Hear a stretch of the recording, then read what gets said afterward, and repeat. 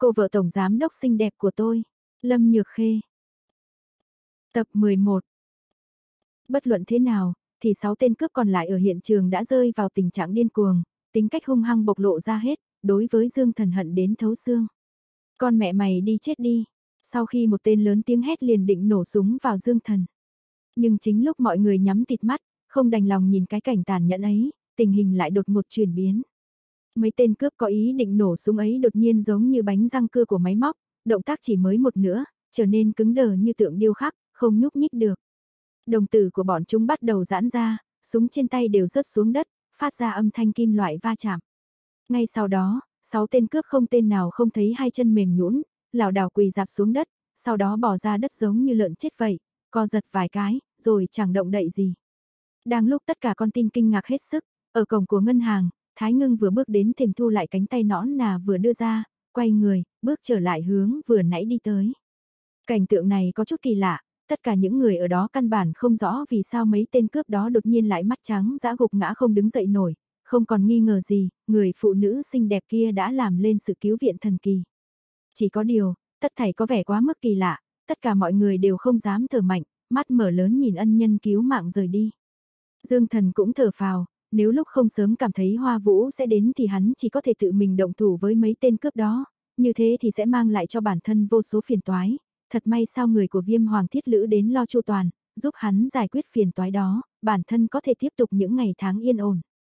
Nghĩ thử xem, kỳ thực nếu bị người ta chăm chăm vào thì không phải là quá gay gâu sao. Thủ pháp hoa vũ thi triển là mạn thiên hoa của đường môn, trong chừng chục bước, không tiếng động nào một tay phóng ra sáu cây kim mảnh như tơ, hình như là có độc, nhưng thuộc dạng gây tê không nguy hiểm đến tính mạng. Đối với truyền nhân của đường môn mà nói, loại độc này muốn bao nhiêu có bấy nhiêu, tùy ý điều phối. Những chi tiết nhỏ ấy người khác chẳng thể thấy, kể cả có đứng gần sát cũng không nhìn ra được gì, nhưng mắt của Dương Thần lại có thể thấy rõ ràng tất cả mọi chi tiết. Nhìn thấy đường Uyển ngồi sụp xuống bên cạnh, vẫn chưa hoàn hồn ôm lấy ngực, Dương Thần đưa một tay về hướng cô, cười bảo, ngồi vậy có vẻ thoải mái nhỉ.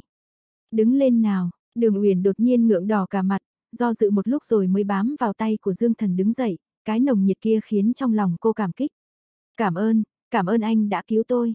Dương Thần chỉ chỉ ngoài cửa, là vị nữ hiệp thần bí cứu người, tôi chỉ là vớ vẩn làm càn thôi. Nếu không phải anh thì đâu có đợi được đến lúc có người đến cứu chúng ta, cái đó thì không chắc cần tôi nói nhỉ. Đường Uyển dù sao cũng là nữ thương nhân nên đầu sóng ngọn gió đều đã trải, thế nên đầu óc rất rõ ràng, suy nghĩ rất nhanh. Dương Thần đành vậy, người ta cương quyết tâm bốc mình thì cũng đành chịu thôi, không cẩn thận trở thành ân nhân cứu mạng, làm cho tâm lý Dương Thần cảm thấy cũng không tệ lắm. Cảnh sát ở bên ngoài ngân hàng đang ùa vào, còn những tên cướp không hiểu vì sao ngất xỉu đi, tất cả đều bị giải ra ngoài. Hai tháng nay cảnh sát bị bọn cướp này làm cho điên đầu, lúc này đây nhìn thấy cuối cùng thì tội phạm cũng bị bắt, nhẹ nhõm thở phào, dù vô tình hay cố ý đều ngầm chút chút bực bội lên bọn chúng. Trong sảnh ngân hàng lộn xộn, các khách hàng bắt đầu đứng lên lòng vẫn còn sợ hãi bước ra ngoài, những người quản lý ngân hàng cũng phối hợp với cảnh sát làm công tác điều tra. Thái Nghiên vội vã đi vào trong sảnh, sau ký tên vào vài báo cáo, nhìn quanh bốn hướng, đột nhiên thấy Dương Thần và Đường Uyển đang đứng với nhau, không khỏi ngẩn cả người, đi tới nhìn điện thoại với ánh mắt lạnh lùng hoài nghi hỏi, sao anh lại ở trong này? Ngân hàng chứ đâu phải nhà cô, sao tôi không thể ở đây chứ? Dương Thần cảm thấy thật buồn cười. Mỗi lần có chuyện lộn xộn xảy ra y như rằng có mặt anh, anh khiến tôi không thể không hoài nghi. Thái Nghiên cười nhạt đáp, hai lần vụ Trần Đức Hải, một lần vụ an tâm, lại thêm việc Dương Thần vô duyên vô cớ trở thành chồng của Lâm Nhược Khê, có thể người khác không biết, nhưng cô biết rõ chân tướng sự việc của Lâm Nhược Khê là gì, thế nên không thể không khiến cô hoài nghi, Dương Thần có hay không có động cơ gì khác. Dương Thần có chút khó chịu, cô cảnh sát xinh đẹp này dồn nghi ngờ vào mình, nhưng mình đâu có muốn bị cuốn vào những chuyện thế này đâu, dù thế nào cũng là bạn bè từ nhỏ của Lâm Nhược Khê, không thể quá thô lỗ, chỉ có thể nhẫn nhịn mà đáp, nếu không có việc gì nữa tôi xin phép đi trước. Không được, Thái Nhiên chắn trước mặt Dương Thần, nhíu mày quả quyết bảo, anh trột dạ chứ gì. Dương Thần, tôi hoài nghi anh với đám kẻ cướp này là đồng bọn với nhau, thậm chí ba vụ án cướp ngân hàng gần đây đều có liên quan. Cho nên anh thuộc vào dạng bị tình nghi cẫn đưa về đồn cảnh sát phối hợp điều tra. Mắt Dương Thần có vài tia sắc lạnh, không thể trêu vào được, trốn cũng không trốn được, việc này ai gặp phải cũng phát hỏa thôi, Dương Thần thì càng không cần nói vừa mới đánh nhau xong, cảm xúc còn chưa ổn định. Nhưng lúc này đây, Đường Uyển đứng bên lên tiếng, "Cục trưởng Thái, tôi tin là anh Dương đây vô tội. Nếu không có ông ấy ra mặt ngăn cản bọn cướp thì tôi sớm đã không còn ở đây rồi. Tất cả con tin ở đây cũng không thể chờ đến lúc nữ anh hùng xinh đẹp kia đến cứu rồi, xin đừng làm khó anh Dương. Giám đốc đường, sao cô lại ở cùng anh ta? Thái Nhiên dường như cùng có quen biết với đường Uyển, nghiêm mặt nói, người đàn ông này rất nguy hiểm, hắn đã vào đồn cảnh sát mấy lần rồi đường Uyển liếc nhìn Dương Thần, thấy Dương Thần ngượng ngùng cười, cô biết Thái Nhiên nói là sự thật, lòng có chút tư lự, nhưng nghĩ đến việc Dương Thần vừa mới cứu mình, lại tiếp tục bảo, những việc đã qua thì cho qua đi. Lúc nãy thật là thiệt cho anh Dương rồi. Cục trưởng Thái có thể nể tình đường Uyển, tha cho anh Dương đây không ạ? Thái Nhiên thấy khó xử, thân là con gái thứ của nhà họ Thái, còn là cục trưởng cục cảnh sát khu Tây Trung Hải, cô biết người phụ này không những có mối quan hệ rộng mà cả thế lực ở sau lưng hậu thuẫn, tuy rằng bản thân cô sau lưng có gia tộc hùng mạnh nhà họ Thái, nhưng nếu trước mặt làm lớn chuyện thì sau này khó có thể bước tiếp ở Trung Hải. Thật không rõ, người phụ nữ có tiếng là khôn ngoan như đường uyển sao lại nói giúp cái loại đàn ông không ra gì kia chứ. Lúc Thái Nhiên đang do dự thì di động của cô đổ chuông. Nhìn số điện thoại, không ngờ là chị Thái Ngưng. Chị, chị đang ở đâu vậy? Sao chớp mắt cái đã không thấy đâu? Thái Nhiên nghe điện thoại liền hỏi, cô đang hiếu kỳ không biết vì sao chị cô vừa mới dẹp xong phiền toái đã biến đi đâu mất tiêu. Thái Ngưng không trả lời, thản nhiên bảo, đừng làm khó người đàn ông đó. Người đàn ông nào? Dương Thần, Thái Nhiên ngẩn cả người, sao đến chị mình cũng nói giúp người đàn ông này. Họ quen nhau sao, vì sao chứ, chị, em muốn nghe lý do. Thái Nhiên hỏi ngược trở lại, Thái ngưng lặng im một lúc, nghiên nghiên, em nghe chị, đừng có làm lớn chuyện này, chỉ có thể bảo đảm chuyện này, anh ta và vụ án kẻ cướp này chẳng liên quan gì nhau. Nhưng, không có nhưng gì hết, Thái ngưng giọng điệu nặng hơn, anh ta không thuộc phạm vi quản lý của em, sau này cũng đừng đụng đến anh ta. Không phải người thuộc phạm vi phụ trách của mình. Những lời này khiến lòng của Thái Nhiên không thấy thoải mái tí nào, chẳng lẽ cái tên lưu manh này còn là nhân viên an toàn quốc gia gì đó. Nếu không thì vì sao chị lại nói giúp hắn? Gác điện thoại, sắc mặt Thái Nhiên có chút mất tinh thần, ngẩng đầu nhìn bộ dạng không còn kiên nhẫn của Dương Thần, càng thấy căm tức, nhưng bản thân lại không thể phản lại ý kiến của chị, hít một hơi sâu nghiến răng bảo, được rồi, dù sao giám đốc đường cũng vì anh mà cầu xin, hôm nay tha cho anh đi, nhưng lần sau còn có sự trùng hợp như thế nữa tôi tuyệt đối không bỏ qua cho anh đâu. Đường Uyển mỉm cười, thế thì cảm ơn cục trưởng Thái nhé. Dương Thần cũng không muốn ở lâu, gật gật đầu với Đường Uyển tỏ lòng biết ơn, rồi rời khỏi sảnh ngân hàng. Đường Uyển nhìn Dương Thần cứ thế rời khỏi, muốn giữ lại nhưng chẳng biết lấy lý do gì, đành buồn bực thu lại ánh nhìn, lòng rối như tơ vò. Bước ra từ sảnh ngân hàng Dương Thần vừa định đi qua cái đống hỗn độn lẳng lặng rời đi, thì đột nhiên xuất hiện trước mặt một đống phóng viên với micro và máy ảnh ùa về mình. Là anh ta là anh ta đó. Anh ơi anh, anh chính là người anh hùng đó sao? Bốn phía mồm năm miệng mười rộn cả lên, mọi người xung quanh đều đổ dồn sự chú ý vào Dương Thần, đèn flash không ngừng chớp, tình huống có chút không kiểm soát được. Dương Thần nuốt rồi lại nuốt trong họng, thế này là thế nào? Đám phóng viên đột nhiên mang theo micro vây quanh thành nửa vòng phía trước mặt Dương Thần, khiến cho Dương Thần phải thối lui vài bước. Thưa anh, nghe những con tin vừa mới thoát ra bảo, lúc nãy ở trong kia anh đã dũng cảm ngăn cản ý đồ cưỡng hiếp phụ nữ của bọn cướp, có đúng thế không ạ? Xin hỏi quý danh của anh, anh làm ngành nào ạ? Thưa anh, anh có thể cho biết tình hình cụ thể lúc đó như thế nào? Câu hỏi phóng viên đưa ra tới tấp, thanh âm sắc nhọn, nhưng cũng khiến Dương Thần hiểu rằng, những con tin vừa mới đi ra lúc nãy đem những gì hắn làm lúc nãy kể ra hết, còn chỉ rõ người đó là hắn. Thế giới này cần người tốt, mà người tốt thì rất nhiều, dù sao người xấu hầu hết bị giam trong nhà lao rồi. Cho nên mọi người cần anh hùng, anh hùng thì đáng giá hơn so với người tốt. Bằng không thì sao người ta cứ vẽ hoạt hình về anh hùng, đóng phim anh hùng, hơn nữa còn có rất nhiều người tình nguyện bỏ tiền ra xem vị anh hùng hư cấu kia. Một anh hùng đích thực của thành phố ở ngay trước mắt các phóng viên thì làm sao bọn họ dễ dàng bỏ qua chứ, xào xáo và thổi phồng, đủ để làm đoạn tin này được tiêu thụ tới mức chóng mặt. Dương thần hận, nhưng chẳng biết kẻ nào đã lắm chuyện, làm cho hắn nổi danh thế này. Đang lúc Dương Thần buồn bực không biết nên làm thế nào mới ổn, thì đột nhiên hai cái máy ảnh trước mặt nổ vang lên hai tiếng lớn bang, bang, bóc khói cháy rụi. Không để đám ký giả kịp phản ứng, các máy ảnh, máy quay phim của những ký giả cũng đều đột nhiên cùng lúc phản ứng dây chuyền, một chuỗi âm thanh bang bang bang bang phát ra nối tiếp nhau, tất cả đều bị phá hủy, dường như tất cả đều được hẹn giờ đồng loạt phá hủy. Dương Thần chấp cơ hội, lập tức lách mình rút lui, dựa vào tốc độ chạy của hắn thì đám phóng viên đó sẽ không bắt kịp. Đám phóng viên toàn bộ bị dọa cho ngơ người, chẳng biết thế là thế nào. Ảnh vừa mới chụp, phim vừa mới quay, sao toàn bộ thiết bị đều bị hủy. Kỳ lạ hơn nữa là tất cả các trang thiết bị chụp ảnh, lưu giữ ảnh toàn bộ đều bị phá hủy, khiến cả đám phóng viên ngơ ngác nhìn nhau, dù sao thì chuyện thế này thật là kỳ lạ quá mức. Từ hiện trường Dương Thần chân chạy như bay về phía mấy con phố nhỏ, sau một hồi ngang dọc thì dừng ở chỗ nghỉ đọc báo nơi góc phố yên ắng. Dừng lại chỗ nghỉ đọc báo, có một người phụ nữ đeo kính dâm ngồi ở quán cà phê ngoài trời, tay cầm tờ báo, lặng lặng đọc. Dương Thần ngồi vào chỗ đối diện với người phụ nữ, hít thở một cái rồi cười nói, không ngờ thủ pháp ám khí của đường môn lại được việc như vậy, so với súng đạn thì tốt hơn nhiều, đến nỗi người ta chẳng biết vì sao các thiết bị ấy bị phá hủy. Nếu anh muốn nổi tiếng, tôi có thể gọi ký giả đến chụp ảnh anh. Hoa Vũ hạ tờ báo đang cầm trên tay xuống, dương mắt nhìn Dương Thần. Dương Thần vội xua tay, ấy đừng đừng đừng, thật là, tôi chỉ đùa chút thôi mà, chả hiểu ý gì cả. Chị em cô thật nghiêm túc quá đi, không câu nào hài hước cả, về sau mà có bạn trai thì tên đó sẽ mệt lắm đây. Đôi mắt đằng sau kính dâm của Thái ngưng dường như ánh lên chút lạnh lùng. Tôi đánh không hơn anh, nhưng không có nghĩa là anh có thể ức hiếp tôi. Hì, Dương Thần hít thở ra một hơi, cười ngượng ngùng.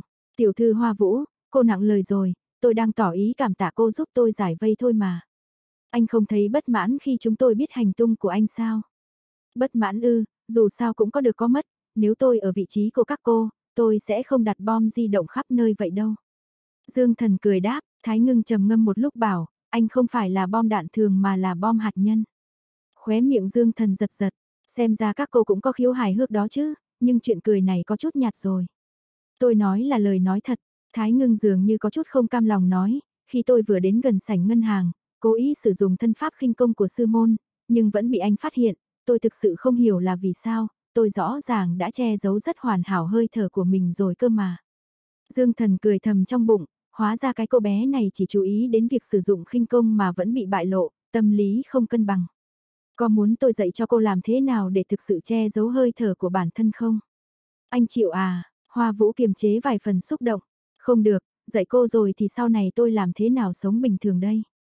Dương thần nháy nháy mắt với cô. Hoa Vũ bị trêu chọc đùa giỡn lần nữa, sắc mặt có chút khó coi, đứng lên xoay người bước đi. Nhìn thấy mỹ nhân băng giá để lộ vẻ mặt kinh ngạc thế kia, Dương thần có cảm giác sung sướng, chút gian tà đưa tay vẫy vẫy cô nói tạm biệt. Một buổi sáng, nghĩ có thể lấy được chút tiền thì lại gặp phải bọn cướp ngân hàng, Dương thần cảm thấy hôm nay mình thật xui xẻo. Tính trở về công ty trước, dù sao cũng gần đến giờ cơm trưa rồi. Nhưng vừa mới đứng dậy thì điện thoại trong túi reo lên, lôi ra nhìn số thì là Vú Vương gọi đến. Hôm qua vừa mới cãi nhau với Lâm Nhược Khê ở nhà, Dương Thần nghĩ là Vú Vương muốn khuyên bảo mình, dù sao cũng là sự quan tâm của người lớn đối với mình, không thể phụ cái tình ý đó được, thế nên tốt hơn là nhanh nghe điện thoại. Cậu chủ, cậu vẫn khỏe đấy chứ? Không việc gì chứ? Vừa bắt điện thoại, Vú Vương hỏi han dối rít Dương Thần ngẩn cả ra. Vú Vương, Vú nói chậm chút, cái gì mà có hay không có sao? Lúc nãy trên TV truyền hình trực tiếp cảnh cướp ngân hàng, trong cảnh đó có cậu, đúng lúc tôi với cô chủ ở nhà, đều nhìn thấy cả. Lời nói của Vú Vương đã chậm lại chút, phát hiện Dương Thần không sao nên có phần yên tâm. Tôi có thể có chuyện gì chứ, không phải là vẫn khỏe mạnh đây sao? Dương Thần an ủi đáp, Vú Vương đột nhiên kêu ai ra. Cậu chủ, cô chủ cũng nhìn thấy bản tin đó nên đã vội vàng lái xe đi tìm cậu, hiện tại đang ở trên đường, cậu còn ở ngân hàng không ạ? Đừng để cô chủ đến không thấy cậu, có vẻ cô ấy rất lo lắng. Lâm Nhược Khê lái xe đến ngân hàng tìm mình. Dương Thần bất ngờ, chẳng lẽ cô ta không biết gọi điện thoại hay sao? Tôi biết rồi Vú Vương, tôi sẽ gọi cho cô ấy ngay. A hát, vậy tôi gác máy nhé.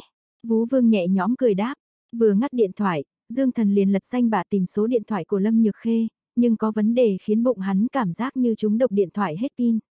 Mấy ngày trước luôn ở Hồng Kông, điện thoại luôn ở trạng thái mất sóng, căn bản không dùng đến, trở lại Trung Hải, sau khi cãi nhau với Lâm Nhược Khê cũng không có thời gian sạc pin, kết quả là điện thoại sau hơn một tuần không sạc đã chẳng còn tí pin nào mà dùng nữa. Hơn nữa lại còn hết pin đúng lúc như thế này nữa. Dương Thần buồn rầu vào đầu, mình có khả năng thế nào cũng không thể sạc pin cho điện thoại bằng hai tay không, máy tính lại không có mạng, không thể trực tiếp liên hệ với Lâm Nhược Khê. Nhưng tiếc là, Dương Thần dù có trí nhớ hơn người nhưng giống phần lớn những người thời nay, đều sử dụng danh bạ của điện thoại di động, về cơ bản là không nhớ số điện thoại của người ta, vì thế muốn dùng điện thoại công cộng cũng không được. Nghĩ đi nghĩ lại, Dương Thần bất đắc dĩ quyết định quay lại hiện trường vụ án. Dương Thần nhìn quanh, May mà gần đó có cửa hàng quần áo, sau khi chạy vào đó, đảo mắt qua vài lượt, hắn chọn một bộ áo ngắn tay và quần jean, một chiếc mũ che nắng rồi chạy vào phòng thử đồ sau 3 phút. Dương Thần ra khỏi cửa hàng quần áo đó đã thay đổi hình dạng, đầu cúi thấp, ăn mặc theo kiểu hip hop, nhìn không giống với lúc ban đầu mặc quần áo đi làm. Cùng lúc đó, tại cửa ngân hàng Hoa Hạ cảnh sát đã dùng giải dây màu vàng khoanh vùng hiện trường vụ án, ngay cả phóng viên cũng không được lại gần, người dân càng không thể tự ý đi vào. Bên trong cảnh sát đang yêu cầu lãnh đạo ngân hàng kể lại tỉ mỉ tình tiết vụ án, không ít nhân viên phía hiện trường đã thu thập bằng chứng cụ thể cho vụ án. Lúc này, một chiếc Bentley màu hồng giống như cầu vồng đang dừng ngay tại bồn hoa nơi phát hiện án. Lâm Nhược Khê mặc bộ đồ vận động viên màu trắng vội vã xuống xe, dùng sức đẩy cửa xe bước nhanh tới chỗ cảnh sát lập hàng rào. Một cảnh sát canh giữ hiện trường liền chắn trước mặt Lâm Nhược Khê, sắc mặt có chút căng thẳng, nói, thưa cô, hiện trường vụ án tạm thời không cho phép ai ra vào. Tránh ra, tôi tìm người. Lâm Nhược Khê lạnh lùng nói, xin lỗi cô, tôi không thể để cô vào. Viên cảnh sát là một người trẻ tuổi, đối mặt với một bóng hồng lạnh lùng thì sắc mặt đã có chút ửng hồng. Nhưng vẫn kiên trì với chức trách của mình. Lâm Nhược Khê không hề để ý đến hắn ta, cất bước xông vào. Dù gì cũng là nữ chủ tịch của công ty lớn, giây phút ấy ánh mắt của cô ta đã làm hai chân viên cảnh sát mềm nhũn, không dám cản bước cô ta nữa. Ồ, cô này đến đây làm gì? Một nữ cảnh sát với giọng sắc bén đã nhanh chóng cản cô ta lại, nhìn thấy Lâm Nhược Khê xông vào lập tức đã nắm tay cô ta lôi lại. Lâm Nhược Khê cố thoát ra, nhìn nữ cảnh sát với vẻ bực mình, đừng đụng vào tôi. Ôi, không thể động vào cô sao? Cô nghĩ cô là ai chứ? Cảnh sát chúng tôi đang tra án, cô đến làm loạn gì chứ? Cô là đồng bọn của kẻ khủng bố, hay là chuyên gia bên cục cảnh sát? Tôi dựa vào đâu để cho cô vào? Nữ cảnh sát cười châm chọc, tôi nói rồi, tôi tìm người. Lâm Nhược Khê lên giọng, nhưng dù gì cũng chỉ là cô gái mới hơn 20 tuổi đối mặt với một nữ cảnh sát hình sự 40 tuổi ở trước mặt khí thế cũng có phần yếu đi. Nữ cảnh sát hình sự nhìn Lâm Nhược Khê một lượt rồi hỏi, tìm ai? Cô làm như thế này là cản trở công vụ, ở đây xảy ra chuyện không chỉ có một người bị hại, người thân của họ đâu có xông vào như cô. Nhìn cô cũng thanh tú vậy mà sao lại thiếu suy nghĩ như thế? Cô cho rằng cô xinh đẹp, đi xe xịn tới chúng tôi sẽ để cô vào sao? Cô nghĩ là cả thế giới nợ cô à? Cô không thấy mọi người xung quanh cũng rất nóng lòng à, thân nhân người bị nạn đều đứng đợi theo quy định mà. Nữ cảnh sát hình sự nhìn Lâm Nhược Khê một lượt rồi hỏi, tìm ai? Cô làm như thế này là cản trở công vụ, ở đây xảy ra chuyện không chỉ có một người bị hại, người thân của họ đâu có xông vào như cô. Nhìn cô cũng thanh tú vậy mà sao lại thiếu suy nghĩ như thế? Cô cho rằng cô xinh đẹp, đi xe xịn tới chúng tôi sẽ để cô vào sao? Cô nghĩ là cả thế giới nợ cô à? Cô không thấy mọi người xung quanh cũng rất nóng lòng à, thân nhân người bị nạn đều đứng đợi theo quy định mà. Lâm Nhược Khê đứng ngây người, bên tai vẫn văng vẳng hai câu nói của nữ cảnh sát, cô cho rằng cô xinh đẹp, đi xe xịn tới chúng tôi sẽ để cô vào sao. Cô nghĩ là cả thế giới nợ cô à đêm qua người đàn ông đó cũng nói với mình như thế, hôm nay người phụ nữ lạ này cũng nói với mình những lời này. Lâm Nhược Khê mặt trắng bệch, hít thở có chút khó khăn, xung quanh có bao con mắt nhìn cô ta khiến cô ta lần đầu tiên biết thế nào là không nhận được sự chào đón của mọi người. Lặng lẽ quay người, Lâm Nhược Khê muốn quay ra xe, nhưng đi được vài bước trong lòng không yên, không kiềm chế được nên quay đầu lại hỏi nữ cảnh sát, tôi, tôi muốn biết anh ta thế nào rồi, cho tôi vào có được không? Nếu nhớ không nhầm Lâm Nhược Khê biết đây là lần đầu tiên cô ta dùng giọng khiêm tốn và nhu nhược như thế này để nói chuyện với người khác. Nếu nhớ không nhầm Lâm Nhược Khê biết đây là lần đầu tiên cô ta dùng giọng khiêm tốn và nhu nhược như thế này để nói chuyện với người khác. Lâm Nhược Khê bậm môi, ỉu xìu quay đầu trở ra xe. Ngồi vào trong xe khóe mắt cô ta bỗng đỏ hoe, cúi đầu, nước mắt như rơi xuống từng giọt. Bản thân cô ta cũng không biết tại sao mình lại muốn khóc, nhưng cảm giác chua xót này không thể kiềm chế nổi, có lẽ là tự trách mình, là xấu hổ, cũng có lẽ là oan ức, bất luận là như thế nào Lâm Nhược Khê cũng thấy xung quanh tất cả đều khiến cô ta bàng hoàng bất lực, cảm giác bất lực bỗng nảy sinh trong lòng khiến cô ta cảm giác như mình sắp không còn chút sức lực nào nữa. Hôm qua, sau khi cãi nhau với Dương Thần dù Vú Vương đã giảng giải nhưng trong lòng vẫn đấu tranh tư tưởng kịch liệt. Sự kiêu ngạo của cô ta không cho phép cô ta dễ dàng cúi đầu trước người đàn ông đó, nhưng khi Dương Thần nói ra đi, quyết định ấy đã làm Lâm Nhược Khê tổn thương sâu sắc, khiến niềm tin của cô ta bắt đầu lung lay, sự tự tin bắt đầu mất dần. Vốn tưởng mình có thể đứng ở vị trí ban đầu sẽ không vì chuyện này mà thỏa hiệp, thực tế trong đời người cũng trải qua những chuyện như thế này, cô ta chỉ muốn là chính mình, không ai có thể đủ sức làm cô ta thay đổi nhưng không ngờ, sáng nay khi vô tình giờ tới phần tin tức quan trọng, vụ án cướp ngân hàng, bỗng khuôn mặt Dương Thần hiện lên, sau khi nhìn thấy dòng chữ nổi bật bên dưới tiêu đề, nhiều người bị thương duy trì sức mạnh hỏa lực Lâm Nhược Khê cũng không thể kiềm chế cảm xúc của mình. Ngay lúc ấy cảm xúc bản thân như thế nào cũng khó mà điều khiển được, Lâm Nhược Khê không thay quần áo, không trang điểm, vội vàng mượn xe lao ra khỏi nhà đi thẳng tới hiện trường vụ án. Cho đến tận bây giờ cô ta mới dần hiểu ra, cái người gọi là chồng kia đã có vị trí rất quan trọng trong lòng cô ta, vì anh ta mà lo lắng, mà sốt ruột, mà sợ hãi, làm mà loạn tại bất kỳ nơi đâu. Lâm Nhược Khê khóc nức nở, đầu gục vào vô lăng, tóc buông xõa, rõ là đáng thương. Này, lái chiếc xe đắt tiền như thế này mà xuống xe cũng không biết khóa cửa lại sao. Một giọng nói từ bên cạnh ghế lái vọng tới. Lâm Nhược Khê ngẩng đầu, nhìn sang bên cạnh, Dương Thần đội mũ lưỡi chai đang nhìn cô cười. Anh làm thế nào, tôi làm sao nào, anh, Lâm Nhược Khê muốn hỏi Dương Thần có bị thương hay không nhưng nhìn thấy cái điệu bộ của anh ra Lâm Nhược Khê nói không lên lời nữa. Dương Thần nhìn thấy hoa lê dính mưa ở trước mặt đã khóc đến nỗi hai mắt đỏ hoe thì thở dài, rút khăn giấy trong hộp giấy ở giữa xe chìa tay đưa cho Lâm Nhược Khê lau nước mắt. Nước mắt thấm ngay vào khăn giấy, và cứ như dòng nước suối lau thế nào cũng không hết Dương Thần lập tức rút ba tờ khăn giấy nhưng nước mắt Lâm Nhược Khê cứ như mở van xả lũ, không thể nào ngăn lại được. Dương Thần nhíu mày, khóc cái gì mà khóc, còn khóc nữa là tôi đi đấy. Sướt mướt, có thôi đi không thì bảo. Lâm Nhược Khê nghe Dương Thần nói sẽ đi, lập tức chính mình giơ tay lau nước mắt, nghẹn ngào cố dừng khóc, son môi lòe loẹt, tội nghiệp nhìn Dương Thần, không nói lời nào. Hai Dương Thần thở ra nhẹ nhàng, cô gái này khi khóc hóa ra vẫn có thể dọa cho ngừng khóc, cũng coi như là một kinh nghiệm không tồi. Hắn cười nói, tôi nói cô đấy, lẽ nào cô không thể gọi điện thoại hay gì gì đó cho tôi sao? Chẳng có chuyện gì gấp thì chạy xe tới đây làm gì? Lại còn xông vào, đây đâu phải tác phong bình tĩnh của Lâm Tổng. Lâm Nhược Khê hai tay vân vê vạt áo, khẽ nói, tôi vừa rồi lo lắng quá. Dương Thần sừng sốt, lo lắng quá. Lo cái gì chứ? Lo cho bản thân mình, lo đến nỗi không thể phán đoán bằng lý trí, thậm chí còn định xông vào và đôi co với cảnh sát. Vừa rồi còn thấy cô ta ngốc ngốc, giờ lại thấy đáng yêu thế. Dương Thần thấy trong lòng ấm áp, đây là cảm giác ấm áp khác, Dương Thần không biết đây gọi là bạn bè tương ái hay là người nhà quan tâm, nhưng hắn bỗng rất thích cái khoảnh khắc Lâm Nhược Khê nức nở, bởi lúc này hắn thấy trong lòng người con gái này mình cũng quan trọng.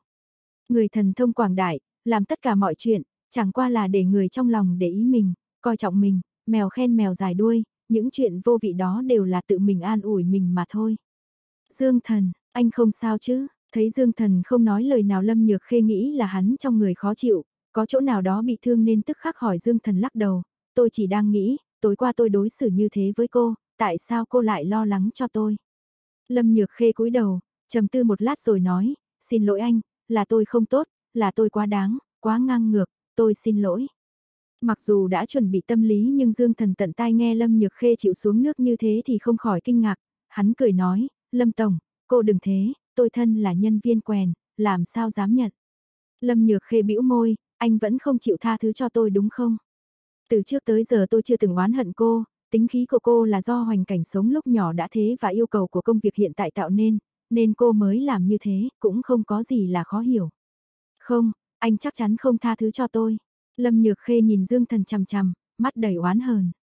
Vì sao? Dương Thần hỏi, Lâm Nhược Khê lẩm bẩm, anh trước kia, không, không gọi tôi là, Lâm Tổng, Dương Thần ngây người một lát, bỗng nhiên cười một cái, bà xã Nhược Khê ngoan. Hóa ra em vẫn thích tôi gọi em như vậy, cái này nói như thế được nhỉ, hóa ra bà xã phiền muộn chuyện này à. Anh mới phiền muộn ấy. Khuôn mặt Lâm Nhược Khê bỗng đỏ bừng, xinh đẹp hết sức, hòn đá đè nặng trong lòng cuối cùng cũng ném bỏ được, lúc này mới tin là Dương Thần không trách mình. Dương Thần nhìn bộ dạng người con gái trước mặt xúc động nói, Nhược Khê, thật ra em có thấy không, chúng ta càng ngày càng giống những cặp vợ chồng bình thường rồi. Hả, Lâm Nhược Khê ngẩng đầu, rõ ràng là không hiểu hắn có ý gì. Giữa chúng ta chiến tranh lạnh có, đấu khẩu có, tranh chấp có, cãi vã có, trao đổi có, hòa giải cũng có, em lại vì anh mà lo lắng, anh vì em nên suy nghĩ. Thật ra, những chuyện này phần lớn các cặp vợ chồng bình thường đều có, cuộc sống hàng ngày đều sẽ trải qua, không ai ở bên nhau mà có thể hòa thuận, ngọt ngào mãi, cãi vã nhỏ giữa vợ chồng luôn mang đến trải nghiệm mới mẻ cho cả hai. Đương nhiên là chúng ta bây giờ còn thiếu rất nhiều, ví dụ như những lời nói ngọt ngào, sự tương trợ nhau, thấu hiểu và bao dung. Dương Thần từ từ giảng giải, nhưng mà anh nghĩ, chúng ta nhất định đang cùng đi đến nơi tốt đẹp nhất, một ngày nào đó, cặp vợ chồng bình thường có được những cảm giác hạnh phúc đó, chúng ta cũng sẽ có. Chỉ cần đôi bên tin tưởng lẫn nhau thì ngày đó không còn xa nữa, em xem, em bây giờ không phải là đã để anh gọi em là tiểu nhược khê yêu của anh, bảo bối nhược khê rồi sao? Nói xong Dương Thần nháy mắt với Lâm Nhược Khê. Lâm Nhược Khê có chút say xưa, điềm nhiên cười, gật gật đầu, em sẽ cố gắng thay đổi. Lần sau anh đi công tác em sẽ gọi điện hỏi thăm, an ủi anh. Dương Thần giờ khóc giờ cười, tình cảm mà cô bé này liền lý giải ngay thành gọi điện thoại thăm hỏi ở lần đi công tác tới. Dương Thần vội giải thích, không phải chỉ có mỗi chuyện đó, những chuyện nhỏ nhặt khác trong cuộc sống cũng là cách tốt để làm nóng mối quan hệ của hai người. Ví dụ như tặng quà cho nhau, cùng nhau đi dạo, xem phim, cùng nhau đến nhà hàng nhỏ ăn chút đồ ăn vặt mà bình thường không ăn. Anh nghĩ là cuộc sống như thế đối với anh và em mà nói là những trải nghiệm không tồi đâu. Lâm Nhược Khê đỏ mặt nói, chuyện này em không hiểu lắm. Nhìn bà xã bỗng dưng giống như thiếu nữ đang yêu tràn đầy cảm xúc dương thần vừa cảm thấy kỳ lạ mà trong lòng lại vui vui, đưa tay che ngực trái của mình, làm bộ như đang chịu đau đớn. Lâm Nhược Khê quả nhiên trở nên bối rối, Dương Thần, anh làm sao thế? Bị thương rồi sao? Không phải vừa rồi anh nói không sao à? Ha ha, anh nghĩ giấu được em, bị đạn sượt qua, may mà không bị thương nghiêm trọng. Dương Thần đau khổ nói. Lâm Nhược Khê vừa nghe bị đạn sượt qua, lập tức lo lắng hỏi, vậy thì làm thế nào? Em đưa anh đến bệnh viện, ngay bây giờ. Không cần, Dương Thần khẩn thiết nói, em hãy để tay em lên ngực anh, sờ sờ, vuốt vuốt, anh sẽ cảm thấy tốt hơn nhiều. Ồ, Lâm Nhược Khê cũng không suy nghĩ nhiều, đưa cánh tay mềm mại, nhỏ nhắn của mình ra, đặt lên ngực Dương Thần. Đột nhiên, Lâm Nhược Khê vừa chạm vào xoa, đôi mắt ngập nước đã phải chịu nỗi lo lắng, hiện lên sự nghi ngờ. Dần dần, sự nghi ngờ biến thành u ám. Trên khuôn mặt xinh đẹp với vẻ quan tâm, cũng hồi phục lại bình thường, thậm chí còn lạnh lùng hơn nhiều. Lâm Nhược Khê cười lạnh lùng, hỏi Dương Thần, vết thương súng kiểu gì? Tay của em sờ vào thì anh sẽ khá hơn nhiều. Dương Thần biết rằng chiêu nhỏ đó bị Lâm Nhược Khê lạnh lùng nhìn xuyên thấu, chỉ cười lớn. Dương Thần, vừa rồi anh còn nói phải tín nhiệm lẫn nhau. Anh trầm ANS sao có thể ngay lập tức lừa gạt em như vậy? Sau một tiếng hét chói tai, toàn thân lay động, dưới ánh mắt kinh ngạc của không ít người xung quanh, Dương Thần bối rối trốn khỏi chỗ ghế phụ, ngay cả cửa cũng chưa đóng, chạy ngay khỏi hiện trường. Một ngày qua đi, Dương Thần cuối cùng ở trong một chi nhánh khác của ngân hàng Hoa Hạ ở Trung Hải rút được một triệu tiền mặt chuyển vào tài khoản của mình. Như vậy thì, từ khi quay về nước cho tới nay, lần đầu tiên trở thành triệu phú, cái cảm giác dùng thái độ của người bình thường đối đãi với tiền bạc hắn khá thích thú hưởng thụ. Chiều thứ tư, hắn cùng Lý Tinh Tinh đã hẹn gặp mặt ở thành gia tư Trung Hải, giúp Lý Tinh Tinh đi mua một ít đồ gia đình. Khi Lý Tinh Tinh tới trên người mặc một chiếc váy lụa mỏng cùng với một chiếc ví da màu trắng sáng, khuôn mặt thanh lịch không có phấn trang điểm xinh đẹp động lòng người. Dương đại ca, thực ra cuối tuần tới cũng được, hôm nay đi làm xin nghỉ như thế không hay lắm. Hai người vừa đi về phía thành gia tư Lý Tinh Tinh cũng thuận miệng nói. Cô đã vào ở rồi đồ dùng gia đình sao có thể hoãn mua được chứ, cũng chỉ là nghỉ lên lớp nửa ngày, học sinh của cô cũng không ngốc đến nỗi thiếu cô dạy nửa ngày mà không thi lên đại học được. Hắn cười nói, Lý Tinh Tinh có vẻ đắc ý nói, học sinh của tôi tháng trước thi cuối năm đứng thứ nhất, đều rất thông minh. Dương Thần nhớ tới bộ dạng của tiểu nha đầu kia cũng là học sinh của Lý Tinh Tinh. Thành tích đường đường thế nào? Nhà đầu đó rất tinh quái, có ham chơi mà không học không? Đường đường gần đây rất nghe lời, dường như bị mẹ quản rất nghiêm, thành tích cuối năm đứng thứ 10, tôi thấy cô bé đó rất có khả năng, nếu tự giác hơn nói không chừng có thể đứng thứ ba. Lý Tinh Tinh nói về học sinh của mình rất say xưa. Dương Thần có chút kinh ngạc, hóa ra lâu nay không tìm đến hắn là vì thế, đôi lúc trên mạng cùng đánh ma thú với viên giã, anh ta cũng nói lâu nay đường đường cũng không đến tìm, thì ra đang chuẩn bị thi đại học. Dương đại ca có phải rất để ý tới đường đường? Lý Tinh Tinh hỏi, hắn hơi sừng sốt, sờ sờ cái mũi. Tinh Tinh, Dương đại ca của cô vẫn chưa tới mức đói ăn mà không biết chọn thức ăn.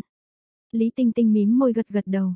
Xem ra khẩu vị của Dương ca rất kén chọn, ít nhất tôi và đường đường đều không thể trở thành món ăn của anh.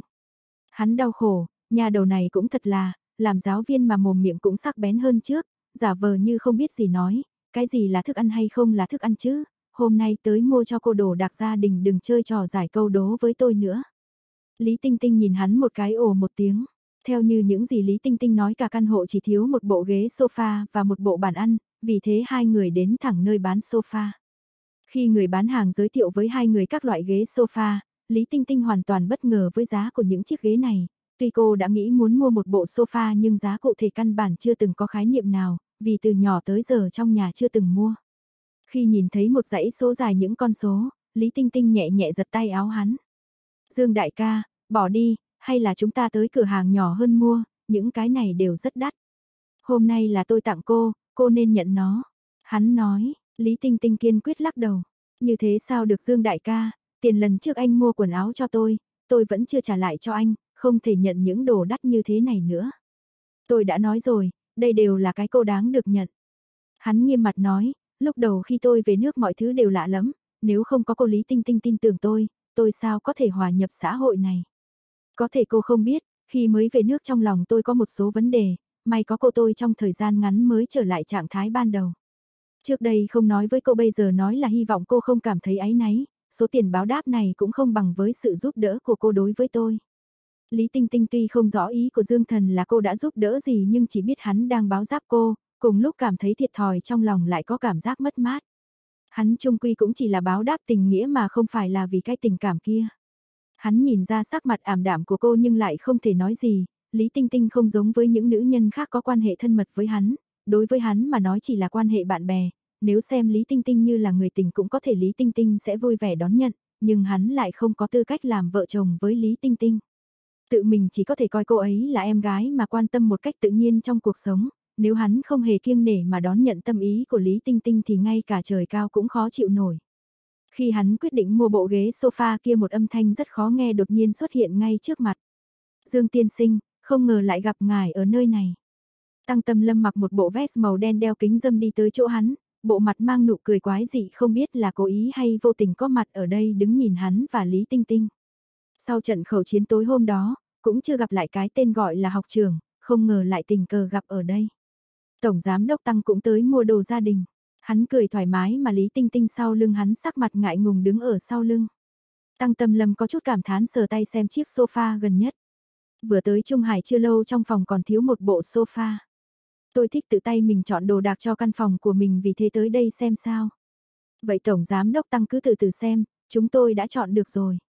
Ai, Dương Tiên Sinh hà tất phải vội thế, tôi đang muốn nói năm đó khi ở trường tôi mua đồ cho căn nhà của mình cũng đã tới đây, có điều lúc đó là tới cùng Nhược Khê, chỉ là tôi không nghĩ đến cảnh còn mà người chẳng thấy đâu, cũng nơi này đã có người cảm thán rất nhiều.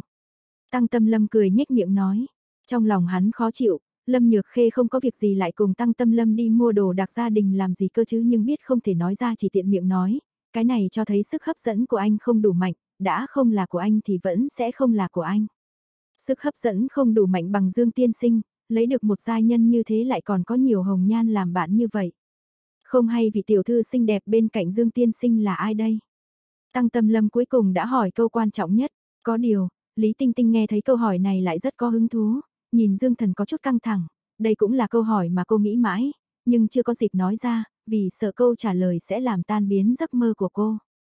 Dương Thần im lặng hồi lâu, bình tĩnh nói, vị Lý tiểu thư này là một người bạn vong niên của tôi, tôi xem cô ấy như là em gái, Tăng Tiên Sinh đừng nghĩ quá xa.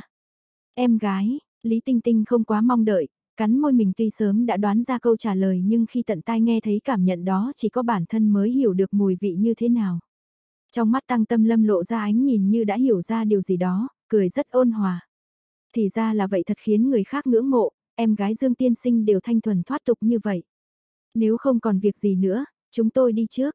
Dương Thần rất muốn đánh cho hắn trận vì điệu cười của Tăng Tâm Lâm làm hắn rất khó chịu, hơn nữa dường như trong lòng tên này có chút gì đó không bình thường. Trả tiền xong, sau khi sắp xếp để chờ đồ về nhà hắn cùng với Lý Tinh Tinh trên đường quay về xe đi về hướng nhà Lý Tinh Tinh. Trên xe, hắn nhìn thấy vẻ mặt có vài phần đau thương của Lý Tinh Tinh nói, Tinh Tinh, xin lỗi. Dương đại ca không cần nói xin lỗi, tôi sớm đã biết vị trí của mình trong lòng Dương ca, sẽ không đòi hỏi gì. Lý Tinh Tinh ngẩng đầu, cười miễn cưỡng. Dương đại ca, người đó có vẻ đầy thù địch đối với anh. Đó là học trường của vợ tôi hồi đại học, về việc tôi lấy vợ tôi anh ta rất không bằng lòng. Hắn cũng không giấu, hắn biết những lúc như thế này nếu giấu tinh tinh điều gì sẽ là sự tổn thương lớn nhất đối với nữ nhân. Lý Tinh Tinh hiểu rõ gật đầu cười nói, từ trước tới nay chưa từng nhìn thấy chị dâu là người như thế nào, xem ra là mỹ nữ hơn người, cái tên vô lại kia thoạt nhìn quần áo chỉnh tề, phụ nữ thông thường chắc anh ta chẳng thèm để ý đâu. Ừ, thực ra không phải là nữ nhân, mà đến cả nam nhân cũng không chịu nổi. Hắn cười khổ nói, Lý Tinh Tinh ngẫm nghĩ, không biết chị dâu đẹp hay là người tôi quen ở cô nhi viện đẹp. Người chị ở cô nhi viện, hắn nhíu mày tại sao Lý Tinh Tinh lại có thêm một người chị. Đúng vậy, trước đó khi dẫn theo anh Dương đi, em không phải đã nói qua sao. Em đi đến đó là do ảnh hưởng của người chị đó, mới mang sách đến cho bọn trẻ, kể chuyện cho chúng, vân vân.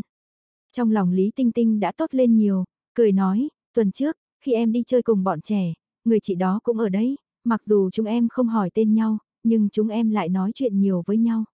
Cô ấy nói, sau này còn dẫn em đến nhà cô ấy chơi, cho em xem một số thứ hay ho. Một số thứ hay ho, thứ gì hay ho chứ?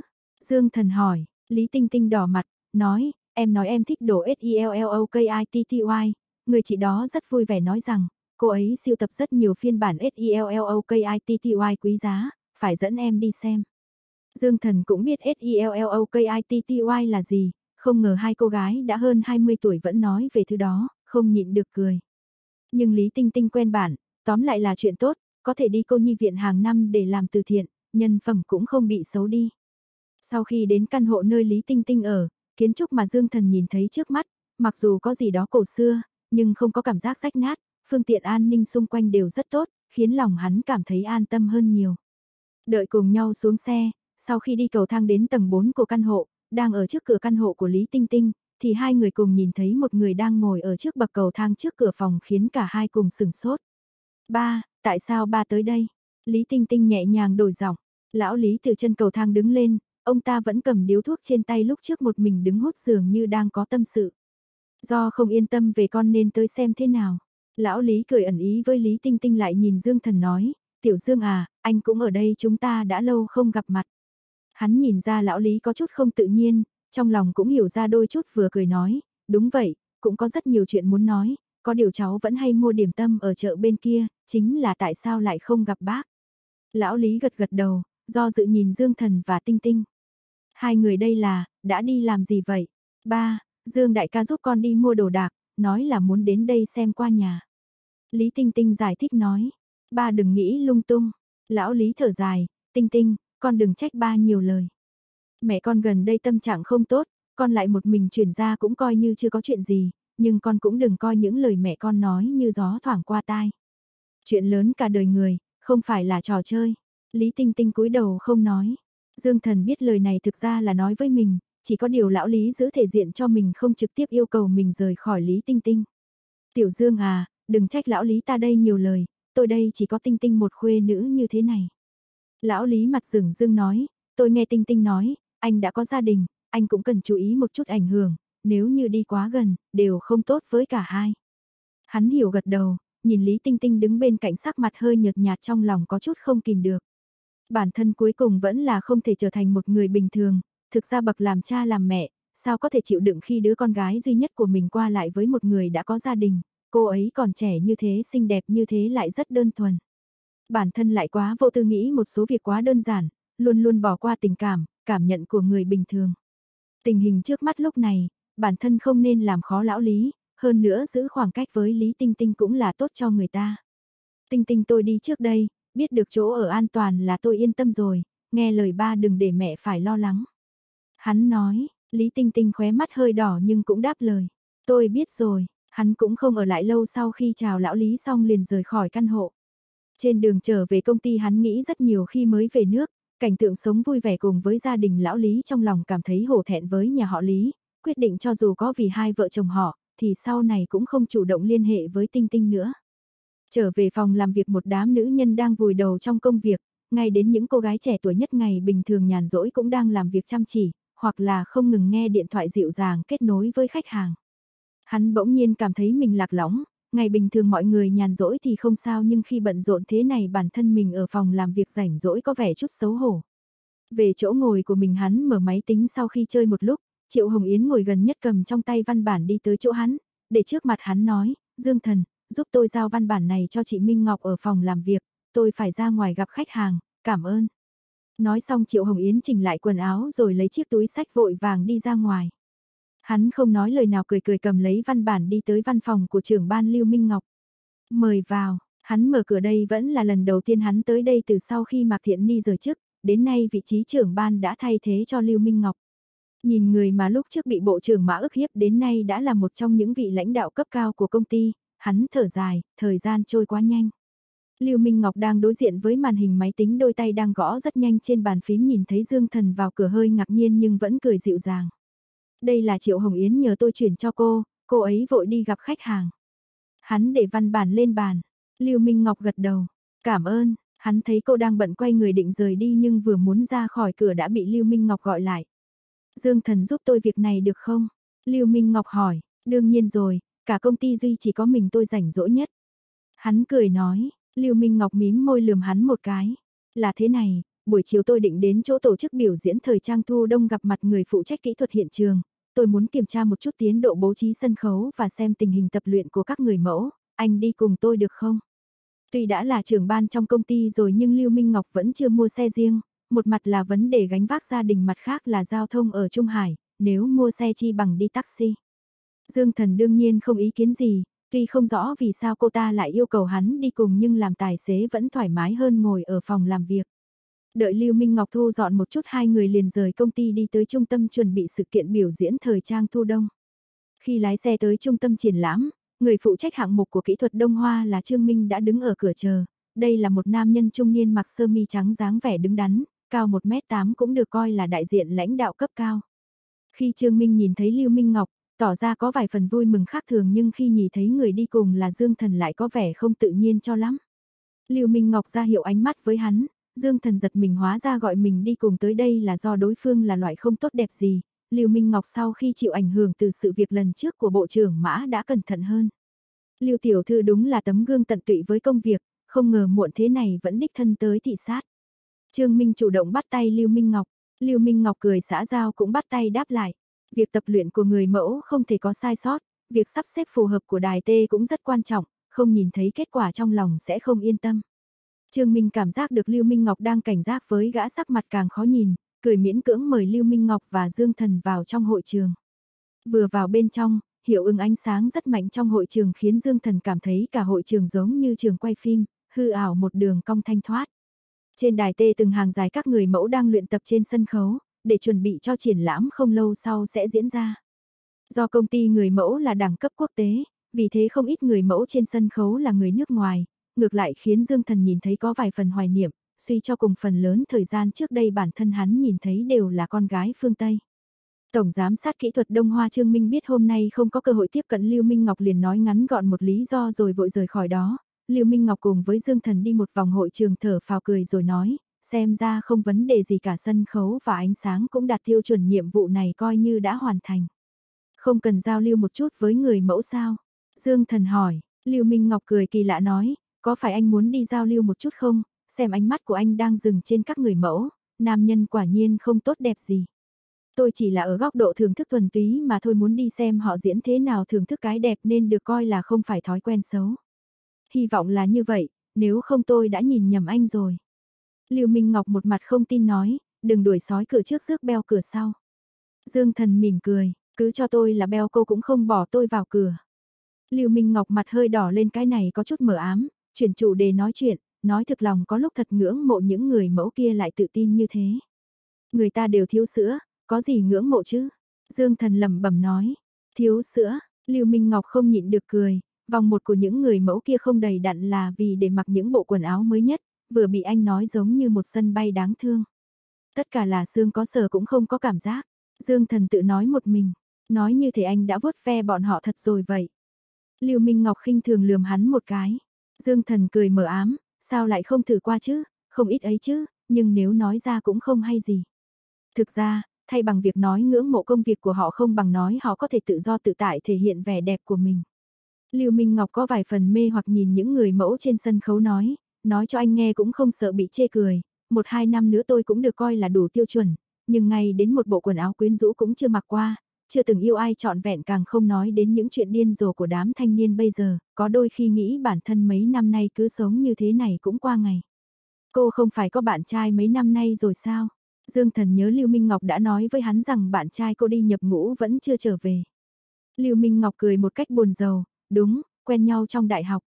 Trước khi anh ấy đi nhập ngũ muốn tôi đợi anh ấy, nhưng từ khi anh ấy nhập ngũ vẫn chưa liên lạc lại với tôi lần nào. Một vài người bạn của tôi nói, nếu như là họ, sớm đã thay đổi rồi. Nhưng tôi sợ một ngày nào đó anh ấy trở về, nói rằng tôi phụ lòng anh ấy, vì vậy không đi tìm bạn trai khác. Thực ra đến bây giờ, mặc dù thỉnh thoảng tôi vẫn nhớ đến anh ấy, nhưng ngay cả hình dáng của anh ấy, có lúc tôi vẫn không nhớ rõ được, có phải tôi quá ngốc không? Trong lòng Dương Thần cảm thấy Lưu Minh Ngọc làm vậy là không đáng. Dù sao dựa vào sắc đẹp của cô, đã làm lãng phí mất tuổi thanh xuân để đi chờ đợi một người đàn ông không biết bao giờ mới trở về. Thực tế, cái giá phải trả quá đắt, nhưng đây là việc riêng nhà người ta nên hắn cũng không nói gì nhiều, chỉ nói, cô cảm thấy đáng làm thì được rồi. Thật không, Minh Ngọc thản nhiên cười cười. Cũng đúng, nhìn thời gian không còn sớm, Lưu Minh Ngọc đưa ra ý kiến, xem ra anh đã vất vả làm tài xế như vậy, lại còn giúp tôi chặn lũ ruồi nhặng nữa, tôi sẽ mời anh ăn tối. Đi đâu? Dương Thần cũng cảm thấy đói bụng. Chỗ cũ, Lưu Minh Ngọc nháy mắt nói. Chỗ cũ Lưu Minh Ngọc dẫn lại là chỗ lần đầu tiên Dương Thần đến nhà hàng đó, cũng chính là sau này Dương Thần đến ăn một mình, nhìn thấy cả nhà Lý Tinh Tinh và Tưởng Thạc. Sau khi gọi điện cho Vũ Vương ở nhà Dương Thần cùng Lưu Minh Ngọc đến nhà hàng Trung Quốc có chút danh tiếng kia. Đi vào một góc trong nhà hàng hai người sau khi ngồi chọn món ăn và nói chuyện rất tự nhiên. Không lâu Lưu Minh Ngọc đang tươi cười thoải mái bỗng nhiên lộ ra vẻ mặt kinh hãi khó kiềm chế được, từ chỗ ngồi đứng lên ánh mắt tập trung ra hướng cửa ra vào. Lưu Minh Ngọc cô sao vậy? Dương Thần nghi hoặc quay đầu lại hỏi, nhìn về phía Lưu Minh Ngọc đang chú ý tới. Khi nhìn thấy người đang đi tới Dương Thần cảm thấy như là đã gặp ở đâu, nghĩ kỹ một chút mới nhớ ra là lần đầu tiên cùng Lưu Minh Ngọc tới đây ăn đã chạm mặt với một nữ lãnh đạo của một công ty khác, đó là Vương Duyệt bị Dương Thần gọi trêu đùa là Tùng Đảo Phong. Vương Duyệt không mặc quần áo công sở mà mặc chiếc váy hoa hồng nhạt, cùng với đôi giày cao gót thân hình yêu kiều phối hợp cùng đôi mắt làn môi đỏ mọng lại càng tăng thêm vẻ quyến rũ cho khuôn mặt thật là tiểu nữ nhân có sức hấp dẫn. Cô ta không giống lần trước có thêm hai đồng nghiệp nam đi theo mà đôi tay mềm mại kia đang khoác tay một nam nhân cao lớn như là chim nhỏ nép vào người nhìn rất hạnh phúc. Nam nhân kia khoác trên người bộ vest Armani được cắt khóe léo đường cong lưu loát và hoa văn tinh xảo làm lộ rõ vẻ quyến rũ nhưng cũng rất mạnh mẽ của nam nhân.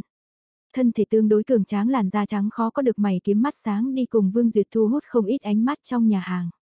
Dương Thần không rõ vì sao Lưu Minh Ngọc lại phản ứng gay gắt như vậy chỉ e rằng khi gặp Vương Duyệt rồi đối thủ cạnh tranh trong ngành này, lần trước Lưu Minh Ngọc cũng đã bình tĩnh đấu khẩu với cô ta không hoảng loạn, nhưng lúc này Lưu Minh Ngọc quan sát nam nhân cùng đi tới trên khuôn mặt phong tình kia lại có nét mặt và nhịp thở khác thường. Lúc này Vương Duyệt đi tới gần cùng với nam nhân kia cuối cùng cũng phát hiện Lưu Minh Ngọc đang đứng. Bởi vì Lưu Minh Ngọc vừa mới nhận chức trưởng ban, so với trước đây vẫn còn khiêm tốn rất nhiều bộ quần áo trắng đen kiểu cũ dưới là chiếc quần rộng với đôi xăng, đan thấp, nhưng dựa vào nhan sắc hơn người vẫn dễ nhận ra vẻ đẹp riêng có. Nam nhân cùng Lưu Minh Ngọc nhìn nhau một lát nam nhân kia dường như cũng sững người trong chốc lát nhưng ngay sau đó ngay lập tức trở lại bình thường, tiếp tục cười đi tiếp. Vương Duyệt nhìn thấy Lưu Minh Ngọc ngay lập tức như nhìn thấy kẻ thù chừng mắt. Chà thì ra trưởng ban Lưu vừa mới nhận chức quả là âm hồn không tan. Lưu Minh Ngọc không nói khóe mắt hơi đỏ lên nước mắt tuôn rơi nhìn nam nhân đứng bên cạnh cô ta. Vương Duyệt chú ý đến sự khác thường của Lưu Minh Ngọc phát hiện là Lưu Minh Ngọc đang nhìn nam nhân đứng bên cạnh, lập tức đắc ý cười, xem ra trưởng ban Lưu rất để mắt tới bạn trai của tôi, thấy thế nào? Có phải rất tuấn tú? Nghĩ lại cũng phải trưởng ban Lưu như thế này đã nhiều năm cứ mải bán cái này bán cái kia sợ rằng không tìm được bạn trai rồi nên gặp người nào cũng muốn, thật đáng thương. Lưu Minh Ngọc ngoảnh mặt làm ngơ chỉ nhìn nam nhân bên cạnh Vương Duyệt hỏi, Tề Khải, về lúc nào vậy? Nam nhân tên là Tề Khải cười nhẹ nhàng. Thực ra một năm trước đã xuất ngũ nhưng ở tỉnh khác công tác làm giám đốc bộ phận cho một công ty, hai tháng trước quay về Trung Hải làm đại diện cho chi nhánh ở đây. Một năm trước, Lưu Minh Ngọc lắc đầu. Vì sao vì sao tôi không biết gì cả? Cô muốn biết, tại sao cô lại muốn biết? Tề Khải cảm thấy đáng cười nhíu mày nói, tuy quan hệ trước đây hồi còn học đại học rất tốt nhưng cũng không đến mức chuyện gì tôi cũng phải báo cáo cô chứ. Vương Duyệt nhận ra Tề Khải quen biết Lưu Minh Ngọc vội vàng chen lời nói, Tề Tề, anh tại sao lại nói chuyện với con hồ ly tinh này chứ em không cho phép hai người ôn chuyện cũ. Tề Khải vuốt ve cằm của Vương Duyệt, hồ ly, em mới là con hồ ly lẳng lơ, cô ta chẳng qua chỉ là bạn học cũ. Nói vài câu chuyện mà em ghen cái gì chứ? Đáng ghét, Vương Duyệt vuốt ve tay của Tề Khải vẻ mặt thẹn thùng giống như thiếu nữ thuần khiết. Lưu Minh Ngọc cắn cắn môi mỏng của mình thở sâu một cái cười sầu thảm nói, bạn học cũ. Không biết năm đó ai lên tàu nói rằng nhất định phải đợi anh ta lại nói nhất định phải trở về đây cùng tôi sống hết kiếp này, tề khải anh thật khiến tôi thất vọng. Dương Thần ngồi bên cạnh nghe coi như cũng rõ nội tình cảm thấy nam nhân này chính là người bạn trai mà Lưu Minh Ngọc vẫn đang chờ đợi nhưng trước mắt xem ra tên nam nhân này đã đá Lưu Minh Ngọc rồi. Tề Khải nhíu mày nói, Lưu Minh Ngọc, hồi đại học còn ít tuổi không hiểu chuyện những lời nói tùy tiện cô lại coi là thật, sao có thể vậy được. Tôi thật không tin cô có thật là nhiều năm như vậy không tìm được bạn trai thấu hiểu nỗi cô đơn của mình, bây giờ những cô gái xinh đẹp có cho mình ba bốn bạn trai là rất bình thường. Cô đừng trước mặt tôi mà khóc lóc, tôi gặp nhiều rồi không có tác dụng gì đâu. Lưu Minh Ngọc sắc mặt đỏ lên nghiến răng nói, anh chấm ANS vô liêm sỉ.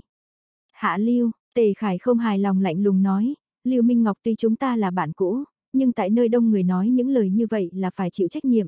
Tôi với cô vốn dĩ chẳng có gì cả, hồi học đại học cũng chỉ là thân thiết một chút, tôi cùng lắm là nắm tay cô, giữa chúng ta đến hôn cũng chưa từng có, càng không nói đến đụng tới người cô.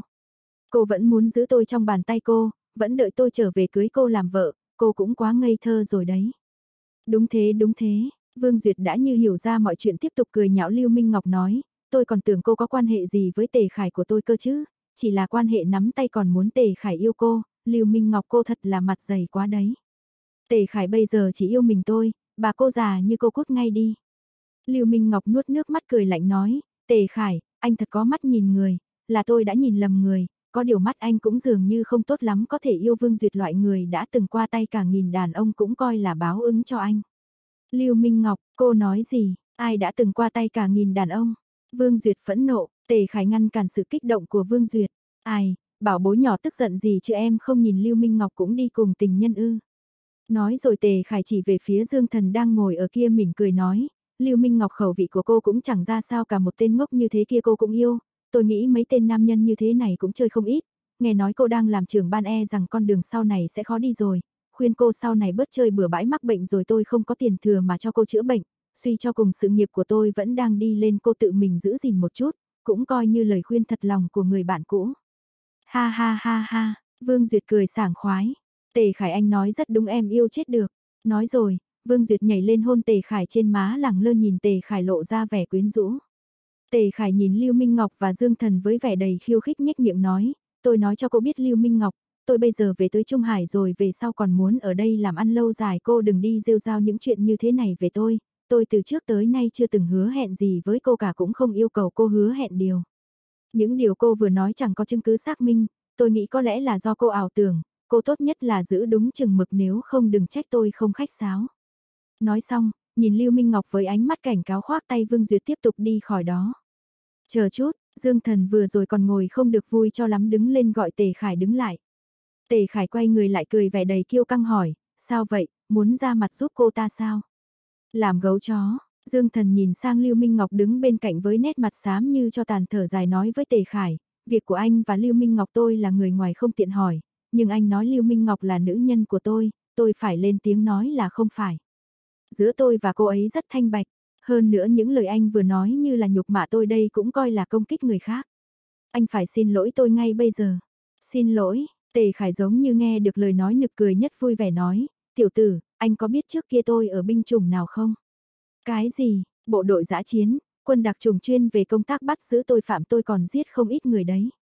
Tề Khải điềm nhiên nói, Dương Thần lắc đầu, chẳng liên quan gì tới tôi, tôi chỉ hỏi anh có xin lỗi bây giờ không thôi. Xin lỗi, tôi không nói sai gì dựa vào cái gì bắt tôi xin lỗi. Tôi không xin lỗi anh có thể làm gì tôi. Anh tốt nhất là nên xin lỗi tôi ngay tôi không muốn làm to chuyện ảnh hưởng tới mọi người ở đây. Hắn nhìn xung quanh nói. Tề Khải hừ lạnh một tiếng nói. Lời của anh tôi nghe thấy thối lắm. Ta đây nói cho anh biết, anh còn trước mặt tôi làm ra vẻ cao ngạo này nữa bắt tôi xin lỗi, tôi bây giờ sẽ không nể mặt nữa. Không đợi Tề Khải nói dứt lời Dương Thần đã đi đến trước mặt Tề Khải, tốc độ đó giống như trong một đoạn phim ngắn. Tề Khải chỉ cảm thấy trước mắt hoa lên cơ thể không đứng vững nữa bị một sức mạnh khống chế từ phía sau. Dầm, cơ thể cao lớn của Tề Khải ngay lập tức bị gập người xuống vượt qua không trung từ giữa vai Dương Thần hung hăng quật mạnh Dương Thần lên trên bàn. Trong khi chiếc bàn bị một sức mạnh cực lớn làm gãy thành hai, thì thức ăn, ly rượu trên bàn cũng rơi xuống vỡ tan tành, bắn vào bộ trang phục Armani đắt tiền của Tề Khải. Những vị khách trong nhà hàng phát ra tiếng kêu sợ hãi, không ít người đã nhanh chóng rời khỏi chỗ ngồi, đứng ra một chỗ xa xa nhìn xem bên này đã xảy ra chuyện gì.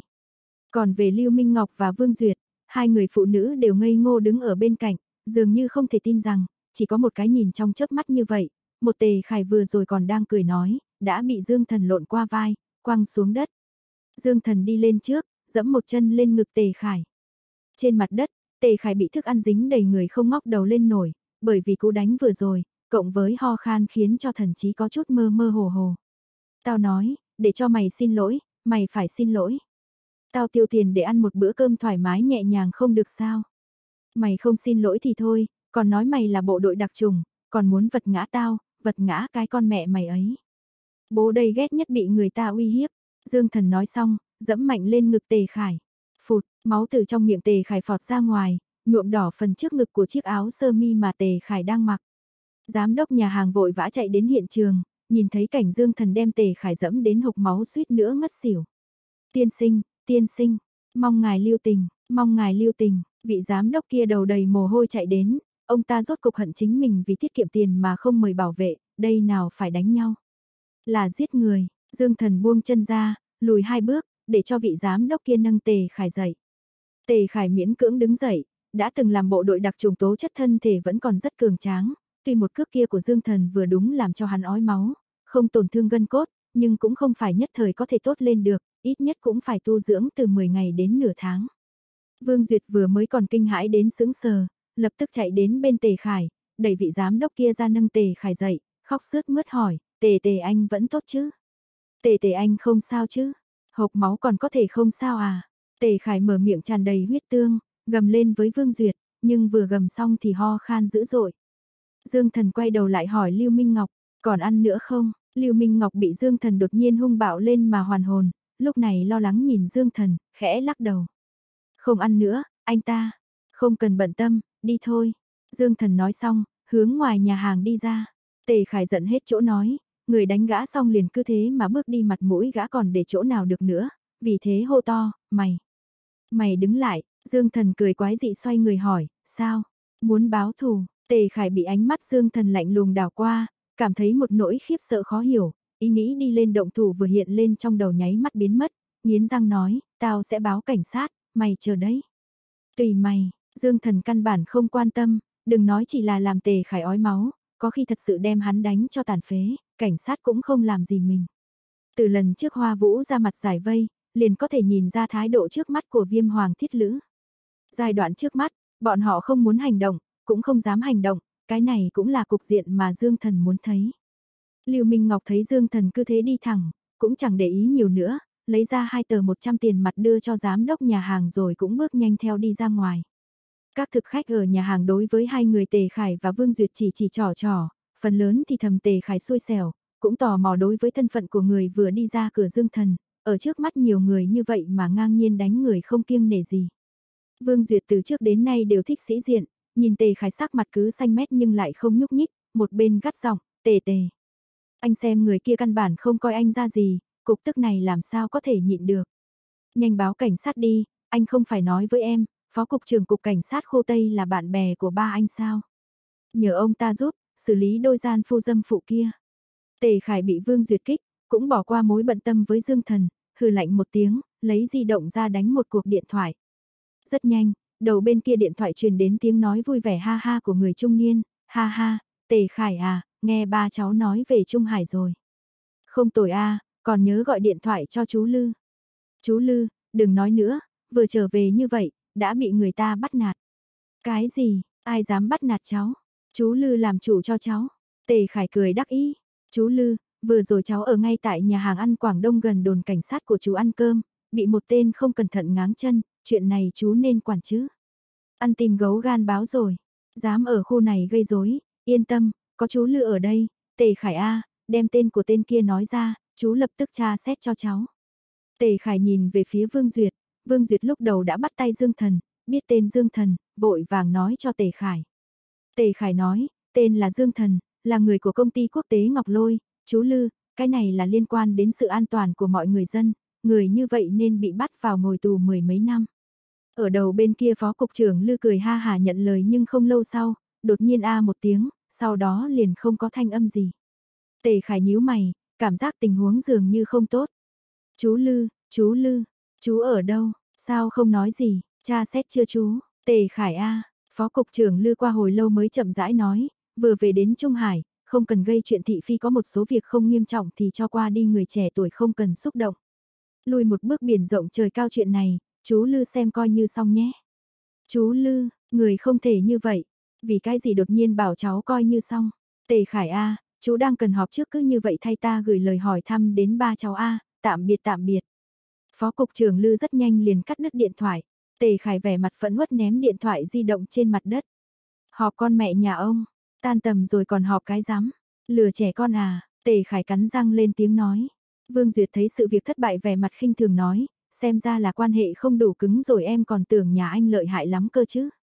Bốp, Tề Khải vung mạnh tay cho Vương Duyệt một cái tát vào mặt đánh cho Vương Duyệt đều trợn tròn mắt. Cốt xa một chút, tôi không muốn thấy cô nữa. Tề Khải chửi xong bỏ lại Vương Duyệt đang đờ người ra, trong cái nhìn soi mói của mọi người, bước nhanh rời đi khỏi nhà hàng. Gần như đồng thời, Lưu Minh Ngọc chạy khỏi nhà hàng đuổi theo Dương Thần, hai người lên xe của Dương Thần. Lưu Minh Ngọc vẻ mặt yêu sầu, sốt ruột nói, Dương Thần anh quá kích động rồi, Tề Khải nhà bọn họ có quan chức làm chỗ dựa, gã thật có thể kêu cảnh sát tới bắt anh. Dương Thần như cười như không nhìn Lưu Minh Ngọc, gương mặt trí tuệ quyến rũ kia giờ phút này tràn đầy lo lắng. Minh Ngọc tôi cảm thấy rất vui. Cái gì? Lưu Minh Ngọc khó hiểu.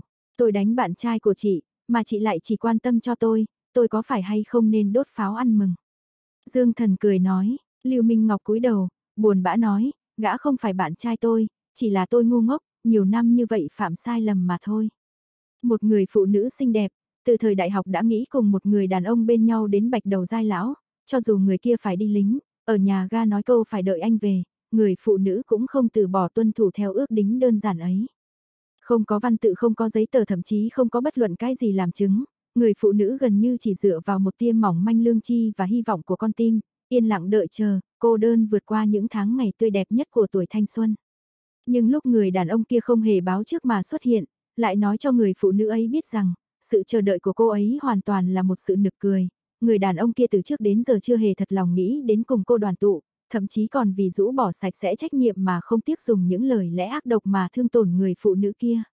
Dương Thần cảm thấy nếu không phải có kinh nghiệm từng trải xã hội phong phú Lưu Minh Ngọc lại bản tính phóng khoáng, chỉ sợ nếu là người khác e rằng giờ phút này đã nghĩ nhảy lầu tự sát. Minh Ngọc, cô so với tôi tưởng tượng thì kiên cường hơn nhiều. Dương Thần thật lòng nói.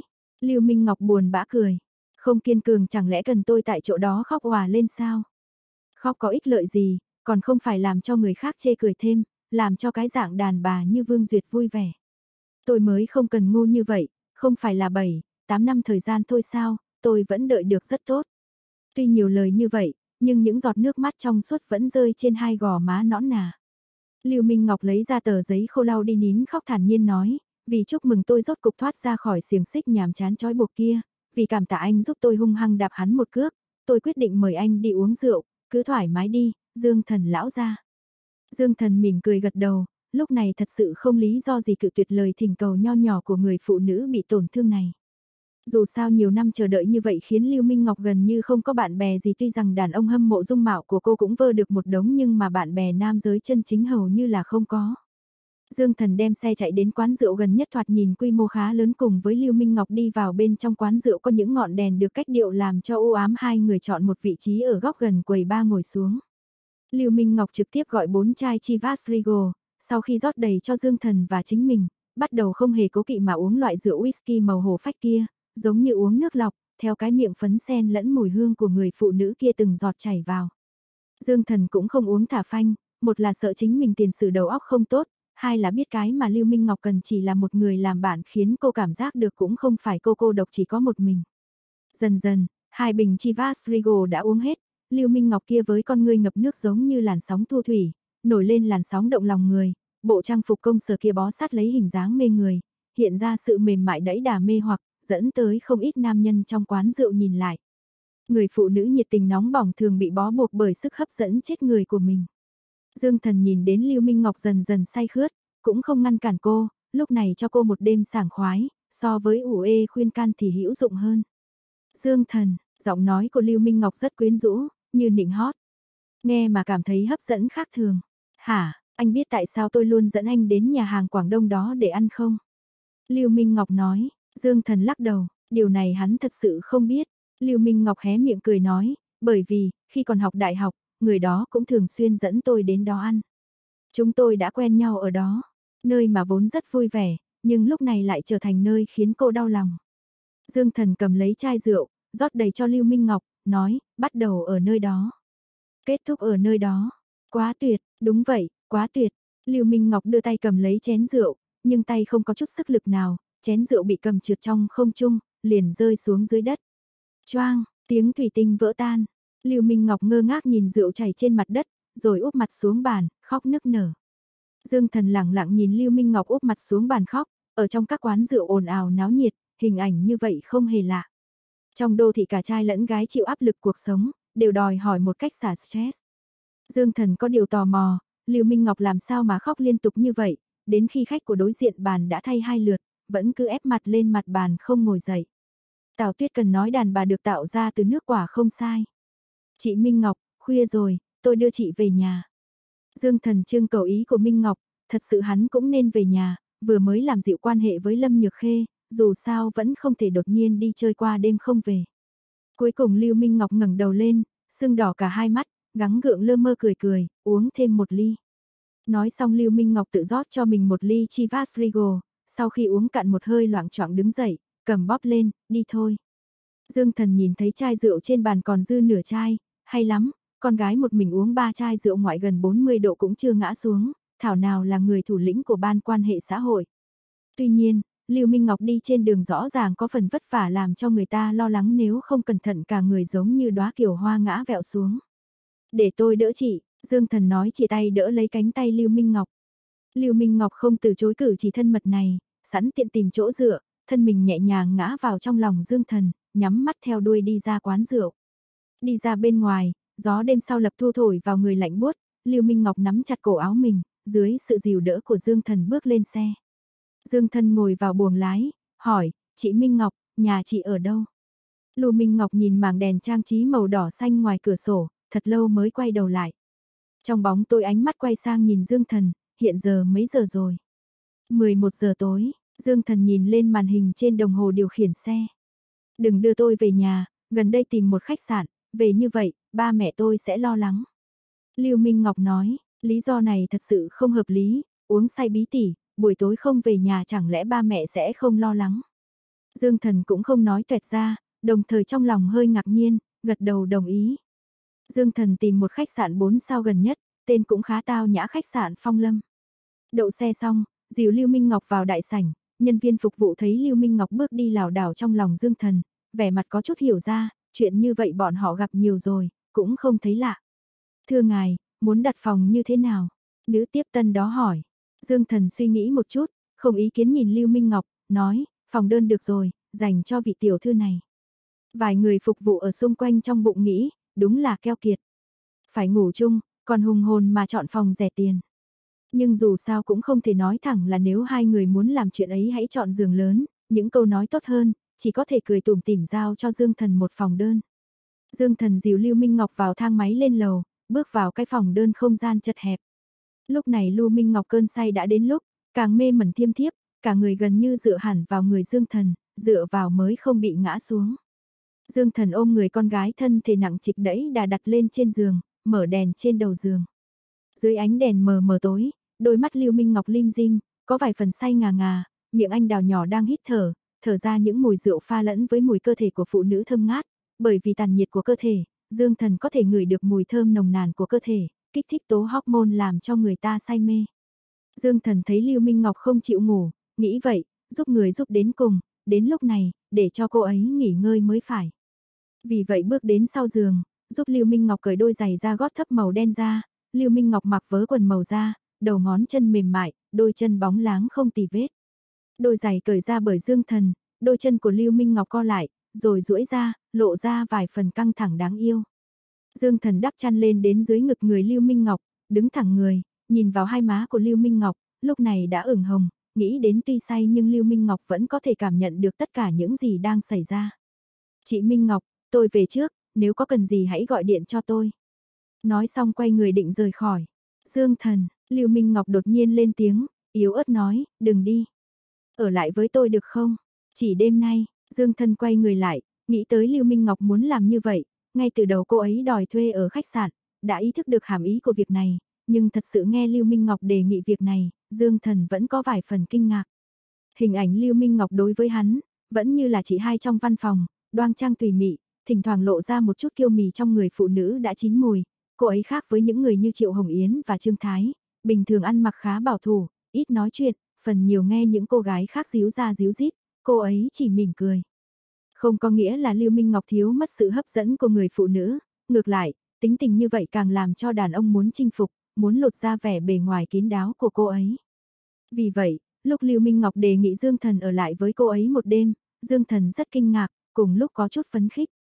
Dương Thần không phải là Liễu Hạ Huệ trong truyền thuyết, với lại trời mới biết người con gái mà Liễu Hạ Huệ ôm trong lòng có đẹp như Lưu Minh Ngọc không, người con gái có sức quyến rũ này đề nghị ở cùng một đêm, trong lúc người ta đang trong tình trạng suy sụp, mà mình vẫn từ chối, đối với lập trường của mình và của cô ấy mà nói, đều là sự lựa chọn ngớ ngẩn và không hợp tình người. Có những việc, giữa nam nữ trưởng thành vừa nhắc thì đã hiểu, đặc biệt là loại sự việc hợp tác này. Được rồi, Dương Thần gật đầu, vậy tôi đi tắm rửa trước.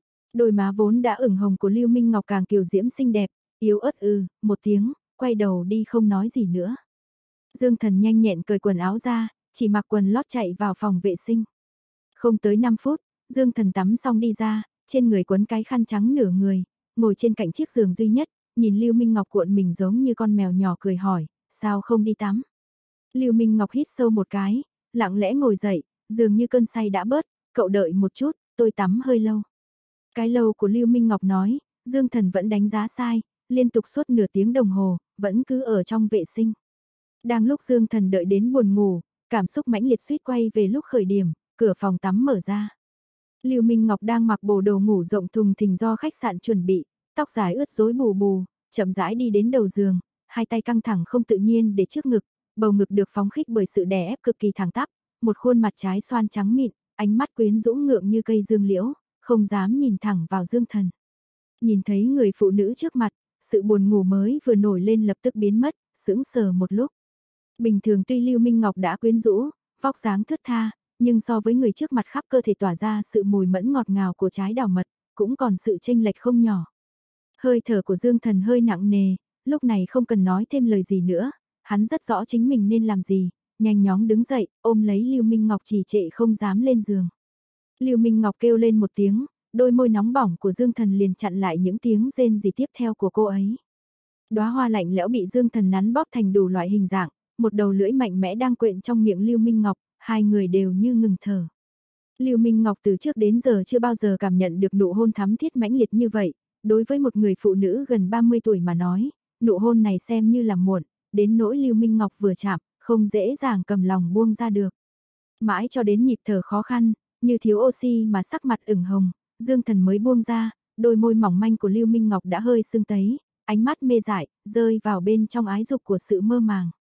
Đôi tay của Dương Thần không nhàn rỗi, sớm đã mở đai lưng áo ngủ của Lưu Minh Ngọc ra, một bàn tay che phủ lên đỉnh khá vảnh của Lưu Minh Ngọc, cảm nhận được tính đàn hồi và hoàn mỹ khiến cho Dương Thần ngạc nhiên thán phục của sự tạo hóa thần kỳ của Chúa.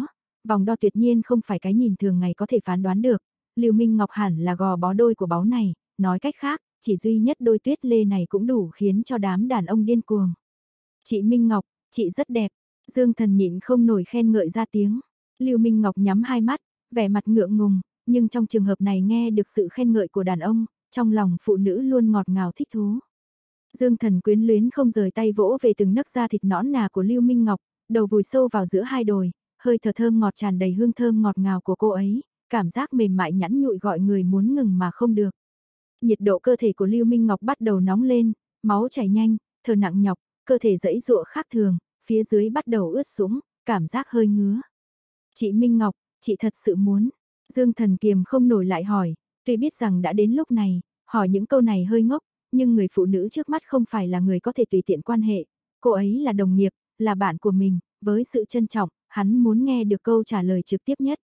Đột nhiên, Lưu Minh Ngọc vươn cánh tay thon dài trắng nõn ra ôm lấy cổ của Dương Thần, ánh mắt mê hồn nói, tôi đã phí rất nhiều tuổi xuân, tôi không thể đợi được nữa, anh là đàn ông người duy nhất không gạt bỏ tôi, tôi không cần anh phải có trách nhiệm với tôi, chỉ mong lúc tôi cần anh, có thể cho tôi một chỗ dựa trong lòng, tối nay tôi thuộc về anh, sang ngày mai, anh vẫn là anh, tôi vẫn là tôi, được không?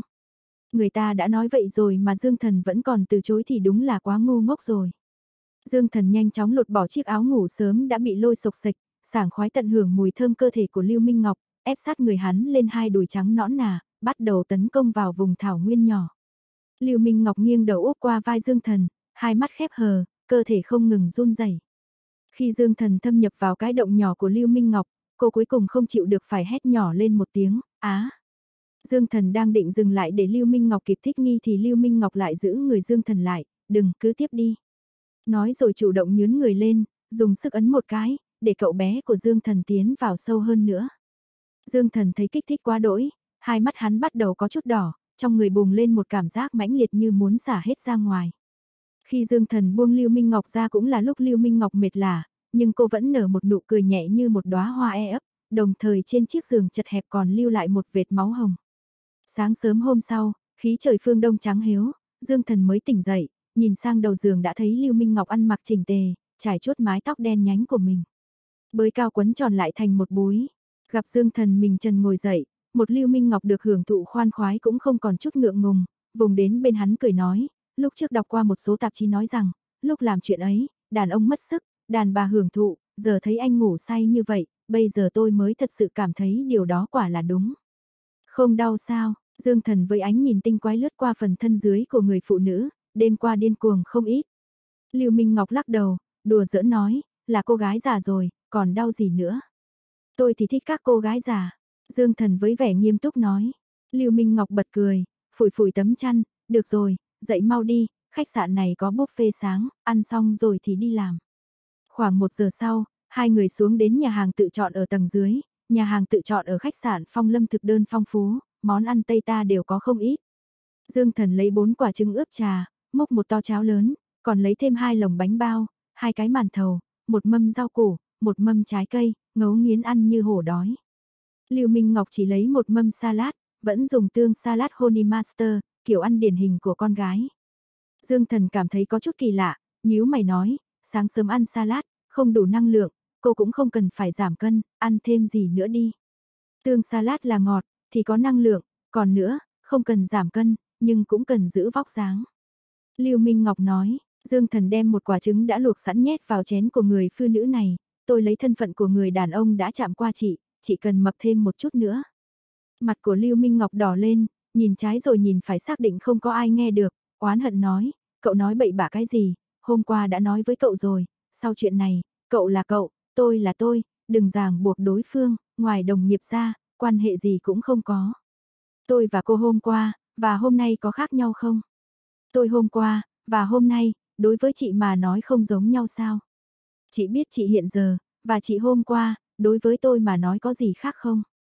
Dương Thần nhìn Lưu Minh Ngọc chất vấn, Lưu Minh Ngọc lặng lẽ cúi đầu xuống, nói không ra lời. Có một số việc, không phải nói được thì đều có thể làm được, tôi nghĩ chị không làm được, tôi càng làm không được.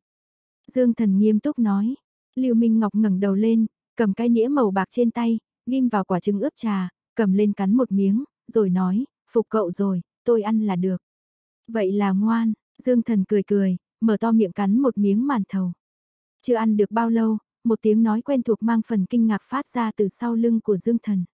Anh Dương, Dương Thần quay đầu lại, nhìn người phụ nữ đột nhiên xuất hiện ở nhà hàng, có chút bất ngờ, cô Đường. Chính là Đường Uyển đã gặp mặt tại vụ án cướp ngân hàng vài ngày trước, chẳng qua là Đường Uyển dường như đã thay đổi kiểu tóc, mái tóc dài uốn lọn kia đã được duỗi thẳng, mềm mại trải ra đằng sau, mặc một bộ vest đen, cổ áo khoét sâu, lộ ra áo ngực màu vàng nhạt bên trong, phong cách ăn mặc thời thượng, hoàn toàn nhìn không ra tuổi thật của cô ấy. Thật trùng hợp, cô cũng ở khách sạn này. Dương Thần hỏi, Đường Uyển bước lên trước, ánh mắt lướt qua Lưu Minh Ngọc ngồi đối diện Dương Thần, ý nghĩ sâu xa, mỉm cười nói, ông Dương thật là người quan trọng luôn bận rộn, lần trước anh và Mạc Tiểu Thư đến câu lạc bộ của tôi chơi, chẳng lẽ không phát hiện, tên của khách sạn này và tên câu lạc bộ của tôi giống nhau sao? Dương Thần giờ mới nhớ ra, câu lạc bộ tư nhân quy mô của Đường Uyển, vẻ bề ngoài hệt như Phong Lâm, sản nghiệp của cô Đường ở khắp mọi nơi, đây là đi làm sao? Đường Uyển lắc đầu cười, chỉ là sáng nay vừa tới đây xem xét một chút, không ngờ lại gặp anh Dương, không biết cô gái đẹp này là. Từ sớm Đường Uyển đã chú ý tới sự xuất hiện của Lưu Minh Ngọc, không nghĩ tới người phụ nữ quý phái dịu dàng này quen biết Dương Thần, cho đến lúc Đường Uyển và Dương Thần cười chào hỏi nhau, Lưu Minh Ngọc mới cảm thấy trong lòng hơi chua xót, dù sao khuôn mặt của Đường Uyển, vóc dáng, so với mình chỉ hơn chứ không kém, đặc biệt là dáng vẻ điệu bộ tao nhã quý phái, nếu không xuất thân từ gia đình nhà giàu tuyệt nhiên không thể có tố chất như vậy. Thật là con người đào hoa, kết duyên khắp nơi, mà làm cho phụ nữ không thể từ chối. Nhưng, Lưu Minh Ngọc nghĩ đến mình là người phụ nữ đã có quan hệ nam nữ ngoài hôn nhân với hắn, còn chủ động đòi quan hệ với hắn, cũng liền bình thường trở lại, mặc kệ, từ lâu hắn cũng không phải là của riêng mình, ghen làm gì, nếu ghen thì chỉ có vợ hắn ghen. Nếu biết người vợ xui xẻo của Dương Thần là sếp của mình, là vị chủ tịch đáng kính trọng, cô luôn coi là thần tượng thì Lưu Minh Ngọc đoán chừng chắc phải ngất đi thôi. Nghĩ thông được điểm này, thấy Đường Uyển hỏi đến mình, Lưu Minh Ngọc cười dịu dàng trực tiếp đưa tay ra với Đường Uyển, Lưu Minh Ngọc, đồng nghiệp của Dương Thần. Rất hân hạnh được gặp chị, Lưu tiểu thư, tôi là Đường Uyển. Đường Uyển bắt tay tự nhiên, Dương Thần cảm thấy ánh mắt nhìn nhau của hai người phụ nữ mang đầy sự đố kỵ, nhưng là đàn ông thì không thể nhìn rõ cách nghĩ của mỗi người bọn họ.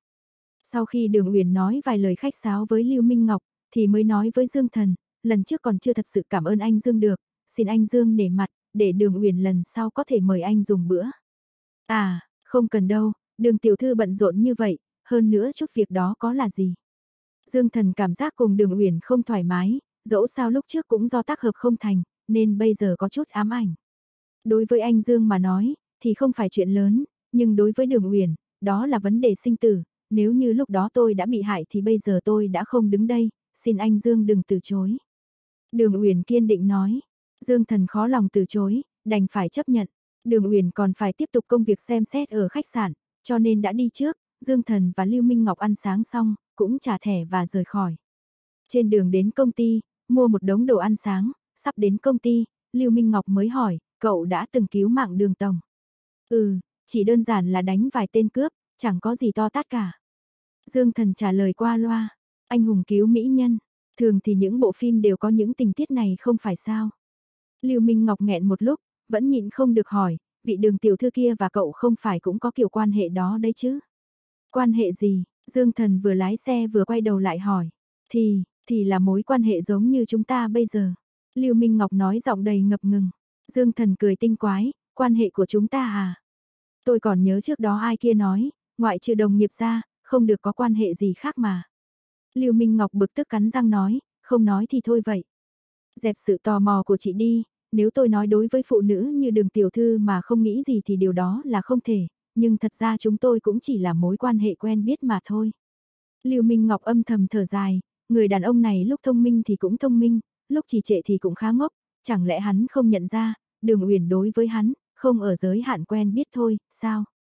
Khi lái xe đến bên trong bãi đỗ xe ở quốc tế Ngọc Lôi, vì tránh sự nghi ngờ, gây nên dự luận phiền phức, Dương Thần vẫn là lái xe đến nơi ít người ở tầng cao nhất. Nhưng đến khi cùng Lưu Minh Ngọc xuống xe, Dương Thần đột nhiên cảm thấy lạnh sống lưng, vừa quay đầu lại, cửa thang máy phía xa tòa cao ốc của công ty vừa đóng lại. Việc đó cũng chẳng có gì đáng nói, quan trọng ở chỗ phía trong thang máy có một bóng người, như một bức tượng lạnh lùng băng giá Lâm Nhược Khê. Dương Thần trợn mắt nhìn cánh cửa thang máy đóng lại, ánh mắt lạnh như băng của Lâm Nhược Khê nhìn hắn làm hắn thấy dùng mình. Mẹ ơi, hắn cũng đen đủi quá đi chứ. Sao lần nào ăn vụng cũng bị bắt quả tang, lần này đúng lúc hắn và Lưu Minh Ngọc vừa cùng xuống xe nữa chứ.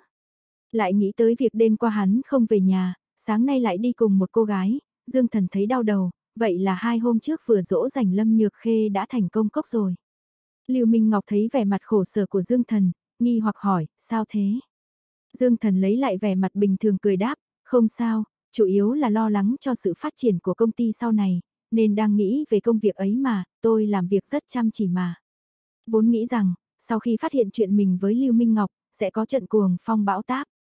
Nhưng thật ra, Dương Thần cảm thấy chính mình cũng không bị sao cả, nguyên nhân rất đơn giản. Sâu diễn giới thiệu thời trang mùa thu chuẩn bị đã lâu của quốc tế Ngọc Lôi đã chính thức tổ chức khai mạc, đồng thời còn triển lãm những sản phẩm thời trang và tổ chức các cuộc giao lưu giới thiệu thành quả. Lâm Nhược Khê bận rộn không có thời gian đếm xỉa đến mình. Cả phạm vi của trung tâm hội trợ triển lãm quốc tế Trung Hải, đầy những quảng cáo với logo của Ngọc Lôi, từng khuôn mặt tươi cười của các cô gái xinh đẹp trong công ty, cho dù là dân chúng, hoặc là nhân viên hay là ông chủ của các công ty đều nhìn không ngớt. Dương Thần là một nhân viên nhàn nhã nhất trong ban quan hệ xã hội, dưới tình huống thiếu hụt nguồn nhân lực, chỉ có thể làm một cách kiên trì, nhưng mà việc làm cũng khá thoải mái, chỉ cần giúp vài người đẹp thuyết minh vẻ đẹp của các trang phục, thông dịch vài thứ tiếng giữa sự giao lưu hợp tác của những quốc gia. Đối với Dương Thần mà nói, chỉ cần nói chuyện bằng miệng là có thể chấp nhận được, huống chi nghe được những chất giọng nước ngoài quen thuộc, có chút hoài niệm. Cuộc triển lãm đương nhiên là Chủ tịch Lâm Nhược Khê bước lên sân khấu phát biểu, mặc bộ vest công sở màu đen, áo sơ, mi trắng, khi Lâm Nhược Khê bước lên sân khấu với bông hồng nhạt cài trước ngực, tiếng vỗ tay và tiếng khâm phục lẫn lộn nhau của cả hội trường, hình thành một bầu không khí kỳ lạ. Trên thực tế, mặc dù là chủ tịch quốc tế Ngọc Lôi, Lâm Nhược Khê vốn đã nhận được sự chú ý của giới thời thượng, nhưng bởi vì tính cách của bản thân và tác phong sinh hoạt bảo thủ của cá nhân, đối với thông tin của chủ tịch xinh đẹp này bên ngoài biết được rất ít. Lúc trước rất nhiều giải trí truyền thông từng lén lút đưa tin về những sinh hoạt cá nhân của Lâm Nhược Khê, nhưng với thủ đoạn lạnh lùng thẳng tay, người phụ nữ với tài sản tính bằng tỷ này nghe nói đã thẳng tay mua lại những báo chí truyền thông. Sát nhập vào mạng lưới kinh doanh và xuất bản thời thượng của Ngọc Lôi. Từ sau đó, rất ít giới truyền thông nếu chưa được sự đồng ý của Lâm Nhược Khê sẽ không dám truyền tải thông tin của cô ấy. Dù sao những tạp chí lá cải trên phương diện của giải trí truyền thông, đều là kinh doanh nhỏ, chịu không nổi sức ép của nhà tư bản, mà với truyền thông cỡ lớn thuộc sở hữu của nhà nước, mà có ai không biết điều làm mít lòng một nhà tư bản nữ lạnh lùng với một hậu thuẫn khó lường. Cho nên, đại đa số người ở đây, đều mới nhìn thấy Lâm Nhược Khê lần đầu tiên, đối với vẻ đẹp quyến rũ trên màn hình rộng, mà vẫn đầy vẻ uy nghi. Ánh mắt hướng về hội trường rộng lớn của Lâm Nhược Khê lạnh lùng như ngày thường, không vì đối phương là khách hàng và đối tác mà trở nên dịu dàng nhưng trong lòng của những người này không có gì bất mãn, dù sao thực lực của người ta trông thấy rõ ràng, nói cách khác, có tiền là trên hết, cho dù rất lạnh cũng lạnh có lý, huống chi lạnh, như vậy vẫn đẹp đẽ. Hôm nay tôi đứng ở đây, là tôi đảm nhiệm chức chủ tịch hội đồng quản trị của quốc tế Ngọc Lôi, cùng chủ tịch công ty phát biểu đối ngoại lần đầu. Theo sự yên lặng của cả hội trường, Lâm Nhược Khê bắt đầu cao giọng nói, tôi không phải là người có khiếu ăn nói, cũng không phải là người thích đọc những gì người khác viết ra, cho nên, tôi nói ngắn gọn. Công ty những năm vừa qua, tuyệt đại đa số là hợp tác thương mại, ngoài số ít là có tính đàm phán quyết định là do đích thân tôi tham dự, còn lại hầu hết là do ban quan hệ xã hội đứng ra đàm phán, rất nhiều đối tác, bao gồm có mặt hoặc vắng mặt, đối với cô tác phong cá nhân tôi luôn có thái độ nghi ngờ và suy đoán, cho rằng tôi không tôn trọng giữa sự hợp tác giao lưu của công ty, hôm nay tôi chủ động lên đây để làm sáng tỏ sự hiểu lầm này, sở dĩ tôi không tham dự các hoạt động, chỉ là vì cá tính không thích hợp mà thôi. Tôi không có sở trường giao tiếp với người khác, nhưng mỗi hợp đồng chuyển đến tôi đều đích thân thẩm tra nghiêm khắc và cho ý kiến phê duyệt, để có thể đạt đến mức có lợi nhất cho đôi bên. Tôi nghĩ những công ty đã từng có kinh nghiệm hợp tác chắc chắn hiểu rõ. Nếu có ai không hiểu được, có thể lựa chọn chấm dứt sự hợp tác của đôi bên, nhưng nếu vì lý do của cá nhân tôi, quý công ty sẽ phải tổn hại lợi ích của nhiều người, tôi nghĩ sự lựa chọn ấy là không phù hợp với lợi ích của tập thể. Bây giờ, tôi tuyên bố, hạng mục hợp tác của cuộc triển lãm lần này, như mọi lần, toàn bộ do nhân viên của ban quan hệ xã hội xử lý, nhân viên của bộ phận thị trường chịu trách nhiệm chịu trách nhiệm hỗ trợ thi hành, do phó chủ tịch của chúng tôi, trưởng ban quan hệ xã hội nhiệm kỳ trước Mạc Thiện Ni tiểu thư đảm nhiệm toàn bộ công việc, cảm ơn mọi người. Lâm Nhược Khê nói xong, cúi chào, bước vào hậu trường, biến mất. Cuộc phát biểu ngắn ngủi đến nổi khiến tất cả mọi người chẳng kịp định thần lại, thậm chí không có cơ hội để cho mọi người vỗ tay. Mãi cho đến Mạc Thiện Ni cười bất đắc dĩ bước lên sân khấu, hướng vào micro ho nhẹ, mọi người dưới mới hiểu ra, hóa ra cuộc phát biểu của chủ tịch đã kết thúc. Dương Thần đứng cùng với nhóm người đẹp trong ban quan hệ xã hội ở trước cửa đại sảnh, nhóm người đẹp kia sau khi xem xong cuộc diễn thuyết cực côn của Lâm Nhược Khê, đều lộ vẻ thần sắc say xưa. Nhìn lại số khách hàng bên trong, không ngờ cũng có không ít người đang vỗ tay ca ngợi, cũng không biết ca ngợi cái gì. Dương Thần buồn bực, hỏi Trương Thái bên cạnh, này, vậy cũng gọi là diễn thuyết sao? Bọn họ đều ưa thích cô ấy ở cái gì vậy? Trương Thái lườm hắn một cái, anh không hiểu, sức hấp dẫn của tính cách Lâm Tổng đối với bọn tôi chính là như vậy. Tôi nghe nói lúc Lâm Tổng nhậm chức, chỉ nói một câu trong cuộc họp hồi đồng quản trị. Một bà tám xinh đẹp nói nhỏ, những phụ nữ khác đều díu ra díu rít dò hỏi câu nói đó là câu nói nào, cô kia sau khi thỏa mãn lòng kiêu căng thanh giọng nói, tôi cũng là nghe những đàn chị nói, nghe đâu lúc đầu rất nhiều lãnh đạo trong hội đồng quản trị và cốt cán của công ty không thừa nhận năng lực lãnh đạo của cô ấy, cho nên trong cuộc họp chỉ nói một câu muốn làm thì ở lại, muốn đi thì không tiễn. Một đám nhân viên nữ xôn xao một hồi với tiếng thán phục si mê. Dương Thần rốt cuộc hiểu rõ, không thể dùng lối suy nghĩ bình thường mà nghĩ sai phong cách làm việc của Lâm Nhược Khê. Trong chốc lát, trên sân khấu của hội trường, Mạc Thiện Ni đã bắt đầu diễn thuyết trước tình hình cụ thể, mặc khác những cán bộ viên chức khác cũng bắt đầu bận rộn. Dương Thần đang muốn chuồn ra ngoài ăn cơm trưa, điện thoại reo lên, mở ra xem, là Lâm Nhược Khê nhắn tin cho mình, hẹn gặp mình ở khách sạn chi nhánh cao cấp gần trung tâm triển lãm. Đây là lần đầu Lâm Nhược Khê nhắn tin cho mình, trước kia cho dù lạnh nhạt hơn vẫn gọi điện, Dương Thần nghĩ trong bụng, đoán chừng còn chưa hả giận, hoặc là vẫn cứ luôn nín chịu trong lòng không định hả giận. Nhưng đi dù sao cũng phải đi, thấy không còn sự tình gì, chuồn thẳng, sau khi lái xe đảo một vòng, đến trước cổng khách sạn. Sau khi đi vào đại sảnh với trang trí lộng lẫy, nhìn thấy Lâm Nhược Khê ngồi trên xô, pha ở một góc đang đợi mình, nhìn thấy mình đi vào, mới cầm ví ra chậm rãi bước đến.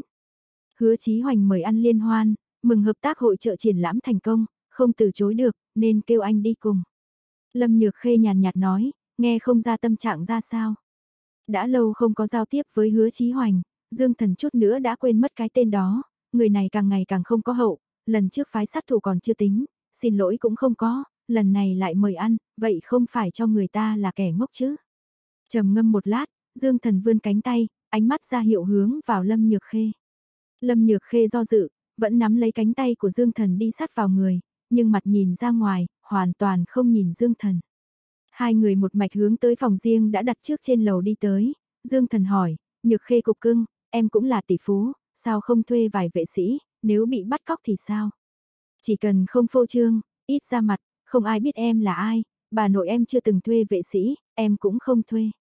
Lâm Nhược Khê trả lời, Dương Thần cảm thấy có lý, vỗ vỗ ngực mình nói, yên tâm, ai bắt cóc em, anh đi cứu em về.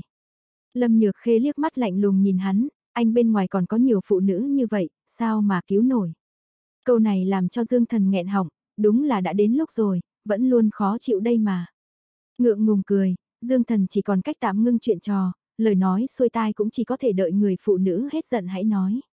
Đang lúc đi đến trước cửa phòng riêng, như mọi khi đầu tóc rối bởi dâu ria xồm xàm, mặc bộ vest thân người dạng chó, đã cười hả hê đứng đợi ở đó, vung tay ra hiệu mời.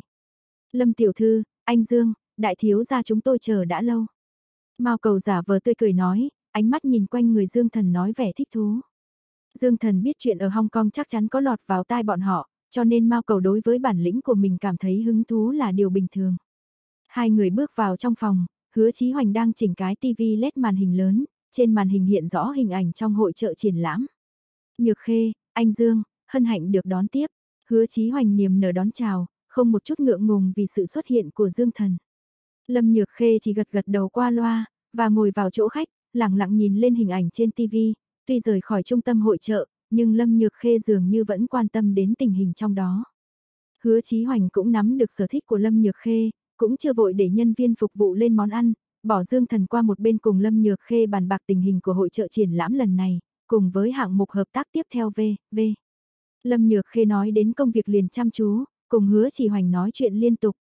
Bởi vì không thông hiểu về những nghiệp vụ này, Dương Thần chỉ có thể ngồi đờ ra một bên trên ghế, trước tình huống này, hứa chí hoành định xem mình như không khí, có khoảng thời gian không thèm đếm xỉa gì tới mình.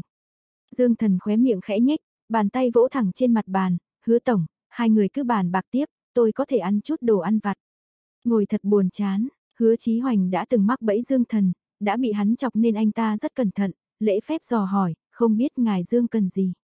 Cho một chai rượu vang đỏ thường, với một phần trứng cá hồi, chờ hai người bàn việc xong hãy ăn cơm, được không? Rượu vang và trứng cá hồi cũng chẳng phải là món đắt đỏ gì, rượu chỉ tầm hơn trăm tệ một chai, mà trứng cá hồi tuy có cao cấp hơn một chút nhưng cũng không phải là quá đắt. Mời ngài Dương cứ tự nhiên, Dương thần đắc ý gọi phục vụ, chỉ vào mấy món trong thực đơn, rồi ngồi chờ với dáng vẻ rất phấn khởi. Lúc này hứa Chí Hoành cảm thấy có cái gì đó không ổn lắm. Không lâu sau, đồ ăn của Dương Thần được mang ra. Món trứng cá hồi trong đĩa Dương Thần, từng hạt mượt mà no tròn, màu sáng trong veo trong suốt, đến nỗi có chút phiếm vàng óng ánh. Món trứng cá hồi như vậy tuyệt nhiên không phải loại thường, trứng cá hồi loại thượng hạng thường được gọi là vàng đen, bởi chính là có đặc điểm như vậy. Hứa Chí Hoành rốt cuộc ý thức được chính mình sơ sót một điều là không có hỏi Dương Thần ăn loại trứng cá hồi nào. Trong lòng thấp thỏm không yên, Hứa Chí Hoành cười hỏi Dương Thần, anh Dương, món trứng cá hồi của anh chọn, xem ra không tồi. Dương Thần dùng cái thìa mốc đưa vào miệng một ngụm lớn, rồi lại nóc vào một ngụm rượu chát, cuốn đầu lưỡi, tỏ ra rất ngon, vừa hưởng thụ nói, đúng vậy, trứng cá hồi trong biển các PT, hương vị đúng là có khác, đúng là phải cảm ơn sự tiếp đãi của hứa tổng, ha ha. Cá tầm trong biển các PT, hứa chí hoành sắc mặt liền tối đi, có vẻ như đã chịu đựng đến cực điểm rồi. Phải biết rằng, đối với trứng cá hồi thì say mê nhất, ngon nhất theo đánh giá của các chuyên gia người Pháp thì cả thế giới chỉ có 3 loại có thể chế biến món trứng cá hồi đạt tiêu chuẩn. Ba loại cá này là Biluga, Osiecha và Severuga, loại Biluga cao cấp nhất, tức là cá tầm trắng, lượng sinh sản cả năm trên toàn thế giới chưa tới 100 con, hơn nữa cá Baluga phải trên 60 tuổi mới có thể chế biến trứng cá hồi. Trong đó, cá tầm trắng sinh sản trong biển Caspete giữa Nga và Iran, thuộc loại quý giá nhất. Loại trứng cá hồi này, ở ngoài chợ giá chỉ có thể dễ dàng đạt đến 200 đô la Mỹ một lạng. Có nghĩa là, trong lãnh thổ hoa hạ, ăn thứ thực phẩm xa xỉ này, tính tổng cộng các loại chi phí gồm thuế, bảo quản, vận chuyển, cái giá mà ăn vào trong miệng một ngụm, so với vàng cũng không có gì khác biệt. Anh Dương, anh thật biết cách hưởng thụ cuộc sống. Hứa Chí Hoành cô nén trong lòng nhe răng nói. Nếu như Lâm Nhược Khê không ở bên cạnh, anh ta còn không biết mình có sai mau cầu đóng cửa lại, lén hạ cái thằng đã nhiều lần khiêu khích mình này hay không. Hứa Chí Hoành gào thét trong bụng, thằng đáng chết, liêu manh, xúc sinh, tiêu tiền mấy chục ngàn tệ chẳng nhằm gì, anh ta cũng không quan tâm, nhưng một mực vì người đàn ông lúc nào cũng là kẻ thù này. Làm sao khiến anh ta không tức giận? Dương Thần lắc tay, đâu dám đâu dám. Hứa tổng có muốn một ngụm không? Trong dĩa của tôi còn dư lại vài viên. Mấy, mấy viên, hắn làm như là đang ăn đậu phộng à. Hứa Chí Hoành chút nữa giận phun ra máu, cười miễn cưỡng nói, không cần, anh Dương để dành cho riêng mình đi. Nói xong không cho Dương Thần có cơ hội nói, đưa tay ra hiệu nhân viên phục vụ cho món ăn lên. Cho món ăn lên, Chí Hoành phải nhanh ăn xong để cho Dương Thần đi về, bằng không anh ta sợ nhịn không nổi sẽ móc súng ra. Lâm Nhược Khê ở bên cạnh nhìn thấy hứa Chí Hoành tâm trí hơi rối loạn, cùng lúc trên khuôn mặt không chút thay đổi, nhưng trong lòng cảm thấy thoải mái. Dù sao những việc hứa Chí Hoành đã từng làm, trong lòng cô luôn bài bác cực độ, vì nhu cầu công việc, chỉ có thể bàn bạc một cách bình tĩnh nhã nhặn. Lâm Nhược Khê được hả giận, ánh mắt nhìn Dương Thần lại hơi dịu đi đôi phần, chỉ cảm thấy nếu Dương Thần có thể đem những ý nghĩ khiêu khích hứa Chí Hoành mà đặt vào công việc, chắc mình khỏi cần luôn phải để tâm đến. Buổi cơm trưa này ăn đặc biệt nhanh, dường như muốn cấp bách tống khứ hai người ra ngoài, cười so với khóc còn khó coi hơn. Chẳng thể đề phòng, chẳng thể đề phòng, không cẩn thận lại bị tên vô lại lừa đi mấy chục ngàn tệ rồi. Ra khỏi khách sạn, Lâm Nhược Khê như chút được gánh nặng, anh làm như vậy thật quá mạo hiểm, hứa Chí Hoành không phải là hạng người nhát gan, nếu thật sự trở mặt e rằng sự việc sẽ không đơn giản. Em đây là lo lắng cho anh. Dương Thần hỏi, em chỉ không mong muốn anh cứ đem những suy nghĩ của anh đặt vào nơi tìm cách gì để chơi bọn họ mà thôi. Tại sao không thể bình tĩnh để học tập cách quản lý ra sao? Lâm Nhược Khê sửa lời nói. Dương Thần nhún vai, anh không phải đã làm một việc đúng sao, dẫu sao việc hợp tác giữa Trường Lâm và Mộ Vân lần này cũng do anh bàn bạc. Vậy cũng phải, Lâm Nhược Khê nhắc nhở nói, tuần sau nhất Lý Mộ Hoa sẽ địch thân mang người đến Trung Hải, ký hiệp nghị cuối cùng, đến lúc đó anh là người phụ trách chính, phải có mặt, đừng tùy tiện quá. Yên tâm đi, nếu đã hứa với em làm, anh sẽ làm tốt, kế tiếp đi đâu. Lâm Nhược Khê ngẫm nghĩ một lát, lên xe em, theo em đi một nơi nữa. Dương Thần không hỏi Lâm Nhược Khê muốn đi đâu, nghĩ đến nơi mà cần mình đi theo, chẳng qua là chỗ ấy cần đến mình che chở. Không bao lâu, hai người đến tầng trệt của tòa nhà đế vương Trung Hải, tòa nhà nổi tiếng là trung tâm chi phí cao, mỗi tầng không phải KTIV cao cấp, trung tâm hội nghị thì là câu lạc bộ hạng sang. Theo Lâm Nhược Khê cùng bước vào tòa nhà, Dương Thần có thể thấy khắp nơi nhân viên làm việc qua lại trong tòa nhà cũng đều mặc sườn xám, những cô gái trẻ đẹp dáng người thướt tha, hoặc là những thanh niên mặc vest thắt cà vạt tuấn tú, đủ để thấy tính quan trong đối với tượng phục vụ. Tầng trên cùng ở đây, chúng ta có mở tiệc rượu nhỏ chiêu đãi những đại diện của hạng mục hợp tác lớn, vốn là thiện ni đại diện em nhưng bây giờ tranh thủ ra sớm, em cũng cần phải đích thân đến xem xem thì tốt hơn, cho anh đến cùng em, cũng là hy vọng anh sẽ tiếp xúc nhiều hơn với người xuất sắc của những công ty lớn này, sau này đối với anh sẽ giúp ích được không nhỏ. Lâm Nhược Khê vừa đi vừa giải thích nói, tuần sau việc ký kết thỏa hiệp cũng tổ chức tại đây, để anh quen dần trước. Vậy anh vào trong với em là với thân phận gì? Dương Thần cười hỏi, Lâm Nhược Khê ngừng một lát, mím môi nhẹ giọng nói, là người chịu trách nhiệm của hạng mục quan trọng, cụ thể anh cũng không cần giải thích nhiều. Dương Thần thừa biết câu trả lời sẽ như vậy cũng không quá để ý, nếu như Lâm Nhược Khê đột nhiên tuyên bố trước thiên hạ, mình là chồng cô ấy, đó mới là chuyện lạ. Dù sao quan hệ giữa hai người bọn họ có tiến triển, nhưng những ngang trái ở giữa, thật sự hơi nhiều. Đi đến trước cửa của hội sở, Dương Thần có chút ngạc nhiên, bởi vì cái tên của hội trường là Phong Lâm. Không phải đây cũng là của đường Uyển đấy chứ. Dương Thần thầm nghĩ như vậy, cùng Lâm Nhược Khê đi vào vòng qua vài chỗ chậu cảnh lớn trong nhà có tạo hình tao nhã, đi vào bên trong đại sảnh. Lúc này đã có vài chục người trong sảnh nâng sâm panh, rượu cốc, tai xuống lại trò chuyện từng cụm vuông, nhìn thấy Lâm Nhược Khê bước vào đại sảnh, không ít người lộ vẻ kinh ngạc vui mừng, nhưng đều là những người từng trải qua sóng gió, không xuống lại ngay, duy chỉ vài người ở gần tiến đến chào hỏi Lâm Nhược Khê, xô nịnh vài câu tán gẫu với chuyện làm ăn. Sự xuất hiện của Dương Thần không gây sự chú ý của nhiều người, sau khi có vài người chào hỏi bình thường với hắn, đều sẽ tập trung chú ý hướng vào Lâm Nhược Khê, người khó mà xuất hiện trước công chúng. Đầu bên kia, từ lâu Mạc Thiện Ni đang tiếp đãi khách cũng chú ý tới Dương Thần bước vào hội sở, hơi ngạc nhiên đồng thời nhìn thấy Lâm Nhược Khê cũng có mặt, đành phải tiếp tục cùng khách nói chuyện phiếm, làm như không nhìn thấy. Dương Thần được nhàn rỗi cũng vui, vừa định tìm một chỗ vắng vẻ ngồi xuống ăn trái cây, lại nhìn thấy Đường huyền mặc bộ đầm giả hội hở vai màu đỏ, đen kiều diễm, tỏa sáng bốn phía từ một buồng nhỏ đi ra, vẻ mặt gợi cảm ung dung mỉm cười, "Anh Dương, mới đây mình lại gặp lại nhau." Không ít người đều biết Đường Uyển, dù sao Đường Uyển trong vùng Trung Hải có mối quan hệ không thể xem thường, và bản thân lại là người phụ nữ mạnh mẽ có sản nghiệp hùng hậu, còn về phần hậu thuẫn phức tạp cũng làm cho người ta tôn kính mà không thể gần gũi, cho nên lúc phát hiện cô ấy chủ động nói chuyện với một người đàn ông xa lạ, rất nhiều người đều bắt đều phỏng đoán liệu Dương Thần và Đường Uyển có những bí mật nào đó không thể cho ai biết được hay không. Lâm Nhược Khê vẫn luôn âm thầm chú ý đến Dương Thần nên khi nhìn thấy cảnh này, hơi nhíu mày. Dương Thần xem như lý giải được cái gì gọi là có ở khắp mọi nơi, giờ khóc giờ cười hỏi, đường tiểu thư, cô có thể cho tôi biết rốt cuộc cô có bao nhiêu sản nghiệp không? Đường Uyển hơi sừng sốt liền cười khanh khách nói, nói thật, tôi cũng không biết tôi có bao nhiêu sản nghiệp, rất nhiều nơi cả năm cũng chưa đến xem lần nào, cho nên không thể cho anh biết, nếu anh Dương cảm thấy luôn gặp mặt tôi mà nhàm chán, đường Uyển tôi liền tránh đi chỗ khác là được. Làm sao như thế được, đường tiểu thư không nhàm chán khi thấy tôi thì đã mãn nguyện rồi. Dương Thần cũng biết, mình trong mắt đường Uyển, phòng trừng cũng không có gì tốt đẹp. Đường Uyển hé miệng cười nói, anh Dương, còn nhớ lần trước hứa với tôi cái gì không? Dương Thần ngẫm nghĩ một chút, cùng đi ăn cơm. Đúng vậy, nhưng anh Dương cũng chưa cho tôi cách liên hệ, lần này chắc sẽ không nói một lời mà rời đi phải không? Đường Uyển hơi u oán nói. Dương Thần hơi ngượng ngùng lấy điện thoại di động ra trao đổi số phone với Đường Uyển. Khách mời trong hội trường thấy cảnh này, cái nhìn nhận xét về Dương Thần tăng lên. Mạc Thiện Ni còn lại tức giận đến nỗi muốn dậm chân, thằng cha này trước mặt mình và vợ hắn, vậy mà còn muốn cám dỗ phụ nữ khác. Còn nữa, đột nhiên lúc nào hắn với Đường Uyển đã đi đến mức quan hệ quen biết. Ánh mắt Lâm Nhược Khê càng lúc không thân thiện, đồng thời cũng đầy vẻ lo lắng. Là người chủ nhân của hội sở, Đường Uyển chỉ vẻn vẹn có mặt một chút, không bao lâu thì rời khỏi, trước khi đi còn nhìn vào Dương Thần một ánh mắt hàm chứa ý sâu, hiển nhiên muốn nhắc nhở Dương Thần đừng quên cuộc hẹn. Đợi đến khi trạng vạng tối, sau khi tiệc chiêu đãi kết thúc, Dương Thần và Lâm Nhược Khê cùng trở lại trong xe, chưa khởi động động cơ, Lâm Nhược Khê cầm tay lái lặng im hồi lâu nói, Dương Thần, đừng như thế với đường uyển được không? Như thế, Dương Thần lạ lùng hỏi.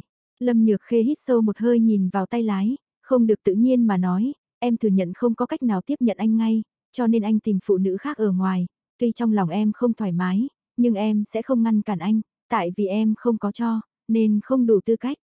Nhưng, Đường Uyển không thể, cô ấy không phải như phụ nữ bình thường khác, có thể anh chưa rõ lai lịch của cô ấy, nhưng anh nên nghĩ tại sao một phụ nữ đẹp lúc nào cũng luôn một mình. Hy vọng anh nên nghĩ kỹ, đừng vì cô ấy xinh đẹp mà đối xử như những phụ nữ khác. Dương Thần mỉm cười, Cục cưng, em nghĩ nhiều rồi, anh với Đường Uyển chỉ là quan hệ quen biết bình thường, như em vừa nói, dường như anh trở thành cầm thú suốt ngày chỉ nghĩ đến phụ nữ không bằng. Dương Thần, Lâm Nhược Khê quay mạnh đầu lại, ánh mắt cẩn trọng nhìn vào hắn, cứ như em cầu xin anh, đừng có tiếp xúc với Đường Uyển nữa, nếu không thì, nếu không thì. Nếu không thì sao? Dương Thần nhíu mày hỏi, chưa từng thấy Lâm Nhược Khê để tâm đến một phụ nữ như thế, vậy mà vì cô ấy, dùng chữ cầu xin tự hạ thấp mình. Lâm Nhược Khê nói nhỏ, nói cách khác, nếu chẳng may xảy ra chuyện, em khó mà bảo vệ anh. Bảo vệ anh, Dương Thần trong chốc lát hiểu ra, có ý gì? Những người phía sau lưng đường uyển là không đắc tội nổi, cho dù em lấy ngọc lôi làm lá chắn nhưng đối với những người đó, chưa chắc là đối thủ, đến lúc đó nếu vì quan hệ của đường uyển mà bọn họ muốn hại anh, em không biết phải làm sao chấm CSO nên, coi như em cầu xin anh, miễn là anh đi tìm những phụ nữ khác, trong công ty hoặc ngoài công ty cũng được, em cũng có thể mắt nhắm mắt mở, nhưng anh đừng tìm đến đường uyển được không? Giọng điệu của Lâm Nhược Khê đã mang vẻ cầu xin, bên trong u sầu lo lắng sâu thẳm khiến Dương Thần không khỏi giật mình. Là một người vợ, để chồng mình đi tìm những phụ nữ khác, cái này cũng đã khiến cho Dương Thần đau đầu, đây là một thái độ buông lỏng nung chị ều, nhưng chẳng phải tại vì không đủ thân mật, không để ý. Điều này khiến Dương Thần cảm giác như bị đánh bại, song song đối với Lâm Nhược Khê nói muốn bảo vệ mình lại thấy cảm động sâu sắc. Từ nhỏ đến lớn, lúc nào cùng đều tự bảo vệ chính mình, hoặc là mình bảo vệ người khác. Trên thực tế, Trong thế giới của Dương Thần, có người có thể bảo vệ hắn, trên đời này gần như không tồn tại. Cho nên, từ lúc kết duyên vợ chồng cùng Lâm Nhược Khê, trong tiềm thức của Dương Thần, là nên chính mình phải bảo vệ tốt người phụ nữ này, cho dù người phụ nữ không chịu thừa nhận mình là chồng cô ấy. Chưa từng có người nói, em bảo vệ anh, nhưng không nghĩ tới trong lòng Lâm Nhược Khê, vẫn luôn là cô ấy bảo vệ hắn. Từ cái nhìn của Lâm Nhược Khê, Dương Thần không có tiền, không địa vị, không có quan hệ chỉ là thành phần xả láng, tuy giỏi đánh nhau, nhưng khó chống lại được số đông, cho nên trong thời khắc quyết định, vẫn cần cô ấy đến giải vây, từ khi mới bắt đầu quen nhau, từ lúc ở sở cảnh sát đem Dương Thần cứu ra, Lâm Nhược Khê vẫn luôn làm vậy. Hồi tưởng lại những ngày ấy, Lâm Nhược Khê giải quyết cho mình không ít những chuyện phiền phức, đồng thời thúc giục mình học tập để thăng tiến, như vậy không phải là vì mong muốn Dương Thần sẽ bảo vệ mình tốt hơn. Cô chưa từng thấy Dương Thần mạnh mẽ, Dương Thần cũng không tính đến chuyện làm lộ bộ mặt ca tầm thường trước mặt Lâm Nhược Khê, cho nên, giữa hai bên, đúng là vô thức muốn giúp đỡ, bảo vệ nhau. Tình yêu giữa nam và nữ, phân làm ba loại, tình cảm mãnh liệt, tình bạn và trách nhiệm. Thường giữa vợ chồng, yêu nhau ngọt ngào hai người có thể ở bên nhau, còn có thể bách niên giai lão, chỉ có trách nhiệm hai chữ này. Dương Thần và Lâm Nhược Khê không như vậy, vượt qua giai đoạn ngọt ngào, cũng chẳng yêu nhau mãnh liệt, liền truyền tới trách nhiệm, đều hy vọng có trách nhiệm với đối phương. Gần trong gang tấc nhìn thấy dáng vẻ tuyệt sắc lạnh lùng diễm lệ của Lâm Nhược Khê, trong lòng Dương Thần vừa hòa thuận, vui vẻ vừa lo lắng, đồng thời cũng ý thức được trách nhiệm to lớn của mình. Mình là đàn ông, dù sao không nên để phụ nữ vì mình mà lo lắng, sợ sệt. Lấy thuốc lá từ trong túi ra, cũng bất chấp là trong xe có rèm che, tự cho mình thưởng thức từ từ, hút một hơi, sương khói lượn lờ, Dương Thần không thay đổi quyết tâm, trịnh trọng nói, Nhược Khê, anh đồng ý với em, tuyệt đối sẽ không đem em theo những việc nguy hiểm này nữa, về sau đừng nói cái gì mà bảo vệ anh nữa. Anh đảm bảo, mãi mãi không xảy ra chuyện gì để em phải bảo vệ anh, chỉ có anh bảo vệ em. Anh, anh nhất định không chịu nghe lời em sao? Lâm Nhược Khê nản lòng nói. Dương Thần cười, vươn tay vuốt nhẹ khuôn mặt của Lâm Nhược Khê, buổi tối có rảnh không, bà xã, chúng ta hẹn hò đi. Audio điện tử võ tấn bền. Sau khi Dương Thần nói hai chữ hẹn hò, Lâm Nhược Khê rõ ràng còn chưa kịp phản ứng kịp, lúng túng nhìn Dương Thần, không nói nên lời. Dương Thần sợ Lâm Nhược Khê không quen, nói như vậy thật là liều lĩnh, vì thế bèn lui sau nói, nhanh quá không thích ứng được sao. Vậy thì tiện thể đi ăn bữa cơm tối cũng được. Lâm Nhược Khê nhẹ nhàng lắc đầu, dịu dàng hỏi, có cần đi thay quần áo không? Thay quần áo, hẹn hò thì phải mặc quần áo gì? Lâm Nhược Khê có chút ngượng ngùng hỏi. Dương Thần rốt cuộc hiểu rồi, không phải không đồng ý, mà là không biết hẹn họ như thế nào, vì thế thoải mái cười nói, không cần thay đâu, như vậy là được rồi, tuy nhiên xe thì phải thay, dù sao là anh hẹn hò với em, không phải em lái xe chở anh đi. Trong lòng Lâm Nhược Khê thấp thỏm không yên gật đầu, khởi động xe, đem chiếc Bentley màu đỏ một mạch lái đến chỗ đậu xe của Dương Thần, cùng nhau xuống xe, ngồi vào chiếc M3 màu trắng. Chúng ta đi đâu? Lần đầu tiên hẹn hò, Lâm Nhược Khê hơi căng thẳng, giọng điệu yếu ớt. Dương Thần cảm thấy cực kỳ thú vị, cô vợ lành lùng thường ngày đột nhiên trở nên mông lung như nữ sinh lần đầu hẹn hò vậy, làm sao chịu nổi. Muốn đưa tay ra nhéo nhéo, nhưng lại sợ cô ấy bỏ đi, giờ ba ngón tay lên nói, cho em ba lựa chọn, đi xem phim, đi shopping, đi công viên thủy cung, muốn đi đâu. Lâm Nhược Khê mắt sáng ngời, ngẫm nghĩ một chút, có vài phần mong chờ nói, đi công viên thủy cung đi, em vẫn chưa đi xem qua, em thích những con cá cảnh nhiệt đới, rất đẹp. Công viên thủy cung vào buổi tối đóng cửa rất sớm, đổi cái khác đi. Dương Thần nói, vậy, shopping cũng được, đi xem xem những cửa hàng khác, coi như đi khảo sát. Lâm Nhược Khê đưa ra lựa chọn tiếp theo. Dương Thần lắc đầu, đi shopping, mệt chết đi, đừng tưởng anh không biết, phụ nữ bọn em đâm đầu vào đó rồi, là mặc kệ đàn ông sống chết ra sao. Lông mày của Lâm Nhược Khê dựng lên, vậy đi đâu? Đi xem phim, có thể ngồi xem, tốt biết mấy. Dương Thần cười nói, Lâm Nhược Khê cắn môi, gắt gọng nói, vậy thì cho em chọn làm gì? Anh thẳng thắn nói là đi xem phim là được còn gì? Dương Thần nhếch miệng cười cười, đây chẳng phải biểu hiện gia đình dân chủ sao? Anh cho em ba lựa chọn, không ép buộc em ngay lúc đầu chọn dạp chiếu phim. Nếu em không chọn, dù sao phương hướng tay lái cũng nằm trong tay anh, đến cuối cùng chẳng phải do anh quyết định sao. Lãnh đạo là như vậy, em chẳng phải cũng là lãnh đạo sao. Em hiểu mà, dân chủ, dân chủ, ha ha. Vô lại, em phải xuống xe, anh tự mình đi hẹn hò đi. Lâm Nhược Khê lại lạnh lùng trở lại, làm bộ muốn xuống xe. Dương Thần cười to, muộn rồi. Câu nói vừa dứt, xe BMW két một tiếng, bánh xe ma sát mặt đường, thân xe giống như mũi tên nhọn phóng ra chỗ đậu xe.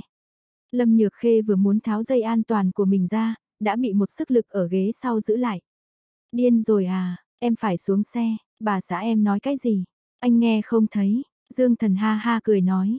Chiếc xe xẹt qua con đường rộng lớn, bị kẹp giữa hai hàng đèn quảng cáo ở hai bên, lưu lại một tia sáng màu đỏ, tiếng động cơ gào thét khiến người đi đường chung quanh đều ghé mắt nhìn theo.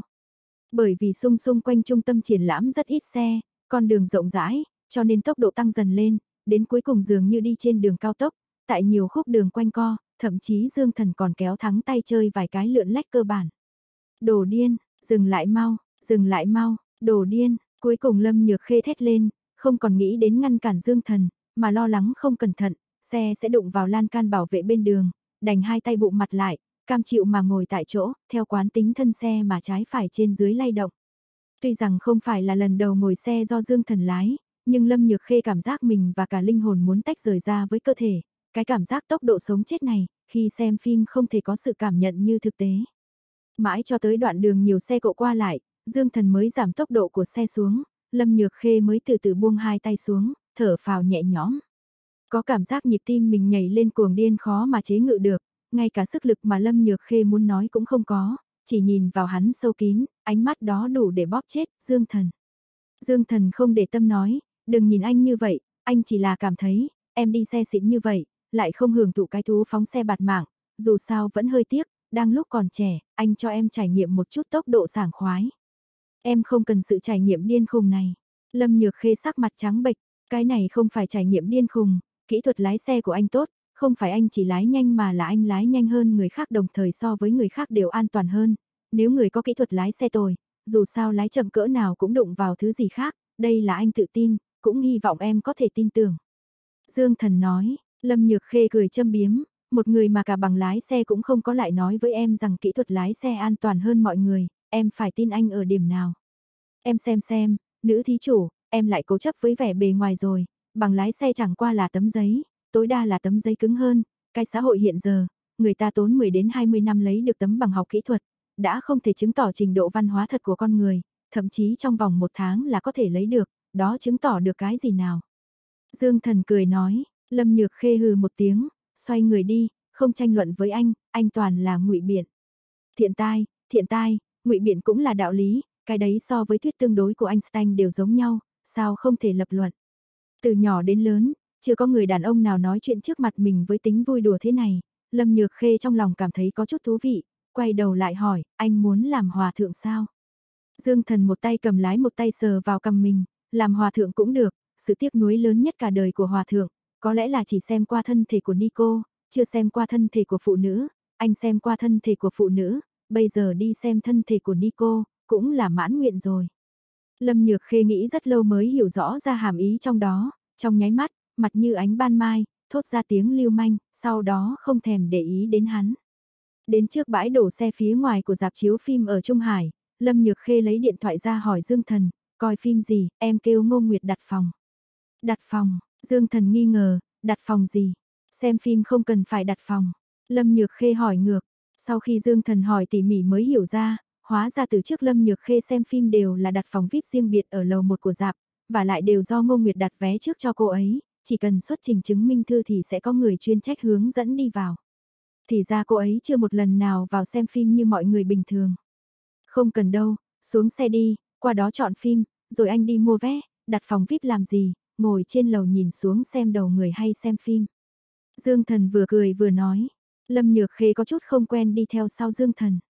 Xung quanh người đi đường tới lui đại đa số là từng đôi trai gái trẻ đến xem phim, bầu không khí ồn ào như vậy, Lâm Nhược Khê cảm thấy mọi thứ đều mới lạ. Đi đến quầy bán vé trước cửa dạp, hai bên là những tấm áp, phích từng bộ phim, Dương Thần bĩu môi, chọn đi, thích xem phim gì. Lâm Nhược Khê nhìn qua nhìn lại, đôi mắt dừng trước tấm áp, phích thế giới kỳ ảo của Elise rất lâu mà không muốn rời đi, nhìn qua những tấm khác lắc đầu nói, sao cũng được, anh chọn đi. Dương Thần cười thầm trong lòng, xem ra thích lại không dám nói, sợ mình chế giễu cô học trò nhỏ, giả bộ trầm ngâm một chút nói, vậy xem Elise, đi, thấy áp, phích khá đẹp. Được, Lâm Nhược Khê liền đồng ý mỉm cười vui vẻ. Dương Thần bỡn cợt nhìn cô một cái, Lâm Nhược Khê biết được đã lộ ra ý nghĩ trong lòng, bèn đỏ mặt quay đầu đi. Đợi Dương Thần mua hai vé hạng thường xong, hai người bước vào trong dạp, xung quanh đại sảnh có không ít quầy bán thức uống và bắp rang, Dương Thần mua hai túi bắp rang và hai ly nước cam mới đi vào xem phim.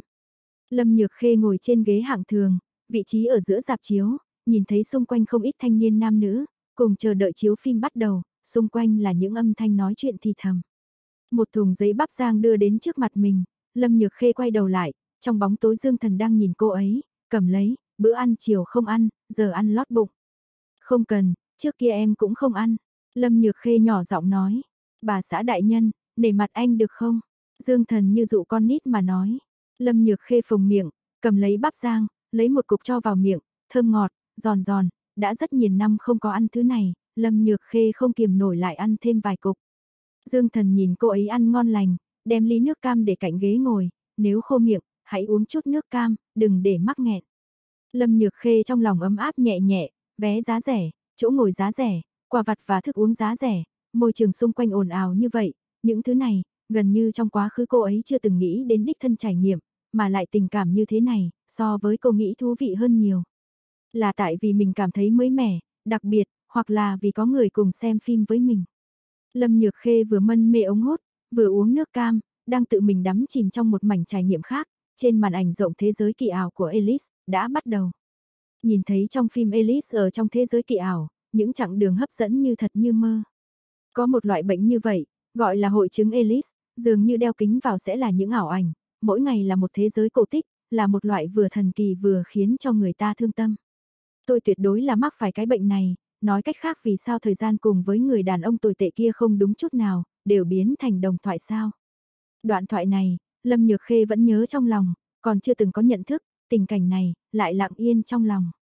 Suy nghĩ miên man, hai má nóng lên đỏ bừng, mắc cỡ chết đi được, từ khi nào mình bắt đầu trở nên như vậy, không biết xấu hổ, không thấy buồn nôn, những lời như vậy cũng có thể nghĩ ra được. Nhưng không kiềm được nữa, ngẫu nhiên nhìn sang người bên cạnh. Vừa liếc mắt một cái, đầu lại lập tức cúi xuống. Bà xã mình không sao chứ? Sao mặt lại đỏ như vậy? Sốt chăng? Trong bóng tối, Dương Thần có để ý tới sự kỳ lạ của Lâm Nhược Khê, nghi ngờ trong đầu.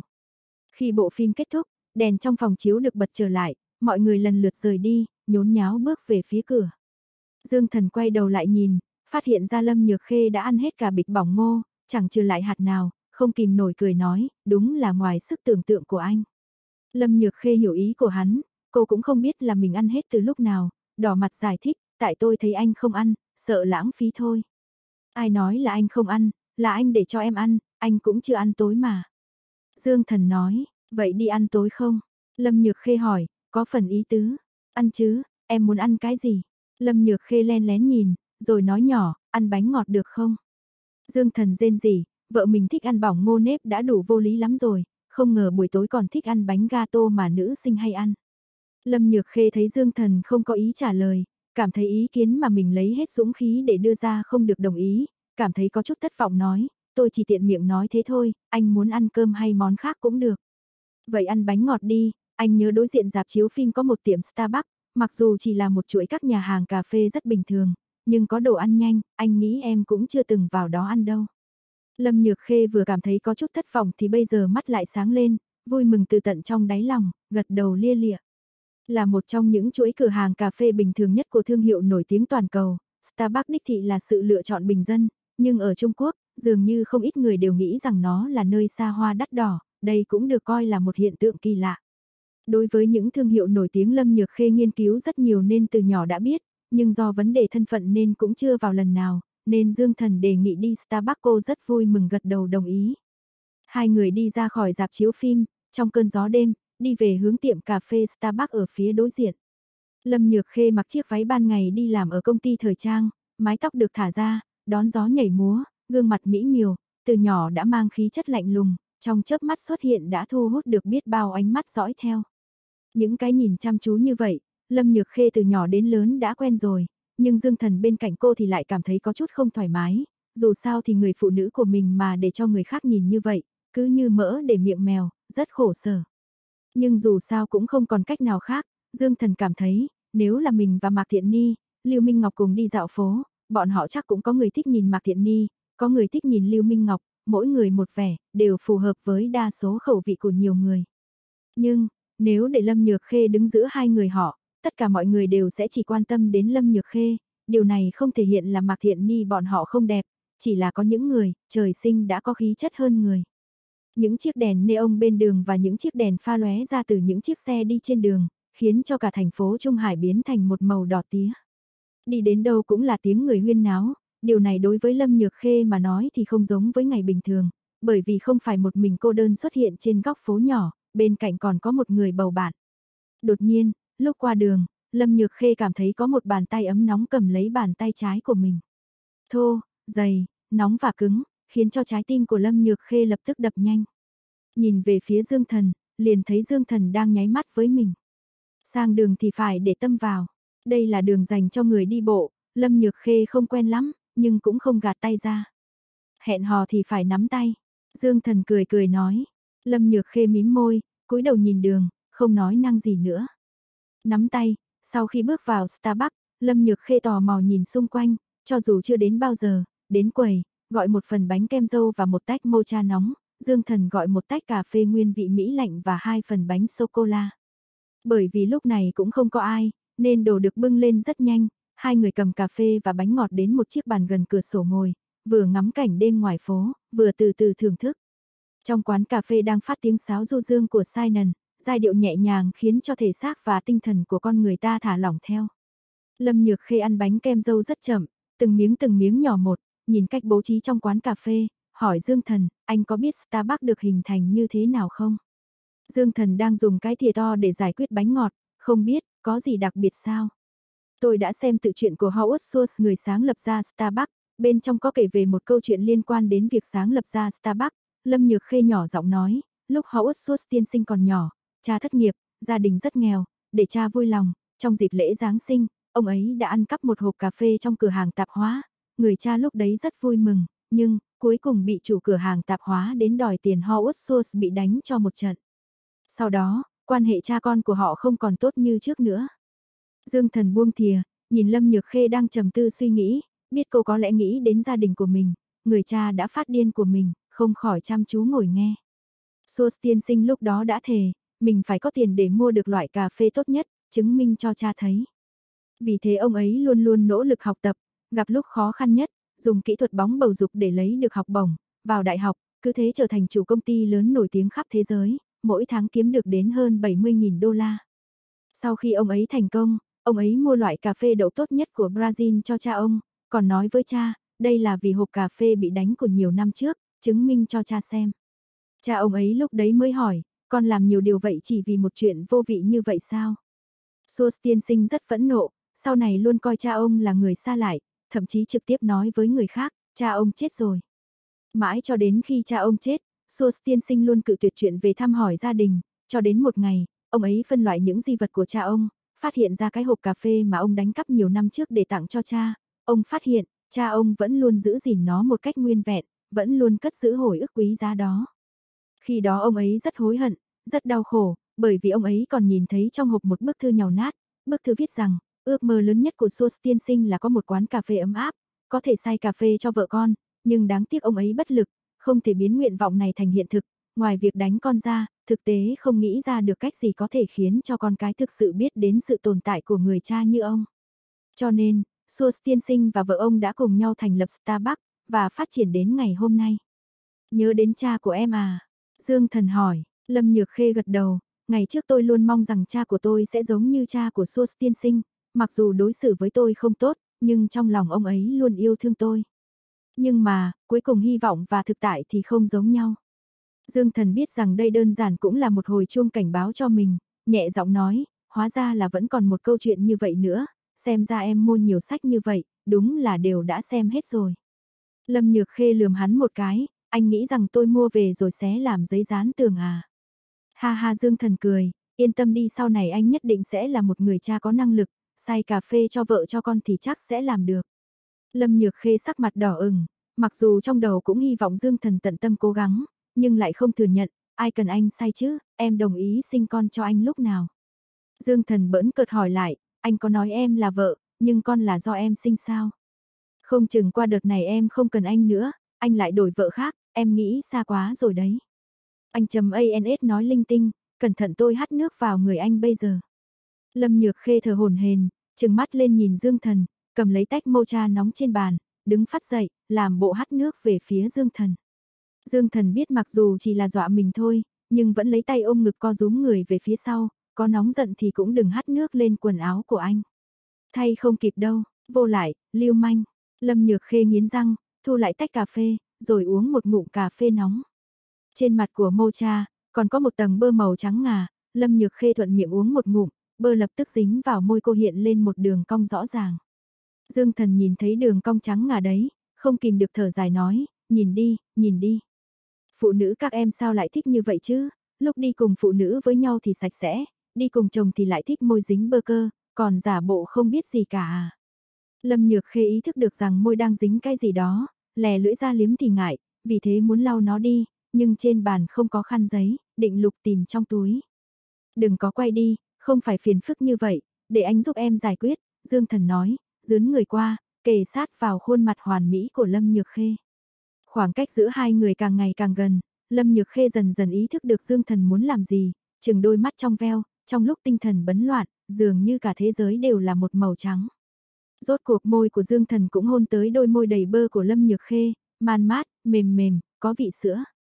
Giống như sấm động giữa trời xuân, Lâm Nhược Khê ngây người ra.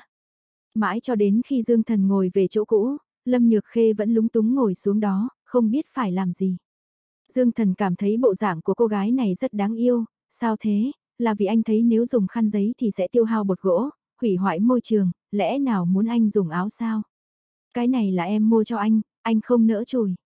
Lâm Nhược Khê đã kịp phản ứng lại, chính mình cũng không ngờ lại đứng trơ mắt ra cho hắn hôn, mặc dù trên danh nghĩa thì hắn là chồng mình, như vậy cũng không coi như là bị chiếm hữu một cách tùy tiện, nhưng dù sao cũng là hôn mà. Lần đầu tiên của mình cũng đã cho hắn rồi, cũng trong lúc mơ mơ màng màng, hai người căn bản là không có cảm giác gì, nhưng bây giờ, có thể cảm nhận được một cách rõ ràng hơi thở của nhau, nhiệt độ của nhau. Nghĩ đến đây, đôi mắt kiều diễm ướt át của Lâm Nhược Khê dưng dưng đến nơi, sau này không được như thế này nữa, còn nữa, quần áo là do tôi sai người đi mua, tôi còn lâu mới đi mua cho anh. Tình cảnh lãng mạn như thế này, đã bị em người không có cảm xúc gì hết phá hỏng rồi đấy, giả bộ là em mua thì có chết ai. Dương thần cười bất đắc dĩ nói, nói ít đi mau ăn cơm đi, đây là bánh ngọt, vậy mau ăn bánh ngọt đi. Lâm Nhược Khê cúi đầu xuống, những vệt ửng hồng trên má không thể giấu đi đâu được, cô bắt đầu ăn nhanh hơn, cứ như là có thủ với cái bánh vậy, nhưng mỗi một miếng, lại cảm thấy hình như có thêm chút mật ở trong bánh vậy, vị ngọt ngấy sao lại nhiều như vậy nhỉ. Đến cuối tuần, triển lãm mùa thu của Ngọc Lôi cũng kết thúc viên mãn.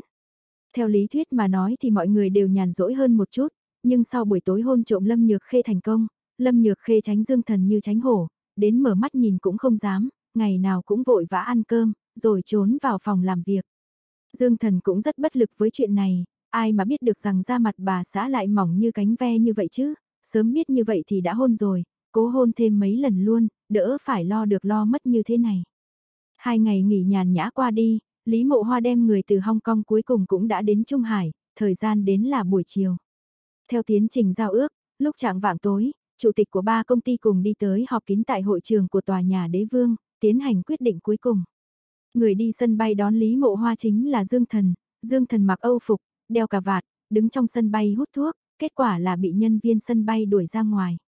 Cuối cùng, vẫn là Lý Mộ Hoa dùng điện thoại liên lạc, mới gặp được Dương Thần ở bên ngoài. Những tên vệ sĩ cô à Lý Mộ Hoa đều cảm thấy rất phẫn nộ, cho rằng như vậy là không tôn trọng Lý Mộ Hoa, nhưng Lý Mộ Hoa lại cười vui vẻ, bởi anh ta rất hiểu, đu ân thần đối với anh ta rất tùy ý, điều này chứng tỏ không có hoài nghi hay đề phòng anh ta bất cứ điều gì. Nếu như Dương Thần đột nhiên đối với anh ta quá lịch sự, thì anh ta sẽ ăn không ngon ngủ không yên mất, còn đâu cuộc sống bình yên nữa.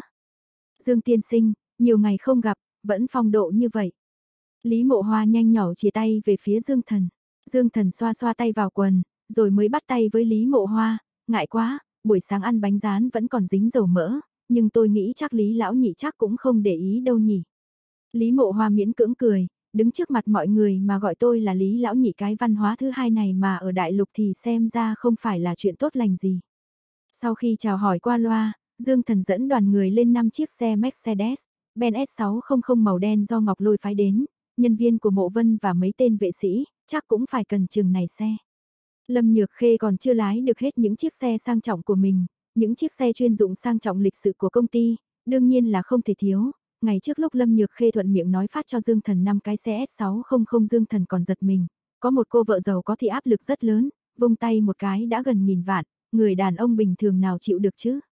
Trước khi đi ra ngoài, Lâm Nhược Khê còn đưa cho Dương Thần một bản đồ chỉ đường, đánh dấu những quán rượu trên đường đi tới trụ sở của Lý Mộ Hoa và đoàn người. Phải đi qua một số địa điểm, rất nhiều địa điểm được đánh dấu đỏ, đều là những địa điểm phải giới thiệu một chút gì đó. Dương Thần nghi hoặc giờ đi giờ lại, lập tức choáng váng, trên đó đánh dấu đủ loại địa điểm, không ngờ là quốc tế ngọc lôi của Lâm Nhược Khê có nhiều tài sản như vậy, riêng ở Trung Hải đã trải khắp các con đường, càng không cần phải nhắc đến phạm vi toàn quốc hay thế giới nữa. Không trách giá trị con người lên đến mấy trăm triệu, Dương Thần cảm thấy nếu như Lâm Nhược Khê đồng ý tiếp nhận sự đánh giá của truyền thông quốc tế, thì chắc chắn sẽ nằm trong top 100 người giàu nhất thế giới. Cũng không biết bà nội cô ấy là người phụ nữ như thế nào, không ngờ có thể tạo dựng được một sản nghiệp như vậy. Xem ra, dầu nứt khố đổ vách nhưng kỳ thực đã rất khiêm tốn rồi. Để Dương Thần hiểu rõ dụng ý của tấm bản đồ này, chính là để nói cho Lý Mộ Hoa biết, đối tượng hợp tác của anh ta có rất nhiều tiền, khiến cho anh ta yên tâm, lần hợp tác lần này tuyệt đối an toàn. Đương nhiên rồi, cũng có thể do vị nữ chủ tịch thầm thích ăn xôi nếp và bánh kem dâu, chỉ để khí chất của nữ vương lộ ra ngoài, tự đáy lòng muốn thể hiện sự cao ngạo. Ngồi bên trong không gian cực rộng của xe, trong tay Dương Thần cầm tấm bản đồ đó, dựa theo yêu cầu của Lâm Nhược Khê, phải học thuộc lòng, nhưng Dương Thần cảm thấy học thuộc lòng là chuyện nhỏ, phải nói với Lý Lão Nhị biết bao nhiêu chuyện thế này mới là chuyện không đơn giản, dù sao thì hắn cũng không có hứng thú với đàn ông. Ngẫm nghĩ một chút, Dương Thần đem tấm bản đồ để vào tay của Lý Mộ Hoa đang ngồi bên cạnh. Đù ơn tiên sinh, đây là cái gì vậy? Lý Mộ Hoa nhận tấm bản đồ với vẻ tò mò. Dương Thần nói, trước khi đi ra khỏi nhà bà xã đưa cho, bảo tôi phải giới thiệu cho anh biết tất cả những địa điểm được đánh dấu trong này, đây toàn bộ đều là tài sản của công ty chúng tôi và bà xã nhà tôi. Thực tế là đưa cho anh viên thuốc an thần trước khi ký kết thỏa thuận thôi, công ty chúng tôi có rất nhiều tiền. Lý Mộ Hoa mở tấm bản đồ ra xem, nhìn thấy bản đồ chi chít dấu đỏ, đủ loại biệt thự, bách hóa, nhà cao tầng, khách sạn, trung tâm thương mại, thời trang thẩm mỹ viện, khu vui chơi giải trí. Dương Tiên Sinh nói, đây là tài sản của phu nhân và quý công ty. Trong lòng Lý Mộ Hoa có chút cảm giác kỳ lạ, không tin lắm, chỗ tài sản này đều thuộc sở hữu của quốc tế Ngọc Lôi, anh ta còn có thể hiểu được, trước đây cũng đã từng bí mật điều tra qua quốc tế Ngọc Lôi là tài sản cá nhân của Lâm Nhược Khê, nhưng bà xã của Dương Thần. Dương Thần gật đầu, sao, anh âm thầm điều tra nhiều như vậy, lẽ nào không điều tra ra, chủ tịch quốc tế Ngọc Lôi là bà xã của tôi sao? Đầu Lý Mộ Hoa ầm một tiếng, có thể nói là sấm động giữa trời quang, không phải là bị khiếp sợ bởi tin tức này, mà là nghĩ đến buổi tối hôm đầu tiên, mình nói trước mặt Dương Thần, phải tiếp cận được với Lâm Nhược Khê hoặc là Mạc Thiện Ni, phát triển quan hệ riêng tư, còn nói Lâm Nhược Khê chính là bạn tình tốt nhất của anh ta. Không trách người đàn ông này luôn không hòa nhã với mình, xem ra mình phải giết hắn chỉ là thứ yếu, chủ yếu là, mình có ý đồ với người phụ nữ của hắn. Phàm là đàn ông nhất định đều sẽ chịu không nổi điều này, Lý Mộ Hoa biết bản thân mình không đụng được đến một cái vảy của Dương Thần, nhắc đến điều này, bản thân mình vẫn còn sống, anh ta cảm thấy không còn gì quý bằng. Lý Mộ Hoa cười còn khó coi hơn cả khóc, Dương Tiên Sinh, đây, Lý Mỗ lúc đầu thực sự không biết ngài và Lâm Tổng là quan hệ vợ chồng, nếu mà biết. Nếu biết, không chừng anh lại càng muốn giết tôi phải không? Dương Thần cười nham hiểm nói, mặt mày Lý Mộ Hoa lập tức xanh mét, môi trắng bệch, nụ cười của Dương Thần khiến cho anh ta nhớ lại khuôn mặt với bàn tay trái đầy máu của đêm hôm đó, vội vàng xua tay, không không không, tôi có ăn tim gấu gan báo cũng không dám đối đầu với Dương Tiên Sinh, Dương Tiên Sinh đừng nói như vậy, tôi chịu không nổi đâu ạ. Dương Thần nhún vai, cười cười nói, anh cũng đừng căng thẳng, quan hệ hôn nhân của chúng tôi hiện tại vẫn đang trong giai đoạn bảo mật, vì vậy trong lòng anh biết là được rồi, đừng vội làm việc sai trái, tôi vẫn còn xem trọng anh đấy, ít nhất, trong mắt tôi anh cũng đúng là kẻ tiểu nhân, so với những tên ngụy quân tử còn coi được hơn một chút. Nói nhảm, bị người bắt thóp rồi thì đương nhiên chỉ có thể làm kẻ tiểu nhân. Lý Mộ Hoa không ngừng oán trách, nhưng cũng chỉ đành cười cười bỏ qua. Chẳng qua, không ngờ rằng Dương Thần là chồng của Lâm Nhược Khê, điều này khiến cho Lý Mộ Hoa càng ngày càng tò mò về thân phận của Dương Thần, dù sao ẩn sau lưng Lâm Nhược Khê cũng là một bối cảnh quốc gia đặc biệt, trong một số tầng lớp trên trong nội bộ gia tộc, tất cả đều là hiểu biết sơ lược, anh ta không thể tin được, chỉ là dựa vào vũ lực hơn người, Dương Thần lại có thể trở thành chồng của Lâm Nhược Khê. Sau khi nghỉ ngơi, buổi chiều 6 giờ, Dương Thần dẫn đoàn người của Lý Mộ Hoa đi tới phòng họp kín của tòa nhà đế vương, ở đó, Lâm Nhược Khê và một vài nhân viên nòng cốt, cùng với đám người của công ty truyền thông Tăng Tâm Lâm đều đã chờ từ sớm rồi. Lý Mộ Hoa bước vào hội trường, Lâm Nhược Khê và Tăng Tâm Lâm tiến lên nghênh đón, lần hợp tác này lãnh đạo của ba công ty cuối cùng cũng đã chính thức gặp mặt lần đầu tiên. Tuy nhiên, tất cả mọi người đều thấu hiểu tâm tư của nhau, sau lưng đã làm vô số lần, rất nhiều chuyện trong lòng tự hiểu lấy, không cần phải nhiều lời, vì vậy nói mấy câu đều rất nhẹ nhàng thoải mái. Dương Thần nhìn ba người bắt đầu nói những chuyện hư hư thực thực, nghe cũng thấy vô vị, dù sao thì công việc của mình cũng đã kết thúc rồi, định đi ra ngoài, khu vui chơi giải trí trong tòa nhà đế vương cũng rất nhiều, đợi lễ ký hợp đồng kết thúc, ít nhất cũng phải tầm 10 giờ đêm, dù sao thì những người này cũng phải vừa ăn tối vừa nói chuyện. Đang nghĩ tới việc đi ra ngoài massage chân, còn gọi em nào đó đến massage cho, đột nhiên điện thoại rung. Nhìn nhìn, đúng là Mạc Thiện Ni gửi tin nhắn cho mình, người phụ nữ này, lúc ở Hong Kong thì dính lấy như keo, từ Hong Kong trở về thì luôn giữ khoảng cách với mình, cũng coi như là người có thể nhẫn nhịn được. Đi ra cửa bên trái, đến hành lang, có chuyện muốn nói. Dương Thần nhìn mấy tên quản lý của tập đoàn Mộ Vân đang cười nói với Mạc Thiện Ni, ngạc nhiên thán phục khả năng không cần nhìn vẫn nhắn tin được của cô, tự đi ra ngoài trước. Đợi khoảng gần 10 phút, Mạc Thiện Ni mặc cả bộ trang phục công sở màu trắng dáng người thướt tha bước ra, hôm nay cô trang điểm nhẹ nhàng, mặt mày như vẽ, đeo đôi khuyên tai hình chiếc thuyền rất thời thượng, tôn thêm vẻ đẹp cho khuôn mặt quyến rũ. Thấy Dương Thần đã đứng đợi, Mạc Thiện Ni thè lưỡi ngại ngùng, đợi lâu chưa, mấy người đó nhiệt tình quá, tôi phải nói dối mới rời khỏi đó được. Không sao, hiếm khi tiểu thiện thiện của tôi sau khi trở về Trung Hải, vẫn còn nhớ hẹn tôi nói chuyện, có đợi cả ngày cũng được. Dương Thần nói, giận rồi à, đừng có nhỏ nhen như vậy chứ, anh cũng biết Nhược Khê rất nhạy cảm, chúng ta cùng đi công tác nhiều ngày như vậy, xảy ra biết bao nhiêu chuyện, cô ấy có thể không nghĩ nhiều sao, tôi không muốn vì quan hệ của tôi, mà lại làm hỏng hết quan hệ của mọi người. Mạc Thiện Ni nói đầy oán giận, Dương Thần tỏ vẻ nặng nề nói, muốn không tức giận cũng được thôi, nói rồi, chỉ chỉ vào má phải của mình. Mạc Thiện Ni trúng trúng miệng, nhìn xung quanh xác nhận không có ai, từ từ nhắm hai mắt lại, đồng ý hôn một cái. Không đợi cô hôn, Dương Thần quay mặt lại, miệng đối miệng hôn cô một cái. U hương cảm thấy bị Dương Thần nắm lấy gáy, Mạc Thiện Ni không thể động đậy được, đôi môi mịn màng trong nháy mắt đã bị hắn chiếm hữu, đầu lưỡi nóng bỏng sục sạo bừa bãi trong miệng cô. Nhất thời, cả người Mạc Thiện Ni mềm nhũn chỉ có thể ưm ưm vài tiếng, cứ như vậy đến lúc không còn biết gì nữa, mới được buông ra. Thở hồn hển, mặt Mạc Thiện Ni đỏ như hoa đào, trong lòng có chút oán giận Dương Thần, nhìn thấy hắn đắc ý cười đều, không nhịn được đánh hắn vài cái mới hết giận. Tôi có chuyện chính đáng muốn nói với anh, đâu phải là chuyện tùy tiện đâu. Đây cũng là chuyện chính đáng, tuy nhiên tâm trạng anh cũng không tệ, nghe em nói vậy. Dương Thần rộng lượng nói, Mạc Thiện Ni ra vẻ không nhìn thấy bộ dạng đáng ghét đó, nghiêm mặt nói, theo em về nhà.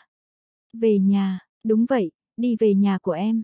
Dương Thần nhìn ánh mắt sáng quắc của Mạc Thiện Ni, xấu hổ nói, có phải là hơi vội vàng không? Mặc dù anh biết người đàn ông tốt như anh, trên thế giới này chắc cũng chỉ có xác suất là một phần sáu tỷ thôi, nhưng em cũng không cần vội vàng để anh đến nhà em như vậy chứ. Trận vừa hôm trước mới trôi qua, nhanh như vậy đã đi rồi cũng có chút không hay. Thực tế nếu em muốn hiến thân, chỉ cần tìm một nhà nghỉ tốt là được rồi. Đương nhiên rồi, anh rất thoải mái, nếu như em muốn đi dã ngoại, anh cũng không để ý đâu. Nhưng gió thổi thì lạnh mông anh, chiến đấu càng lâu. Nhưng mà, đến nhà em cũng là một lựa chọn không tệ, chỉ là không biết giường nhà em có đủ rộng không, trong đám phụ nữ thì em cũng chẳng phải nhỏ bé gì, hai người chúng ta lăn lộn trên đó, chỉ sợ giường nhỏ thì chịu không nổi. Mạc Thiện Ni ban đầu còn cảm thấy có chút mơ hồ, nghe nghe, sao lại thấy có cái gì đó không đúng, đến lúc sau, ngượng đến chín mặt, nghiến răng nghiến lợi nói, Dương Thần, ai nói là muốn hiến thân cho anh. Em nói là muốn anh đi cùng em về tứ xuyên quê của em. Em hy vọng là anh có thể đi cùng em, có thể cùng đón mẹ em đến Trung Hải. Dương Thần lẩm bẩm, nói rõ ràng chứ, anh làm sao biết được là em muốn anh đi về nhà nào. Vậy bây giờ đã rõ rồi chứ? Mạc Thiện Ni tức giận hỏi. Dương Thần gật gật đầu, hắn nhớ lần đầu tiên giúp Mạc Thiện Ni xử lý tên dưỡng kế giàu có kia xong, Mạc Thiện Ni có đề cập đến việc đón mẹ cô lên Trung Hải hưởng phúc, mơ hồ hỏi, anh có nhớ là em đã nói qua chuyện này, sao tự nhiên lại muốn anh đi cùng? Mạc Thiện Ni nhăn nhó, đỏ mặt nói, lần trước khi nói điện thoại với mẹ, mẹ em nói, nếu như em có thể dẫn bạn trai về cho bà xem, bà sẽ xem xét việc đi Trung Hải.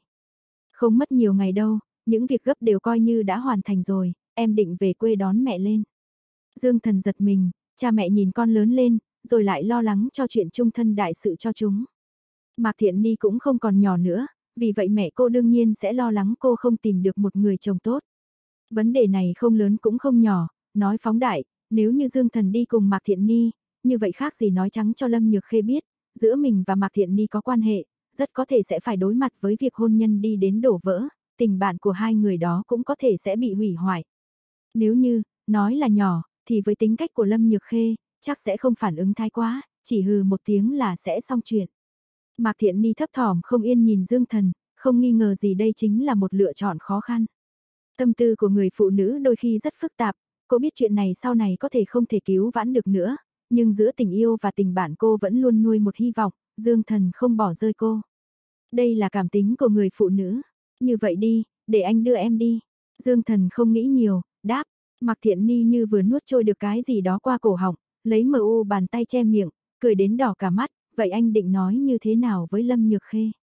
Thì nói thật thôi, không có gì là không thể cả.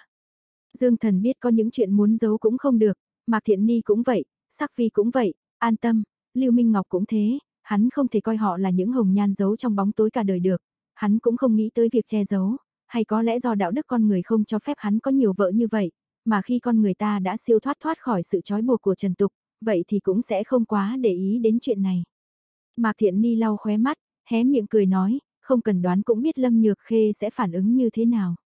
Cô ấy sẽ phản ứng như thế nào?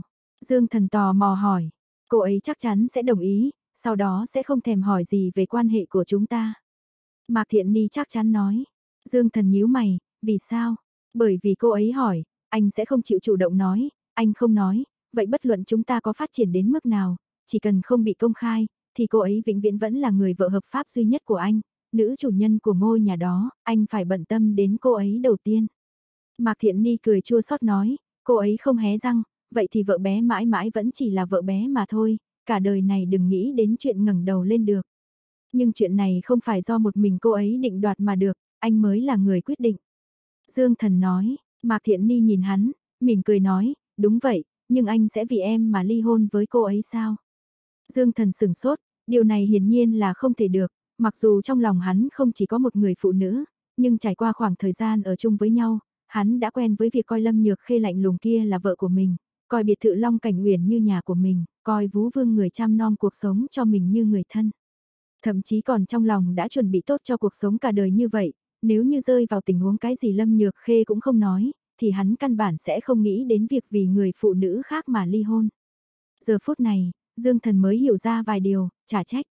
Cô ấy từ trước đến giờ không hề hỏi đến quan hệ của mình với người phụ nữ khác, giống như không có chút quan tâm gì vậy, không ngờ lại có cả nguyên nhân này.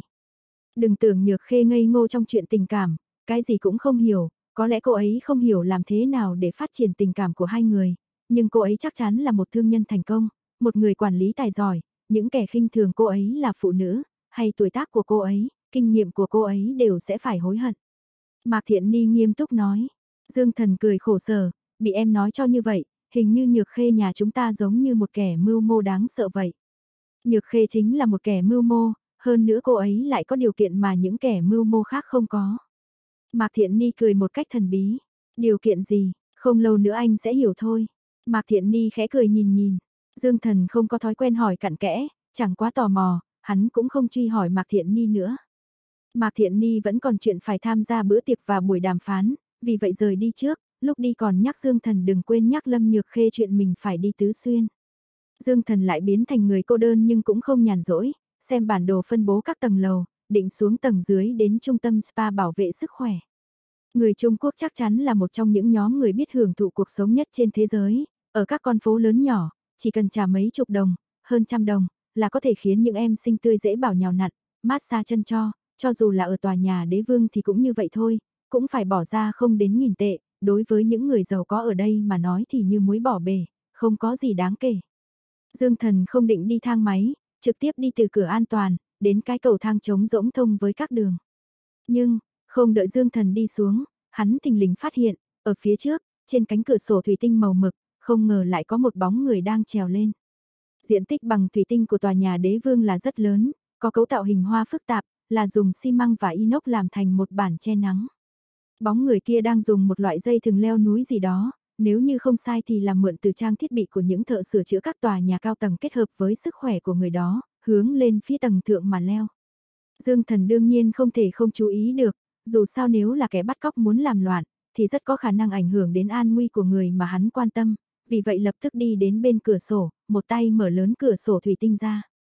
Đừng nhúc nhích, một tiếng nói trong trèo từ trong bóng đen hắc ám truyền đến, một khẩu súng lục sáng loáng chĩa thẳng vào đầu Dương Thần. Dương Thần sừng sốt, kẻ giơ súng cũng ngây người ra. Là anh, là cô, sao anh lại ở đây? Sao cô lại ở đây? Hai người gần như đồng thanh nói những câu giống nhau. Người phụ nữ này không phải là ai khác, từng không ít lần cùng xuất hiện, hơn nữa lại là nữ cảnh sát khiến Dương Thần đau đầu, Thái Nghiên. Thái Nghiên lúc này mặc một bộ đồ da màu đen, dáng vẻ nóng bỏng khiêu gợi của cô cực kỳ nhức mắt, chiếc eo thon nhỏ cuốn cuộn dây thừng, trang bị một bộ bánh răng leo, mái tóc ngắn đen trong gió lạnh hiện vẻ mạnh mẽ nhanh nhẹn. Hình ảnh này khiến cho Dương Thần thất thần trong giây lát. Có đôi khi, sức hấp dẫn của đàn ông, lại có trong vài phần dịu dàng của người phụ nữ. Vẻ đẹp của người phụ nữ, chẳng phải cũng có trong vài phần khí thái anh hùng của người đàn ông sao.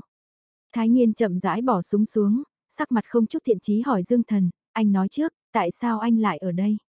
Hôm nay là ngày mà Ngọc Lôi và công ty khác ký kết hợp đồng, tôi là một trong những người phụ trách, đương nhiên phải ở đây rồi. Dương Thần nhìn Thái Nghiên nghĩ, Thái Cục trưởng, cô là trộm hay là đang tập trèo kính vậy? Thái Nghiên xem bộ dạng của Dương Thần không có vẻ gì là giả bộ, lập tức nói, anh không có chuyện gì thì đi đi, tôi có chuyên án rất quan trọng phải điều tra, chẳng may mà bị người khác phát hiện, thành công chỉ còn trong gang tấc, còn nữa tính mạng sẽ bị nguy hiểm, mau rời khỏi đây đi. Dương Thần thò đầu ra cửa sổ, hướng mắt nhìn lên trên, tầng trên là phòng họp riêng, đèn sáng trưng, hiển nhiên là Thái Nghiên không muốn dùng thủ đoạn tầm thường này, đi điều tra tình hình. Thái Cục trưởng, tôi đề xuất với cô một ý kiến hay hơn, cô mau vào đây đi, cô phải biết rằng một khi cái dây thừng này của cô bị đứt, cô sẽ ngã xuống mấy chục tầng lầu đấy, cương cốt đều thành cho bụi cả. Dương thần chỉ chỉ xuống mặt đất tối om phía dưới. Tòa nhà đế vương ít nhất cũng phải 5-60 tầng, ở đây mà ngã xuống Mỹ nữ sẽ trực tiếp biến thành mốc nữ, chuyện của tôi không cần anh quản. Thái Nhiên không đủ kiên nhẫn nói, cô cho rằng tôi thích quản chuyện của cô sao, chủ yếu là vì cô là bạn vợ tôi, tôi chỉ muốn khuyên cô chuyện mà cô có thể làm được thôi, cũng là một người phụ nữ, sống sao cho những người đàn ông dưới mình còn chút sĩ diện, cô làm gương cho cấp dưới như vậy, chuyện gì cũng lấy tính mạng của mình ra làm, cô cho rằng đây là chuyện mà một lãnh đạo phải làm sao. Nếu như cô xảy ra chuyện, cấp dưới làm sao gánh vác đây?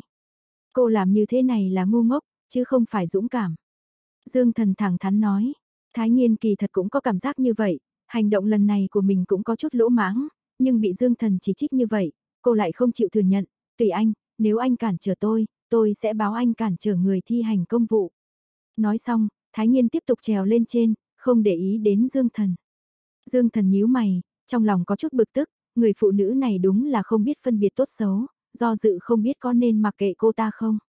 Nhưng đúng lúc đó, ở cửa sổ của một phòng ở tầng cao nhất, có người đẩy bức rèm ra, đóng kín những cửa sổ sát đất, một bóng người đứng dậy, nhe răng cười độc ác, nhìn về phía Thái Nhiên đang leo lên. Thái Nhiên bây giờ đang rơi vào một vị trí khó xử, phía trên, cách tầng đó cũng phải tầm 2 mét, phía dưới cách cửa sổ chỗ Dương Thần đứng cũng phải hơn 1 mét. Một người đàn ông tóc ngắn đột nhiên xuất hiện tay cầm một khẩu súng lục màu bạc hiệu sơ hin, cánh tay to lớn nắm chắc lấy bộ âu phục, có thể tưởng tượng đây là một tay sử dụng sơ hin cường tráng đến mức nào. Người đàn ông đó nhìn diễu cợt vài lần, rồi sau đó nhắm thẳng vào chiếc dây thừng đảm bảo an toàn của Thái Nghiên. Chỉ một phát súng như vậy, chiếc dây thừng sẽ bị đứt Thái Nghiên sẽ rơi xuống hơn 10 tầng lầu thịt nát xương tan. Đến thời gian để Thái Nghiên hối hận cũng không có, treo người ở độ cao như vậy ngoài việc chờ chết, hầu như không còn cơ hội tháo chạy. Cởi dây thừng ra, mau, phía dưới, Dương Thần la lên một tiếng khiến trong chớp mắt đầu óc Thái Nghiên như tỉnh táo lại, nhìn xuống dưới, Dương Thần đã vươn ra ngoài, giơ hai tay lên, chuẩn bị đỡ lấy cô.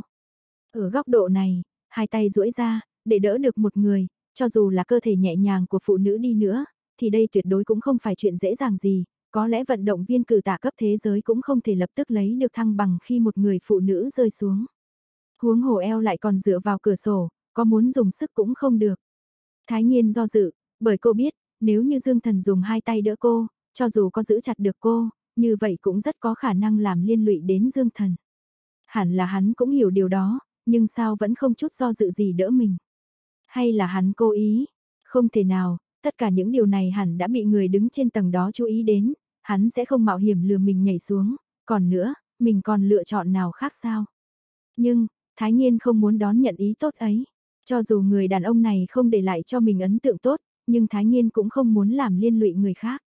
Păng păng, hai tiếng súng vang lên, người đàn ông tóc ngắn đứng ở cửa sổ đã bắt đầu nổ súng, nhưng do tính khúc xạ của thủy tinh, cản trở đường đi của viên đạn, gã không thể nhắm trúng dây thừng của Thái Nhiên, chỉ khiến cho cánh cửa sổ thủy tinh công nghiệp vỡ vụn. Dương Thần thấy Thái Nhiên vẫn không quyết, lớn tiếng chửi, cô mà còn không nhảy thì cô chính là đồ lợn cái. Anh nói cái gì? Thái Nhiên giận đến đỏ mặt, tôi nói cô chính là đồ lợn cái. Không dám cho tôi biết cô nặng như thế nào. Dương Thần hét lên, Thái Nhiên tức đến điên người lên, tên chết tiệt đó dám chửi thẳng vào mặt mình như vậy, nhảy thì nhảy, cùng lắm thì là cùng chết, trước khi mình chết vẫn có thể trừ hại cho dân. Tên tóc ngắn kia lúc định nhắm bắn vào Thái Nhiên, Thái Nhiên liền cười cái chốt ở phần eo ra, cả cơ thể bay thẳng xuống dưới. Trong nháy mắt, Thái Nhiên mới đột nhiên nhận ra một chuyện, quyết định này của cô, không còn nghi ngờ gì nữa chính là đem tính mạng của mình giao cho Dương Thần. Một đôi bà tay to lớn nhẹ nhàng nâng lên đỡ lấy thân thể của Thái Nhiên, không đợi để cô suy nghĩ, liền ôm chặt cô từ cửa sổ chạy thẳng vào trong hành lang. Nhưng, tư thế ôm này của Dương Thần có chút ám muội, Thái Nhiên cảm thấy như có một bàn tay nóng rực như lửa đang ôm lấy phần mông của mình, cái mông mẫn cảm của mình đang bị nắm chặt, làm cô nhịn không nổi phải phát ra tiếng rên rỉ, cho dù biết rằng chẳng đúng lúc tẹo nào. Dương Thần căn bản không suy xét nhiều như vậy, sau khi thả Thái Nhiên xuống, cũng không rảnh mà nhìn khuôn mặt xinh đẹp đang đỏ bừng bừng của Thái Nhiên, lập tức nói, bọn chúng chắc chắn đã phát hiện ra chúng ta, không chừng lập tức sẽ đến nơi này để truy đuổi, tôi ở đây ngăn bọn chúng lại, cô xuống dưới lầu trước đi. Vừa dứt lời, hành lang phía trên vọng đến những tiếng chạy bộ, vài cái bóng đen đang phá cửa xông vào. Thái nhiên căn bản là chưa kịp phản ứng, đã bị Dương Thần đẩy ra, lảo đảo suýt chút nữa thì ngã lăn xuống cầu thang, nhưng Dương Thần cũng khá khéo léo, Thái nhiên quay được một vòng, vừa vặn dựa vào góc tường không bị ngã sắp xuống. Thông minh thì đi gọi người đi, liên lụy đến tôi thì tất cả cùng chết đấy. Dương Thần nói, đồng thời đã chạy lên tầng trên, quát thẳng vào mặt hai tên áo đen xuất hiện đầu tiên, hai tên này đã bị Dương Thần cho hai quyền gục luôn. Đối với tên Dương Thần thô lỗ này, Thái Nhiên đã không còn chút bất mãn nào, nhìn thấy Dương Thần đơn thương độc mã một mình xông lên, Thái Nhiên cảm thấy hốc mắt mình như nóng nóng cay cay. Bản thân vẫn luôn hoài nghi hắn, diễu cợt hắn, thậm chí còn đem người đến bắt hắn, nhưng không ngờ hắn lại làm những chuyện này vì mình, đi ngăn cản đám người hung ác kia, mà đến một câu cũng không buồn hỏi. Chỉ bởi vì mình là bạn của Lâm Nhược Khê, mà lại có thể bỏ mạng ra cứu mình như vậy sao? Những suy nghĩ này chỉ tồn tại trong đầu trong chớp mắt, Thái Nhiên biết những lời Dương Thần nói đều là thật, bản thân mình không trốn được chỉ thành thêm gánh nặng, vì vậy với tốc độ nhanh nhất, gần như đâm thẳng xuống phía dưới. Thái Nhiên chạy vào cửa an toàn đồng thời cũng là tầng tiếp ứng, chỉ nghe thấy ở hành lang vọng lại những tiếng bằng bằng bằng. Hết sức thảm thiết, Thái Nhiên cảm thấy trái tim đột nhiên co rút lại, hướng về phía bảy tám người cảnh sát hét lên, lấy súng ra, lập tức theo tôi lên lầu, những người khác tiếp tục duy trì trật tự ở tòa lớn, phong tỏa lối ra vào. Hiển nhiên, tiếng súng vang lên sẽ khiến cho nhân viên trong tòa nhà này hoang mang, cho nên với cương vị là cục trưởng cục cảnh sát nhiệm vụ hàng đầu của cô là đảm bảo không gây ra thương vong cho người vô tội. Mà lần này đối tượng điều tra đã nổ súng, vì vậy bất luận là có hay không có chứng cứ, đều có thể bắt bọn chúng về quy án. Một đám cảnh sát chạy gấp gáp như cỏ cháy lan ra đồng cỏ, Thái Nghiên dẫn đầu đi lên tầng, trong lòng có một suy nghĩ, hắn có xảy ra chuyện gì không? Lúc đang chạy xuống, Thái Nghiên và một viên cảnh sát được một phen kinh ngạc. Cả hành lang đầy là thi thể, máu tươi nhuộm đỏ cả mặt đất, đám người chết không nhắm mắt đều là bọn áo đen, dường như trước khi chết đã nhìn thấy cái gì đó rất kinh khủng, vẻ mặt cực kỳ biến dạng. Thái Nhiên không nhìn thấy Dương Thần trong đám người này, trong lòng như buông được một tảng đá xuống, lại chỉ huy viên cảnh sát đó tiếp tục lên tầng trên tìm, đẩy cánh cửa an toàn chính ra, nhìn ra ngoài, một lần nữa lại bị chấn động. Trên tấm thảm trải ở hành lang, mười mấy tên vệ sĩ mặc Âu phục đang nằm ngổn ngang chồng chất lên nhau, đám người này trước khi chết tay còn cầm súng, nhưng cũng không khác gì, tất cả đều bị đạn bắn xuyên qua đầu. Máu loãng và chất gì đó trắng trắng nhớt nhớt phun ra khắp nơi. Trong đó có một tên mà Thái Nhiên tuyệt đối không thể nào quên được, đó chính là cái tên định lấy sơ hin bắn đứt dây thừng của cô, giờ phút này cũng nằm yên bất động không còn chút sinh khí nào. Nơi này, vẫn không thấy dương thần. Trong đầu Thái Nhiên lúc này chỉ còn duy nhất một ý nghĩ, vừa lúc nãy bắn nhau là tên đó một mình hạ gục cả nhóm người này. Với lối suy nghĩ của Thái Nhiên, có thế nào đi chăng nữa thì cũng không nghĩ ra được một người như thế nào mới có thể đạt đến trình độ này, như này không khác gì vật lộn trong làn mưa bom bão đạn, đó là đạn đấy. Rốt cục, Thái Nhiên cũng lý giải được, tại sao bà chị bí hiểm của mình lại cảnh báo mình không được chiêu chọc tên đó. Cục trưởng, Tiếp theo phải làm thế nào đây ạ? Một người trợ lý lập tức hỏi Thái Nhiên, đối với cảnh tượng trước mặt họ cũng cảm thấy rất hoang mang. Thái Nhiên hít một hơi thật sâu, bình tâm lại nói, phong tỏa nơi này lại, phái người đi lập tức phong tỏa hiện trường, dự kín chuyện xảy ra ngày hôm nay, đến thời điểm phải công bố với bên ngoài thì nói rằng đám người này tự sát phạt nhau. Nhóm cảnh sát rất khó chịu, nhưng bình thường sức ảnh hưởng của Thái Nghiên rất lớn, lại có thế lực hùng hậu đằng sau nâng đỡ, nên chẳng ai dám hỏi nhiều, bắt đầu đi chấp hành. Thái Nghiên nhìn hành lang ngập tràn thi thể, nhớ tới cảnh tượng vạn phần nguy hiểm lúc nãy, khóe miệng bất giác nở một nụ cười, lẩm bẩm, khốn khiếp, đi cũng không chịu nói tiếng nào, hại tôi phải lo lắng. Cùng lúc đó, Dương Thần đã thản nhiên đi vào thang máy đi xuống tầng 1 của tòa nhà để tắm táp, được một bà chủ dáng người là lướt, mặc bộ sườn xám đỏ rực dẫn vào một căn phòng. Từ lúc trở thành triệu phú, Dương Thần chi tiêu cũng rất tùy hứng, mặc dù chỉ có một mình, nhưng cũng bao toàn bộ phòng hai người, bởi vì phòng đơn thì quá nhỏ, khi ở cùng người khác thì không thoải mái. Vừa rồi lúc chiến đấu, mặc dù Dương Thần chỉ lướt vài đường cơ bản, nhưng dù sao thì bọn chúng cũng chỉ là bọn dâu ria, đến trình độ của đặc trùng binh cũng còn không có, nhưng tóm lại là đã giết mười mấy người, trong lòng cũng có chút buồn bực, tốt nhất vẫn là nên gọi em nào đó đến xoa bóp. Nếu như không phải vì buổi tối còn phải tham gia nghi thức ký kết, thì Dương Thần đã đi tìm Sắc Vi vừa giao lưu động tác, vừa giao lưu cơ thể, cái cô gái có khuynh hướng bạo lực này nhất định sẽ thích nghe kể chuyện giết người của mình. Nhưng vừa bước vào trong phòng, lại gặp ngay phải một người quen. Một người mặc chiếc áo tơ lụa rộng thùng thình và chiếc quần màu đen chất liệu thượng hạng, mang hơi hướng của trang phục cổ, mặt đang mỉm cười như thể nhìn thấy ông cụ hàng xóm vậy. Người đó không phải là ai khác, chính là Chu Quang Niên, cũng là chùm của Đông Hưng, cha của Chu Đông Thành. Dương Tiên Sinh, sao lại có hứng thú như vậy, cũng đến nơi này mát xa chân sao? Chu Quang Niên rất hòa nhã, mặt mày hồng hào nói. Dương Thần vốn không định chào hỏi gã, kỳ thực nhìn thấy gã ở đây cũng có thể xác định được, đám người vừa lúc nãy chắc chắn là có quan hệ với gã, nhưng chuyện này đối với Dương Thần cũng vô thưởng vô phạt, đó là chuyện của cảnh sát, mình đến đây chỉ để mát xa chân. Chu tiên sinh không đi nhặt xác sao? Dương Thần hỏi, Chu Quang Niên mơ hồ hỏi, nhặt xác, nhặt xác gì? Ồ vậy là tôi lắm lời rồi. Dương Thần cười cười, định rời đi. Chu Quang Niên hô ấy một tiếng gọi Dương Thần, sắc mặt thản nhiên nói, Dương tiên sinh, có câu này mong anh nghe cho. Câu gì? Chu Quang Niên ghé sát vào nói, chuyện gì cũng nên để đường lui, nước giếng không phạm nước sông. Câu này của ông không rõ ràng, không mạch lạc. Dương Thần giả bộ buồn rầu nói, có ý là tốt rồi. Chu Quang Niên thản nhiên nói. Dương Thần khẽ cười một tiếng, tôi còn tưởng ông sẽ nói cho cùng dứt dậu. Như vậy cũng không phải là không có khả năng. Sắc mặt của Chu Quang Niên khó coi hơn một chút, vậy tôi sẽ đợi anh nhảy. Dương Thần nói xong, quay đầu bỏ đi. Bên cạnh Chu Quang Niên có một tên sắc mặt giữ tợn hỏi, hội trưởng, tên tiểu tử này rất không biết điều, phá hỏng chuyện kinh doanh của chúng ta, còn đánh chết khách hàng của chúng ta, không ngờ còn dám cư xử với hội trưởng như vậy, hội trưởng sao ngài không để cho tôi bắn cho hắn vài phát. Người bắn được hắn sao? Chu Quang Niên sắc mặt không chút biểu cảm hỏi. Tên đó yên lặng, y biết mình không có năng lực đó. Người thanh niên này không hề đơn giản, một khi đụng đến hắn thì nhất định phải giết. Chu Quang Niên cười nhạt nói, đi, đi xuống dưới, những đứa chết rồi đều là đồ con lợn, không đáng phải bận tâm, chúng ta còn phải đi phối hợp điều tra phá án với cảnh sát. Chu Quang Niên ta, là người làm ăn tuân thủ kỷ cương pháp luật. Lúc Dương Thần mát xa xong đôi chân thối, đi đôi tất vào, mang đôi dép lê bông trở lại chỗ họp ở tầng thượng tòa nhà đế vương, việc đàm phán hợp tác tam phương đã hoàn thành trong bữa tiệc tối. Nhưng đám vệ sĩ đứng ngoài hội trường rõ ràng lại nhiều gấp đôi, rõ ràng là chuyện đấu súng vừa rồi đã truyền khắp mọi người trong tòa nhà, nhưng vì cảnh sát phong tỏa nên mọi người đành phải tiếp tục trao đổi ở trong này. Lâm Nhược Khê thấy Dương Thần sắn ống quần, đi dép lê như một lão nông dân đi vào một nơi trang trọng như vậy, chỉ muốn bóp chết hắn. Lý Mộ Hoa và Tăng Tâm Lâm lại mỉm cười với Dương Thần.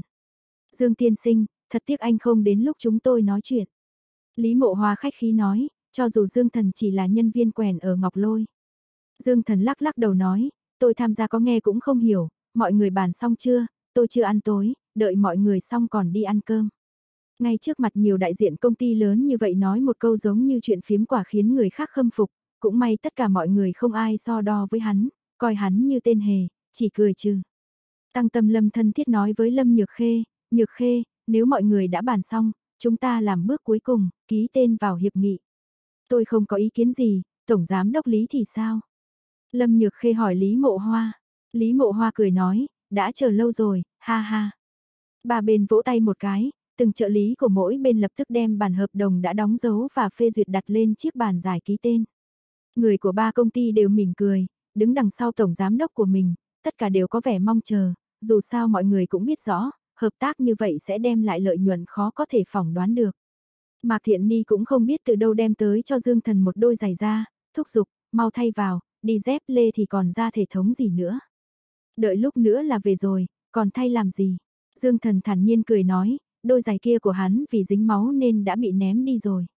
Mạc Thiện Ni lườm hắn một cái nói, vẫn chưa xong đâu, đợi ký xong hiệp nghị còn phải đi đến một chỗ. Dương Thần khó hiểu sờ sờ đầu nói, còn việc gì nữa? Cơm tối ăn rồi, hiệp nghị ký rồi, chưa được đi ngủ sao? Bảo anh thay thì cứ thay, nói nhiều vậy làm gì? Dương Thần đành phải ngoan ngoãn đi đôi giày ra vào, cùng Mạc Thiện Ni đứng sau Lâm Nhược Khê. Từng trang hợp đồng được ký tên, khoảng 5 phút sau mới hoàn thành, tất cả các chi tiết đều được xác nhận, bản hợp đồng giá trị vô cùng lớn lập tức có hiệu lực. Lần này, nhóm lãnh đạo cấp cao của cả ba công ty đều tươi cười bắt tay nhau, ngay cả Dương Thần cũng bị vài người không quen biết chào hỏi, người duy nhất hắn biết là phó chủ tịch béo của Trường Lâm, Lục Đào. Lâm Nhược Khê bắt tay Lý Mộ Hoa, tăng tâm lâm, thản nhiên nói, dựa theo hiệp nghị, trước 12 giờ trưa mai, Ngọc Lôi chúng tôi sẽ chuyển 5 tỷ đến tài khoản chung của ngân hàng Thụy Sĩ. Trường Lâm chúng tôi cũng sẽ góp 5 tỷ vào, đến lúc đó cộng thêm 2 tỷ và kỹ thuật của tập đoàn Mộ Vân của Tổng Giám Đốc Lý, tôi nghĩ không đến nửa năm, dòng sản phẩm có thể tung ra thị trường rồi. Lý Mộ Hoa tự tin nói, có sự ủng hộ mạnh mẽ của hai quý công ty, tất nhiên sản phẩm của chúng ta sẽ sớm được tung ra thị trường. Đến lúc đó, hứa ra tuy có phòng thí nghiệm Gillian, nhưng không đủ tài chính, cũng không thể chống lại được 12 tỷ của chúng ta, ai xâm nhập thị trường trước, người đó chiếm quyền chủ động, hai vị cứ yên tâm ngồi hốt bạc. Sau khi nói mấy lời khách sáo, mọi người của ba công ty mới bắt đầu tạm biệt nhau, chuẩn bị cho việc quan trọng ngày mai bắt đầu các hạng mục. Ngọc Lôi là chủ nhà nên là công ty sau cùng rời khỏi. Dương Thần được Mạc Thiện Ni dẫn đến bãi để xe của tòa nhà đế vương gặp Lâm Nhược Khê đến chậm hơn. Lâm Nhược Khê có hơi mệt mỏi nhưng vẫn xinh đẹp đi tới, dưới ánh đèn, nước da trắng dường như trong suốt, thấy Dương Thần và Mạc Thiện Ni đứng chờ cùng nhau, cô thản nhiên nói, lên xe đi, Thiện Ni, cậu lái xe. Nói xong, Lâm Nhược Khê tự mình ngồi vào ghế sau xe. Vì vậy, Dương Thần nhất định phải lựa chọn, hoặc ngồi ở ghế lái phụ cùng Mạc Thiện Ni, hoặc ngồi sau cùng với Lâm Nhược Khê. Cô bé này bắt mình lựa chọn đây, Dương Thần bất đắc dĩ nhìn Mạc Thiện Ni. Mạc Thiện Ni cười, trừng mắt, tỏ vẻ cô không quan tâm. Dương Thần cũng không chậm trễ, ngồi vào cạnh Lâm Nhược Khê, hỏi, đã muộn thế này, không về nhà còn đi đâu. Lâm Nhược Khê hơi híp mắt, giống như đang nghỉ ngơi, nói, đến một làng du lịch của em. Sao đang yên lành lại đi làng du lịch? Dương Thần càng nghi hoặc, chuyện này thật kỳ lạ. Đi ngủ, Lâm Nhược Khê nói xong, không nói chuyện nữa. Mạc Thiện Ni lái xe không nhanh, tuy buổi tối xe trên đường cao tốc rất ít nhưng cũng đến 10 phút sau mới tới được làng du lịch theo ý Lâm Nhược Khê. Đi vào trong làng du lịch, thư ký Ngô Nguyệt của Lâm Nhược Khê đã tới từ trước, cùng một đám nhân viên phục vụ ra nghênh đón. Tổng giám đốc Lâm, trưởng ban Mạc, phòng đã bố trí xong, bất cứ lúc nào cũng có thể nghỉ ngơi. Ngô Nguyệt sắc mặt lạnh băng, giống như một Lâm Nhược Khê khác. Làm cho Dương Thần bữa tối, cho anh ta một căn phòng. Lâm Nhược Khê nói, Ngô Nguyệt hơi kinh ngạc nhìn Dương Thần, dường như không hiểu vì sao Dương Thần lại đến đây, nhưng vẫn gật đầu nói, vâng. Dương Thần không tin nổi, vẫn biết Ngô Nguyệt luôn giúp Lâm Nhược Khê xử lý công việc, nhưng không phải việc gì cũng do cố đích thân làm. Ngô Nguyệt đã đến làng du lịch này trước, tất nhiên không thể đơn giản chỉ vì đặt phòng.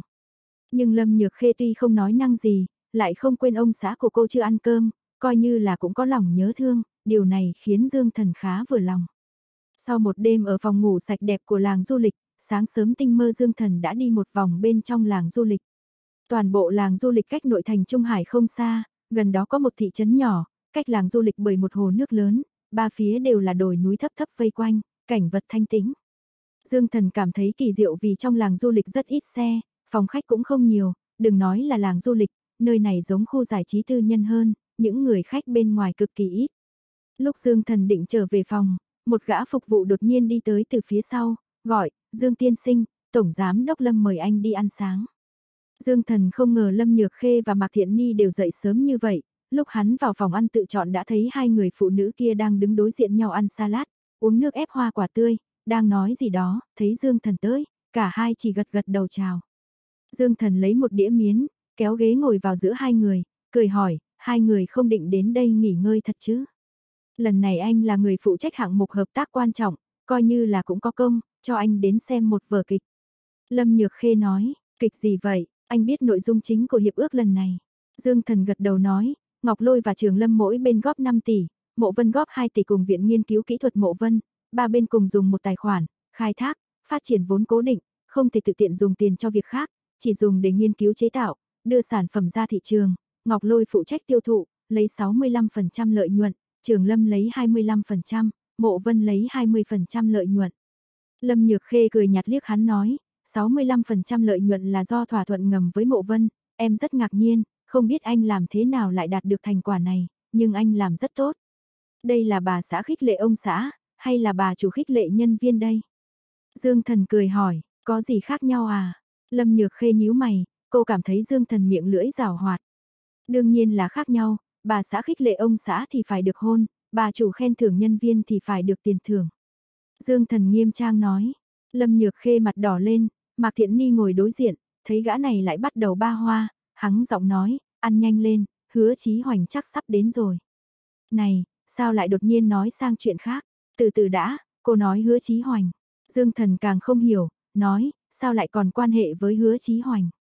Không đợi Dương Thần hỏi tiếp, một phía nhà ăn đã vang lên tiếng cười sang sảng.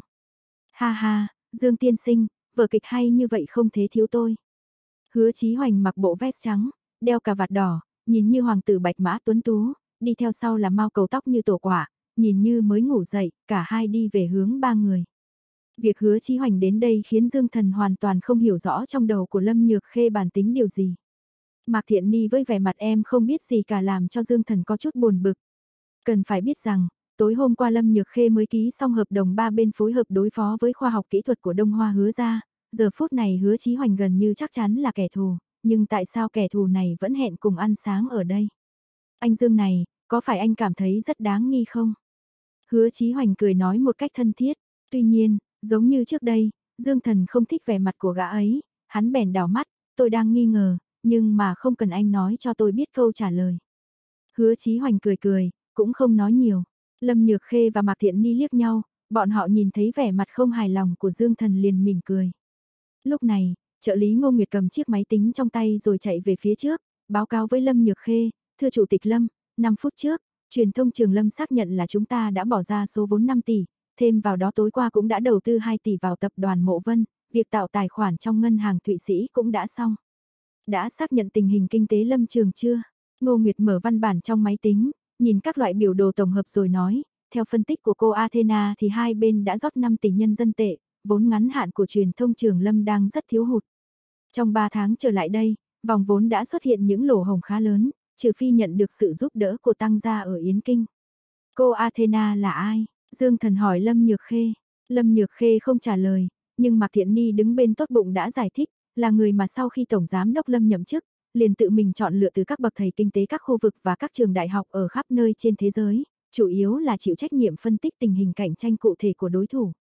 Hứa Chí Hoành vui mừng nói tiếp, nhược khê này, mặc dù tập thể nhỏ này không đủ 10 người nhưng tôi vẫn rất thích, ha ha. Lâm Nhược Khê trầm ngâm một lát rồi nói, Yến Kinh không thể nào giúp đỡ nó, tăng gia không những là nơi sản xuất mà nó còn liên quan là đến tầng lớp chính trị, tăng gia không dám tùy tiện làm bậy đâu, Ngô Nguyệt, cô hãy thực hiện bước tiếp theo của kế hoạch. Vâng, thưa Chủ tịch Lâm, Ngô Nguyệt khom người đi khỏi nhà ăn trước, nhìn đám người với vẻ mặt chẳng hiểu chuyện gì, cuối cùng Dương Thần cũng không chịu nổi mà hỏi, ai có thể giải thích cho tôi đây? Lâm Nhược Khê uống một ngụm nước chanh rồi nói, trước lần hợp tác này thì chúng ta đã mất 3 tháng để bán đi mấy chục nhà máy chính, cùng với một số cổ phần của công ty khác, gom góp 8 tỷ, 5 tỷ bỏ vào tài khoản của ngân hàng Thụy Sĩ, vẫn còn 3 tỷ, tôi quyết định dùng số tiền này để gây áp lực cho việc lên sàn giao dịch của truyền thông Trường Lâm tại Hồng Kông. Gây áp lực lên Trường Lâm, Dương Thần nghi ngờ mình nghe nhầm, không phải là vừa mới hợp tác sao? Anh không nghe lầm đâu. Mạc Thiện Ni giải thích thêm, Ngọc Lôi chúng ta đã khiến cho tất cả tờ báo, tạp chí đồng hành với chúng ta sáng sớm hôm nay bắt đầu truyền đi những tin tức không có lợi cho Trường Lâm. Từ lúc đó, cổ phiếu của truyền thông Trường Lâm bắt đầu dần dần bị dân chứng khoán bán đổ bán tháo, bọn họ bán ra, chúng ta mua vào. Đợi khi mua đủ số lượng cổ phiếu, lại hạ giá xuống, làm cho dân chứng khoán hoang mang, rồi lại bán đi số cổ phiếu mất giá đó. Chúng ta chỉ cần lặp đi lặp lại như vậy thì trong tình cảnh không có đủ số tiền để ứng phó, số cổ phiếu của Trường Lâm sẽ mặc cho chúng ta chi phối. Không đầy một ngày truyền thông Trường Lâm sẽ bị phá sản. Không kể đến kế hoạch này như thế nào, Dương Thần cảm thấy có vẻ quá đơn giản. Trường Lâm là một công ty lớn, trị giá tài sản của họ hơn mấy trăm tỷ, cách này có thể gây khó khăn cho họ được không? Lần này Trường Lâm chiếm giữ vốn của Trung Hải xem như là một quyết định sai lầm. Việc thay đổi này mặc dù có thể sẽ mang lại cho bọn họ lợi ích lâu dài nhưng trong một thời gian ngắn sẽ có một khối lượng công việc cơ bản cần số vốn cực lớn. Tăng tâm lâm âm mưu dùng sự liên minh của ba tập đoàn để củng cố địa vị của gã, đáng tiếc gã nghĩ mọi chuyện quá đơn giản rồi. Mạc Thiện Ni nói, hứa Chí Hoành đồng ý vỗ tay cười nói, thương trường như chiến trường, binh đao gặp nhau thì không còn quan tâm cái gì là tình cảm nữa. Dương Thần nhìn khuôn mặt lạnh lẽo, không chút cảm xúc của Mạc Thiện Ni rồi lại nhìn qua vẻ mặt cười tủm tỉm của hứa Chí Hoành, hắn nói, Tổng Giám Đốc hứa này, ngài chịu trách nhiệm về cái gì vậy? Hứa Chí Hoành cười lớn nói, chỉ bằng chúng ta đến phòng máy tính đi, đến đó xem xem cuộc chiến của thị trường cổ phiếu, tôi sẽ nói chậm lại để anh Dương nghe. Tăng Tâm Lâm từ sớm đã đến văn phòng, thường ngày cũng không uống cà phê, mà pha một ly trà xanh, thứ gã cần không phải là thể lực dồi dào mà là một tâm lý thoải mái. Bởi vì, Tăng Tâm Lâm cảm thấy cảm xúc của mình không được ổn định. Nửa giờ trước, Bộ Tài chính xác nhận trong tài khoản của ngân hàng Thụy Sĩ đã có 7 tỷ, Tăng Tâm Lâm liền chỉ đạo cấp dưới bỏ ra toàn bộ số vốn 5 tỷ vừa xoay sở được. Cứ như vậy, việc hợp tác lần này gần như là chắc chắn, không ai có thể nuốt lời. Cuối cùng thì số vốn 12 tỷ dùng để hợp tác, phát triển vật liệu mới cũng không phải là chuyện đùa nữa. Nhưng nguyên nhân chính là mọi thứ có vẻ quá thuận lợi, Tăng Tâm Lâm bắt đầu cảm thấy lo lắng. Gã không phải kẻ ngốc, gã rõ ràng biết bản thân mình đang làm gì, gã lại nghĩ có thể là do đầu tư một lần với số tiền lớn như vậy khiến gã chưa thể thích ứng. Ngồi lại chiếc ghế chủ tịch, Tăng Tâm Lâm bắt đầu xem qua một loạt các văn bản trong máy tính, tràn đầy tự tin về tương lai. Dòng họ đã giao sản nghiệp to lớn của Trường Lâm cho mình quản lý, mình dứt khoát lựa chọn đến Trung Hải phát triển, mặc dù phải dùng rất nhiều nhân tài mới có thể đứng vững nhưng triển vọng trong tương lai là không dễ bỏ qua. Trường Lâm không giống như các công ty nổi tiếng khác, cho dù quốc tế Ngọc Lôi là công ty hùng mạnh nhất Trung Hải thì nó cũng không có mạng lưới chính trị ra giúp đỡ giống như Trường Lâm, đây là ưu thế lớn nhất. Tăng Tâm Lâm tin rằng chỉ cần hoàn thành việc hợp tác lần này thì sau khi sinh ra lợi nhuận, sự phát triển về sau của truyền thông Trường Lâm chắc chắn sẽ vượt qua quốc tế Ngọc Lôi. Mặc dù Lâm Nhược Khê là người quản lý xuất sắc nhưng trong con mắt Tăng Tâm Lâm thì cô ấy càng đẹp hơn, người phụ nữ ấy cuối cùng nên bị gã chi phối. Trước kia khi còn học đại học, Tăng Tâm Lâm suýt chút nữa có được Lâm Nhược Khê, tuy hiện giờ Lâm Nhược Khê đang sống cùng người khác nhưng gã tin rằng bằng thủ đoạn của mình, nhất định có thể giành lại được. Huống hồ gã đã phát hiện ra được nhược điểm của người đàn ông kia. Cho nên Tăng Tâm Lâm không vội vàng gì, bây giờ gã cần tuân thủ mỗi bước đi vững chắc của mình, gã là bạn học của Lâm Nhược Khê, nhưng về sau trên thương trường gã lại là đàn anh của Lâm Nhược Khê.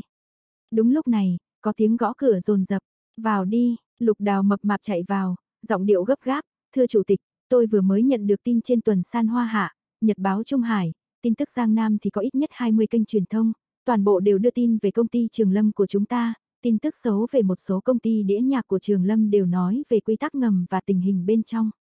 Tăng Tâm Lâm kinh ngạc, nhưng không sao động, gã gõ mặt bàn và hỏi, điều tra rõ nguyên nhân chưa? Những nhà truyền thông đó đột nhiên chặn các mối quan hệ với chúng ta nhưng chúng ta có thể nhờ phóng viên dẹp những tin tức này qua một bên và cuối cùng bọn họ không có đủ chứng cứ, nhưng... Nhưng mà, nhưng nhị cái gì hả? Trong tháng này, cổ phiếu của chúng ta rất xuống điểm thấp nhất, lại đang bị các công ty không quen biết điên cuồng thu mua, còn có một số cá nhân nữa cũng mua cổ phiếu với số lượng lớn. Tôi cho rằng, tình hình này thật không bình thường chút nào. Lục Đào nói một cách sợ sệt, không bình thường, đương nhiên là không bình thường rồi. Tăng tâm lâm nổi ra gà, gã dần dần hiểu được vấn đề gì bèn giống lên, lập tức đi mượn tiền của các bên, đem toàn bộ số tiền có thể gom được về đây, ngay tức khắc. Vâng, lục đào sợ đến mức suýt tè ra quần, liền chạy khỏi văn phòng, bị tăng tâm lâm hù đến mức phải chạy mất dép. Tăng tâm lâm ngồi không yên bèn đứng dậy thong thả bước đi. Gã biết đây là cuộc chiến về vốn được báo trước, sự cạnh tranh này có ba hệ quả, không phải bạn chết thì tôi chết hoặc cả hai đều chết. Muốn bắt đầu hình thức tấn công này thì nhất định phải tính toán đối thủ sinh tử của mình. Là ai? Trường Lâm chiếm Trung Hải, không còn nghi ngờ gì nữa, nó còn đánh vào những sản nghiệp có liên quan khác của công ty, muốn đối phó với Trường Lâm ở đâu cũng có, nhưng có thể mang lên bàn cân chỉ có Ngọc Lôi mà thôi. Là Lâm Nhược Khê, người phụ nữ lạnh lùng, giống như tiên nữ. Từng học trung trường đại học cùng mình, Tăng Tâm Lâm không dám tin, người phụ nữ dường như không bon chen với đời này lại có thể đâm mình một dao. Sau một hồi suy nghĩ lung tung, Tăng Tâm Lâm muốn gọi một cuộc điện thoại hỏi Lâm Nhược Khê, cô ta rốt cuộc có biết hay không, tất cả chuyện này có phải cô ta chủ mưu, nhưng gã nhấc máy lên rồi lại đặt xuống. Gã biết, chỉ cần gã hỏi như thế, bất luận đáp án như thế nào thì cả đời này gã sẽ không thể nào có được người phụ nữ đó nữa.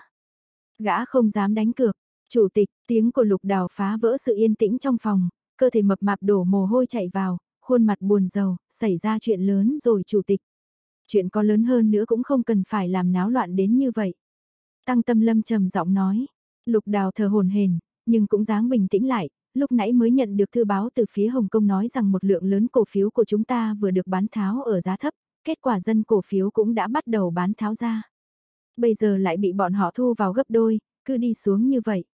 Ánh mắt tăng tâm lâm tàn nhẫn như dao, cầm lấy chiếc điện thoại trên bàn, trực tiếp nhận cuộc gọi của ông Lưu Mộc Sinh trưởng phòng tài chính. Lưu Mộc Sinh đi theo trường lâm đã được nửa đời người, cũng là doanh nhân nổi tiếng trên thế giới, là người luôn giữ số cổ phiếu nhiều nhất của truyền thông trường lâm.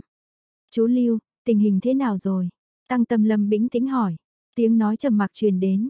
Tâm Lâm à, lỗ hổng về vốn quá lớn, chú đã làm cho người ta bắt đầu thu mua cổ phiếu được bán ra nhưng mà tổng số vốn vẫn không đủ, tóm lại là không xong rồi, cứ tiếp tục thế này chúng ta sẽ phá sản. Phá sản, tin tức này trực tiếp đến tai Tăng Tâm Lâm, khiến gã nắm chặt bàn tay lại, hận không thể trực tiếp đập nát chiếc điện thoại đó. Được rồi, con sẽ cố gắng xoay sở, kiếm tiền nhanh nhất có thể. Dập điện thoại, Tăng Tâm Lâm lập tức dặn dò Lục Đào, người lập tức gom tiền từ các công ty con về tổng công ty, thiệt hại từ vụ việc này sẽ nói sau. Vâng chủ tịch, Lục Đào biết rõ không nên liều, không dám kéo dài cuộc nói chuyện và chạy ra ngoài ngay. Tăng Tâm Lâm hít thật sâu rồi cầm điện thoại lên gọi. Ái chà, chú Tăng, hiếm khi chú gọi điện thoại cho anh, khiến người anh này nhớ chú muốn chết luôn. Đầu dây bên kia là giọng đàn ông đang cười lớn. Nghe được giọng nói thân thiết đó, Tăng Tâm Lâm yên tâm phần nào, Cục trưởng Vương, giờ em đang gặp phiền phức, sáng sớm hôm nay, rất nhiều công ty truyền thông đã đưa ra những thông tin liên quan đến tiêu cực của truyền thông Trường Lâm. Tổng cục thông tin vẫn nằm dưới quyền anh, tin tức được truyền đi không có cách để khống chế nhưng tốt xấu thế nào cũng mong anh giúp đỡ. Cái gì, mấy tờ báo này chắc chỉ ăn cơm, quá nhàn rỗi nên làm hỏng chuyện rồi. Yên tâm đi anh sẽ xem xét, vậy thì cảm ơn anh nhiều lắm. Tăng tâm lâm bỏ điện thoại xuống, thở phào. Đúng rồi, mình còn có quen biết, còn có địa vị chính trị của tăng gia. Nhưng như vậy tất nhiên là chưa đủ, chủ yếu là lỗ hổng về vốn. Tăng tâm lâm lại cầm lấy điện thoại, gọi đi, đầu dây bên kia là giọng nói của một phụ nữ. Cậu Tăng làm sao có thời gian mà gọi điện cho tôi vậy? Giọng nói của người phụ nữ ở đầu đây bên kia có chút quyến rũ. Tăng tâm lâm chửi thầm à hồ ly kia nhưng ngoài miệng lại khen, giám đốc trương là một người xinh đẹp như vậy, làm gì có thời gian rảnh để ý tới kẻ hèn mọn như tôi. À ta cười khanh khách nói, cậu Tăng thật dẻo miệng mà, rốt cuộc có chuyện gì mà tìm đến tôi đây. Là như thế này, trường lâm của chúng tôi đột nhiên có chút khó khăn, hy vọng giám đốc trương cho chúng tôi mượn chút tiền. Tăng tâm lâm sốt ruột nên nói thẳng. Giám đốc trương trầm mặc nói, tăng thiếu gia, không phải tôi keo kiệt nhưng lần trước ngân hàng bị cướp, cậu cũng biết đó. Bây giờ ngân hàng chúng tôi lộn xộn hơn trước, có nhiều chuyện không thuận lợi. Nếu không có thế chấp thì mượn được nhiều nhất là 150 triệu, cậu xem có được không? Vậy thì tôi sẽ thế chấp, công ty con và tài sản của tôi đều được. Nếu thế chấp thì tiền cũng không thể ngay lập tức mà chuyển vào tài khoản được. Giám đốc Trương nói, sao chứ, chị đùa tôi à, tăng tâm lâm nghiến răng thở dài, vậy được, 150 triệu vậy. Có thêm xu nào hay xu ấy, tăng tâm lâm liên tục gọi điện thoại đến mười mấy tổ chức ngân hàng, xoay sở được hơn 1 tỷ. Nhưng vừa vào Inte xem động tĩnh trên thị trường cổ phiếu thì gã phát hiện vẫn không đủ vốn, muốn ngăn cản cục diện thê thảm này thì phải có tiền. Suy nghĩ thật lâu, Tăng Tâm Lâm mới nhấc máy lên gọi đến số mà nếu không phải cực chẳng đã thì hắn tuyệt đối không dám gọi. Một hồi sau mới có người nghe điện thoại, đầu dây kia truyền đến một giọng nói có vẻ già dặn, Tâm Lâm, ông đã biết chuyện của cháu rồi. Thưa ông nội, việc này là do cháu sơ suất nhưng bây giờ cháu đã mượn đủ số tiền, chỉ cần có thêm một tỷ nữa, cháu tin là có thể chuyển bại thành thắng. Chúng ta làm chủ, chúng ta nhất định có thể làm được mà. Tăng Tâm Lâm khẩn thiết nói. Ông Tăng im lặng một lát rồi hỏi, con vừa mới nói cần bao nhiêu tiền nữa. Tăng Tâm Lâm cảm thấy rất vui, gã biết chủ sở hữu hiện giờ của Tăng gia mặc dù đã chuyển giao cho cha gã nhưng người lèo lái thật sự lại là người ông suốt ngày du rú trong nhà. Chỉ cần ông gật đầu thì tiền vốn hiện có của các sản nghiệp thuộc tăng gia đều không thành vấn đề. Một tỷ, con chỉ cần một tỷ thôi, nếu cửa ải này vượt qua được thì chúng ta nhất định có thể kiếm lại được. Tăng Tâm Lâm nuốt giọng nói, Tâm Lâm à, cháu tự bỏ đi, đừng nói một tỷ mà ngay cả 500 triệu ông cũng không thể đưa ngay cho cháu được. Hơn nữa, theo như ông biết, cho dù đưa cháu 2 tỷ thì cũng không chắc có thể vượt qua khó khăn này. Ông Tăng thở dài nói, mặt Tăng Tâm Lâm tái mét, không cam lòng mà nói, tại sao? Ông à, ông nhất định có thể điều tra vụ việc này là do ai gây ra, là Ngọc Lôi, đúng không ạ? Đúng vậy, theo như tình báo cho biết thì đó là do Lâm Nhược Khê của Ngọc Lôi làm. Ông nội cũng đã hiểu rõ rồi đó, lần này Ngọc Lôi đã đầu tư 5 tỷ, bọn họ có tiền nhưng cũng không thể ngay lập tức mà chi ra 5 tỷ. Tăng Tâm Lâm xác định chính Lâm Nhược Khê đã làm ra trò quỷ quái này, cảm thấy bực bội trong lòng. Ông Tăng hỏi, nếu lại thêm một khoa học kỹ thuật Đông Hoa, một hứa trí hoành của hứa ra nữa thì sao? Tăng Tâm Lâm cảm thấy như xét đánh ngang tai, run rẩy cầm điện thoại. Hứa Chí Hoành, từ trước đến nay thì ba công ty luôn đối phó với Hứa Chí Hoành, gã là liên minh của Lâm Nhược Khê. Cuối cùng mọi chuyện cũng đã được làm sáng tỏ, nhưng cùng lúc đó, Tăng Tâm Lâm cảm thấy vô cùng lo sợ. Cô gái kia, rốt cuộc đã làm ra chuyện kinh khủng như vậy. Tâm Lâm này, cháu vẫn còn trẻ, quá tin vào năng lực của bản thân và cách hấp dẫn người khác. Trên thương trường, nam nữ không khác gì nhau, không có tình cảm sâu đậm, nếu có chỉ là lừa gạt nhau mà thôi, chỉ cần có có chút lợi ích thì một doanh nhân thành công cũng không bỏ qua một cơ hội dù nhỏ nhất. Ông Tăng nói tiếp, lần này cháu đã thua rồi, rất triệt đề, bởi vì Lâm Nhược Khê không sử dụng những cách phi pháp, gây nguy hại cho xã hội nên cô ta thắng rất xuất sắc, nếu là ta, ta cũng phải khâm phục phương pháp và trí tuệ của cô ta. Ông nội, con không cam lòng, con, con đã cực khổ để làm cho Trường Lâm có thể đứng vững ở Trung Hải, hơn nữa vừa mới có được một vụ làm ăn lớn, con. Làm sao có thể lùi bước như vậy được? Tăng Tâm Lâm khó mà kiềm nén cảm xúc của mình. Ông Tăng trầm giọng nói, thua thì cũng đã thua rồi, cơ hội không phải là không có nữa, nếu con muốn chiến thắng kẻ thù thì đừng bao giờ sợ thất bại. Tăng Tâm Lâm nắm chặt điện thoại, một hồi lâu mới thở dài, dạ, con hiểu rồi. Cùng lúc đó, trong khu nghỉ mát tư nhân của Lâm Nhược Khê, không khí trong phòng máy tính bí mật lại không giống nhau. Hơn 10 cái màn hình máy tính to nhỏ khác nhau đang hoạt động với tốc độ cao, 9 người mặc đồ khác nhau, những nhân viên này mỗi người một vẻ, ngồi ở trung tâm, điều khiển tốc độ đôi tay rất nhanh. Trên màn hình lớn, giá cổ phiếu của Trường Lâm lúc cao lúc thấp nhưng là một đường cong đi xuống, không khí có vẻ nặng nề. Lâm Nhược Khê đứng trên bậc cao sau lưng, đang khoanh hai tay trước ngực, vẻ mặt lạnh lùng nhìn màn hình lớn, không nói tiếng nào. Phía sau Lâm Nhược Khê là Dương Thần và Mạc Thiện Ni, Hứa Chí Hoành đang ngồi bên một cái bàn tròn, họ cùng xem cả tòa tháp truyền thông Trường Lâm sụp đổ. Ngô Nguyệt đi lên, đẩy gọng kính lên, báo cáo với Lâm Nhược Khê, thưa chủ tịch Lâm, Trường Lâm đã không còn khả năng mua lại bất cứ cổ phiếu nào của họ, toàn bộ dân chứng khoán cũng sẽ không mua cổ phiếu nữa, chỉ biết tiếp tục bán tháo, Trường Lâm sẽ phá sản thôi. Tôi biết rồi, cứ để Athena tiếp tục chú ý tình hình phía công ty đó, sau khi kết thúc, cô dẫn bọn họ cùng đến tham gia lễ mừng thành công, Lâm Nhược Khê nhẹ nhàng nói. Vừa mới đánh được một đối thủ ngang tài ngang sức nhưng người phụ nữ này vẫn không thấy vui. Ở dưới bậc thang, cô Athena trẻ tuổi quay đầu lại. Đây là cô gái châu Á tóc nâu quan, miệng đang ngậm một cây kẹo, cô vui vẻ nói tiếng hoa hạ, sếp, công việc lần này bận lâu như thế, giờ cho chúng tôi nghỉ phép đi. Lâm Nhược Khế ít khi vừa cười vừa nói, được thôi, cho mọi người nghỉ ngơi một tháng, mỗi người được thưởng 200 ngàn đi du lịch. Tuyệt quá, vài người đàn ông nước ngoài vui mừng vỗ tay. Dương Thần nhìn cảnh tượng này từ phía sau mà nhăn mày nhíu mặt, hắn bèn hỏi Mạc Thiện Ni, em cứ vậy mà phát lương cho họ sao? Chỉ có 200 nghìn thôi mà, cô Athena nói, tiền lương mỗi năm của một người cộng thêm tiền thưởng, ít nhất cũng được 3 triệu, làm nhân tài rất có lợi mà. Mạc Thiện Ni liếc hắn một cái. Dương Thần bất mãn lẩm bẩm, làm sao trong một năm mà anh chỉ có một triệu mấy vậy, thật không công bằng, anh cũng là người có tài mà. Hứa Chí Hoành ở một bên cười nói, thưa ông Dương, bàn bạc tiền lương với vợ ông cũng không phải là chuyện vui vẻ gì. Quả là ông đang ghen tị. Dương Thần nói xong cũng không để ý tới gã mà nói với Lâm Nhược Khê, bà xã à, đòi tiền cũng không hợp lý lắm, chuyện nhỏ này về nhà rồi tính, em hãy nói cho anh biết rốt cuộc là như thế nào đây. Dương Thần nhìn lại hiện tại, chỉ phát hiện truyền thông trường Lâm sắp sụp đổ, nhưng hắn là một trong những người phụ trách việc hợp tác của ba công ty, cũng không biết tại sao lại xảy ra chuyện như thế này. Lâm Nhược Khê không trực tiếp trả lời Dương Thần mà lại nhìn chiếc đồng hồ trên bàn tay trắng muốt của cô, nói, buổi lễ mừng công sắp bắt đầu rồi, mặc dù đa số đều là nhân viên trong công ty nhưng vẫn không được chậm trễ, chúng ta đi thôi. Không giải thích một chút à? Dương Thần buồn bực nói, tôi sẽ vừa đi vừa giải thích. Bốn người rời khỏi khu nghỉ mát, hứa Chí Hoành ngồi xe của Mao Cầu đi trước, phía sau không khác gì hồi tối. Mạc Thiện Ni lái xe, Dương Thần và Lâm Nhược Khê ngồi đằng sau. Sau khi Lâm Nhược Khê nói cho Dương Thần biết đầu đuôi câu chuyện, Dương Thần mới hiểu được một chút. Việc phát triển của truyền thông Trường Lâm là yếu tố bất lợi cho Ngọc Lôi, hơn nữa do tình hình bên trong tăng ra, nếu để Trường Lâm tiếp tục phát triển thì không khác gì nuôi ong tay áo. Vì thế, lấy tư cách là bạn học, Tăng Tâm Lâm đến thăm hỏi Lâm Nhược Khê. Khi nhắc đến việc hợp tác giữa Ngọc Lôi và Mộ Vân, Lâm Nhược Khê nghĩ ngay tới việc nhân cơ hội này khiến cho Trường Lâm rót vốn vào Trung Hải. Từ đó, một khi có kế hoạch bước đầu thì Lâm Nhược Khê đều thông qua hình thức gom góp hoặc cho vay, dự trữ số vốn vượt xa yêu cầu trong hợp đồng. Dùng thị trường chứng khoán đánh bại Trường Lâm là ý nghĩ ngay từ đầu đã có, nhưng tất cả phải được giữ bí mật một cách cẩn thận. Vì vậy không những Dương Thần mà ngay cả Mạc Thiện Ni cũng chỉ có thể biết trước hai ngày.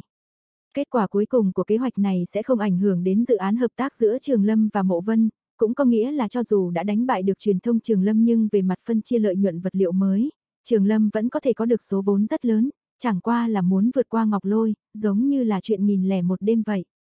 Đặc biệt Dương Thần khiến lợi nhuận của quốc tế Ngọc Lôi tăng lên 65%, điều này quả thực giống như hổ thêm cánh, khiến Lâm Nhược Khê không hề do dự mà tiến hành kế hoạch đánh gục Trường Lâm. Còn về hứa Chí Hoành, một khi bắt đầu thì luôn giữ nguyên tắc, một mình Lâm Nhược Khê và Dương Thần cùng ký hợp đồng, cùng bỏ vốn cho truyền thông Trường Lâm.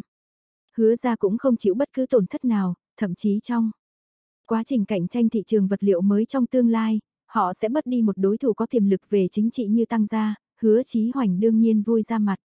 Đương nhiên Ngọc Lôi cũng phải trả một cái giá nhất định cho điều kiện của mình. Đó chính là việc cho phép Đông Hoa tung sản phẩm mới ra thị trường và sử dụng mạng lưới tiêu thụ lớn mạnh của Ngọc Lôi. Đây là yếu tố về thị trường mà hứa ra còn thiếu, đối với hứa Chí Hoành mà nói thì thật là hữu ích. Dương Thần với sắc mặt kỳ lạ nhìn Lâm Nhược Khê, em trực tiếp bán đứng bạn học của mình như thế à? Tôi chỉ làm việc tôi nên làm mà thôi. Lâm Nhược Khê trao mày, cô không thích chữ bán đó. Tôi tưởng là em rất coi trọng hắn ta chứ, thì ra hắn ta bị em lừa đến nông nỗi như vậy. Dương Thần thấy vui vui. Lâm Nhược Khê nhìn ra ngoài cửa sổ và nói, hắn ta là bạn học của tôi, nhưng không có liên quan đến chuyện này. Nhưng em không nhất thiết phải lừa hắn ta như vậy. Dương Thần cảm thấy bất mãn. Mạc Thiện Ni lái xe đằng trước nhìn thấy vẻ mặt khó coi của Dương Thần qua tấm kính chiếu hậu liền cười khanh khách, không giấu được anh thì làm sao có thể giấu người khác chứ. Lâm Nhược Khê gật đầu đồng ý. Dương Thần đập đập miệng, phát hiện mình phải xem kỹ lại người vợ của hắn, đừng nhìn dáng vẻ lãnh đạm, làm như không có phản ứng gì của cô ấy mà vội vàng phán xét. Chính vì bộ dạng này mà không ai có thể hiểu rõ trong lòng cô ấy rốt cuộc đang nghĩ gì. Cách gạt người này đã đạt đến trình độ xuất sắc rồi, bởi vì cô ấy không cần che giấu lời nói dối nên cô ấy lừa người hay không cũng đều giống nhau thôi. Dương Thần xem như cũng hiểu được những điều hôm qua Mạc Thiện Ni đã nói, đã biết ưu thế lớn nhất của Lâm Nhược Khê là gì rồi. Nhưng Dương Thần suy nghĩ cẩn thận, phát hiện có chỗ không khớp bèn nhíu mày hỏi, nếu trước đây em đã từng hợp tác với hứa Chí Hoành thì tại sao khi ở Hồng Kông gã còn sai sát thủ đến giết chúng tôi? Lâm Nhược Khê quay đầu lại, hé miệng xin lỗi, tôi thật xin lỗi về chuyện này, hứa Chí Hoành chỉ nhắc đến những cản trở nhất định, khiến Tăng Tâm Lâm càng thêm tin tưởng quyết tâm liên minh của chúng tôi, tôi không biết gã thật sự sẽ ra tay giết người. Mạc Thiện Ni đang lái xe, sợ Dương Thần giận dữ liền khuyên hắn, Dương Thần à, Nhược Khê là người hiểu chuyện. Hứa Chí Hoành muốn nhân cơ hội này để giết anh, bởi vì đối với hắn ta mà nói thì cho dù ai chết đi chăng nữa thì đều có lợi cả. Dương Thần buồn bực, Mạc Thiện Ni người đàn bà ngốc nghếch này đã suýt chết mà vẫn còn nói tốt cho Lâm Nhược Khê, hắn khẽ cười, anh không sao cả, mạng của anh khá lớn đấy. Nhưng nếu sát thủ mà hứa Chí Hoành sai tới chính là muốn nhắm vào em, em còn có thể ở đây mà lái xe không? Mạc Thiện Ni nghẹn lời, trong tình cảnh đó mà mình lại có thể may mắn đến như vậy. Lâm Nhược Khê im lặng cúi đầu, đây là một dự định sai lầm của cô, chỉ xem xét đến tình hình chung mà không nghĩ ngợi đầy đủ về sự an toàn của Dương Thần và Mạc Thiện Ni. Lần sau nếu muốn đánh bại đối thủ của em thì em đừng quên sự an toàn của con người, người còn quan trọng hơn sự nghiệp, huống hồ lại là người quan tâm giúp đỡ em. Dương Thần cảm thấy không hài lòng bèn nói ra hết, Thiện Ni không trách em, là do cô ấy tốt bụng. Nếu sau này em còn muốn tham gia loại trò chơi rủi ro như thế này nữa thì tốt nhất là nên suy nghĩ kỹ, hứa Chí Hoành là một người ngu ngốc để bị em dễ dàng lợi dụng sao. Nghe được những lời nói về mình từ miệng Dương Thần, Mạc Thiện Ni cảm thấy vô cùng ngọt ngào nhưng từ khi nhìn thấy dáng vẻ ủ rũ của Lâm Nhược Khê, cô cũng thấy khó chịu, được rồi Dương Thần, Nhược Khê không phải là thần tiên, đâu có thể tính toán hết được mọi chuyện. Dương Thần bĩu môi, lắc đầu không nói thêm nữa. Lâm Nhược Khê ngẩng đầu, ánh mắt trong suốt nhìn Dương Thần, yên tâm đi, hứa Chí Hoành sẽ phải trả giá. Không phải chứ, em vừa mới hạ gục được Trường Lâm liền đi tính sổ với hứa Chí Hoành à. Dương Thần suýt chút nữa là té khỏi ghế, thấy cô ấy thật hung tợn. Lâm Nhược Khê chừng mắt nhìn, cứ đợi rồi anh sẽ biết thôi. Trong lúc nói chuyện, xe đã dừng lại ở bên ngoài tòa nhà màu trắng theo phong cách baroque, xung quanh là cây cối rậm rạp, khá nhiều vệ sĩ mặc quần áo chỉnh tề đang đứng ở đó. Ba người xuống xe, hứa Chí Hoành đã đứng chờ ở tấm thảm trước cổng. Đây là căn hộ của tôi, vì thế tôi thấy nơi đây là thích hợp nhất, mời ba người vào. Hứa Chí Hoành làm động tác mời mọc, khi bước vào đại sảnh thì bên trong đã có khá nhiều người. Họ đang nâng những ly rượu cốc, tai, trò chuyện vui vẻ, gần như tất cả nhân viên của quốc tế Ngọc Lôi và khoa học kỹ thuật Đông Hoa đều có mặt ở đây. Trên mặt mỗi người đều hiện lên niềm vui, bất kể là ký được hợp đồng với lợi nhuận cao hay là đánh bại được truyền thông trường Lâm ở bên ngoài thì đều đáng để chúc mừng. Nhìn thấy Lâm Nhược Khê và Hứa Chí Hoành bước vào cửa, tất cả mọi người không hẹn mà gặp đều vỗ tay nhiệt liệt, bọn họ đương nhiên biết tình hình thị trường chứng khoán bên Hồng Kông, sau bài báo cáo về tình hình mua bán trong ngày, trường Lâm tất nhiên đã phá sản rồi. Lâm Nhược Khê, Mạc Thiện Ni ngồi nói chuyện với vài người của Đông Hoa, Dương Thần cũng không có gì để làm. Cầm ly rượu đỏ trong tay, Dương Thần nhìn thấy trong một góc có người đang vẫy tay chào hắn, nhìn kỹ lại chính là Trương Thái, nhưng bên cạnh cô ta lại là Lưu Minh Ngọc và Triệu Hồng Yến. Sau khi nảy sinh mối quan hệ với Lưu Minh Ngọc thì Lưu Minh Ngọc vẫn không có thay đổi gì đặc biệt, ánh mắt nhìn Dương Thần vẫn dịu dàng như trước kia, người con gái trưởng thành này đã biết cách kiểm soát tình cảm của mình rồi. Chúc mừng anh nha, cũng coi như là người có công rồi. Triệu Hồng Yến cộng ly với Dương Thần. Dương Thần cười nói, không cần diễu cợt tôi đâu, tôi đã biết được ngọn nguồn câu chuyện. Nhiều nhất cũng chỉ có thể gọi là công thần hảo danh thôi. Lưu Minh Ngọc nhấp một hớp rượu màu hổ phách rồi nói, lần này cách tổ chức của chủ tịch rất tuyệt vời, vừa mới ký xong hợp đồng khiến mọi người ngập tràn cảm xúc, cuối cùng lại lật đổ truyền thông Trường Lâm. Trương Thái và Triệu Hồng Yến đều gật đầu đồng ý, họ lại càng thêm tôn kính Lâm Nhược Khê. Ba người phụ nữ ngồi nói chuyện với nhau, Lưu Minh Ngọc bỗng nhiên nhíu mày, chỉ ra cửa, mọi người xem kìa. Đó chẳng phải là chủ tịch tăng của truyền thông trường Lâm sao? Dương Thần quay đầu nhìn lại, đúng là tăng tâm Lâm đang đi một mình, ngẩng đầu ưỡn ngực, cười mỉm và bước vào đại sảnh. Hội trường lập tức im lặng, mọi ánh mắt đều hướng về những nhân vật quan trọng kia. Dương Thần im lặng bước đến cửa, hắn uống chút rượu và muốn biết tăng tâm Lâm tới đây làm gì, nhưng nhìn dáng vẻ của gã, xem ra tâm trạng cũng rất tốt. Chủ tịch Lâm, hứa tổng, tăng tâm Lâm tôi không mời mà đến, không quấy dày mọi người chứ.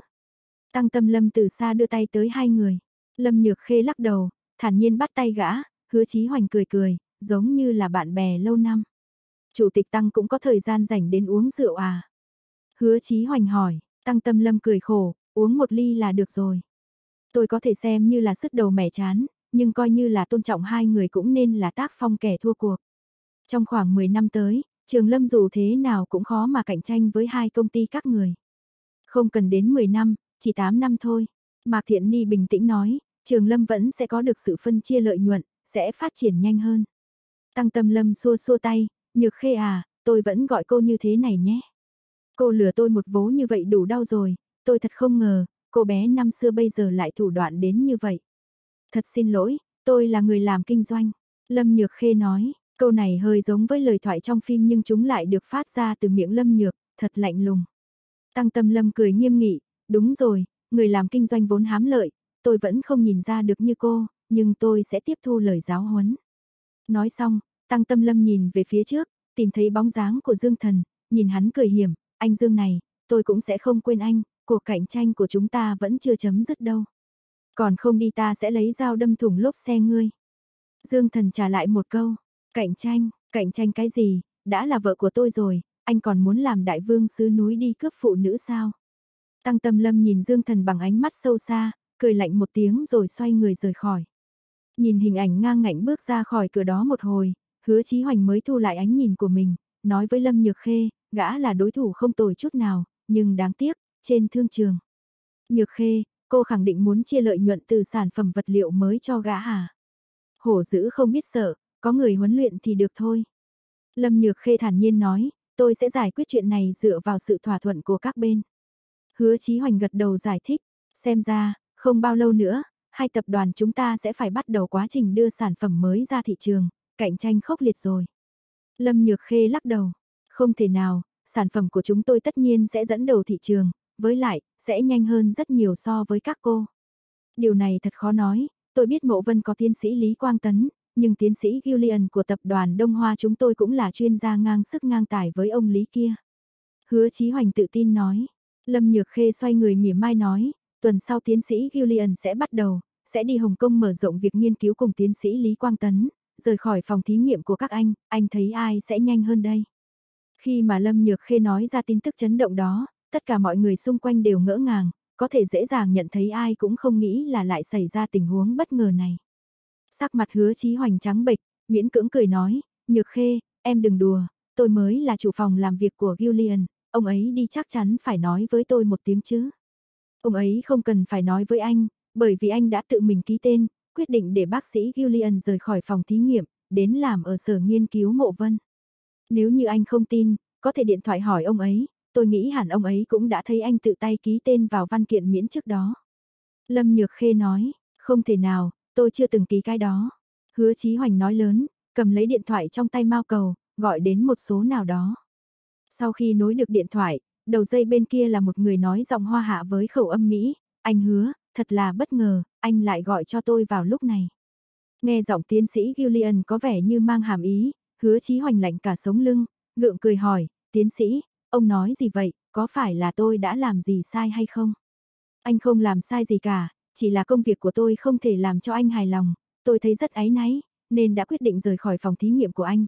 Tôi lại nhận được lời mời của người bạn học, tiến sĩ Lý Quang Tấn, tới mộ vân làm việc cùng với ông ấy. Cái gì, tiến sĩ, tôi đã nói để ông đi khi nào vậy? Hứa Chí Hoành gần như gào lên. Julian có chút ngạc nhiên, có một cô tự xưng là người của công ty anh đến đưa cho tôi một văn kiện, trên đó viết rõ ràng, phòng thí nghiệm do tôi phụ trách đã có người thay thế, tôi phải rời khỏi đó vào tuần sau, tôi nhận ra đó là chữ ký của anh, nói thật, tin đó làm tôi cảm thấy có chút thất vọng, dù sao mấy năm nay tôi cũng tận tâm giúp anh xây dựng phòng thí nghiệm này. Nếu như anh đã không cần đến tôi nữa, vậy thì tôi chọn cách lặng lẽ ra đi, lúc này anh lại chủ động gọi cho tôi, tôi thật sự rất cảm động. Đi cái gì chứ, chuyện này rốt cục là sao? Hứa Chí Hoành không giấu nổi cảm xúc, tiến sĩ, hãy nghe tôi nói, đây chắc hẳn là một âm mưu, từ trước tới giờ tôi chưa từng nghĩ sẽ để ông rời phòng thí nghiệm. Rất xin lỗi anh hứa, tôi không hiểu tại sao tự dưng anh lại nói vậy, nhưng tôi đã tận mắt thấy chữ ký của anh, hơn nữa còn đặt sẵn cả vé máy bay đi Hong Kong, ông Lý đang đợi tôi. Tôi thấy đây cũng là một kết thúc tốt, Tổng Giám đốc Lý của tập đoàn Mộ Vân đối với tôi rất tốt, ông ấy còn đón cả nhà tôi đến Hong Kong, tôi quyết định sẽ làm việc cho ông ấy. Nếu như anh còn nói những lời như vậy, tôi chỉ có thể nói lời xin lỗi anh. Dùng lời người hoa hạ các anh mà nói, duyên phận của chúng ta đã hết, anh hứa ạ. À. Julian nói xong liền cúp máy. Hứa Chí Hoành thẳng tay quăng điện thoại xuống đất, thành một đống vỡ nát. Tại sao, tôi muốn biết tại sao. Trong mắt hứa Chí Hoành hiện lên vài tia máu, cho dù trước mặt mình là người phụ nữ mình theo đuổi lâu nay, nhưng anh ta cũng khó mà kiềm chế được sự phẫn nộ của bản thân. Lâm Nhược Khê hoàn toàn không sợ hãi nhìn anh ta, sự việc xảy ra rất đơn giản, tôi sẽ đưa cho anh xem giấy cách chức tiến sĩ Gillian mà anh đã rất thoải mái ký tên, cho nên sự việc mới trở nên thế này. Từ trước tới giờ cô chưa bao giờ đưa cho tôi cái này, chắc chắn là cô đã làm giả. Hứa Chí Hoành gần giọng, thật là không có sao, anh nghĩ kỹ lại đi. Lâm Nhược Khê mỉm cười. Hứa Chí Hoành cố gắng nhớ, lúc đầu thì trầm ngâm suy nghĩ, rồi hoảng hốt, anh ta đã nhớ ra cái ngày đó, Lâm Nhược Khê bất chợt tới thăm, nói muốn liên kết với hứa ra đối phó với việc công ty truyền thông Trường Lâm vừa mới tiến vào Trung Hải. Lúc đó, hứa Chí Hoành run rẩy giơ tay lên, chỉ vào Lâm Nhược Khê, là, là bản hợp đồng đó sao? Hôm đó, khi mà Lâm Nhược Khê đề xuất, muốn nhờ lúc liên minh với Mộ Vân và Trường Lâm, phản đối chủ trương của Trường Lâm, hứa Chí Hoành cực kỳ tán thành. Anh ta biết rõ, làm chủ tịch của Ngọc Lôi, Lâm Nhược Khê chắc chắn là không thích có công ty lớn mà tương đồng như Trường Lâm cùng hoạt động trên một thị trường, cho nên đối phó với Trường Lâm là một chuyện dễ hiểu. Mà Lâm Nhược Khê cũng từng nói qua, mặc dù Tăng Tâm Lâm là bạn học của cô, nhưng tại thời điểm này, phải lấy đại cục làm trọng, phải chú ý đến nhân viên của mình. Nghe xong những lời này, hứa Chí Hoành đương nhiên có một sự hoài nghi lớn, hơn nữa anh ta cũng mong muốn nhanh chóng chèn ép công ty truyền thông Trường Lâm, trước tiên phải làm cho công ty Trường Lâm hùng mạnh không còn đứng vững nữa, sau đó phải rời khỏi Trung Hải, cho nên, khi đó đã đồng ý ký vào hợp đồng liên kết lật đổ Trường Lâm. Tuy nhiên, Lâm Nhược Khê lo hứa Chí Hoành nuốt lời, sau khi có tranh chấp lớn trên thị trường cổ phiếu lại không ra tay, cho nên đã đưa ra một bản hợp đồng, ước chừng cũng mấy chục trang, đưa cho hứa Chí Hoành ký, nhằm đảm bảo chắc chắn tiến hành hợp tác một cách bí mật. Trong tình hình đó, thấy nụ cười dè dặt của Lâm Nhược Khê, lại cùng nhau tính toán một âm mưu như vậy, hứa Chí Hoành cũng không nghĩ nhiều, tiện tay lật, ký tên mình lên đó, không ngờ, trong tập hợp đồng đó, có kèm theo một tờ có nội dung quá đáng như thế. Hứa Chí Hoành và Tăng Tâm Lâm giống nhau, cảm giác về Lâm Nhược Khê là luôn rất lạnh nhạt, có năng lực, nhưng tuyệt đối không có thiện tâm, một người phụ nữ nham hiểm, cho nên họ cũng không hoàn toàn coi trọng Lâm Nhược Khê. Vừa mới gặp, Tăng Tâm Lâm đã xem thường Lâm Nhược Khê, hứa Chí Hoành thì xem nhẹ sự gian xảo và hành động tự nhiên của Lâm Nhược Khê. Gã không hề nghĩ đến, những lời nói bình thường này ẩn sau nó là một âm mưu, một người phụ nữ ngày thường không tham gia một hoạt động công khai nào, trong đầu chắc chắn ấp ủ một âm mưu nham hiểm một mũi tên chúng hai đích như thế. Điều càng làm hứa Chí Hoành căm giận là, kế hoạch này của Lâm Nhược Khê, nhất định là một canh bạc bất bại. Lâm Nhược Khê đúng là đã đánh cược, đánh cược bản thân gã vì không hề nghi ngờ cô ta, mà hào phóng ký tên ngay lập tức, và cũng không nghiên cứu nhiều về hợp đồng đó. Hơn nữa, cho dù có phát hiện ra chỗ nào bất thường, Lâm Nhược Khê cũng hoàn toàn không mất mát gì, cùng lắm thì theo kế hoạch và sự hợp tác giữa hai bên sẽ nhận được ít lợi nhuận một chút, cũng không ảnh hưởng đến đại cục. Nhưng cuối cùng, bản thân đã ngu xuẩn mà để Lâm Nhược Khê thắng canh bạc này. Chén rượu thủy tinh trong tay hứa chí hoành kêu tách một tiếng, chiếc cốc thủy tinh cứng đã bị gã bóp vỡ tan. Nhược Khê, cô thật quá độc ác, hứa chí hoành cũng không nổi điên lên, nghĩ thông tất cả mọi chuyện, gã đã đánh giá sai về Lâm Nhược Khê, nụ cười mỉm sau khóe miệng lạnh lùng. Lâm Nhược Khê khẽ than, tôi cũng không thích làm việc này, tuy nhiên, tôi chỉ có thể nói với anh lời xin lỗi, tôi là người làm kinh doanh. Nói rất hay, cô là người làm kinh doanh, tôi cũng vậy, thắng bại là chuyện bình thường. Hứa Chí Hoành lắc đầu cười gượng, cô im hơi lặng tiếng lâu như vậy, sự im lặng của cô, khiến chúng tôi khó có thể nhớ được cô cũng là một thương nhân. Là sơ suất của chúng tôi, đã bị cô hãm hại. Chúc mừng cô, xem ra 10 năm tới, Ngọc Lôi sẽ trở thành công ty sản xuất chủ đạo tuyệt đối. Cảm ơn, nếu như không có chuyện gì, chúng ta đi. Lâm Nhược Khê tự nhiên cầm một chén rượu tới bên bàn ăn, xem như chưa có chuyện gì xảy ra, từ từ đi ra ngoài. Nhóm quản lý cấp cao của Ngọc Lôi thấy chủ tịch đã đi rồi, nhưng mọi người ở Viện Khoa học Kỹ thuật Đông Hoa đều phẫn nộ nhìn họ, bèn cũng cùng nhau ra đại sảnh của buổi yến tiệc. Dương Thần cũng như lúc đến, cùng Lâm Nhược Khê và Mạc Thiện Ni ngồi cùng một xe rời đi. Ngồi trong xe, cả ba đều không nói câu nào, Mạc Thiện Ni lái xe, Lâm Nhược Khê ngắm phong cảnh bên ngoài, còn Dương Thần thì đắm chìm trong những sự việc bất ngờ xảy ra trong ngày hôm nay. Trong một ngày như thế này, Lâm Nhược Khê đã đả kích hắn quá lớn, dường như là lớn nhất từ trước tới giờ. Dương Thần thấy được người phụ nữ này thật quyết đoán, cay nghiệt, lạnh lùng hà khắc, cô ta không cần giả tạo một vẻ bên ngoài lạnh lùng, nhưng lại có được lợi ích ghê gớm, qua mặt được tăng tâm lâm, hứa chí hoành, lúc này mới biết được một nhân tài kiệt xuất cùng thời. Tất cả mọi người đều không nghĩ đến, ngay từ đầu, Ngọc Lôi chỉ là một doanh nghiệp mới, phát triển đến bây giờ, Ngọc Lôi lại trở thành doanh nghiệp có doanh thu lớn nhất. Đồng thời doanh thu cũng đạt được hơn một nửa, làm cho công ty truyền thông Trường Lâm có mức doanh thu thấp nhất, khiến cho việc phát triển các nghiên cứu của Viện Khoa học Kỹ thuật Đông Hoa gặp nhiều khó khăn. Dương Thần sẽ khó có thể nắm bắt được một con người hai mặt như cô ta, so với người phụ nữ đáng yêu trên giường thật khác xa. Sao anh không nói gì vậy? Lâm Nhược Khê đột nhiên quay đầu, lạnh lùng hỏi Dương Thần. Dương Thần sờ sờ chán, không biết phải nói gì. Có phải anh nghĩ em là một người phụ nữ nham hiểm? Lâm Nhược Khê hỏi, anh không biết, có thể là tự nhiên cảm thấy có gì đó không bình thường, chưa thích ứng được. Dương Thần nói thật, nhưng tuyệt đối không phải là thấy em quá nham hiểm, đây chẳng qua chỉ là lừa gạt nhau trên thương trường, mọi người công kích lẫn nhau, chẳng có gì mà nham hiểm hay không nham hiểm ở đây cả. Lâm Nhược Khê nói xa xôi, cho dù anh cảm thấy em nham hiểm, em cũng vẫn làm như vậy, bà nội đã từng nói với em, nếu như năm đó bà không trở thành một doanh nhân xuất sắc, thì đã không có cơ hội sống sót nữa. Trên thế giới này, muốn sống được chỉ có cách là chiến thắng người khác, nếu không có cách nào để thắng, cũng không được để cho họ có cơ hội chèn ép ta. Em chỉ nghĩ là phải bảo vệ lấy bản thân, bảo vệ mọi thứ mà bà nội đã để lại, nếu như anh ở vào vị trí của em, em nghĩ anh cũng sẽ làm như vậy.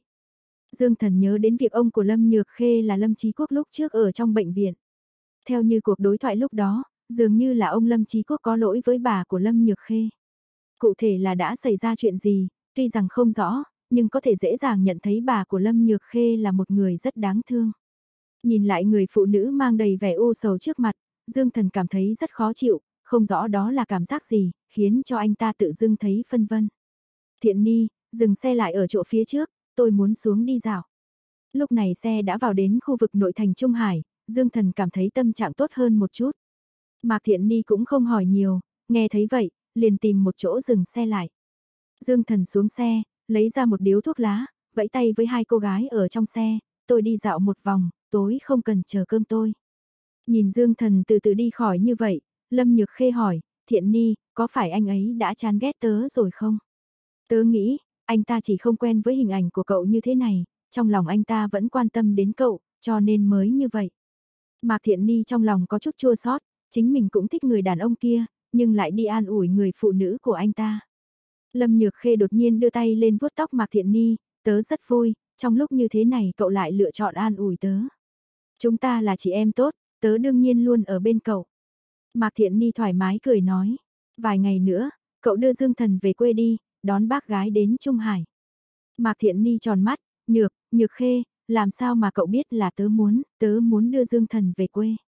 Lâm Nhược Khê cười giễu cợt, cậu yên tâm đi, dù tớ có âm mưu hại người khác, nhưng tớ tuyệt đối không làm thế với cậu, là bác gái đã nói cho tớ biết, bác nói cậu muốn dẫn bạn trai về gặp bác ấy. Mẹ tớ sao, Mạc Thiện Ni giật mình che miệng, bác ấy rất muốn biết bạn trai cậu là người như thế nào, mà người bác ấy có thể liên lạc để biết chuyện của cậu thì chỉ có tớ. Lâm Nhược Khê nói, Mạc Thiện Ni ngay lập tức tim dừng một nhịp, đây không phải là chưa khảo mà đã xương sao, mặt chợt nóng ran. Vậy, vậy cậu nói Dương Thần là người như thế nào? Tim Mạc Thiện Ni đập thình thình trong lồng ngực, cho dù có chút xấu hổ, nhưng cô không thể không hỏi. Câu hỏi của Mạc Thiện Ni, khiến Lâm Nhược Khê nhất thời không biết nói gì. Im lặng rất lâu, Lâm Nhược Khê lắc đầu, tớ cũng không biết nữa. Cậu không biết sao, đúng vậy, hôm đó bác gái có hỏi tớ, tớ đã suy nghĩ rất lâu, nhưng mà tớ thực sự không biết nói về anh ấy thế nào, cho nên, tớ để bác gái tự mình đi gặp. Lâm Nhược Khê mệt mỏi nói, trong mắt của Mạc Thiện Ni ẩn chứa nhiều suy tư, cũng phải, thực ra thì tớ cũng không biết nên hình dung nó như thế nào. Chuyện tình cảm nói chung là như vậy, tớ không biết người đàn ông đó tốt ở điểm nào, khuyết điểm lớn tới mức nào, tuy nhiên, tớ lại không có cách nào để buộc bản thân chán ghét những khuyết điểm đó, nhưng nếu con người đó thay đổi, chắc chắn là sẽ không quen, nhưng nếu anh ta không thay đổi gì, lại làm cho người khác cảm thấy lo lắng, phiền chết đi được. Lâm Nhược Khê nửa như cười nhìn Mạc Thiện Ni trầm tư, Thiện Ni, dường như cậu rất hiểu anh ấy. a Mạc Thiện Ni ý thức được mình đang nói chuyện dương thần với ai, đỏ mặt nói, tớ. Tớ thuận miệng mà nói linh tinh rồi, cậu không thích thì liên quan gì tới tớ chứ. Tớ, tớ tuyệt đối không phải là người vì sắc quên nghĩa. Hơn nữa con người kia cũng không tốt đẹp gì, đau đầu chết mất. Nói xong, Mạc Thiện Ni lập tức quay người lại, làm như đang chăm chú lái xe, bắt đầu đến công ty. Lâm Nhược Khê ngoái nhìn chỗ Dương Thần rời đi, khẽ thở dài. Lúc xuống xe, Dương Thần ngậm thuốc dạo bước trên đường dành cho người đi bộ, trong lòng vẫn không tốt hơn chút nào, thấy trong lòng có chút bế tắc. Nhìn bốn phía, không biết là mình đang ở khu thương nghiệp nổi tiếng của Trung Hải, các biển quảng cáo rực rỡ muôn màu, đinh tai nhức óc với đủ thứ âm thanh, tất cả là để thu hút khách hàng mua đồ của cửa hàng và công ty tổng hợp. Giữa đại lộ là giải phân cách có trồng cây xanh, bên cạnh các bồn hoa có rất nhiều ghế gỗ sơn đỏ dành cho người đi bộ ngồi nghỉ ngơi. Dương Thần không có hứng thú mua gì cả, chỉ định sẽ ngồi một lát suy nghĩ, không ngờ, vừa định ngồi xuống chiếc ghế màu hồng, một khuôn mặt thanh tú đang nhìn sang. Chú, cô bé trên người mặc một bộ màu vàng có dây đai, áo khoác sơ mi màu trắng, mặc quần jean, tựa như búp bê xinh xinh, nhào tới ôm Dương Thần, hai tay ôm lấy cổ Dương Thần, cả người như treo trên người Dương Thần. Nhìn gần mới thấy cô bé thật xinh xắn, Dương Thần không khỏi ngạc nhiên nhìn, còn tưởng mình đã nhìn nhầm, đường đường. Cô bé gật gật đầu, buông hai cánh tay trắng trèo xuống, đánh Dương Thần mấy cái vào ngực, đáng ghét, chú thật nhẫn tâm, lâu như vậy mà không đến chơi với cháu, nếu không phải là hôm nay cháu gặp chú, có phải là cả đời này chú sẽ không liên lạc với cháu không?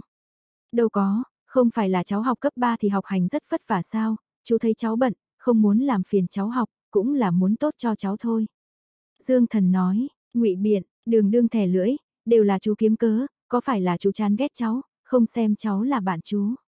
Dương Thần cười khổ sở, cô bé này lại bắt đầu làm loạn lên rồi, cháu đừng nghĩ nhiều như thế có được không, chỉ là chú cũng có bận công việc, biết là mẹ quản cháu rất nghiêm, nên mới không liên lạc với cháu.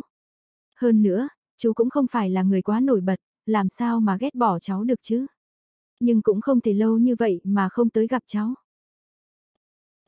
Audio điện tử võ tấn bền.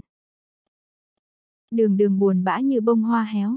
Dương thần tiện tay vứt màu thuốc lá đi, bấm ngón tay tính toán. Cũng đâu có lâu lắm đâu, còn chưa đến một tháng. Một tháng mà chưa lâu sao?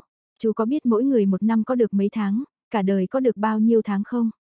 Cho dù là sống đến 100 tuổi, cũng chỉ có 1.200 tháng, chú lại làm tổn thương tâm hồn trẻ con mỏng manh của cháu nghiêm trọng như vậy. Đường đường tức giận nói. Dừng lại, Dương thần khô tay bảo dừng lại. Suy cho cùng, kiếp trước chú đã nợ gì cháu, mà kiếp này vẫn chưa hết. Bà cô nhỏ, cháu nói xem, rốt cuộc thì cháu muốn chú phải làm sao? Dương thần không thể đoán được, cô bé kia đang nghĩ gì, muốn mình đi làm cái gì. Đường ơn đường cười hì hì, chỉ có chú mới hiểu cháu thôi, thực ra cũng không có gì, hôm nay cháu ra ngoài mà không mang theo tiền, chú mời cháu ăn cơm nhé, cháu đói rồi. Dương thần không nhịn nổi cười, xoa xoa đầu đường đường. Cháu nói nhiều như vậy chỉ là muốn đi ăn cùng chú thôi sao, nói sớm có phải xong rồi không? Thực sự là cháu rất nhớ chú, nhưng mà làm con gái thì phải kêu một chút, ai biết được chú lại như vậy, không chủ động liên lạc với người khác. Đường đường buồn bã nói, được rồi, được rồi, chú đã phụ lòng ai đó, đi ăn thôi, cháu muốn ăn gì cứ nói, chú cũng chưa ăn gì cả. Dương thần không muốn nghe thêm gì nữa. Đường đường suy nghĩ một chút nói, đi ăn đồ McDonald đi, ăn cái khác đi, như bánh kẹp thịt chẳng hạn, chú thấy bánh đó rất ngon. Dương thần nói, đường đường nhìn Dương thần một cách kỳ quái. Nếu chú có thể tìm được cửa hàng bánh kẹp thịt nào ở gần đây chúng ta sẽ đi ăn. Vậy thì đi ăn McDonald. Hai người đi tìm cửa hàng McDonald, Dương Thần gọi bốn cái đùi gà, đường đường chỉ gọi một suất thịt gà với một ly nước, hai người ngồi gần góc tường cạnh cửa sổ, thong thả ăn. Dương Thần nhìn đường đường gặm miếng thịt gà, tò mò hỏi. Sao cháu không gọi nhiều một chút, trông cháu có vẻ rất đói. Dù đói cũng phải giữ eo chứ chú, không thì sau này còn ai muốn lấy chứ. Đường đường thản nhiên nói, cháu bao nhiêu tuổi rồi mà trong đầu đã có ý nghĩ đó. Dương thần bất đắc dĩ lắc đầu, đường đường đúng dậy, kiêu ngạo khoe dáng dấp thiếu nữ, hoàn toàn không để ý xung quanh đang có rất nhiều người đang nhìn mình, nói. Tuổi nhỏ gì chứ, cái gì nên có đều có rồi, có nhiều người lớn tuổi mà vẫn chưa có đủ như cháu đấy. Thực ra, có thể là cô bé này sống trong gia đình sung túc, ăn uống cũng tốt hơn bọn trẻ con khác, thân hình có vẻ đầy đặn hơn, nhanh nhẹn hoạt bát, ra dáng một cô thiếu nữ xinh đẹp. Dương thần dường như không chịu nổi cô bé này, giờ khóc giờ cười bảo cô bé ngồi xuống. Cháu đừng như thế có được không, hay là cháu nói xem rốt cuộc là cháu đi đâu mà lại không mang theo cả tiền.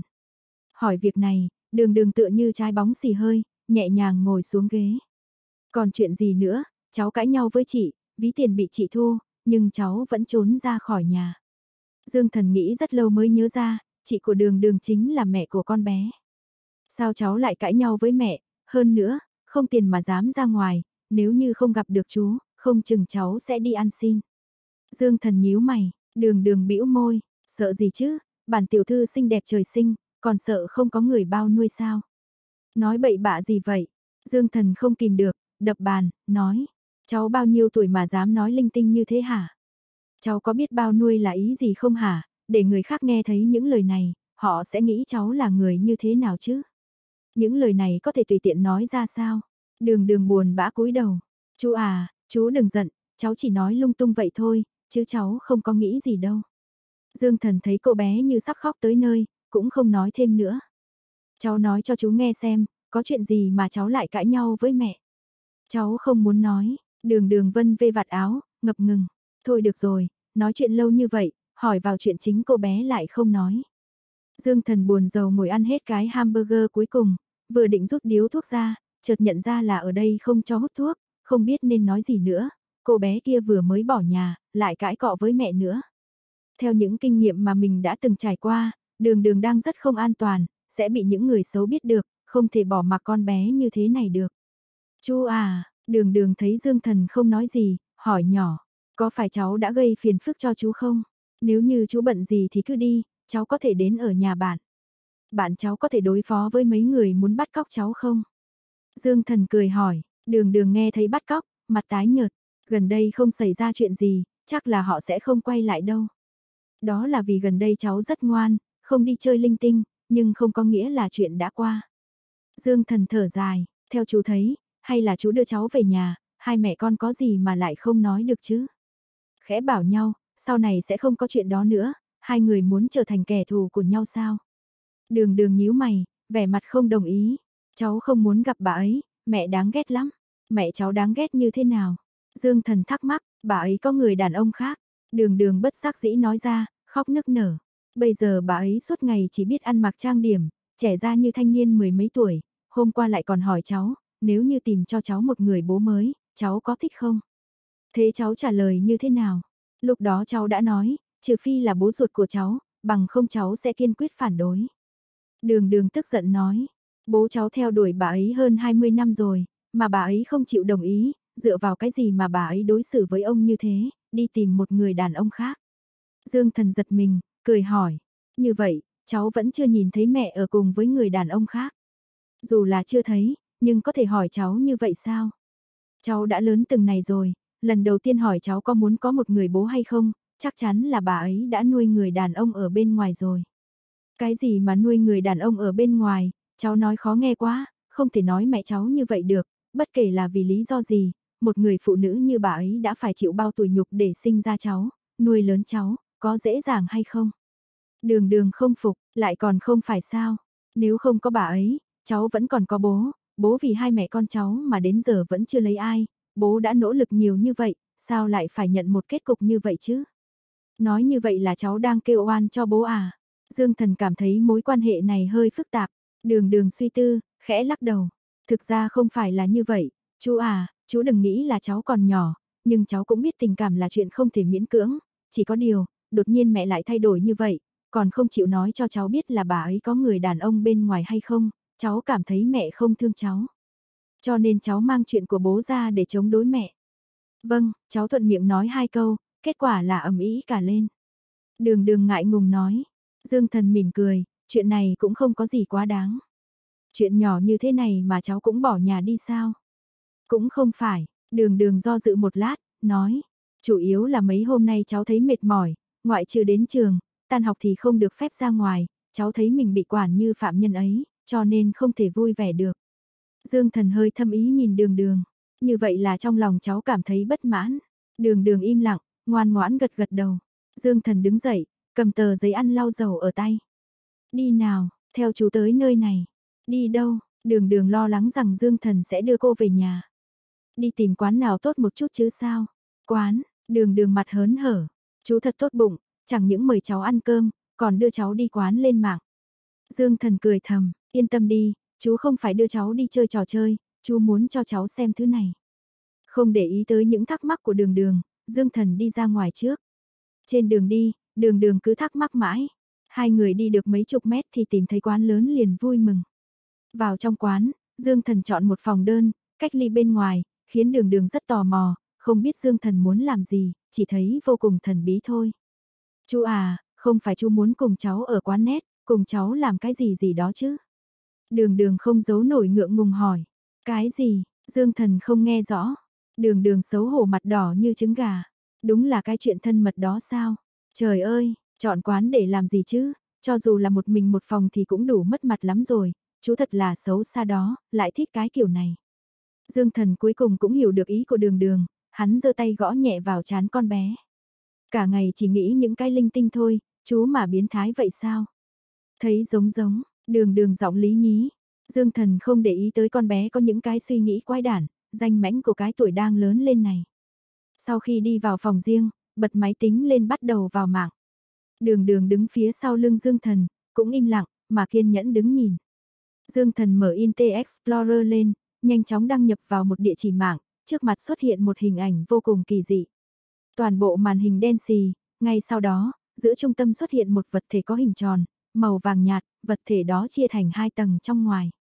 Dương thần bắt đầu ở vùng trống giữa hai tầng của vật thể, hắn nhập vào đủ các loại chữ và số bằng tiếng Anh. Đường đường đứng sau ngây người nhìn, vì cô nhận ra địa chỉ trang mạng mà Dương thần đăng nhập vào, không ngờ đã hiện thành một loạt dấu sao, căn bản là nhìn không ra cái địa chỉ trang mạng đó là gì, nhưng độ dài phải trên 20 ký tự.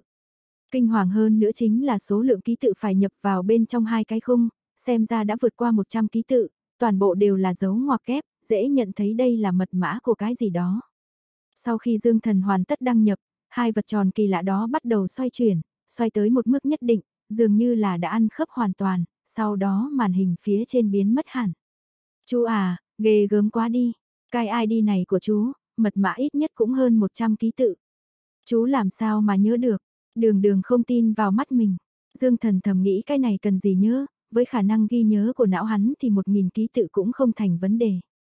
Nhưng hắn vẫn thuận miệng nói ra, cứ gõ nhiều là được thôi. Ồ, vậy bây giờ màn hình đã đen rồi, chú muốn cho cháu xem cái gì? Đường đường càng háo hức, Dương thần tìm xung quanh, từ dưới ngăn kéo tủ lấy ra cái ống nghe điện thoại, sau khi kết nối với máy tính, nói. Picture, vừa dứt lời, màu đen của màn hình máy tính biến mất, hiện ra một người cùng với quyển sách, bên trong phân thành nhiều loại, trang bìa mỗi loại đều là tên gọi của một cái gì đó. Dương Thần lại chỉ nói có mỗi một từ, nhưng mà từ này lại không phải tiếng Anh, cũng không phải tiếng Hoa hạ. Cái mà đường đường nghe thấy dường như là loại ngôn ngữ tương đối ít dùng. Sau khi nói ra từ đơn đó, hình ảnh hiện ra là một bức ảnh chụp một thôn nhỏ, trong tranh vẽ những ngôi nhà tranh có đầy đủ các đồ trang trí nhiều màu sắc, bên ngoài có đống lửa trải. Phía xa xa có tuyết phủ kín, phía dưới là vùng thảo nguyên mênh mông bát ngát. Chú, đây là đâu? Đường đường hỏi, tất cả những chuyện cổ quái này đều làm cô thích thú. Dương thần hồi tưởng nói, đây gọi là thôn Phi Châu của người Diara. Trên thảo nguyên Trung Phi này, tuy là một lãnh thổ của một nước thuộc châu Phi, nhưng dường như chỉ là một vùng đất hoang sơ không ai quản lý. Thôn đó cùng vài thôn xung quanh vẫn còn tồn tại chế độ chiếm hữu nô lệ của xã hội nguyên thủy, họ đã phải chống lại cái nóng lạnh của thời tiết, sự nguy hiểm của các loại thú dữ, chỉ sau vài ngày là không có cái ăn rồi. Cũng chính vì nguồn nước trên thảo nguyên bỗng bị cạn kiệt, cho nên bọn họ phải đấu tranh giành lấy nguồn nước, bọn họ tôn thờ thần núi, mà từ trước đến giờ thần núi chưa từng phù hộ cho họ. Có người trong số bọn họ mắc bệnh thì sẽ bị ném đến vùng hoang dã, bị thú dữ ăn thịt, bởi vì bọn họ sợ bệnh truyền nhiễm, hơn nữa bọn họ căn bản là không có cách nào cứu chữa được. Đường đường nghe một cách say xưa, bọn họ thật là đáng thương, trên thế giới này, làm sao lại vẫn còn những mảnh đất như thế này. Chú à, làm sao chú có được tấm ảnh này? Chú đã từng đến nơi đó chưa? Khoảng 6 năm về trước, vì chú có việc, cần phải ở đây nửa tháng. Bởi vì trong lúc chờ đợi không có việc gì làm, nên chú đã chụp một vài tấm ảnh. Dương Thần nói, 6 năm về trước hắn chưa đủ 18 tuổi. Sau đó Dương Thần lại tiếp tục mở mấy tấm ảnh khác, đều là hình ảnh cuộc sống của cư dân ở thôn này. Bọn họ mặc những bộ quần áo rách, mặt bôi đầy thuốc màu, già trẻ gái trai đều đen nhánh, ăn thịt muông thú. Khiến cho đường đường đỏ mặt lên khi xem những bức ảnh này là việc người dân bản xứ ở đây sống theo bầy đàn trong việc sản sinh thế hệ sau. Điều này làm cho con người ta cảm thấy thôn này tách khỏi thế giới loài người. Bọn họ dường như là một tập thể bị thế giới vứt bỏ. Văn minh nhân loại đã có từ mấy ngàn năm trước, đã bài trừ bọn họ. Lại mở một tấm ảnh khác, bức ảnh này chụp một thôn nữ đang nằm trên tảng đá được trải bằng cỏ khô, một đứa trẻ dường như được sinh ra chưa lâu đang bò trên người cô ấy, người gầy gầy. Đang nằm áp sát vào ngực mẹ nó, phía bên kia tảng đá, có một đứa bé đang mút tay, ánh mắt đen láy mở thật to, nhìn mẹ và đứa em trai của mình. Chú, đây là cái gì? Đường đường lúng túng hỏi. Người này là một quả phụ của thôn, lúc chồng bị một con báo cắn chết thì cô mới sinh thằng bé này, nhưng mà chưa đầy hai tháng, người phụ nữ này mắc dịch tả, không ngừng đi ngoài, toàn thân gầy gò như que củi. Lúc chú chụp bức ảnh này, người phụ nữ ấy đã chết, nhưng thằng bé này lại không biết mẹ nó đã chết, nó rất đói, muốn bú sữa mẹ, vì vậy nó đã bò lên ngực của mẹ nó tự mình bú, nhưng nó đã bú hết sạch rồi, bây giờ mẹ nó chỉ là một cái xác, làm sao có thể cho nó ăn được. Đứa chị ngồi cạnh cũng rất đói, bởi vì không có ai cho ăn, nhưng mà nó biết mẹ nó đã chết, vì vậy chỉ ngồi ngẩn người trên tảng đá nhìn thằng em đang bú sữa, tự mình mút ngón tay của mình. Đường đường chưa nghe hết câu chuyện, mắt đã cay cay. Chú à, cuối cùng bọn họ thế nào? Đói tới chết sao? Dương thần lắc đầu, ánh mắt buồn bã. Bọn chúng không bị đói chết, trước khi chúng bị đói chết thì người dân của thôn phát hiện ra mẹ của chúng đã chết và đem hai đứa trẻ đi, hai chị em trở thành thức ăn của thôn, vì vậy mọi người rất vui mừng, bọn họ chia thịt cho mọi người. Trong đó cũng có ông bà nội của hai đứa trẻ a đường đường kinh ngạc kêu lên, che miệng lại, không kìm được nước mắt. Tại sao bọn họ lại có thể như vậy, ăn, ăn thịt người, đối với bọn họ mà nói, con cái mà không có bố mẹ cũng chính là mất đi tình mẫu tử, không có người chăm sóc, lúc nào cũng có thể biến thành thức ăn. Dương thần cười đau khổ nói, Hắn biết đường đường sẽ rất đau buồn, nhưng không nghĩ rằng trái tim của con bé này lại trong sáng đến như vậy, chỉ biết khóc. Đường đường quay đầu đi chỗ khác, sau đó lau nước mắt hướng về phía Dương Thần xua tay. Chú đừng nói nữa, tắt nó đi, cháu không muốn nhìn những bức ảnh này nữa đâu. Dương Thần gật đầu, thoát khỏi hệ thống, màn hình máy tính lại như lúc đầu, dường như chưa có gì xảy ra. Chú à, đường đường quay đầu lại hỏi, tuy cháu không biết chú đến đó làm gì, nhưng tại sao chú lại không cứu chúng, mà lại để chúng chết khi còn quá nhỏ như vậy, thật là đáng thương. Cứu, chú làm sao mà cứu bọn họ được, cháu biết không, lúc đó chú vẫn còn nhỏ, so với bây giờ chú vẫn còn quá bé nhỏ, chú mang hai đứa trẻ đó chạy trốn khỏi thảo nguyên ư. Đứa bé gái còn có thể nhưng còn thằng bé thì sao, cũng phải có lúc cho nó bú sữa. Dương thần lắc đầu thở dài, chú làm sao có thể cứu được với tình hình đó, ở đó mỗi ngày đều có người mắc bệnh. Đường đường im lặng, nấc vài cái.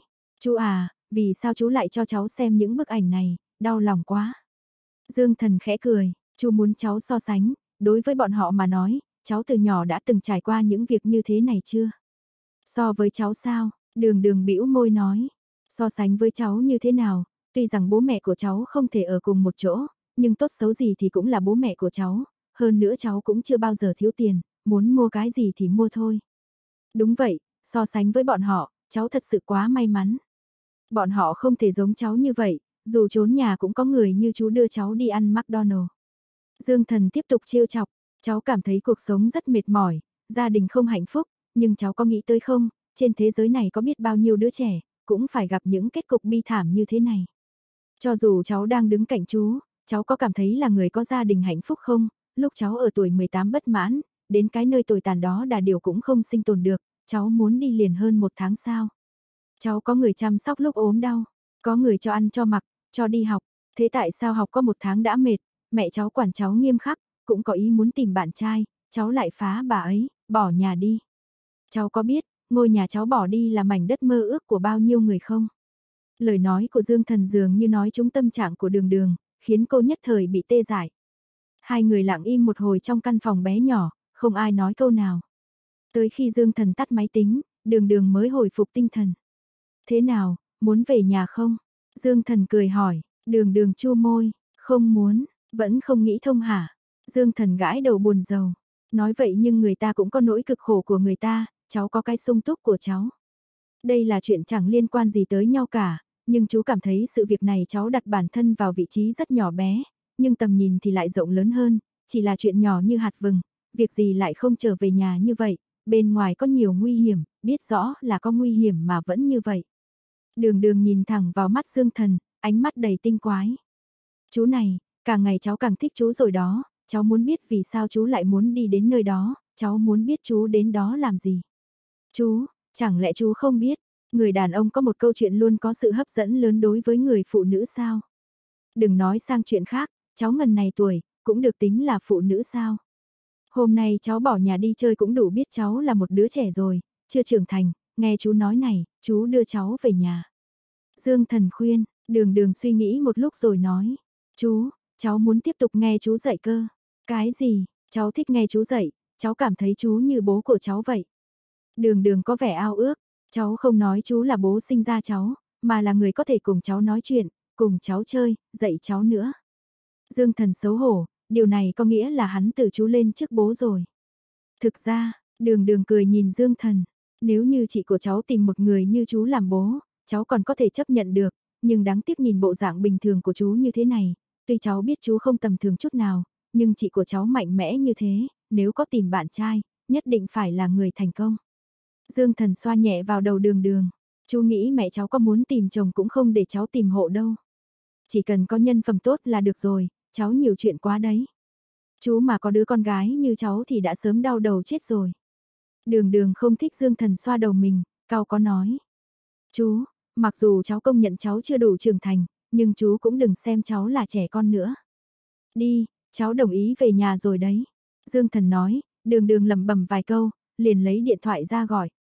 Ngay sau đó, đầu dây bên kia có người nhấc máy, giọng nói của một người phụ nữ, có chút vội vàng. Này, đường đường, con là một đứa trẻ khó dạy, chạy đi đâu rồi, làm gì mà lại trốn học rồi. Một lúc sau đường đường mới nói, chị, em sai rồi, chị mau đưa người đến đón em đi. Biết sai rồi sao, biết sai còn trốn đi, con có biết như vậy là rất nguy hiểm không? Con, chị xinh đẹp, rốt cuộc chị có muốn em về nhà không? Đường đường thở dài, cái con nhỏ này, nói bao nhiêu lần rồi, phải gọi mẹ cơ mà, thật là. Con đang ở đâu? Khu thương mại phía bắc nội thành, con sẽ đứng ở phía bên kia đường đợi. Mẹ lập tức đi ngay, đứng đó đừng có chạy lung tung đấy. Biết rồi, chị, càng ngày càng nói nhiều đấy, thời kỳ mãn kinh không sớm như vậy chứ. Gọi mẹ, gọi mẹ, không đợi người phụ nữ kia nói xong, đường đường đã tắt điện thoại, thở dài một tiếng. Dương thần nghe cuộc nói chuyện của hai người xong cũng cười nói. Tính mẹ cháu rất nóng vội. Không phải đâu, chỉ có đối với cháu mẹ mới như vậy thôi, còn đối với người ngoài thì rất đoan trang, cháu thấy nổi da gà luôn. Đường đường cười nói, Dương thần ngắt ngang lời, kéo đường đường ra khỏi quán, đưa cô đến phía bắc con phố đợi xe. Đường đường đột nhiên nhớ ra điều gì, hỏi, ngày 9 tháng sau là sinh nhật anh viên dã hôm đó chú đến nhé. Dương thần sửng sốt gật đầu, cháu biết anh ta mời chú, anh ấy không gạt cháu cái gì cả. Đường đường đắc ý, đến lúc đó gặp mặt, thật mong chờ quá. Chờ cái gì, cũng không phải là gặp Tổng thống. Tổng thống cũng không được mong chờ như thế đâu, chỉ có chú thôi. Dương thần đành chịu, cô bé này nịnh bợ hay làm mất mặt người khác đây. Một lúc sau, mẹ đường đường gọi tới một chiếc Cadillac màu xám bạc, bên trong hai gã vệ sĩ bước xuống cảnh giác liếc nhìn Dương thần, sau đó mở cửa cho đường đường. Trong nháy mắt đường đường đã ngồi vào trong xe, sắc mặt hơi buồn, sau khi đóng cửa xe, ấn cửa kính xe xuống, đột nhiên hỏi Dương Thần. Chú, đợi đến khi nào thì cháu mới trưởng thành? Dương Thần còn tưởng cô bé định chào. Vậy mà trước khi đi còn làm khó người khác. Hắn không phải là nhà tư tưởng, nhà triết học, nghĩ một lúc, nói. Đợi đến khi nào cháu cảm thấy sự oán giận trong cháu càng ngày càng ít, hoặc là dường như không oán giận điều gì cả, như vậy cháu đã trưởng thành rồi. Đường đường chớp mắt, hơi gật đầu, vẫy tay. Chào chú, nhìn chiếc xe khuất dần trong làn xe cộ, Dương Thần thở dài nhìn đồng hồ, mới hơn 3 giờ chiều, hắn cũng không tính sẽ quay lại công ty làm. Lúc này có một mình cô đơn, Dương Thần nhớ đã lâu chưa đi thăm sắc vi, trong lòng có chút áy náy. Bản thân lúc nào cũng dựa vào người phụ nữ luôn yên lặng đứng sau nhìn mình, không tranh đoạt. May mắn khu thương mại cách quán ba cũng không xa, Dương Thần không đi xe, đi bộ 20 phút đã tới quán ba Rose. Quán ba vẫn như cũ, có vài người khách, chỉ có điều người làm ở quầy ba không phải là Tiểu Triệu, mà đổi thành Trần Dung. Trần Dung cắt tóc ngắn, rất gọn gàng, khuôn mặt thanh tú xinh đẹp của cô nàng, đứng cạnh sắc vi càng trở nên tự tin mà thời thượng, ánh mắt trong veo trước sau như một, nhưng Dương Thần có thể nhìn thấy, trong cô luôn luôn có sức mạnh phi thường. Nhìn thấy Dương Thần bước vào cửa, Trần Dung vui vẻ hẳn lên, ngọt ngào gọi. Anh Dương, Dương Thần đã lâu không nhìn thấy Trần Dung và anh của cô ta Trần Bác, liền hỏi. Dung Dung, anh của em gần đây sao rồi? Anh em vẫn khỏe, bây giờ đã trở thành tác giả chuyên mục đặc biệt của một tạp chí, em thấy so với công việc trước anh ấy vui vẻ hơn nhiều. Dung Dung nói, Dương Thần có chút nghi ngờ, nhưng ngẫm lại cũng thấy đúng. Trần Bác cũng là sinh viên của trường Đại học Bắc Kinh. Có lẽ anh ta muốn làm theo chuyên ngành của mình. Nhìn Trần Dung đã không còn sợ hãi như hồi đầu tới Trung Hải, bây giờ nghiễm nhiên trở thành chủ quán ba, Dương Thần trêu đùa hỏi. Xem ra Dung Dung đã đánh bại tiểu triệu rồi, khá đấy. Trần Dung mặt đỏ ửng lên, đâu mà, tiểu triệu bị điều đi quản lý ở quán ba khác, bây giờ toàn bộ khu này đã được chị sắc vi quản lý rồi, nhân sự rất mạnh, vì vậy em chỉ là vật thế thân thôi. Mọi thứ đều ổn cả chứ. Dương thần chỉ, tất nhiên không đơn giản là chỉ hỏi việc kinh doanh của quán ba. Trần Dung ngừng lại một chút, mỉm cười gật đầu. Thực ra cũng khá hơn nhiều rồi. Dương thần thấy Trần Dung nói thật lòng như vậy, cũng không hỏi nhiều nữa. Nhìn Trần Dung một cái rồi đi về phía phòng ngủ của tường vi cạnh hành lang. Lúc đi vào phòng ngủ quen thuộc này, Dương thần nhìn thấy một cảnh mà trước giờ hắn chưa từng thấy. Phòng ngủ và bàn làm việc đặt một bên, sắc phi mặc trên người chiếc quần lụa màu trắng mỏng tanh, ngồi trên một cái ghế da, mái tóc dài hơi rối. Mặt không trang điểm có phần nhợt nhạt, đeo cặp kính màu đen hơi trễ, đang cầm chiếc bút máy, viết gì đó lên một quyển sách, mà trên màn hình máy tính là một bản báo cáo. Phát hiện ra người đi vào chính là Dương Thần, sắc phi bất ngờ vui mừng, tháo kính xuống, giống như cười. Ông xã, sao đột nhiên lại đến đây giờ này, không phải đi làm sao? Dương Thần đi đến bên cạnh sắc phi, tháo cặp kính đen ra, cũng không có mắt kính, chỉ có gọng, vừa ngắm nhìn vừa cười nói. Anh đến xem người phụ nữ của anh có thời gian rảnh không? Nhưng không ngờ bảo bối của anh lại đang làm việc như vậy, xem ra thật giống với nhân viên văn phòng rồi. Làm gì có nhân viên văn phòng nào mặc áo ngủ làm việc chứ?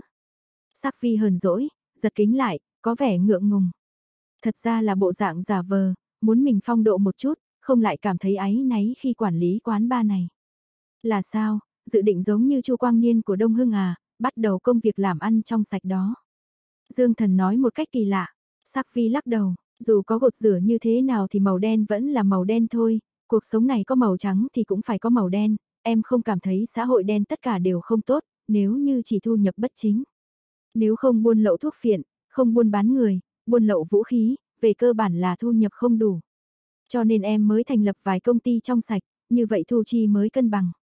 Dương Thần đồng ý nói, xem ra bảo bối của anh đã lĩnh hội được rất nhiều rồi, trắng và đen không thể đem ra so sánh được, chỉ có thể tương đối thôi. Làm ăn lớn là một hình thức kinh tế của xã hội, giống như Nhật Bản thiếu tổ chức sơn khẩu. Xã hội Nhật Bản sẽ trở nên hỗn loạn, Italy thiếu mafia, một nửa quốc gia sẽ bị tê liệt, chỉ cần không động đến điểm quan trọng của cơ quan quốc gia, đã có thể hùng mạnh rồi. Trong mắt sắc vi tỏ vẻ tò mò, hỏi, ông xã, tổ chức sơn khẩu, mafia, bọn họ lợi hại hay anh lợi hại? Dương thần sừng sốt, đứng trước sắc vi, cảm thấy cũng không có gì phải giấu giếm, nhưng nói tỉ mỉ thì không được, vì thế nói. Anh chỉ có thể nói, anh và bọn họ không thể đem ra để so sánh. Nếu như anh có kẻ thù thì nhất định không phải bọn họ, bọn họ cũng không phải kẻ thù của anh. Giống như thần tiên trên trời, không thể gây lộn với hoàng đế dưới đất. Sắc Phi hỏi, không khác biệt là mấy. Sắc Phi không hỏi nữa, đứng dậy. Ông xã, từ từ đã, em đi tắm đã. Nói hay nhỉ, bây giờ còn tắm cái gì nữa, ăn cơm xong, tôi tắm không được sao. Dương thần nhăn nhó hỏi. Sắc Phi sừng sốt quay người lại, nghi ngờ hỏi. Ông xã, anh, không phải tới tìm em là làm chuyện đó sao? Việc gì, thì chính là chuyện, chuyện ấy đấy. Tuy rằng đã rất quen thuộc rồi, nhưng sắc phi vẫn là khó nói thẳng ra. Dương thần giờ khóc giờ cười. Bảo bối xinh đẹp, sao em có thể nghĩ như vậy, anh nói đến đây vì chuyện lên giường với em khi nào chứ? Sắc phi cúi đầu, nói nhỏ, bởi vì trước đây anh đều như vậy, em tưởng hôm nay cũng vậy, cho nên. Trông thấy sắc phi phản ứng như vậy, Dương thần cảm thấy có chút đau lòng, chính mình đã làm cho cô gái này trở nên như vậy, chỉ là lúc nào muốn lên giường thì lại nghĩ đến cô ta. Cô ấy vẫn luôn cảm thấy như vậy, lại chưa từng oán trách mình điều gì, dường như mọi thứ đều rất đáng làm, mỗi lần đều nhiệt tình tươi cười, bằng lòng cùng mình ở trong một không gian chật hẹp, cũng không oán trách gì. Dương Thần đột nhiên nhớ ra, mình vẫn chưa đưa Sắc Phi ra ngoài lần nào, hai người đã từng giao lưu rất nhiều lần, nhưng chưa từng cùng nhau ăn cơm, xem phim hay dạo phố.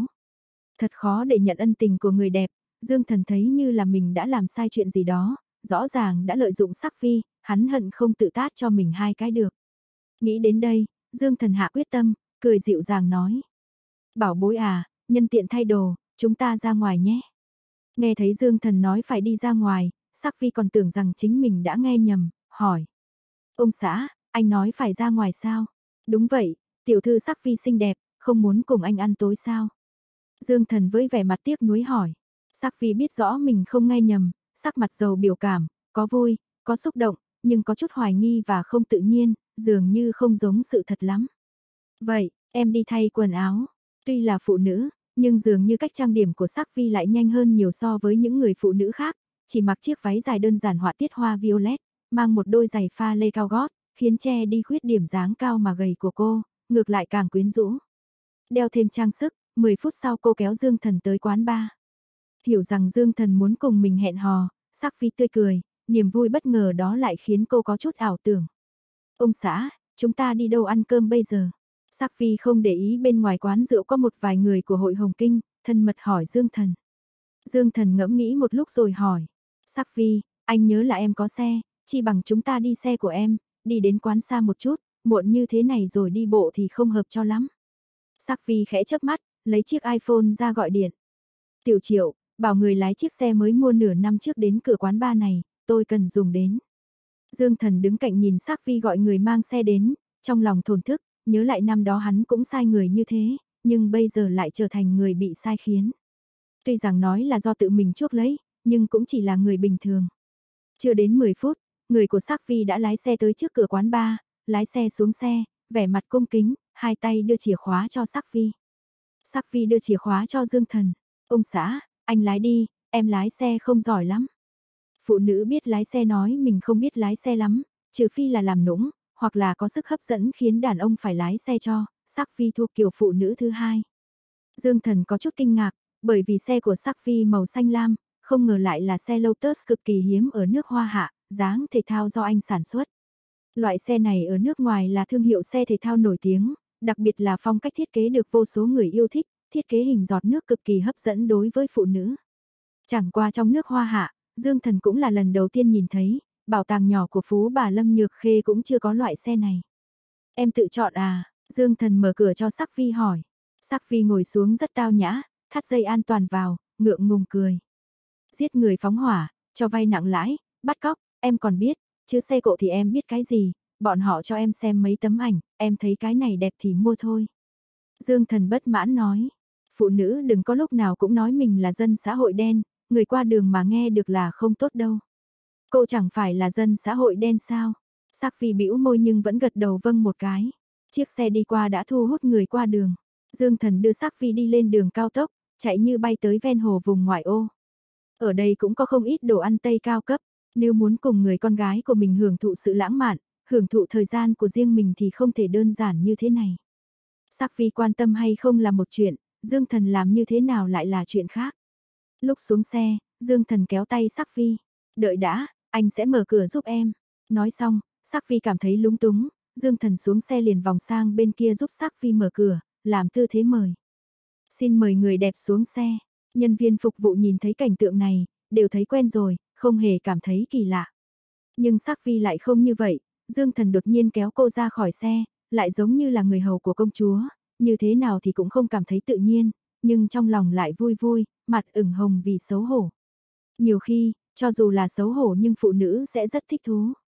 Hai người nắm tay đi vào nhà hàng cơm Tây ở ven hồ, thiết kế mang đậm phong cách châu Âu, bài trí thêm yên ngựa, móng ngựa, áo giáp kỵ sĩ. Màu vàng lờ mờ của ánh điện càng khiến nhà hàng thêm mông lung huyền bí. Dương thần thấy sắc vi nhìn xung quanh, đầy vẻ hiếu kỳ, thương xót nói. Lần sau anh sẽ đưa em đi chơi nhiều hơn, em đó, kiếm được nhiều tiền như vậy, mà suốt ngày chỉ buồn bã, thật là lãng phí cuộc đời. Sắc vi lắc đầu, không phải đâu, sau khi biết anh, em không còn cảm thấy nhàm chán nữa, lúc ở cạnh anh em cảm thấy rất vui, lúc anh không bên cạnh, đợi anh cũng thấy rất vui. Nếu anh mà là diễn viên, anh nhất định sẽ làm cho em rơi nước mắt, nhưng đáng tiếc anh không phải thế, nhưng xin hãy tin anh, em lại khiến anh cảm động rồi. Dương Thần Thành thật nói, người phụ nữ này luôn thẳng thắn nói ra mà không hề miễn cưỡng khiến cho mọi người cảm thấy xúc động. Sắc Phi thản nhiên cười, thực ra em cảm thấy em không thích hợp với nơi này, anh xem mọi phụ nữ khi ra khỏi nhà đều mang theo túi sách, thậm chí họ còn mang theo mũ khi đi ăn cơm, em thì chỉ chọn đại một bộ quần áo, giống như người nhà quê vậy. Nếu muốn thì đợi anh đi mua cho em một cái túi. Hình như anh chưa nhìn thấy em mang túi bao giờ, anh mua cho em nhé. Dương thần hỏi, sắc vi lắc đầu, nếu như em muốn thì nhân viên cấp dưới đã mua cho em mấy trăm cái rồi. Đồ đạc của em đều là do mọi người mua cho, nhưng em không cần bởi vì không cần thiết. Nếu như là dao hoặc súng, ừ, nếu như có thể mua được cái loại súng đã ngưng sản xuất thì em sẽ rất vui.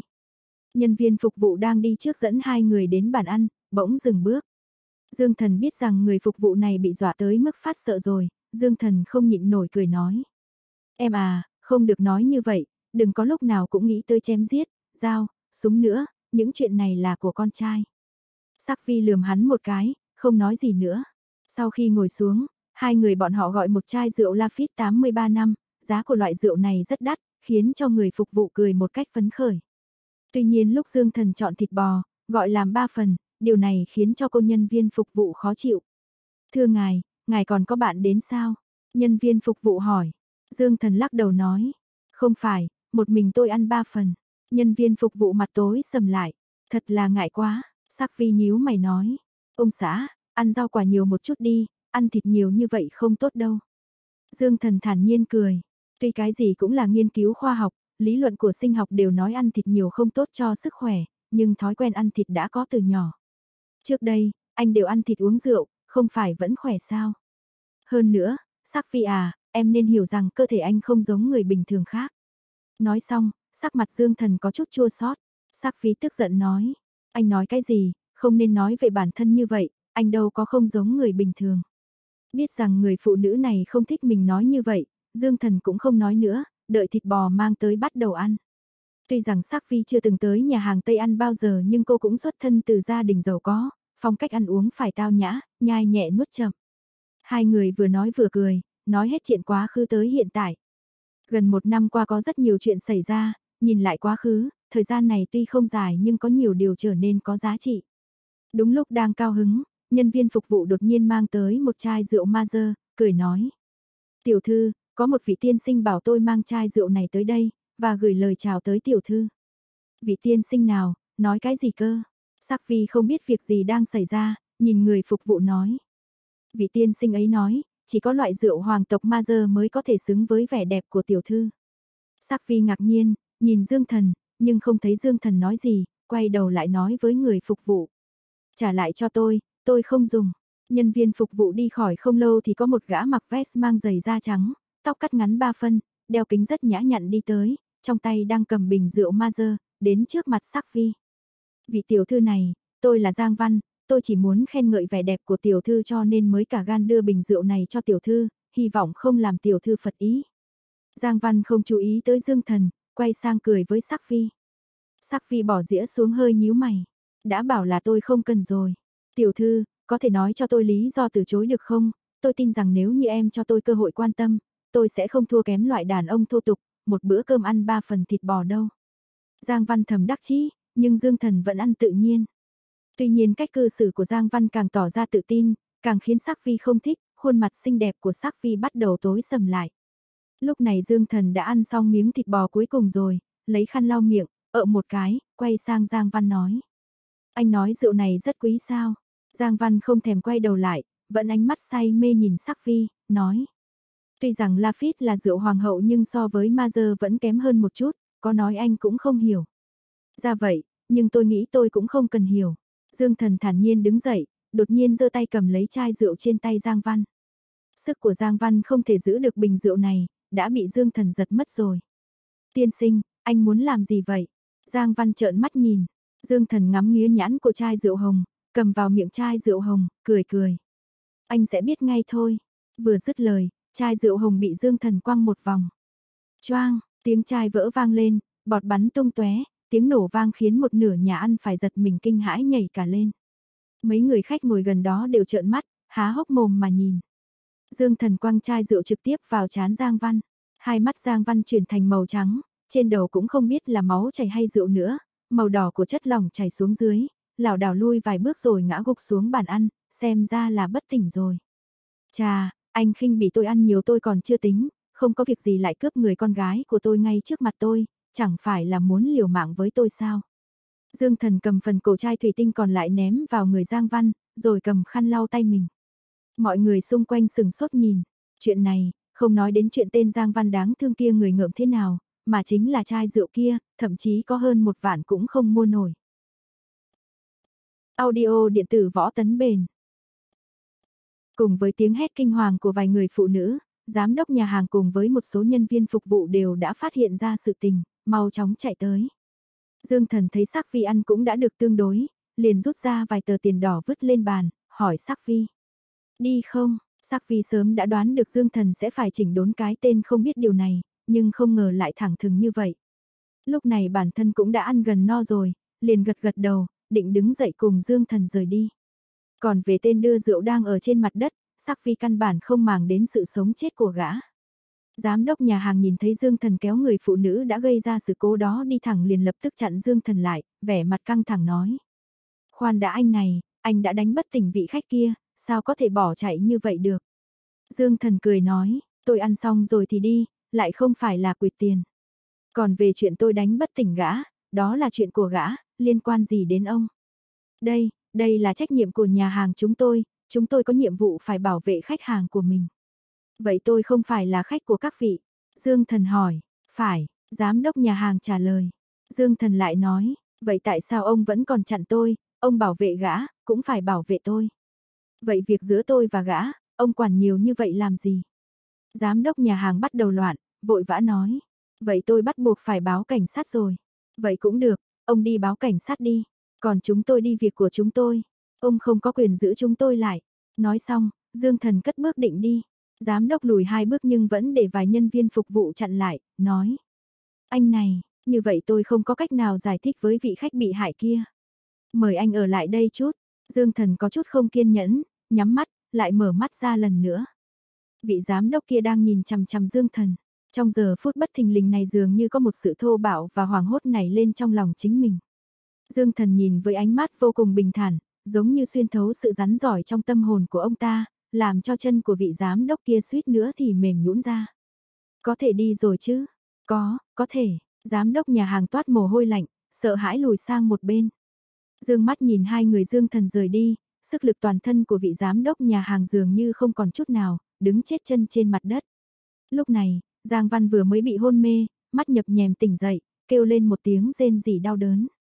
Khi đi ra khỏi nhà hàng thì trăng đã nhô lên cao, sáng trưng, từng đợt gió thu thổi lành lạnh. Bên hồ đã có không ít người đang tàn bộ, cây liễu bên hồ cũng đã cành lá tà tơi, nhưng hồng phong lại đang trong thời điểm rực rỡ, dưới ánh đèn đường sáng cho hiện ra dạng rỡ như lửa. Sắc phi duỗi lưng hưởng thụ, đi đến trước mặt, bước chậm rãi, cười nói. Ông xã hà, thực ra anh cũng không cần phải dọa bọn họ như vậy, giám đốc nhà hàng đó thật đáng thương. Dương thần cười cười, anh cũng đi thẳng như vậy rồi. Việc đó chính là mối thù riêng của chúng ta và tên họ Giang kia. Trong nhà hàng kia của y nhất định sẽ ảnh hưởng đến việc làm ăn nhà hàng của y và của người khác. Nói cũng đúng, không biết cái tên đáng ghét đó đã tỉnh lại chưa, tốt nhất là biến thành người thực vật luôn đi. Sắc Vi nói không một chút khách khí. Tên Giang Văn đó đối với Sắc Phi là một tên phá đám, do tên Giang Văn này dám chế nhạo người đàn ông mà Sắc Phi yêu thương ở trước mặt cô. Hai người đi lại một lúc bên hồ mới trở về bãi đỗ xe, lấy xe rời khỏi khu ẩm thực này. Con đường trở về rất yên tĩnh, bởi vì đường của vùng ngoại ô này rất rộng mà người qua lại lại tương đối ít, vì vậy giao thông rất khác thường. Khi xe sắp chạy đến đường cao tốc thì đột nhiên Dương Thần phát hiện thấy trên con đường phía trước xuất hiện một đoàn xe có đến 7-8 chiếc xe màu đen, toàn bộ đầu xe đều nhắm vào xe Dương Thần. Dương Thần đành dừng xe lại, lúc này, 8 chiếc xe đằng trước đều bật đèn sáng trưng. Hơn nữa, lại là 16 chiếc đèn cùng dọi vào. Ánh đèn sáng chói làm người ta cảm thấy khó mở mắt. Vài chiếc xe ở sau Dương Thần cũng chỉ còn cách từ từ dừng lại, mọi người đều bị chặn không lên được đường cao tốc. Dương Thần nhìn sang Sắc Phi ngồi bên cạnh, sắc mặt của Sắc Phi đã trở nên khó coi, hiển nhiên cô cũng đoán được là tên Giang Văn kia giở trò. Ông xã, anh nên đập vào thằng huyệt thái dương của y. Sắc Phi thờ hồn hển nói. Dương Thần cười gượng, bà cô này đang thực sự nổi giận. Đáng lẽ hôm nay là cuộc hẹn thân mật đầu tiên ở bên ngoài của hai người, Sắc Phi lòng đầy vui sướng. Sự việc đang diễn ra tốt đẹp thì lại gặp phải một tên không biết điều, ăn nói lung tung, phá hỏng mất hứng thú của cô đã không nói, lại còn dai dẳng không thôi. Lúc này, đối diện với ngọn đèn, bóng dáng của mười mấy người đi tới. Ánh sáng dọi xuống có thể nhìn thấy rõ. Phía trước là một người đàn ông quấn băng vải màu trắng trên đầu, sắc mặt tái nhợt nhưng giữ tợn chính là Giang Văn. Kẻ vừa mới đây thôi còn nằm trên mặt đất, bên cạnh gã là một tên đàn ông trung niên mũi cụ tỏi đeo vòng cổ bạc, tóc cực ngắn, mặc chiếc áo sơ mi màu đen cùng đi với Giang Văn, vẻ mặt vô cùng bình tĩnh. Giang Văn chỉ vào chiếc xe đua màu xanh, nói với gã đàn ông trung niên đó. Hào ca, chính là đôi nam nữ trong chiếc xe này. Người phụ nữ kia là kẻ không biết điều, còn gã đàn ông đi với ả à đã đánh tôi ra nông nỗi này. Gã đàn ông được gọi là Hào ca phẩy phẩy tay, từ đằng sau một gã mập lập tức nhảy bổ lên, trong tay cầm ống thép, chuẩn bị đập nát chiếc xe. Do kính của chiếc xe đua này là loại được chế tạo đặc biệt, bên ngoài không thể nhìn rõ tình hình bên trong, vì vậy bọn họ không thấy có người xuống xe liền trực tiếp dùng tới vũ lực. Dương Thần đương nhiên sẽ không chờ chiếc xe bị đập tan tành mà ngay lập tức mở cửa xe bước xuống, nói với tên đang hùng hổ xông đến. Ai chà, đợi chút, đập cái gì mà đập, đập bể rồi, mày bồi thường nổi không? Gã mập đó nhìn thấy có người bước xuống xe liền dừng bước, quay đầu nhìn ông chủ. Hào ca, tên tiểu tử này, chính hắn đánh tôi. Giang Văn một tay cầm lấy cánh tay của Hào ca, không kìm nổi giận dữ chửi rủa. Hào ca cười mỉm với Giang Văn. Giang công tử, chúng ta có thể thỏa thuận chút. Làm xong việc này, một triệu sẽ không biến mất chứ. Yên tâm, chỉ cần giúp tôi xử lý hắn và à kia, một triệu là chuyện nhỏ. Ánh mắt Giang Văn nóng phừng phừng, nói. Nhưng Hào ca này, đến lúc đó đừng gây phiền phức cho tôi đấy. Hào ca cười lớn, vỗ vỗ vào vai Giang Văn. Người anh em tốt, người anh này sẽ giúp chú làm việc. Nếu xảy ra vấn đề gì với chú thì chỉ cần mang tiền đến, tất cả sẽ được giải quyết ổn thỏa. Nói xong, ánh mắt của Hào ca chuyển hướng sang Dương Thần, nhìn Dương Thần đánh giá, hỏi. Người anh em, chiếc xe này, là của mày sao? Dương Thần lắc đầu, nói như thật, là của người phụ nữ của tôi. Hào ca hiểu ra vấn đề. Hóa ra người anh em này là công tử bột, không tồi chút nào. Trông như vậy mà có thể dựa dẫm vào đàn bà. Tuy nhiên việc ngày hôm nay đã xảy ra rồi, tao. Hào ca đây luôn muốn có một lời giải thích cho vị công tử họ Giang này. Mày hãy mời người đẹp của mày bước ra ngoài đi, ngồi trong xe như vậy buồn bực đến phát điên mất. Tên họ Giang này cho mày một triệu, mày liền làm việc cho y. Tại sao mày không hỏi, chúng tao có cho mày tiền để xử lý tên họ Giang kia không chứ? Dương thần hỏi một cách chậm rãi, ánh mắt hào ca chợt lóe lên, tao thích đề nghị của mày đấy. Nếu như bọn mày có thể đưa ra một cái giá khiến tao động lòng, không chừng tao sẽ thay đổi kế hoạch. Tên hạ Giang Văn liền giật mình, nhảy bật người lên hét lớn. Hào ca, anh không thể như vậy được, chúng ta đã hợp tác nhiều lần như vậy rồi, sao anh có thể giúp người ngoài đối phó với tôi chứ? Hào ca lạnh lùng nhìn Giang Văn, Giang công tử, chúng ta đều dựa vào tiền để làm việc, không phải dựa vào con người này của chú để làm việc.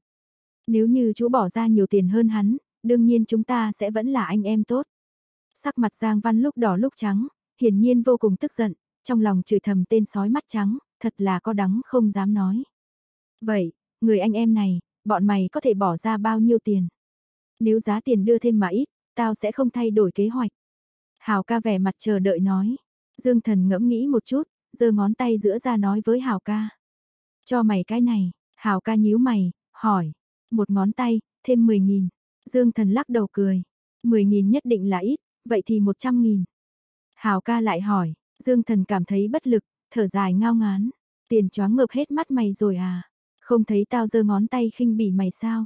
Hảo ca chút nữa ngất xỉu, mặt đỏ tía tai, nếu như không phải là tóc ngắn, không chừng sẽ bốc hơi trên đầu mất. Mắng cái chết tiệt gì vậy, mày đùa tao à? Hào ca giận dữ gầm lên. Dương thần phẩy tay, thôi đi, tao không có hứng thú với đàn ông. Hào ca cuối cùng cũng không nhịn thêm được nữa, cười nham hiểm. Tao cũng không có hứng thú với thằng như mày. Cô em trong xe của mày không chịu ra thì hôm nay, Hào ca này sẽ thay mày mời cô em đấy ra. Đối với một thằng công tử bột như mày, cho mày thấy thế nào mới gọi là đàn ông. Nói xong, Hào ca ngẩng đầu, bước tới trước cửa xe, một tay mở cửa ra. Trong nháy mắt, cửa xe đã mở ra. Hào ca sững người tại chỗ, một tay cầm lấy cánh cửa xe, hai mắt mở to, mồm miệng như cứng lại, cứ ngây ra như vậy. Giang Văn cẩn thận đề phòng Dương Thần, sau đó liền chạy tới bên cạnh Hào ca. Nhìn thấy sắc vị ung dung ngồi ở trên ghế, hai mắt sôi sùng sục. Thế nào, Hào ca, cô em này không tồi chứ? Hào ca như thể bị lời nói đó làm cho thức tỉnh. Trong nháy mắt toát ra sự sợ hãi tột độ khó có thể tin được, toàn than run rẩy, nuốt nước bọt. Giang Văn quay đầu nhìn về mặt Hào ca, sắc mặt trở nên lo lắng và vô cùng tức giận. Mày, mày, đồ khốn khiếp này, lời nói như thể nghiến răng phát ra, Hào ca liền giơ nắm đấm ra, đấm thẳng một phát vào gương mặt tuấn tú của tên Giang Văn kia. Á, Giang Văn kêu lên một tiếng, máu mũi bắn ra, choáng váng quay vài vòng, sờ thấy máu mũi chảy ra, hét lên như khóc. Hào ca, sao anh lại đánh tôi? Là tôi muốn anh đối phó với đôi cẩu nam nữ kia. Cẩu, cẩu nam nữ, Hào ca lập tức giơ chân dí lên chán Giang Văn, nâng chân đá vào ngực y. Đá Giang Văn bay ra ngoài khoảng 3 mét như thể không cần chút sức lực nào. Lần này, Giang Văn khạc máu từ miệng ra, ngất ngay tại chỗ. Tên đáng thương, trong khoảng thời gian ngắn bị đánh hai lần đến nỗi hôn mê bất tỉnh trước tất cả mọi người. Hào ca run rẩy xoay người, ôm lấy thắt lưng, trên mặt nở một nụ cười khó coi hơn cả khóc. Sắc Phi ngồi trên ghế với vẻ mặt không chút cảm xúc cười ha hả. Hội, hội trưởng, không ngờ là cô. Đây, đây quả là đã đắc tội lớn rồi, đúng là có mắt không thấy Thái Sơn, nếu tôi sớm biết đó là cô, thì A Hào tôi đã, đã. Đã cái gì? Sắc Phi quay đầu, vẻ mặt vẫn rất bình tĩnh, hỏi. Nhưng chính lời nói không một chút cảm xúc nào như vậy lại khiến cho Hào ca càng cảm thấy sợ hãi, hai chân dường như bị dính chặt trên mặt đất, nửa bước cũng khó có thể động đậy. Dương Thần đứng ở bên kia nhìn màn kịch nực cười này. Không ngờ tên này lại chính là thuộc hạ của Sắc Phi. Hắn cũng không định làm gì cả, chỉ dựa vào đầu xe, nhìn Sắc Phi giải quyết ra sao. Một đám tiểu đệ đi cùng với Hào ca cũng đã phát hiện ra tình hình bất thường, bàn tán to nhỏ xem rốt cuộc là chuyện gì. Sắc Phi thở dài, a Hào, anh lợi hại hơn tôi rồi, lấy xe chặn đường, gây tai họa sau lưng người khác, đánh người, cướp phụ nữ, mở miệng cái là một triệu, hai triệu. Tôi trước đây không biết trong đám thuộc hạ của mình lại có người có năng lực như anh đấy. Hào ca lập tức khóc lóc thảm thiết. Hội trưởng, cô hãy nghe tôi giải thích. Tôi, tôi cũng vì bất đắc dĩ. Tên họ Giang kia cũng là người đứng thứ hai trong viện kiểm sát. Tôi cũng vì nghĩ cho anh em phía dưới mới giúp gã làm chút chuyện. Tiền lấy được cũng đều nộp vào quỹ hội. Vậy sao, vậy năm ngoái anh nộp bao nhiêu rồi? Sắc Phi thản nhiên nhìn gã, hỏi. Hào ca nhất thời nghẹn lời, gã biết không thể nói dối được, bởi vì tài chính mỗi năm đều được ghi chép, sau một hồi lâu mới nhỏ giọng nói. 2.SAI trăm ngàn. Vậy anh còn muốn biện minh gì nữa? Sắc Phi dứt khoát, Hào ca cúi thấp đầu xuống, sắc mặt thật thê thảm, ngậm chặt răng, nói không ra lời. Sắc Phi liếc gã một cái, nói, anh là một trong số những người sớm nhất từ hội tớ minh đi theo hội hồng kinh của tôi, vì thế tôi chưa bao giờ chia cắt thế lực của anh. Ngoài một số nguyên lão ở trong hội ra, thế lực phía dưới của anh bây giờ tuyệt đối có thể đứng vào hàng ngũ 20 người quyền lực nhất hội. Nhưng tôi thật không ngờ một số thuộc hạ của anh mà tôi đã tha cho lại trở thành lũ cường đạo ăn cướp, chặn đường trắng trợn như thế này.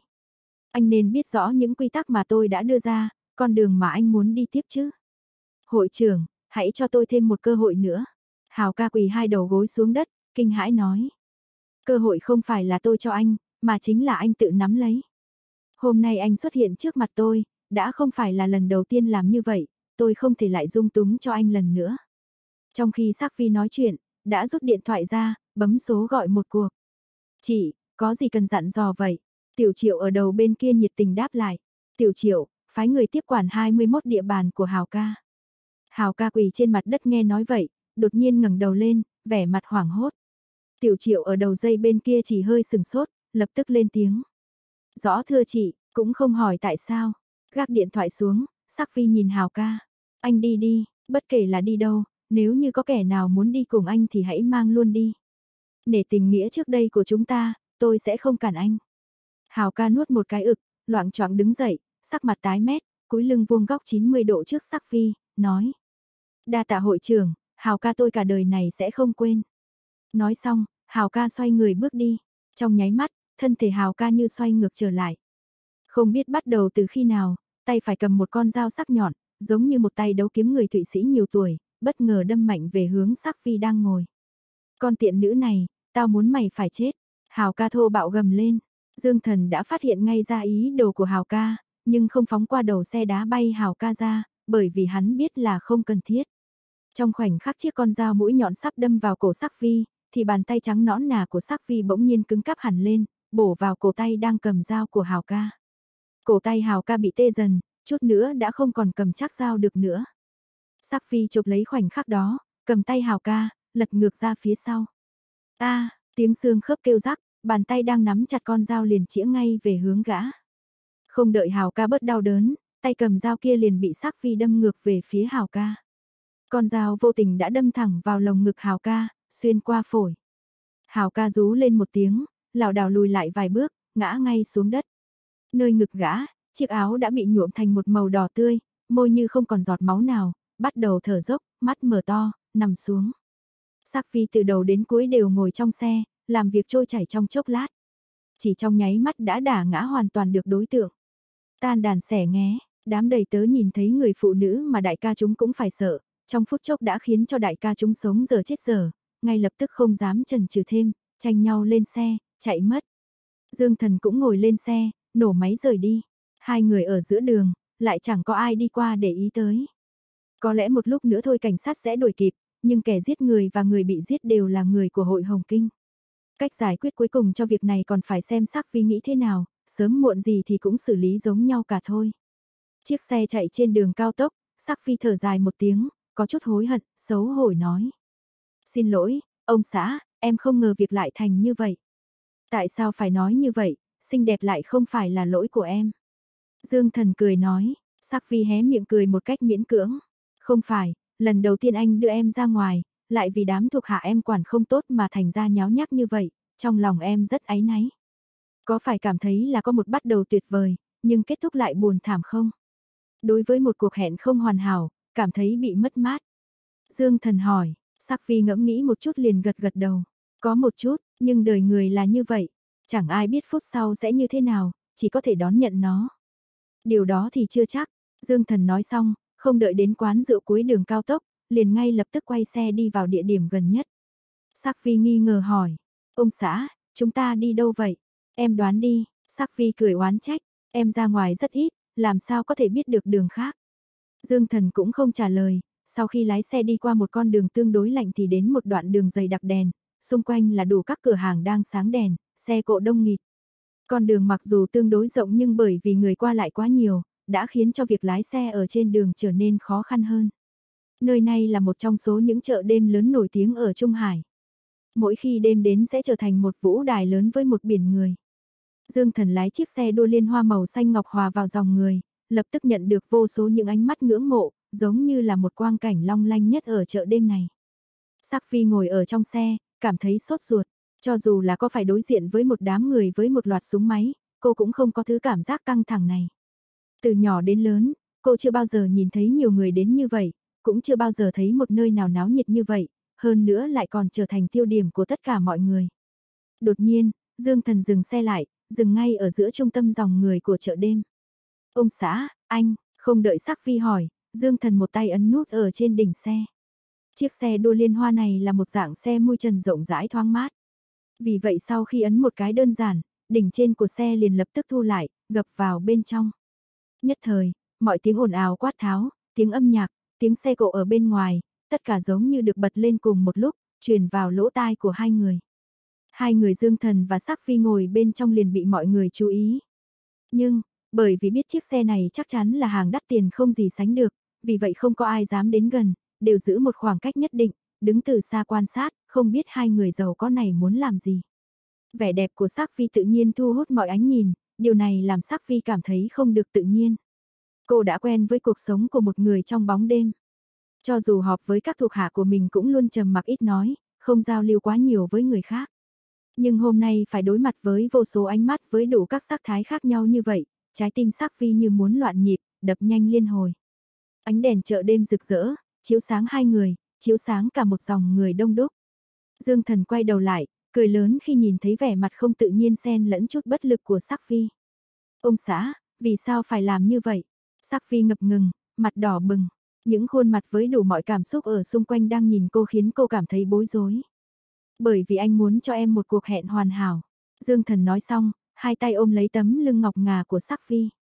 Trong sự ngỡ ngàng của sắc phi, hôn lên bờ môi mỏng của cô. Trong phút chốc, tất cả các đôi nam nữ ở chung quanh đều dừng bước, ngay cả người bán hàng rong cũng phải nhìn chăm chú vào hai người, quan sát đôi tình nhân bạo gan này.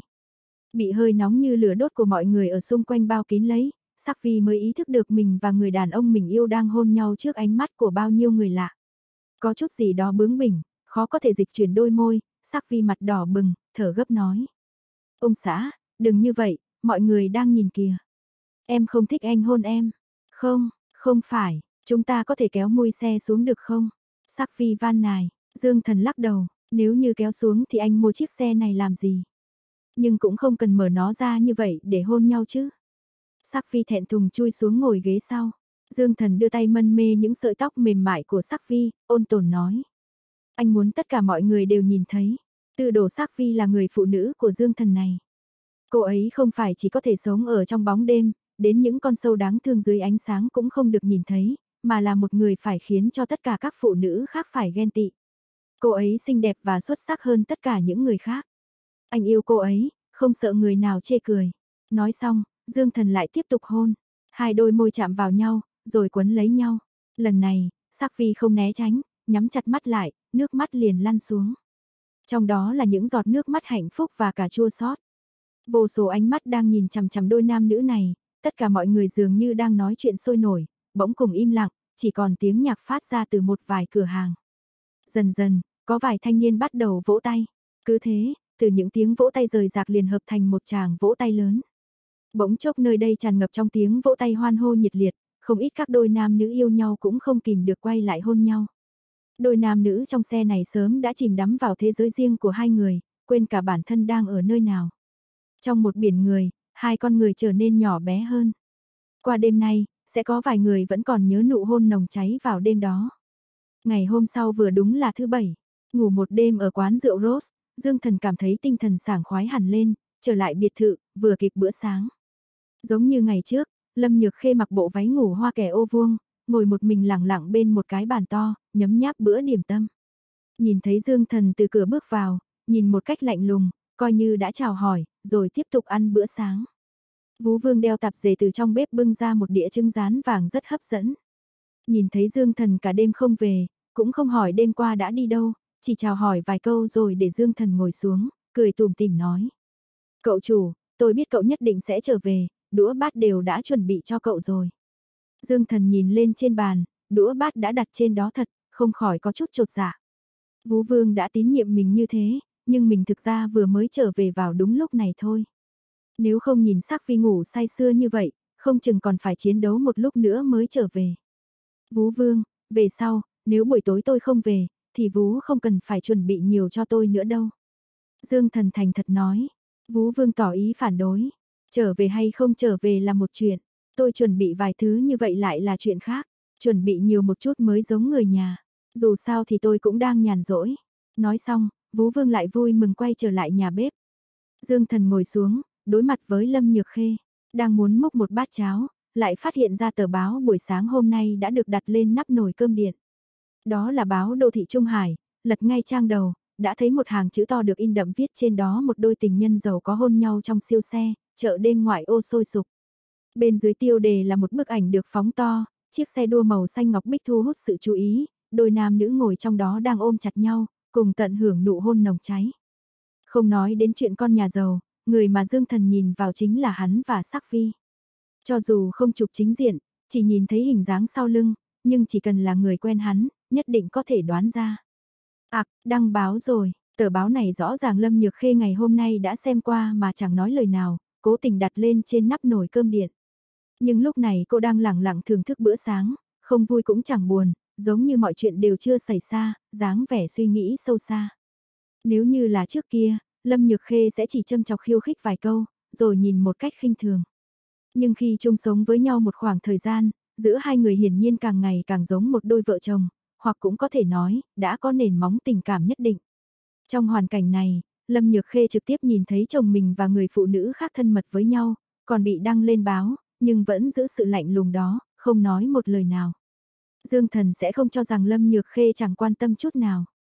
Nếu như hắn không để ý thì ngày hôm qua sẽ không hỏi chính mình xem có phải chán ghét cô hay không, hơn nữa còn một nỗi buồn, yêu tư khác.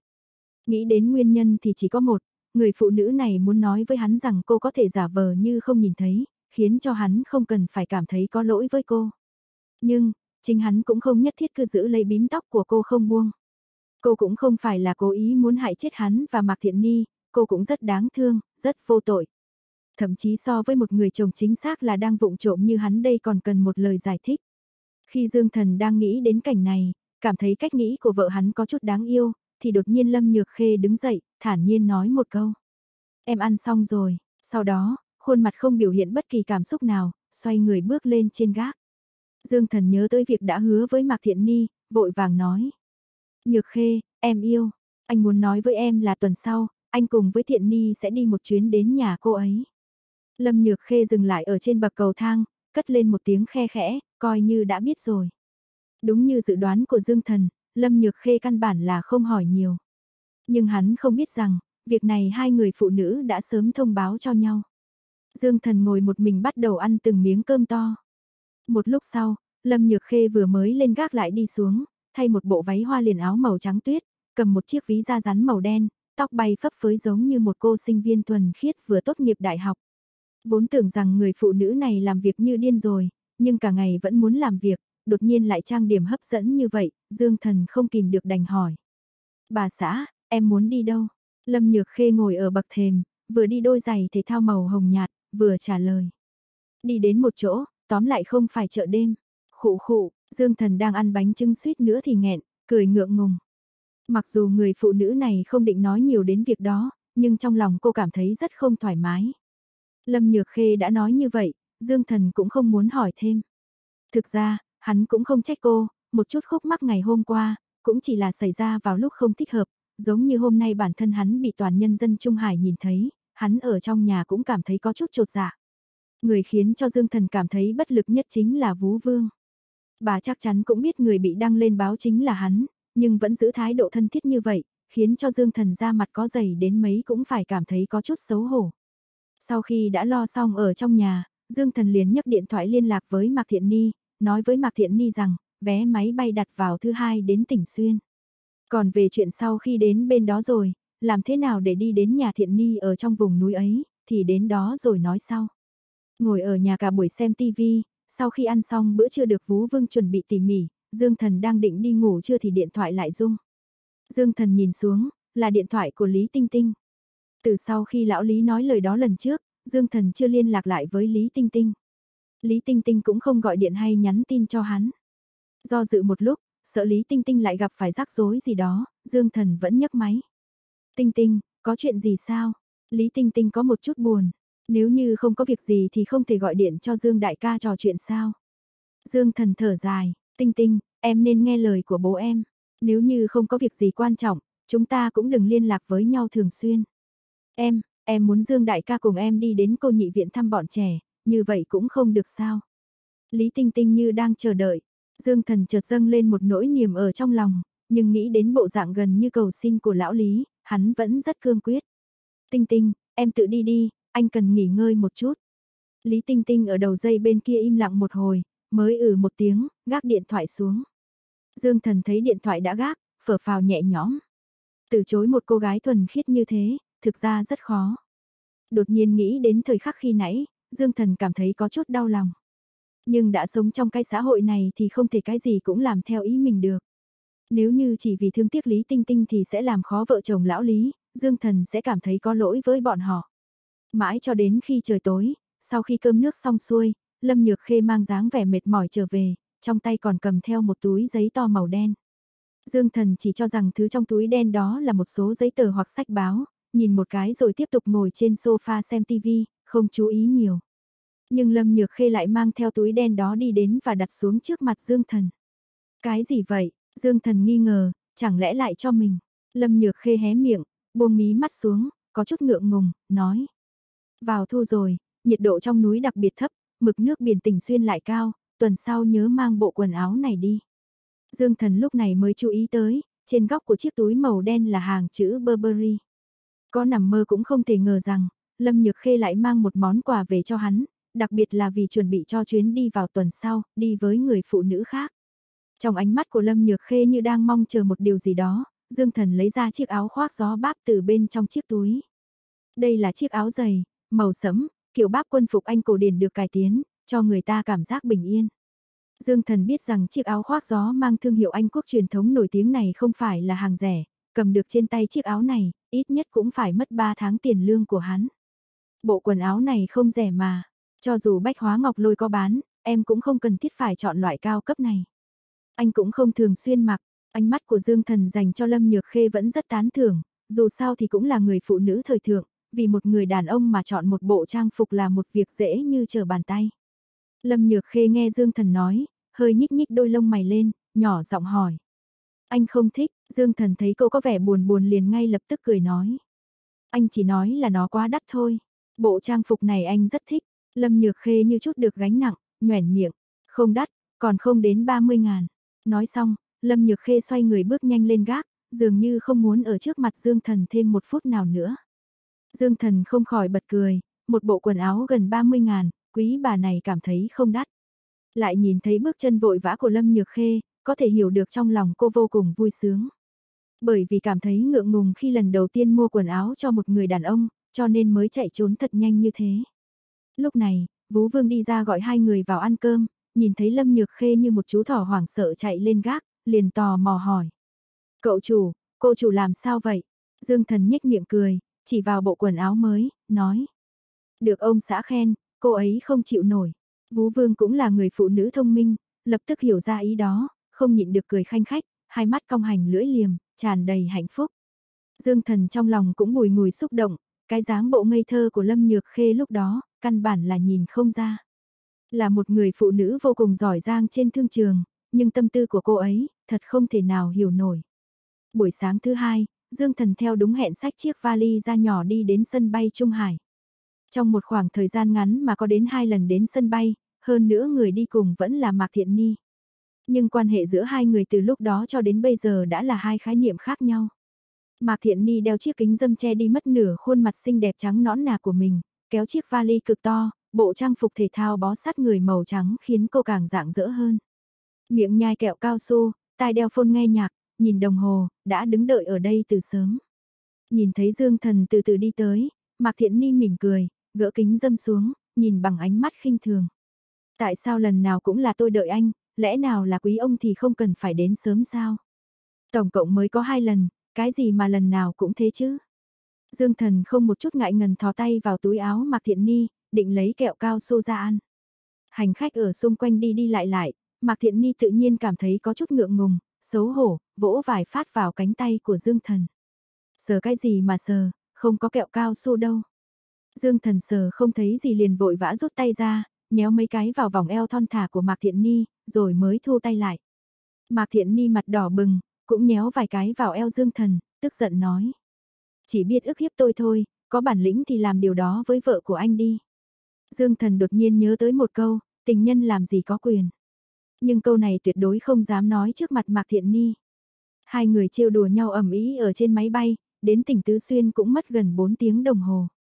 Dương Thần nhìn thấy các cô tiếp viên hàng không nở nụ cười ngọt ngào, liền nhớ đến cô gái không có lương tâm đó. Lần trước có nhắc qua việc bắt gặp được cô ấy lần nữa, cô ấy sẽ phải thừa nhận. Dương Thần nghĩ, có nên kiểm tra chính xác xem cô đang ở chuyến bay nào, tránh được đêm dài lắm mộng.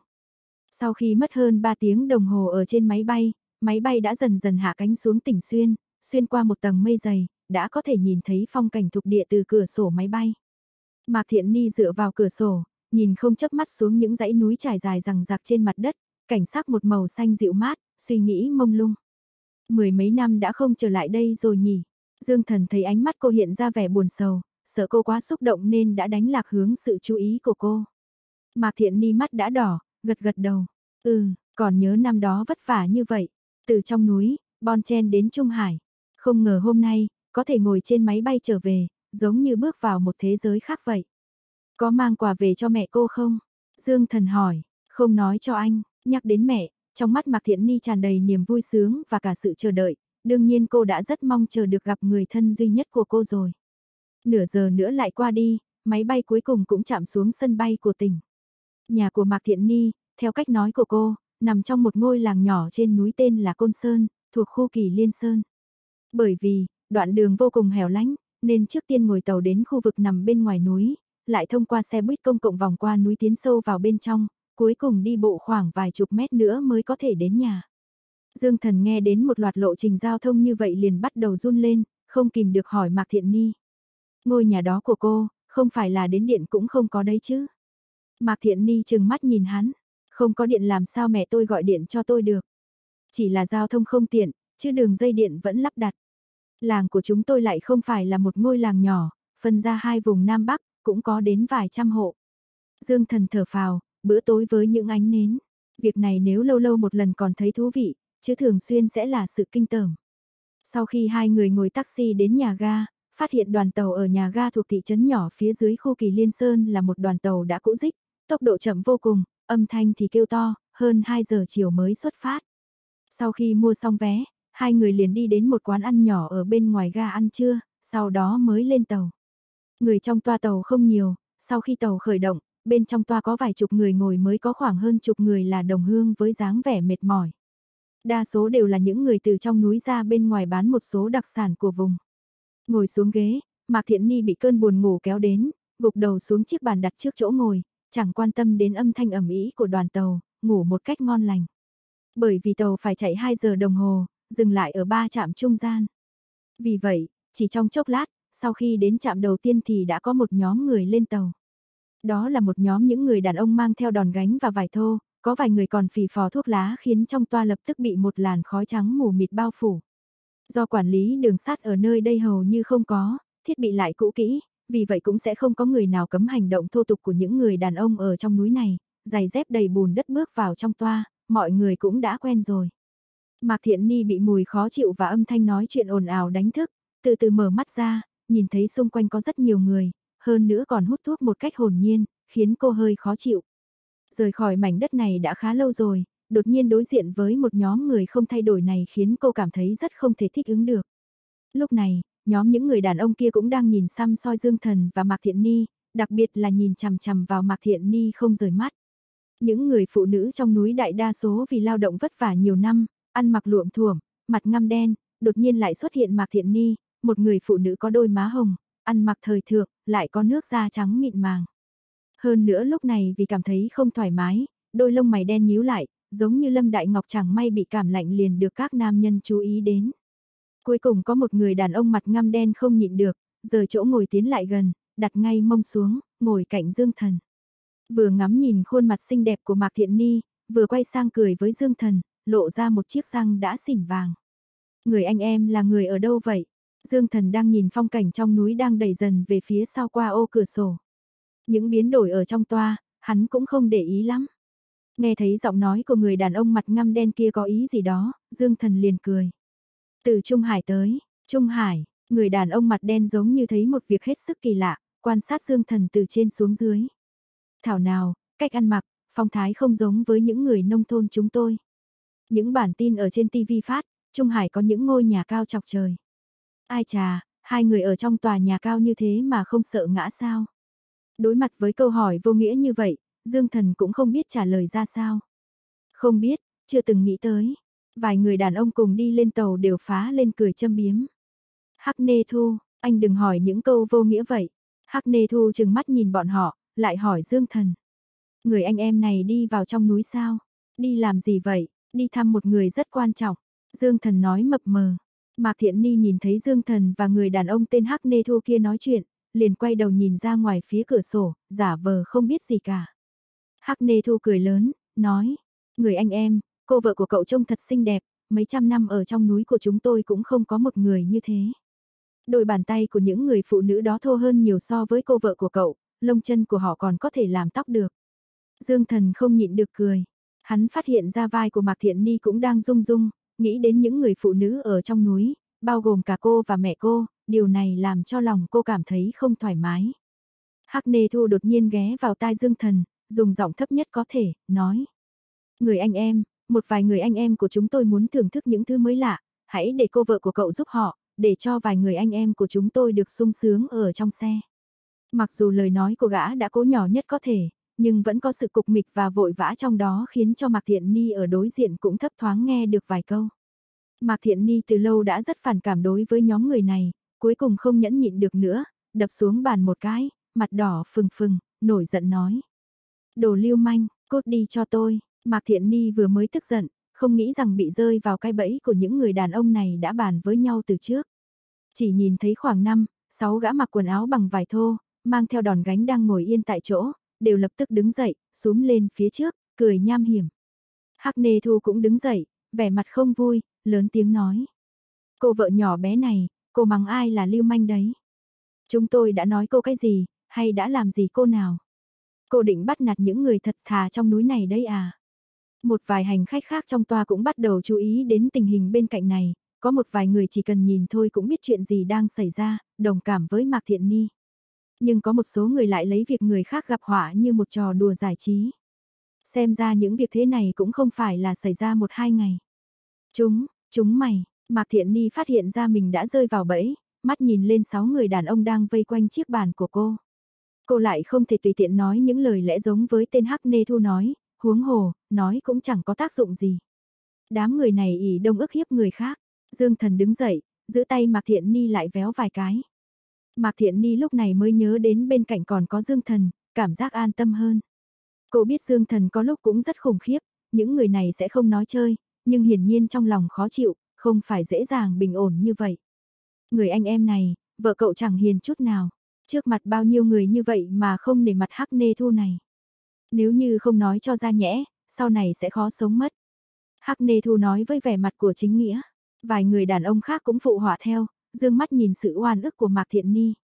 Dương thần trấn an Mạc Thiện Ni ngồi xuống, ngồi nghĩ cách đánh lũ người này, rồi ném ra khỏi tàu cho bọn chúng về núi. Nhưng không ngờ, tình hình lại phát sinh biến cố. Một chiếc đòn gánh che dài đột nhiên từ đằng sau vung lên, đập thẳng vào đỉnh đầu của một gã đang đứng đó. Gã đàn ông bị đánh kêu lên một tiếng đau đớn, máu từ trên đỉnh đầu bắt đầu chảy xuống, bị đánh cho ngã lăn trên đất, rồi cố loạn choạng đứng lên. Lúc này tất cả mọi người đều quay người lại mới nhìn thấy người đã dùng đòn gánh đánh gã đàn ông kia. Không ngờ lại là một người phụ nữ trẻ tuổi mặc một chiếc áo bằng vải dệt rộng thùng thình. Nhìn dáng vẻ có lẽ là một cô gái sớm đã phải đảm đương việc nhà, làm đồng áng, xem ra khá chín chắn. Đôi mắt đen lánh sáng lung linh, lúc này như sư tử mẹ đang nổi giận nhìn đám đàn ông kia. Dương Thần hướng ánh mắt tò mò sang Mạc Thiện Ni, cô nàng xinh đẹp này lẽ nào là em họ gì đó của Mạc Thiện Ni sao? Mạc Thiện Ni cũng tỏ ra vô cùng ngỡ ngàng, cô cũng không quen cô gái này. Những gã đàn ông này sau khi định thần lại, Hắc Nê Thu là người nổi điên đầu tiên, xông lên chặn đòn gánh của cô gái đó lại, dùng bàn tay to lớn của mình đẩy mạnh khiến cô gái kia ngã xuống đất. Chết tiệt, bà cô này từ đâu đến vậy? Đâu ai mướn cô xen vào chuyện của người khác? Hắc Nê Thu, Sơn Tử chảy máu không ngừng rồi kia, mụ đàn bà kia định liều mạng sao? Mẹ nó chứ, chơi nó, trả thù cho Sơn Tử. Vài gã đàn ông bất chấp mục tiêu ban đầu là Mạc Thiện Ni, tất cả mắt của những gã này đều trở nên đỏ ngầu. Sau khi đỡ người đàn ông tên Sơn Tử đang nằm trên đất kia lên ghế ngồi trên tàu, rồi quay lại đánh cô gái kia. Cô gái thét lên một tiếng, có người vừa mới đụng chúng cô, cô liền há miệng cắn vào cánh tay người đó. Trong toa tàu hỗn loạn vô cùng, một mình cô gái đó dạy cho những gã đàn ông kia một trận khiến họ không dám tới gần. Nhưng sức lực của cô gái này rốt cuộc vẫn là yếu, chỉ chống cự được một lúc, lập tức bị hai gã đàn ông thừa cơ hội giữ chặt cánh tay, một người đè đầu cô xuống, mặc cho cô có dãy dụa thế nào đi chăng nữa cũng chẳng ích gì. Tên hắc nê thu kia thở hồng hộc, rít lên một tiếng. Chết tiệt, đụng phải bà cô này, gan to thật, mấy anh em chúng ta thiệt lớn rồi. Mặc dù cô gái đó bị khống chế, nhưng đôi mắt luôn trợn lên nhìn chằm chằm vào mấy gã đàn ông này, như muốn ăn tươi nuốt sống bọn họ. Cô gái bé nhỏ này giang tay giúp đỡ cũng bị mấy tên cầm thú này làm nhục. Mạc Thiện Ni muốn Dương Thần chạy ra cứu lấy cô gái đó, cô biết Dương Thần có thể dễ dàng làm được. Nhưng vừa mới muốn Dương Thần qua đó, đã thấy Dương Thần đi đến sau lưng của mấy gã đàn ông kia. Dương Thần đẩy đẩy hai gã đàn ông đứng gần nhất. Này, này, đừng có mà làm phiền, đợi một chút nữa sẽ đến lượt hai chúng mày. Gã đàn ông kia gầm lên. Dương Thần nhíu mày, cũng không nhiều lời, chụp thẳng cổ của hai gã đàn ông đó từ phía sau, không đợi hai gã này phản ứng kịp, dí cổ hai gã này xuống khiến cho bọn họ chân bị mềm nhũn ra. Đầu óc quay cuồng ngã ngay tại chỗ, bốn gã đàn ông còn lại ở trước mặt, bao gồm cả tên Hắc Nê Thu, đều nhận thức được tình hình, liền thả cô gái đang cố gắng vùng vẫy kia ra, cầm lấy hai cái đòn gánh ở gần nhất định nện vào người Dương Thần. Không khí ở trong toa đột nhiên trở nên một ngạt vô cùng, tất cả mọi người đều đang xem cảnh tượng chiến đấu quyết liệt giữa bọn họ, không cả dám thở. Dương Thần giơ tay chặn lại, hai chiếc đòn gánh nện xuống bị phản tác dụng gãy làm đôi. Hai gã đàn ông tay run run, không đợi cho chúng rút lui, Dương Thần đưa hai tay ra chụp lấy mặt chúng, đấm thẳng vào mặt chúng khiến răng và máu từ trong miệng văng ra ngoài. Hai gã này như quay cuồng, loạn choạng ngã ngay xuống đất, không đứng dậy nổi. Tên Hắc Nê Thu cũng một tên còn lại đứng ở gần nhất bị dọa cho sợ chết khiếp, cứ lùi dần lùi dần về phía sau, co người lại ở cuối toa tàu. Dương Thần từ từ đi lên phía trước, xoay người, mở cửa toa. Tốc độ của đoàn tàu cũ dích này chậm vô cùng. Sau khi mở cửa, gió thổi vào vù vù, tiếng bánh tàu cọ vào đường dây hỗn loạn, lại không phải quá mãnh liệt, hơn nữa ngay cả khi tăng tốc thì tốc độ cũng vẫn rất chậm. Dương Thần chỉ vào cánh cửa đang mở, tự nhảy xuống, hay là để tao ném bọn mày xuống. Khuôn mặt ngăm đen của Hắc Nê Thu chuyển sang trắng bệch. Đại, đại, đại ca, chúng tôi sai rồi, xin đừng, không đợi Hắc Nê Thu nói dứt lời, Dương Thần không còn đủ kiên nhẫn liền túm lấy cổ áo gã, sắc mặt vẫn không một chút thay đổi. Hắc Nê Thu bị ném xuống bãi cỏ, theo quán tính cả người và đòn gánh quay vài vòng. Dương Thần nhìn sang tên kia, tên này đang dựa vào toa tàu, hai chân run bần bật đến nỗi bị trượt ngã. Dương Thần thở dài một tiếng, xem ra mày cũng không còn sức mà nhảy nữa rồi. Nhưng không đợi Dương Thần nói hết câu, tên này liền hét lên một tiếng không, rồi gần như là bị bổ nhào ra khỏi cửa. Những tên còn lại, ngoài một tên đáng thương bị đánh đến nỗi máu me đầy đầu, đang nằm bất tỉnh nhân sự ở trên ghế ra, thì số còn lại từng tên một bị Dương Thần ném ra ngoài. Sau đó, Dương Thần thuận tay đóng cửa toa lại. Những hành khách khác trong toa nhìn thấy hành động của Dương Thần đều theo bản năng rút về ngồi ở một góc, nhìn Dương Thần với ánh mắt sợ sệt. Mạc Thiện Ni sớm đã đỡ cô gái kia đứng dậy, để cô ấy ngồi cạnh mình, còn rút khăn tay ra lau nước mắt cho cô gái đó, lau sạch những vết bẩn trên khuôn mặt cô ấy. Dương Thần trở lại chỗ ngồi, cô gái kia rõ ràng sợ hắn, nhìn trộm Dương Thần một cái, rồi lập tức thu ánh mắt lại, ngồi bên cạnh Mạc Thiện Ni với vẻ nhút nhát. Dương Thần, lấy xúc xích ngô tôi đã chuẩn bị ở trong túi ra đây, đưa cho Diệp Nhi ăn chút. Dương Thần mỉm cười, cô gái này tên Diệp Nhi, hai người đã trò chuyện với nhau nhanh vậy sao? Cô ấy tên Diệp Tử, tên cúng cơm là Diệp Nhi, cái tên này nghe hay thật. Mạc Thiện Ni vuốt bím tóc đuôi sam của Diệp Tử một cách thân thiết. Cô rất thích cô gái này, dù không quen biết nhưng đã ra tay giúp đỡ bọn họ. Dương Thần lấy mấy đồ ăn vặt ở trong túi ra đặt lên trên bàn. Mạc Thiện Ni lập tức đưa cho Diệp Tử ăn, Diệp Tử nhỏ giọng khước từ, nhưng nhìn thấy Mạc Thiện Ni xị mặt xuống, đành phải ăn vài miếng. Dần dần, Diệp Tử phát hiện ra hai người Dương Thần trông rất lương thiện, liền cởi mở hơn. Nghĩ đến cái bụng đói, liền ăn ngấu nghiến hai thanh xúc xích và một túi đậu phụ khô, nước ở trên đầu ngón tay cũng không buông tha. Mạc Thiện Ni khẽ thở dài một tiếng, lấy khăn tay ra đưa cho Diệp Tử lau miệng. Còn đói không, muốn ăn thêm không? Diệp Tử lắc đầu, nói, không cần nữa, cảm ơn anh chị, em đừng ngại chúng tôi, em đã giúp chúng tôi như vậy, mời em ăn một chút cũng có sao. Mạc Thiện Ni nói xong, định tự mình lấy đồ ăn cho cô gái đó ăn. Diệp Tử liền vội vàng ngăn Mạc Thiện Ni lại, thật sự không cần đâu chị ơi, mẹ em nếu biết em mặt dày như vậy nhất định sẽ đánh em. Em ngoan ngoãn như vậy, ai nỡ lòng nào đánh em. Đám người xấu đó, may mà đều bị ném xuống tàu rồi. Mạc Thiện Ni cười nói, Diệp Tử nhìn Dương Thần với ánh mắt nể phục, anh thật lợi hại, em chưa từng nhìn thấy người đàn ông nào trong làng chúng em lại lợi hại như vậy. Dương Thần hiểu ý liền cười, vừa nãy mới chỉ đem một ít khả năng của bản thân thôi, nếu thể hiện bản lĩnh thật sự, không chừng cô gái này sẽ sợ chết khiếp mất. Diệp Nhi, em về nhà sao? Cảm giác của Dương Thần về cô gái thuần khiết này quả không sai, giống như một cô gái từ nông thôn đi ra. Diện mạo của Diệp Nhi so với Trần Dung lúc đầu nhìn thấy bình thường hơn nhiều, nhưng lại có một sự cam đảm khác thường khiến hắn cảm thấy rất có hứng thú.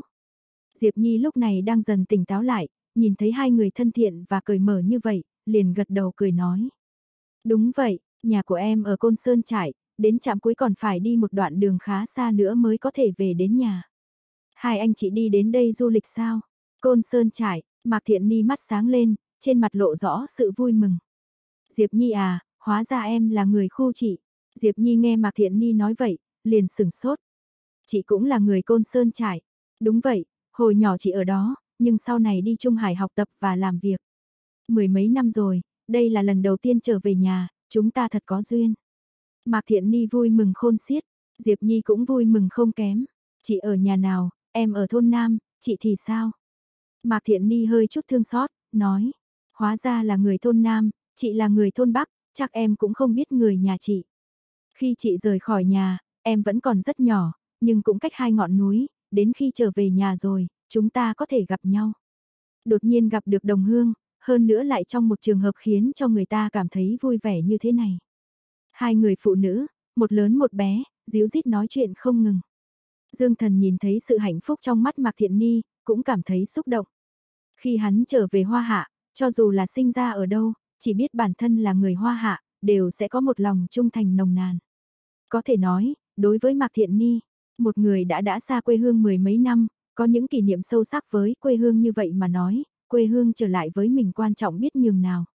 Bởi vì Mạc Thiện Ni nhiều năm chưa trở lại Côn Sơn trại nên có những việc mới mẻ, Diệp Tử đều kể rõ cho Mạc Thiện Ni, cứ như vậy, hai người trò chuyện rất tự nhiên. Trong khi nói chuyện mới biết, Diệp Tử chưa học hết trung học đã phải bắt đầu nuôi gia đình, mang những đặc sản ở trong núi ra ngoài thị trấn bán. Lúc đầu thì đi bán cùng với mẹ cô ấy, nhưng từ năm ngoái cô ấy đã phải đi một mình. Dần dần, cũng quen dần với Dương Thần và Mạc Thiện Ni, mở miệng gọi chị Mạc Anh Dương một cách tự nhiên hơn. Nói đến đoạn về sau, cổ họng Diệp Tử bị khô khốc, âm thanh phát ra hơi khàn khàn thì Mạc Thiện Ni mới biết được cô đã nói quá nhiều rồi, ngại ngùng lấy ra một bình nước chưa uống ngụm nào đưa cho Diệp Tử uống. Diệp Tử ngay cả khi nhìn thấy nước cũng cẩn thận từng tí một, ánh mắt chiều mến của Mạc Thiện Ni giống như mẹ nhìn con gái.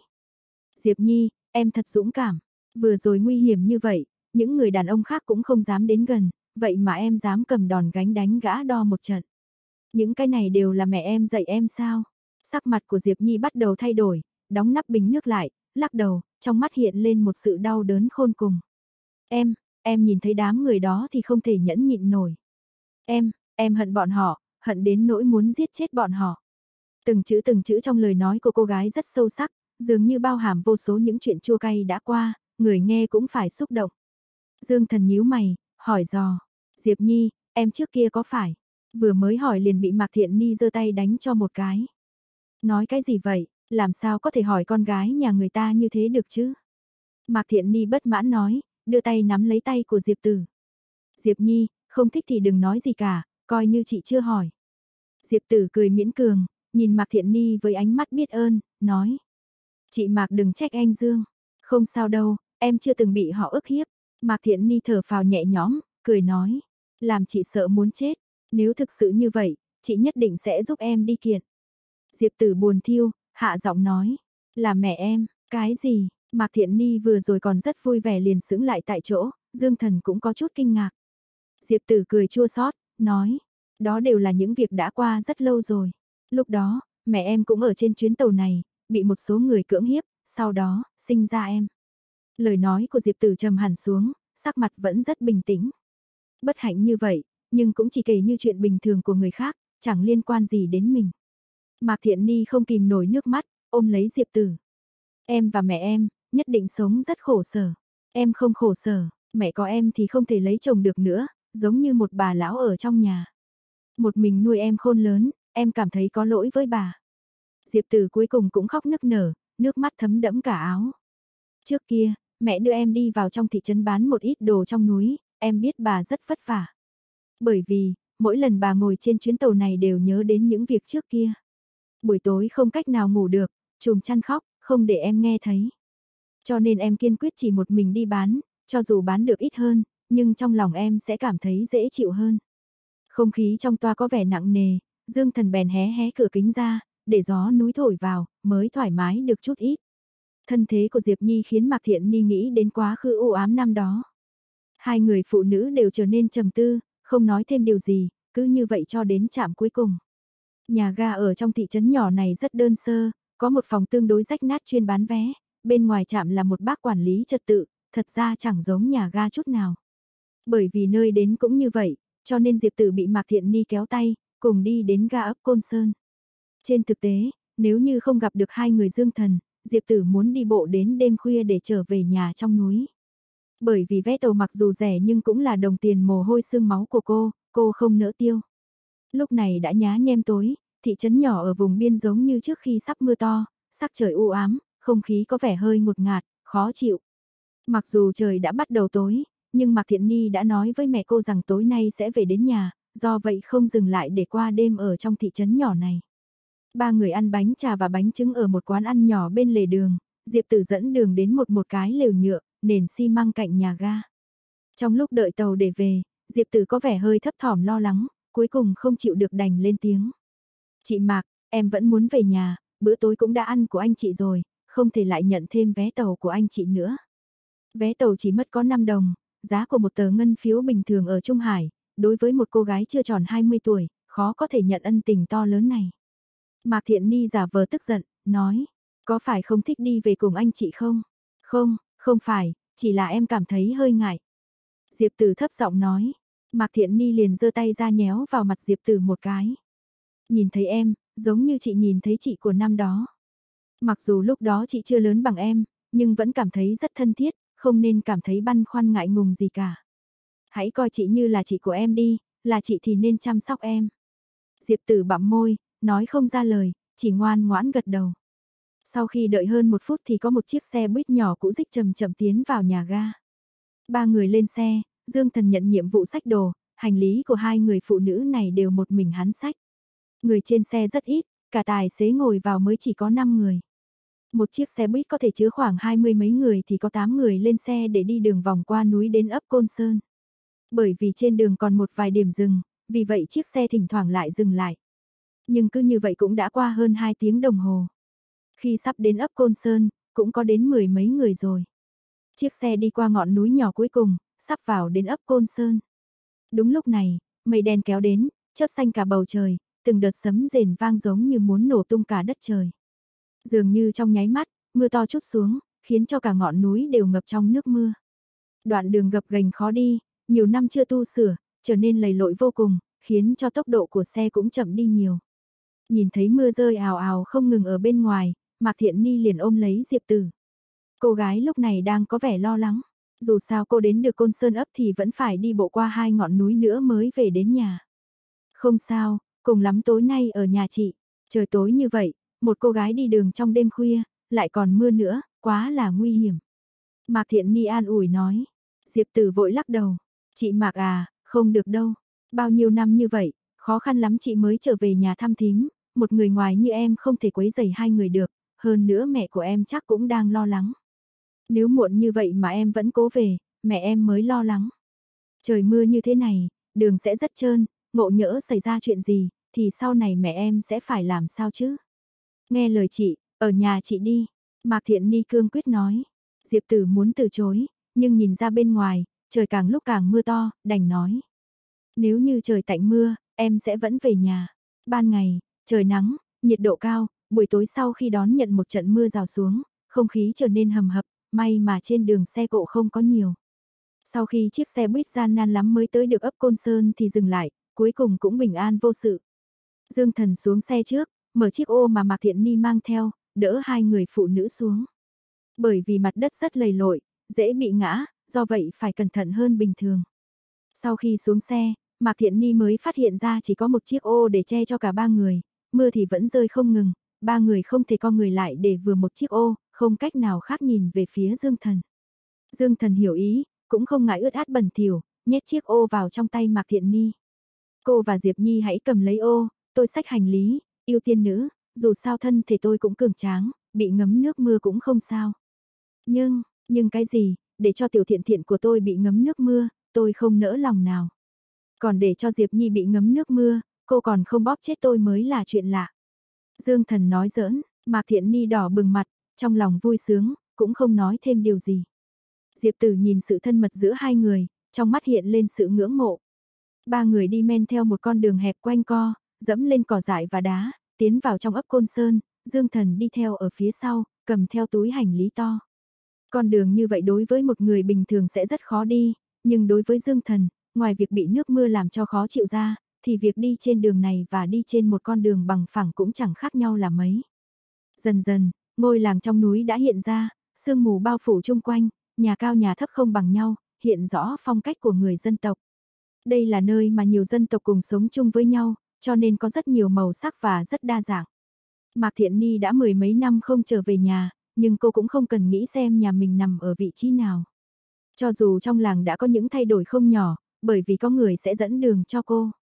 Ở đoạn cuối của con đường uốn khúc này, dưới mưa có một người cầm một chiếc ô đen, nghiền cổ nhìn xem có bóng dáng của ai không, dần dần mới nhìn ra có ba người đang ở phía trước đi tới.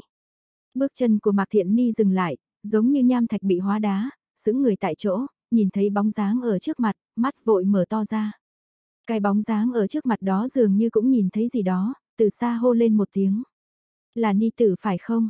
Giọng nói của người phụ nữ này không phải tiếng phổ thông, nhưng lại khiến cho Mạc Thiện Ni không kiềm chế được cảm xúc của mình, liền quăng ngay chiếc ô sang một bên, bất chấp bùn đất đá sỏi gập gành ở trên đường, bất chấp trời còn đang mưa rất to, thậm chí còn quên luôn cả Diệp Tử nhỏ bé ở bên cạnh còn cần ô để che, cô liền chạy như bay về phía trước. Mẹ, niềm vui sướng của chim non quay về tổ đã nhuộm màu cho bức tranh trong đêm mưa thêm hấp dẫn. Không ngờ trời mưa to như vậy, lại còn tối nữa, mẹ của Mạc Thiện Ni. Mã Quế Phương ra tận cổng làng đón, xem ra không phải chỉ đợi có một lúc, thương xót cho tấm lòng người mẹ đợi con dưới mưa. Khi Dương Thần và Diệp Tử cùng đi lên phía trước, Mạc Thiện Ni đã ôm chầm lấy mẹ Mã Quế Phương của mình, khóc không thành tiếng. Mã Quế Phương không giống như Mạc Thiện Ni quang ô đi, bà vẫn đưa tay ra mở ô cho Mạc Thiện Ni. Những nếp nhăn già nua trên mặt bà có thể thấy được sự xinh đẹp của bà khi còn trẻ, nước mắt chảy xuống, cũng không biết đâu là nước mắt, đâu là nước mưa nữa.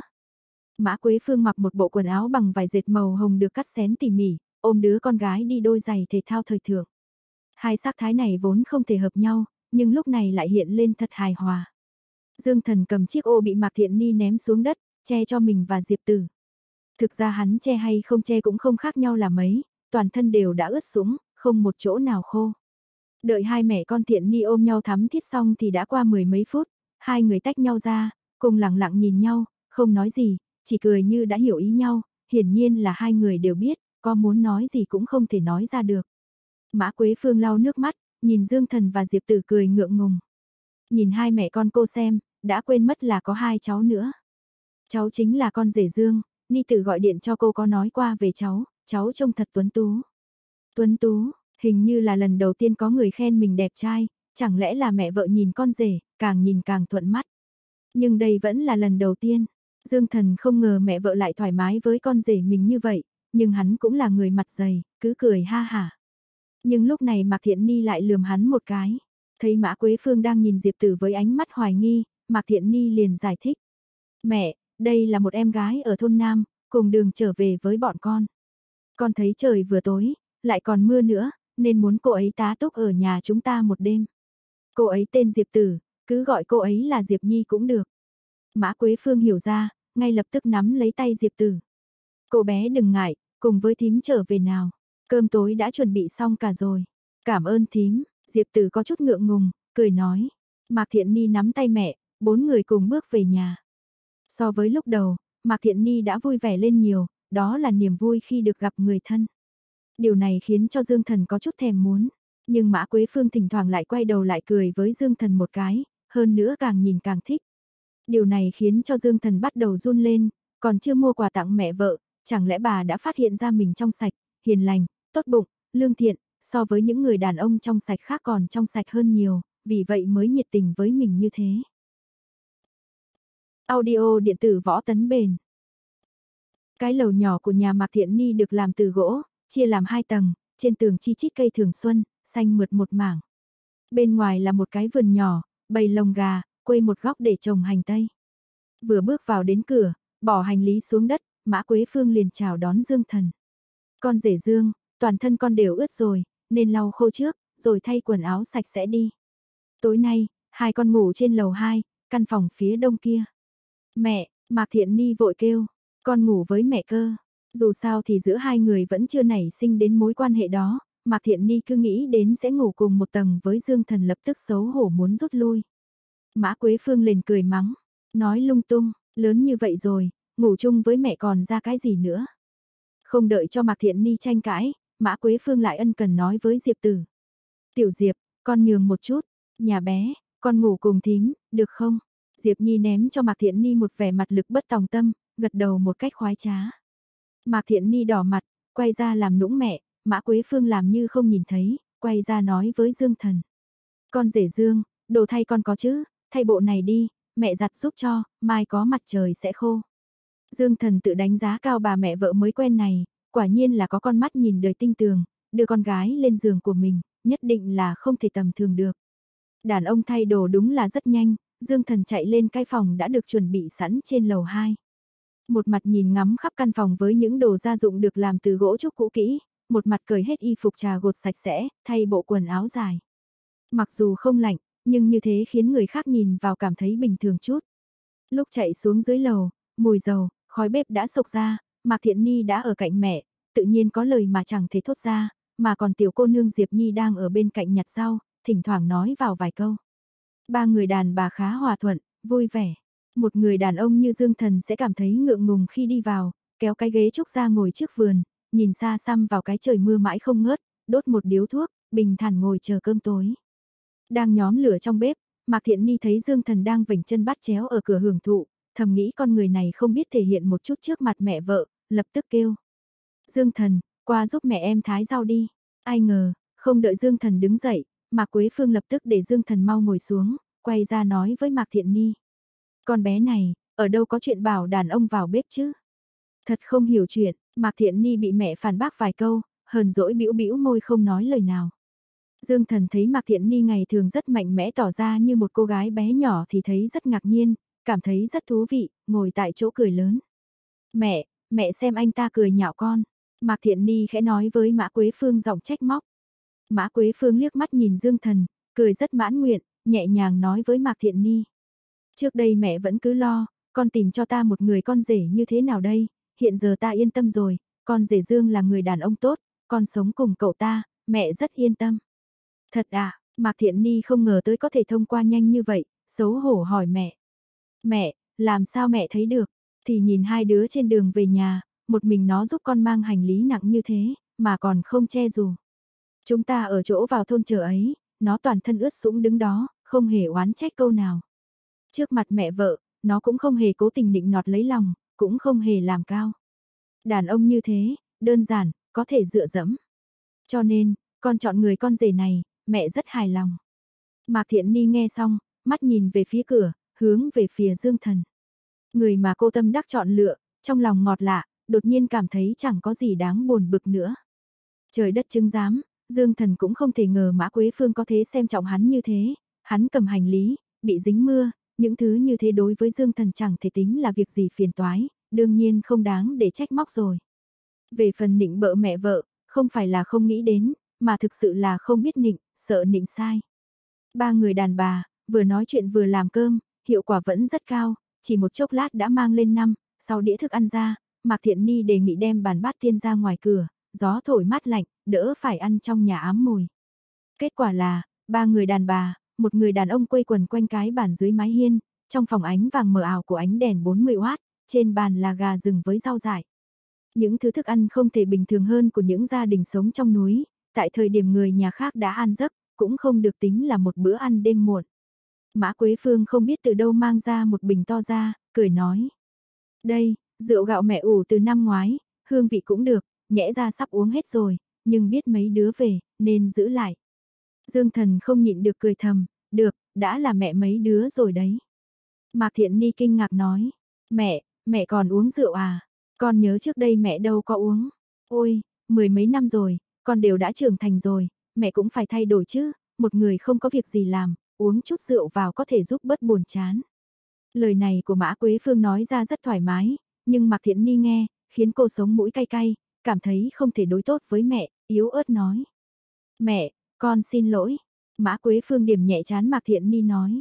Con ngốc, con có cái gì phải xin lỗi, bây giờ con ở Trung Hải phát đạt, mẹ cũng đã được nở mày nở mặt rồi, mọi người đều khen mẹ có một người con gái giỏi giang, một mình mẹ có chút vô vị, nhưng đâu phải là sống không đủ cơm ăn áo mặc. Diệp Tử không uống rượu, ngoan ngoan ăn cơm, Dương Thần và Mạc Thiện Ni rót một chén nhỏ. Nói đến chuyện trước kia, Mạc Thiện Ni nhớ tới một việc quan trọng, vội vàng hỏi. Đúng rồi, mẹ, Trương Phú Quý có quay về không? Cô cũng rất lâu không quan tâm chú ý đến người bố dưỡng vô cùng phiền phức ấy. Nhắc tới Trương Phú Quý, Mã Quế Phường dừng tay ăn cơm một chút, khẽ thở dài, nói. Trước đây vài ngày, nghe người bên ngoài trở về nói, ông ta ở bên ngoài bị bọn cho vay nặng lãi truy, sau đó không có tin tức gì. Bởi Trương Phú Quý đã ký vào đơn ly hôn, hơn nữa vì e ngại Mạc Thiện Ni và Dương Thần, cơ bản là ông ta không có gan về nhà đòi tiền, vì vậy khả năng trở về của ông ta là cực kỳ mong manh. Mạc Thiện Ni khẽ thở phào nhẹ nhõm, giơ chén rượu lên cười nói. Mẹ, con kính mẹ, cuối cùng cũng có thể qua những ngày yên ổn rồi. Mã Quế Phương cũng cười, giơ chén lên, vài phần xúc động nói. Đúng vậy, đều đã qua rồi, thoáng một cái con gái đã lập gia đình rồi, ta cũng già rồi, con rể Dương cũng chạm cốc cái nào. Dương thần tự nhiên nghĩ không thể không cùng mẹ vợ tương lai lên một chén, cái nhà này ủ rượu đúng là thơm, sớm đã thèm rồi, ở nước ngoài đúng là không thể có rượu tốt như thế này. Diệp tử đừng khách sáo, cứ coi như nhà mình, ăn nhiều chút. Mà Quế Phương tiếp Diệp tử có chút câu nệ, gắp một miếng thịt gà cho cô gái nhỏ. Diệp tử vội vàng nói lời cảm ơn, bỏ bát đũa xuống đừng lên nói. Cháu, cô Mã, cháu vào bếp bưng món gà hầm nấm ra, có lẽ cũng đã chín rồi đấy. Ừ, đi đi, Mã Quế Phương cười nói. Diệp Tử thật hiểu chuyện, đợi Diệp Tử đi vào bếp, Mạc Thiện Ni mới nới với Mã Quế Phương. Mẹ, con về lần này, muốn đón mẹ đến Trung Hải, mấy ngày nữa mẹ thu dọn đơn giản, đi cùng bọn con. Mã Quế Phương nói, Ni Nhi, mẹ biết con hiếu thuận, nhưng mẹ ở cái mỏm núi này, cũng đã bốn mươi mấy năm rồi, cũng sắp được nửa đời người, làm sao có thể nói đi là đi. Hơn nữa, đến thành phố lớn, hai mắt mờ, các con đều đi làm hết, mẹ cái gì cũng không làm được, cho dù chỉ ở nhà ăn ăn uống uống, đến giúp các con dọn dẹp vệ sinh, cũng không có hứng thú. Nhưng nếu ở lại đây, cách Trung Hải xa như thế, khi mẹ già hơn, người chăm sóc cũng không có, con làm sao có thể yên tâm. Mạc Thiện Ni lo lắng nói, Mã Quế Phương cũng không phải người cố chấp, bà cũng ý thức được không có ai bên cạnh, tuổi già chắc chắn sẽ có rất nhiều phiền toái, đến giờ này cũng chỉ đành trầm tư một lúc, nhấp một ngụm rượu, nói. Ni Nhi, cho mẹ suy nghĩ một chút, không phải mấy ngày nữa mới đi sao. Đến lúc đó mẹ sẽ nói cho con. Mạch Thiện Ni đành gật đầu, đặt câu chuyện sang một bên. Dương Thần cắn miếng rau, trong lòng đối với Mạc Thiện Ni có chút nhức đầu, nếu như thật sự đón mẹ vợ về Trung Hải, như vậy quan hệ của mình với Mạc Thiện Ni cứ thế trưng ra trước mặt người già. Đến lúc đó, có lẽ khi gặp nhau sẽ không phải là cười ha ha, mà là hai tay hai dao, gặp mặt là đuổi chém. Tuy nhiên, hiếu thuận với mẹ già là đương nhiên, Dương Thần có nỗi khổ cũng chỉ có thế nuốt vào trong, ai khiến chính mình bao dung độ lượng cơ. Lúc này, Diệp Tử bưng từ trong bếp ra một nồi to, mốc ra một bát canh gà hầm nấm đặt lên bàn, lập tức một mùi hương mê người tỏa ra. Mã Quế Phương cầm thìa, móc vào bát Diệp Tử, cười. Đây, Diệp Tử vất vả rồi, uống trước một bát, nấm này mới hái hôm nay, vẫn tươi, uống nhiều một chút. Bởi thời tiết khá âm u lạnh lẽo, bát canh nóng hổi quả thực rất hấp dẫn, rất nhanh, bốn con người đều uống lấy một, hai bát, nước canh ấm làm dịu bụng, vô cùng thoải mái. Bốn người đang ăn cơm tán chuyện, không ngờ, cánh cổng gỗ trước vườn kêu vang. Cốc cốc, cốc cốc cánh cửa gỗ bên ngoài liền với vòng sắt, cái vòng sắp liên tiếp bị gõ. Trễ như này rồi vẫn còn có người đến. Mạc Thiện Ni nghi hoặc hỏi. Mã Quế Phương cũng cảm thấy bực. Ai bên ngoài vậy? Bà hỏi một tiếng, nhưng vẫn không có ai đáp lại, chỉ có tiếng gõ cửa cốc cốc. Mặt Dương Thần hiện lên một điệu cười quái dị. Đi xem sẽ biết thôi mà, có khi chẳng phải người, là ma thì sao? Hù dọa cái gì đấy? Ma quỷ nào chứ? Mạc Thiện Ni bất mãn đẩy Dương Thần ra, thực sự, xung quanh lúc này vô cùng lạnh lẽo âm u, làm cho có chút sợ hãi. Em đi mở cửa, gan của Diệp Tử thật lớn, xung phong dũng cảm bỏ bát đĩa xuống, chạy ra ngoài hiên, mạo hiểm trời mưa gió chạy ra cửa. Đúng lúc này, hai mẹ con Mã Quế Phương và Mạc Thiện Ni ngồi ở cạnh bàn đột nhiên không hẹn mà cùng vỗ vào chán, có chút đau đớn, loạn choạng. Tại sao, muốn, ngủ như vậy? Mạc Thiện Ni nỉ non nói, rồi bụp một tiếng, gục mặt ngay xuống bàn, ngủ say sưa. Bụp, Mã Quế Phương cũng đột nhiên gục ngay xuống bàn, nhất thời còn làm chén rượu ở trên mặt bàn rơi xuống đất, may mà là ván gỗ, chiếc chén vang lên một tiếng, lăn sang một bên, không bị vỡ. Xem ra hai mẹ con đã ngủ say sưa, Dương Thần cũng không quá kích động mà nhìn ra phía cửa. Lúc này, Diệp Tử chạy tới cửa, cũng vừa hay mở chiếc cửa gỗ ra. Trong phòng ảm đạm ánh đèn dầu vàng nhá nhem chiếu vào cánh cửa, mờ nhạt yếu ớt, chỉ đủ để chiếu dọi bóng của con người ngoài cửa. Diệp Tử mở cửa, vẻ mặt bình tĩnh, ánh mắt sắc lạnh đứng góc cửa vườn, không nói không rằng, dường như đã bị đổi hồn, cả con người hoàn toàn đã biến đổi. Từng bước từng bước, những bóng người mặc đồ bó sát đen từ ngoài cái cửa cũng không được gọi là đô con bước vào. Đôi giày da quân đội màu cỏ đậm là đồng phục duy nhất của nhóm người này. Hiện ra trước mặt Dương Thần, là bảy người đàn ông, đủ loại thần sắc, tò mò, hưng phấn, nghiền ngẫm, không giống nhau, nhưng có một điểm rất rõ ràng, bọn họ tuyệt đối không phải là những người dễ đối phó. Đi đầu tiên là một người có nước da trắng trẻo, dáng người cân đối, cái mũi khoằm chim ưng là điểm đặc trưng rõ nhất của anh ta, nếu nói có gì đó đặc biệt, thì đó là ánh mắt của anh ta khiến Dương Thần không làm sao thích được, đó giống như tất cả đã nắm chắc trong tay, ánh mắt tự tin khiến người khác không biết phải làm gì. Người đàn ông mũi chim ưng tiến lên phía trước, đưa tay về phía Dương Thần. Lần đầu gặp mắt, tôi là đoạn nhẫn, viêm hoàng thiết lữ, tổ trưởng tổ long. Dương Thần bắt tay gã một cách đơn giản. Dương Thần, nhân viên nam ban quan hệ xã hội quốc tế Ngọc Lôi. Sao không nói ra thân phận thật? Đoạn nhẫn cười nham hiểm hỏi. Thân phận gì? Người sáng lập mới của Zero, người thừa kế chiếc nhẫn của Minh Vương Hadi. Đoạn nhẫn thuận mồm nói. Không nói đến các thân phận khác, hai thân phận này, các hạ không thể phủ nhận chứ. Dương thần vò đầu, làm nghề nào yêu nghề ấy, bây giờ là nhà đối ngoại, cái kia đều là năm xưa chuyện cũ, nhắc đến làm gì. Phải nhắc, không nhắc chúng không thể tiến hành nói chuyện. Cái này, không thể tiến hành sao? Dương thần ha hà cười hỏi. Không được, đoạn nhẫn một lời phản đối. Dương thần đành chịu, thế người nói đi, tôi nghe. Đoạn nhẫn đắc ý cười. Lần đầu tiên gặp mặt, thân là tổ trưởng, tôi giới thiệu với các hạ các thành viên. Giờ này mưa vẫn không ngớt, nhưng cả nhóm người không hề có một chút gì gọi là muốn tránh mưa, đứng giữa đêm đen mưa gió, nhìn Dương Thần ung dung ngồi ăn cơm uống rượu. Đoạn nhẫn giới thiệu từng người từng người một nhóm của anh ta. Hải khiếu, một người đeo mắt kính rát vàng, làm người ta thấy dáng dấp của người đàn ông trung niên đã đi làm, là tổ phó, chủ yếu phụ trách công tác kỹ thuật hậu cần. Hỏa pháo, dâu rậm rạp đúng chất nam tử Hán, đột kích chiến lược thủ, am hiểu vũ khí đạn dược và các loại máy móc to lớn. Đại cước, một người mặt chữ điền tầm 30 tuổi, am hiểu giáp đấu và cản đường, công tác trợ giúp. Cuồng phong, một gã thanh niên tóc dựng, dáng vóc tuấn tú, vì khinh công cao, am hiểu theo dấu vết và chiến đấu. Dạ lang, sắc mặt âm trầm, cao to da ngăm đen, đột kích trận lược, có thể ẩn nấp không dấu vết, tiến hành ám sát chi mạng. Đoạn giới thiệu đến Diệp Tử đứng tại cửa, đoạn nhẫn dừng lại một chút, hàm ý nói. Diệp Tử, người tự nói với các hạ minh vương tôn kính đi. Diệp Tử nhìn về phía Dương Thần, sắc mặt có chút không tự nhiên, nhưng vẫn lạnh lùng nói. Diệp Tử, gián điệp và công tác liên lạc. Dương Thần cười thâm ý, diễn xuất quả thực xuất sắc, đến tận lúc các người xuất hiện bên ngoài cửa, ta mới phát hiện tình trạng không ổn, đúng là bố trí hoàn mỹ, diễn xuất hoàn mỹ. Đặc biệt là câu chuyện mà Diệp Tử kể trước đây, đến giờ ta vẫn không cảm thấy nó là giả tạo, có thể coi đây là cảnh giới cao nhất của diễn xuất rồi, rõ ràng biết là giả, nhưng vẫn cảm thấy là thật.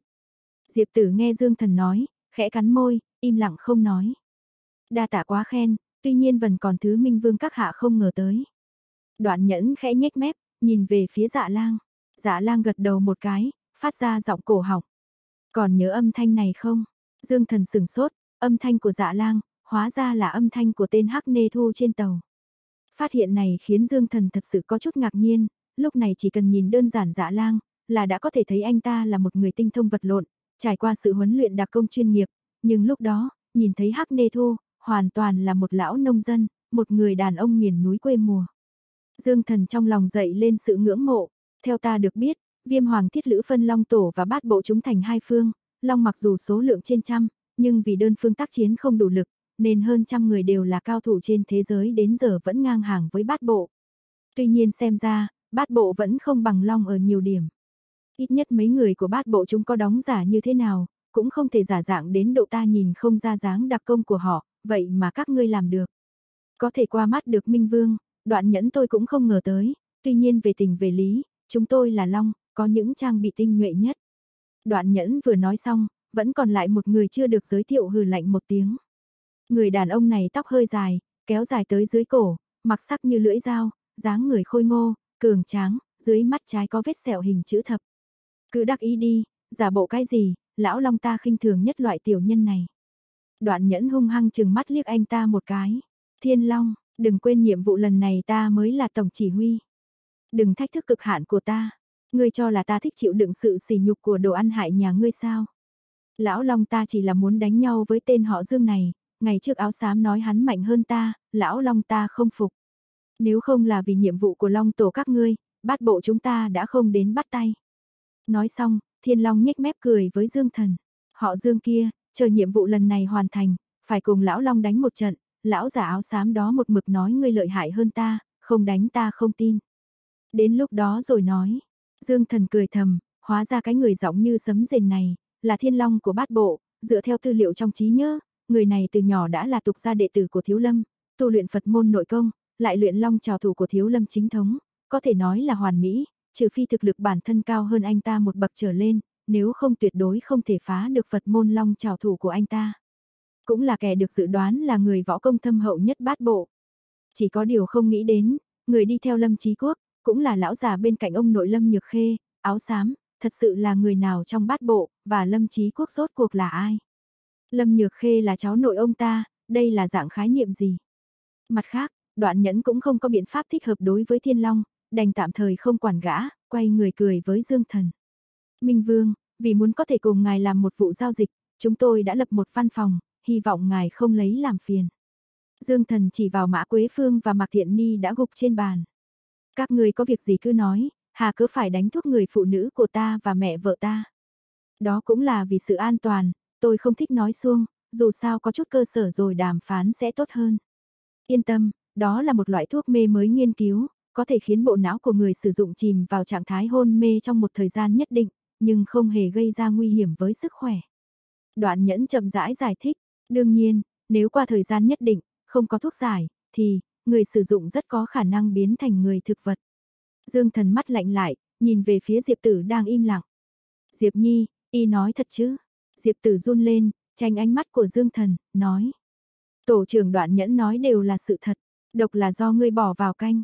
Không sai, tôi trước đó đã uống thuốc giải, tuy rằng chúng tôi biết, loại thuốc này không có một chút tác dụng gì với anh, nhưng họ không như thế, họ cần thuốc giải. Diệp tử nói chi tiết, bởi vì trước đây, một người của bát bộ là Hoa Vũ đã được thấy Dương Thần không bị ảnh hưởng bởi các loại độc tố, nên cơ thể Dương Thần không sợ các nguyên liệu của độc tố, viêm hoàng thiết lữ đã được biết.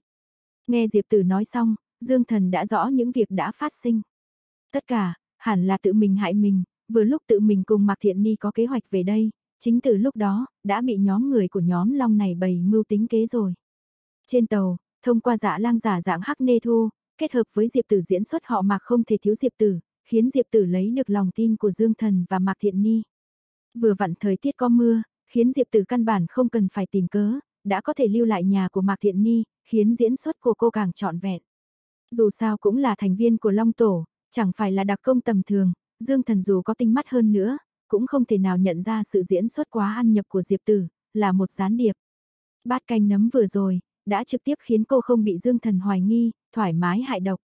Nếu như không phải vậy, Dương Thần nhiều năm như vậy, ít nhất bằng bản năng quan sát, đặc công bình thường làm sao có thể đi đến bước này, coi như có thể khiến Mã Quế Phương hôn mê, cũng không thể làm gì Mạc Thiện Ni luôn luôn ở bên cạnh Dương Thần.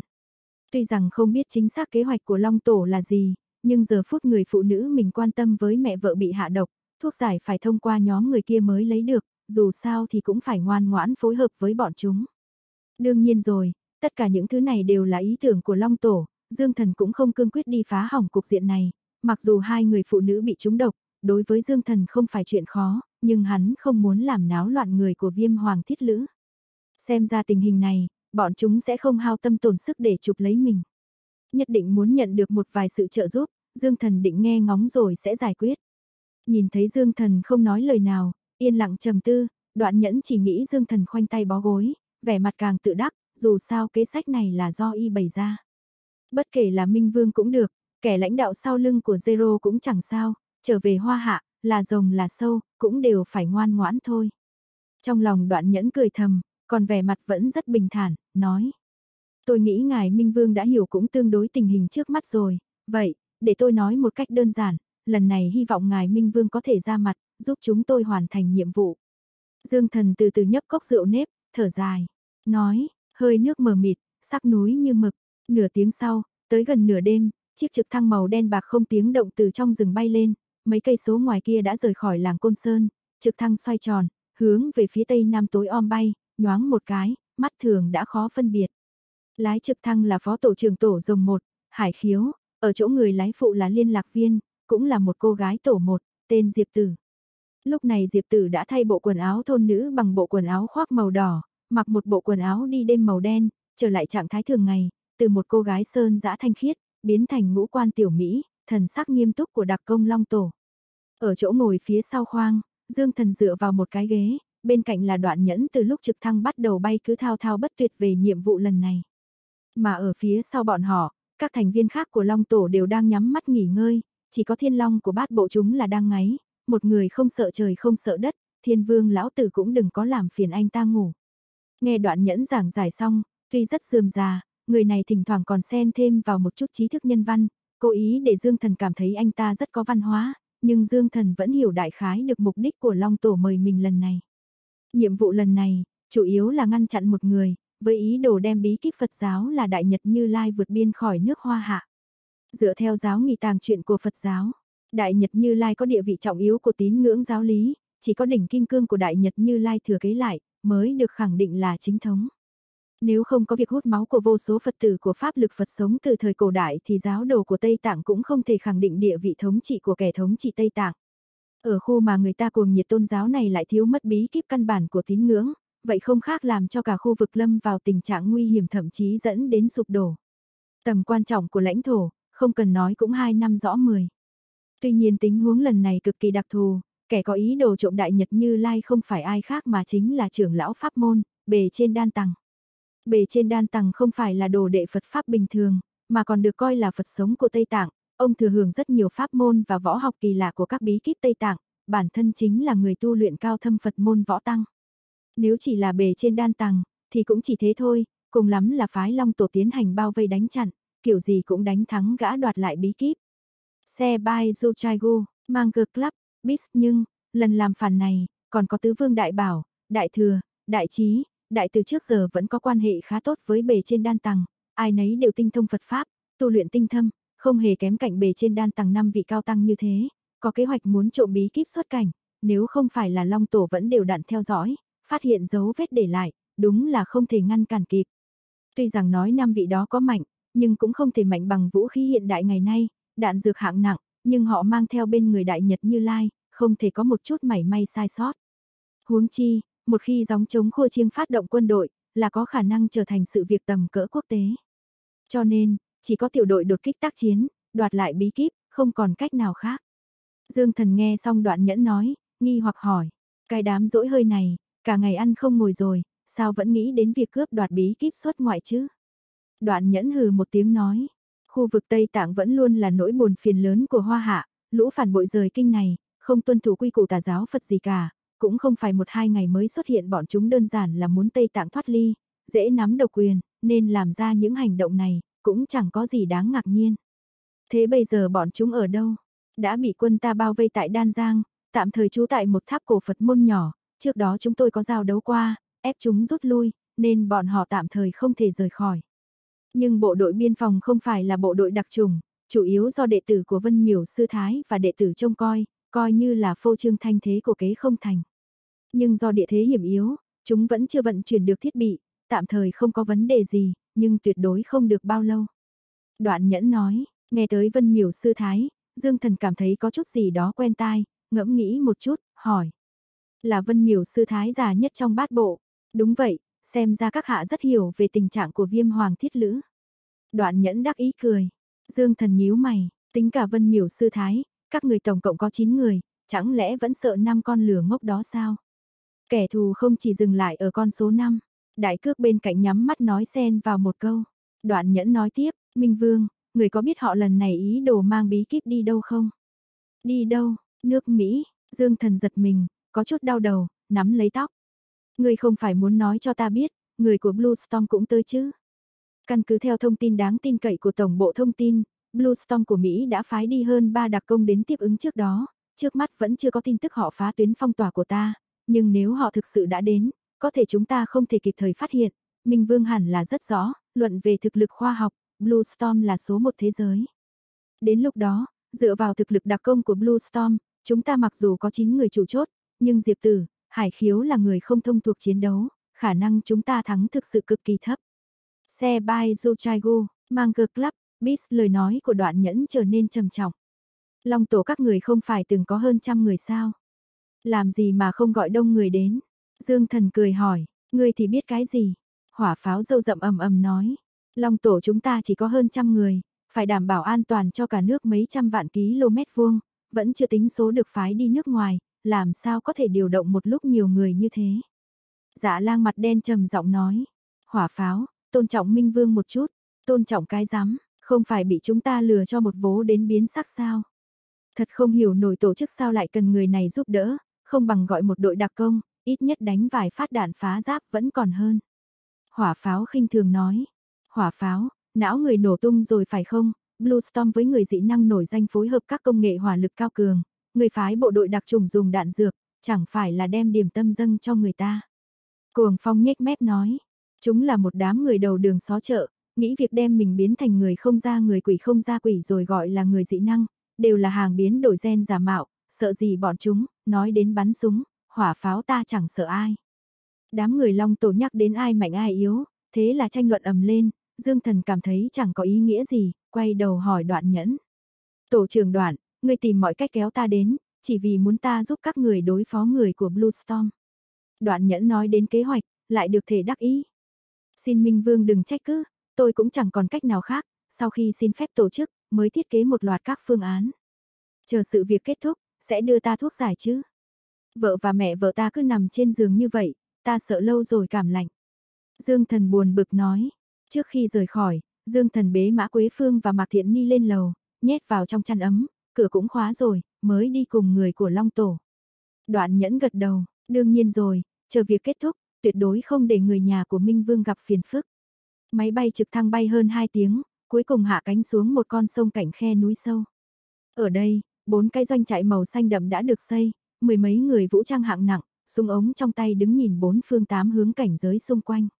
Dương Thần cùng với người của Long Tổ xuống khỏi trực thăng, đi vào một quân trang lớn nhất, nhiệt độ bên trong có ấm hơn chút ít, ánh sáng trắng của đèn chiếu minh xua tan đi sự âm u của buổi sáng sớm. Vừa vào trong, liền nhìn thấy trên mặt đất phía đối diện, đặt hai cái đệm, phía trên đệm, có hai người đạo gia Nico mặc áo tím thanh bào như con gái. Nico ngồi chính diện tầm hơn 40 tuổi, khóe mắt hơi có nếp nhăn, nhưng vẻ tao nhã không hề giảm, mặt mũi xinh đẹp, lông mày như núi phía xa, mặt trắng môi hồng, thần thái phong độ, mang đầy vẻ đẹp cổ điển của mỹ nhân Đông Phương.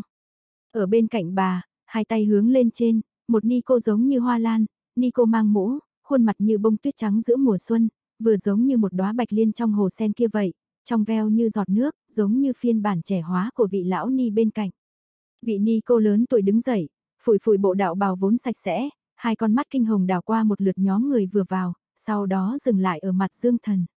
Vị này là Minh Vương, tiểu ni cô phủi phủi áo bào đứng dậy, xem ra cũng chỉ 20, lại có vẻ tò mò với sự có mặt của nhân vật mới, thấy sư phụ trịnh trọng hỏi, cũng nhìn xét Dương Thần.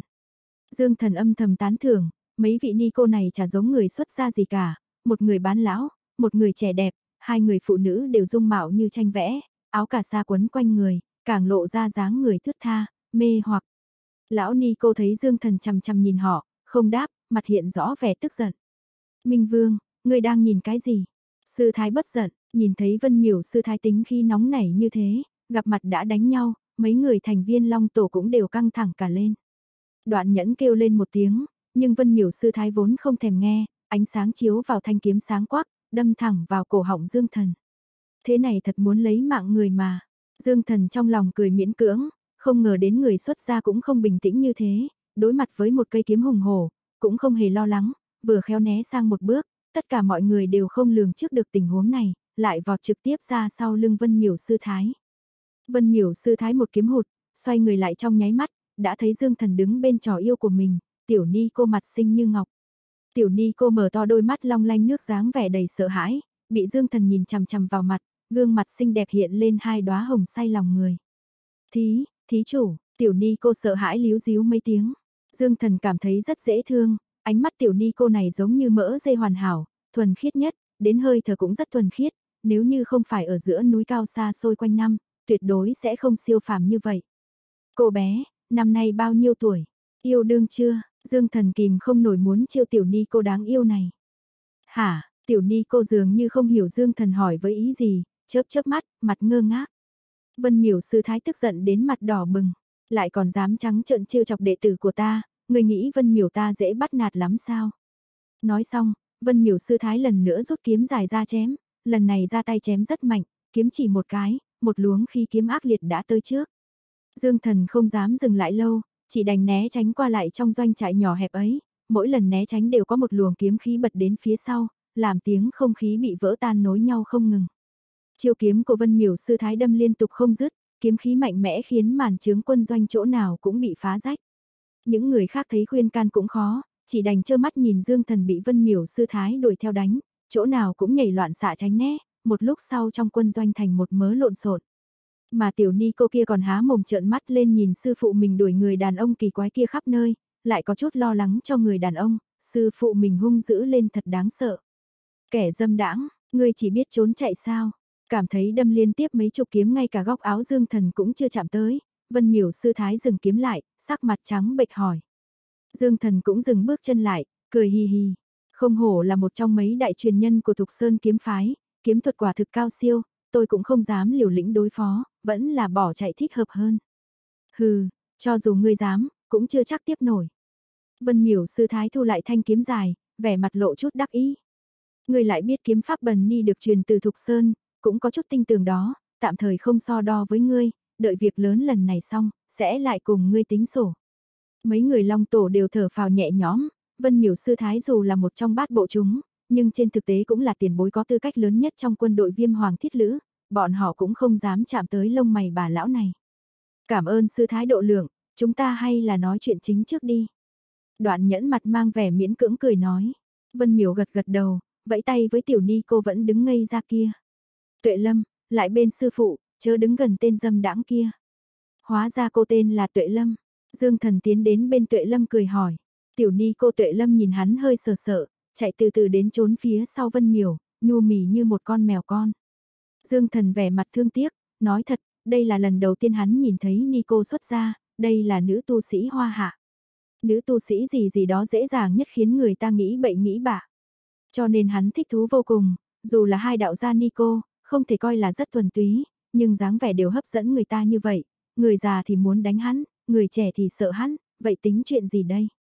Tiểu sư phụ Tuệ Lâm là đệ tử cuối cùng của Vân Miểu sư thái, xin Minh Vương các hạ đừng quá mạo muội. Đoạn nhận khuyên can, Dương Thần khoát tay, biết rồi biết rồi, vậy các người bàn chuyện mau lên, trời sắp sáng rồi, trời vừa sáng, mấy con lửa ngốc kia chắc chắn xác định thời gian là chạy. Vân Miểu sư thái cao mày, con lửa ngốc cái gì? Dù cho bề trên đan tầng và tứ mật tông vương pháp phản loạn, Bọn họ cũng là cao tăng giấu truyền Phật giáo truyền thế, không như ngươi chỉ biết chạy trốn, cậy có kỳ danh là có thể thuận miệng la lối bừa bãi sao.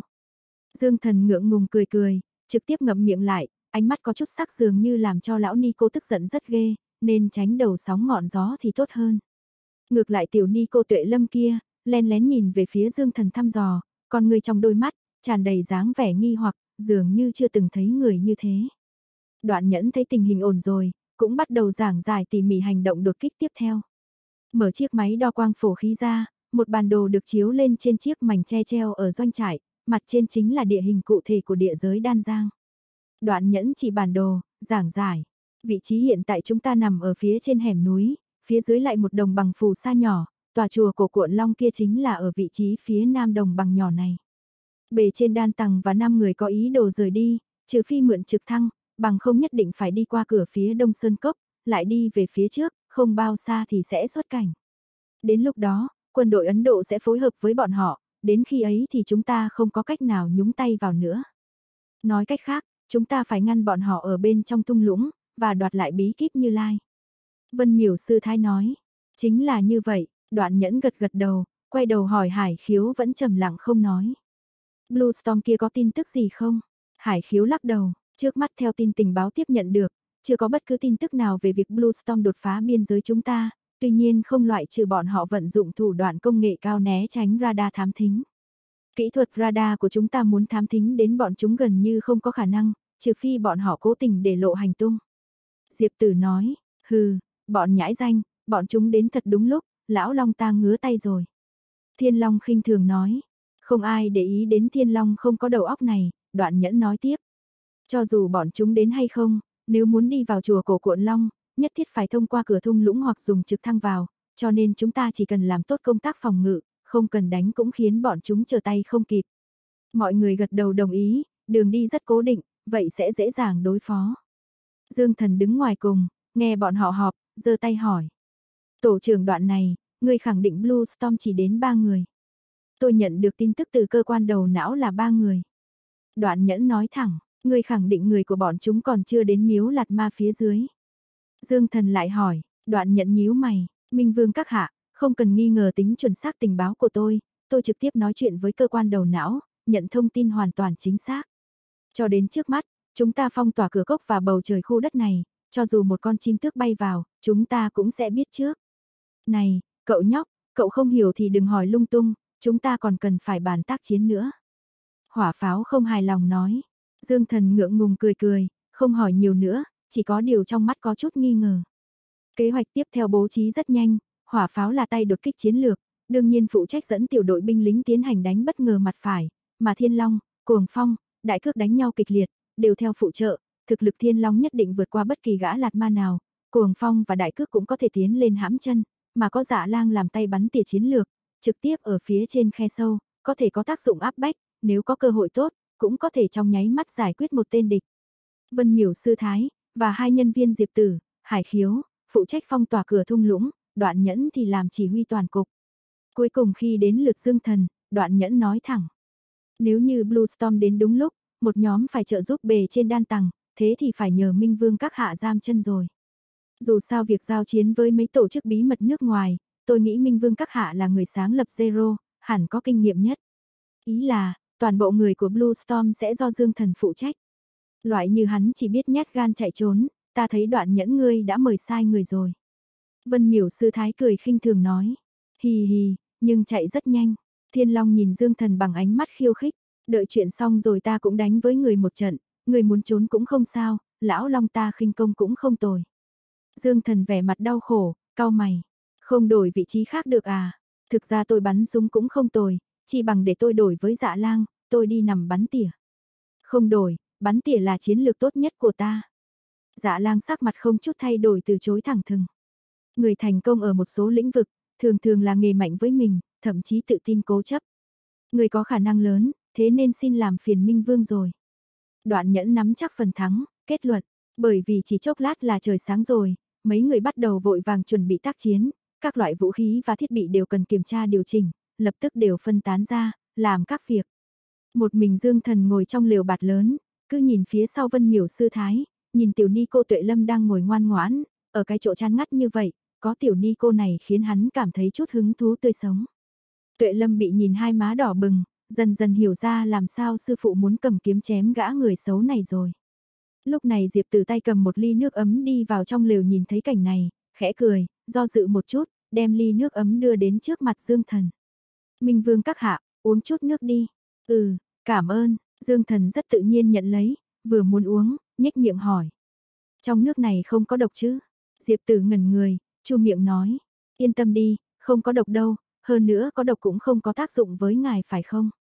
Này, độc này á, cũng giống như thuốc trừ sâu rau quả thôi, người bình thường ăn rau không sao, còn tôi, ăn độc cũng không sao, nhưng dù thế nào, ăn một chút rau quả thuốc trừ sâu, trung quy không tốt cho cơ thể, thế nên ăn ít thì tốt hơn. Dương Thần nói xong, thì kê miệng uống nước ấm. Diệp Tử cắn môi dưới. Ngài trong lòng chắc chắn rất ghét tôi, trước đây tôi quả thực cũng muốn từ chối, dù sao làm thương tổn dân thường cũng không phải tác phong của chúng tôi, nhưng kế hoạch của tổ trưởng đoạn nhẫn rất chu toàn, nếu tôi không phối hợp thì rất có lỗi với các tổ viên khác. Tôi ngược lại không ghét cô, chỉ có điều không thể nào thích đoạn nhẫn, hắn nói chuyện phiền phức quá. Dương thần bĩu môi nói, Diệp Tử hé miệng cười, tổ trưởng vừa mới nhậm chức, luôn có nhiều lúc sợ phạm sai lầm, nên nói nhiều cũng là chuyện thường, Minh Vương các hạ nghỉ ngơi đi, tôi ra ngoài đi làm đây. Không đợi Diệp Tử ra khỏi quân trướng, Dương Thần nói.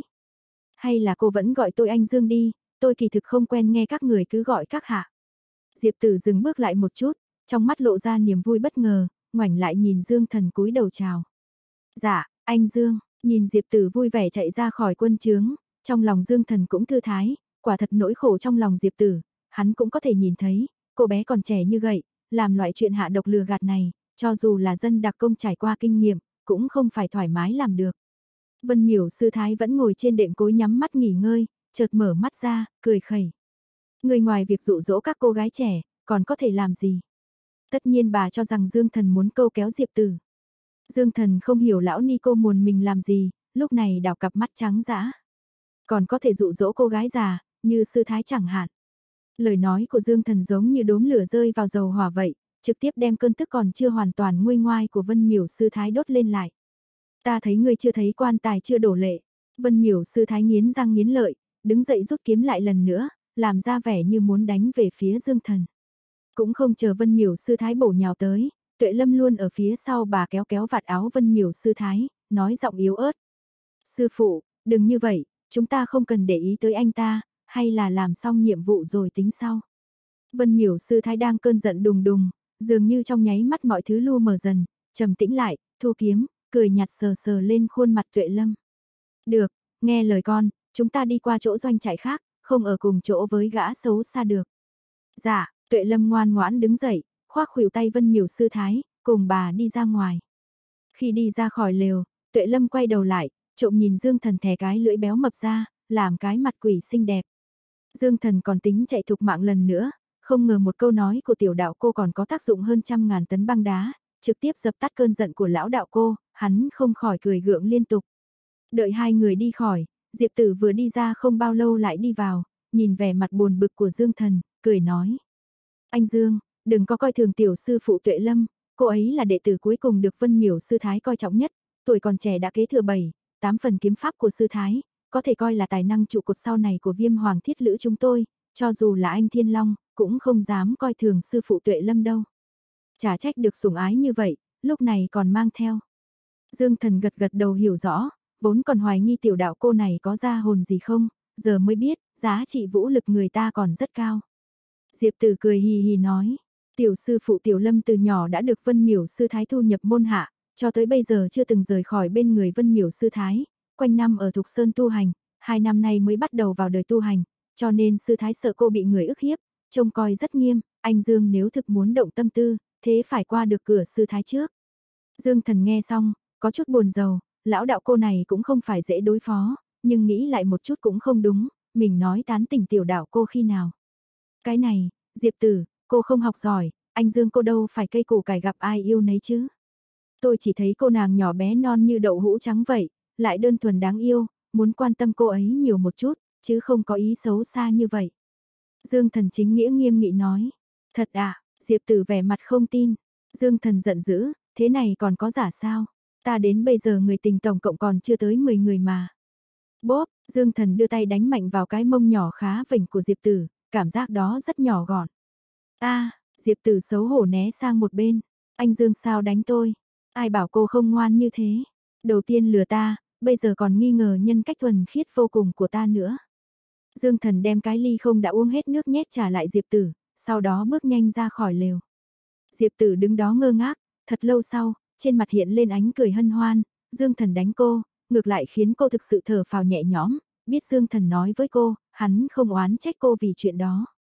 Từ phía xa xa mặt trời dần nổi lên trên không trung, thời khắc thung lũng nghênh đón nhất đã đến. Chùa cổ cuộn long làm mục tiêu lần này, vẫn không có chút xíu động tĩnh, năm người bề trên đan tầng, dường như không hề có dự định rời đi. Kế hoạch tác chiến dạng sáng, cũng không cho phép trì hoãn bất cứ cái gì, tất cả mọi người đã chuẩn bị xong, đem doanh trại di chuyển đến cửa hẻm núi, máy móc cũng khuân vác theo cùng. Dưới sự chỉ huy của đoạn nhẫn, hỏa pháo dẫn theo mấy quân nhân được chọn từ bộ đội biên phòng, mang đầy đủ đạn dược, bắt đầu xuất phát xuống phía dưới thung lũng chùa cổ cuộn long. Dạ lang đã chờ lệnh, nằm dạp ở cửa vách núi trên thung lũng, nơi đó có thể quan sát thấy toàn bộ khu quanh chùa cổ cuộn long, xác nhận tình hình không có gì khác thường. Mà tại cửa hẻm núi, bộ đội biên phòng khác đã hợp thành một tuyến phong tỏa, Vân Miểu Sư Thái dẫn theo tiểu đạo cô Tuệ Lâm, cùng với Hải Khiếu và Diệp Tử làm công tác liên lạc sắp xếp cụ thể, cũng đều ở trong lều mới dựng tại cửa thung lũng, bắt tay vào công việc với các dụng cụ theo dõi. Do địa thế nên xe thiết giáp lục địa không thể đến ngay, chỉ có một chiếc trực thăng có thể sử dụng, nhưng trực thăng thuộc loại trong chiến tranh, kỳ thực cũng không có tác dụng quá lớn, dù sao biện pháp bảo vệ cũng tương đối mỏng yếu, nhưng trong tình hình này vẫn trở nên vô cùng quan trọng. Dương Thần ở trong quân trướng, theo dõi hình ảnh trên màn hình, hỏa pháo cùng một tiểu đội binh lính đã vọt tới bên ngoài chùa cổ cuộn long. Mấy tấm đạn khói trong tay hỏa pháo được ném mạnh ra, lập tức các chất khí đủ màu sắc tràn ngập toàn bộ hình ảnh. Tiếng súng dữ dội vang vọng thung lũng, hỏa pháo cầm nhiều đạn dược trong tay, đã thuần thục vô cùng bắt đầu thử càn quét thăm dò, để phòng người bề trên đan tầng mai phục. Trụ sở chính, bên ngoài an toàn, hết. Hải khiếu nhận được tin tức hỏa pháo, người tiếp tin tức cho đoạn nhẫn chỉ huy mấy thành viên đột kích khác. Đoạn nhẫn, không có mai phục bên ngoài, hết. Đã nhận, đoạn nhẫn đưa mắt ra hiệu cho mấy người bên cạnh, vung tay lên, cuồng phong, đại cướp thiên long cùng lúc từ phía sau chùa cổ đi nhanh về phía trước. Không mặc đồ màu mè, trang bị thiết bị công nghệ cao, mang theo súng hạng nặng như hỏa pháo, bọn họ đều chỉ mặc trang phục tác chiến nhẹ nhàng trên người.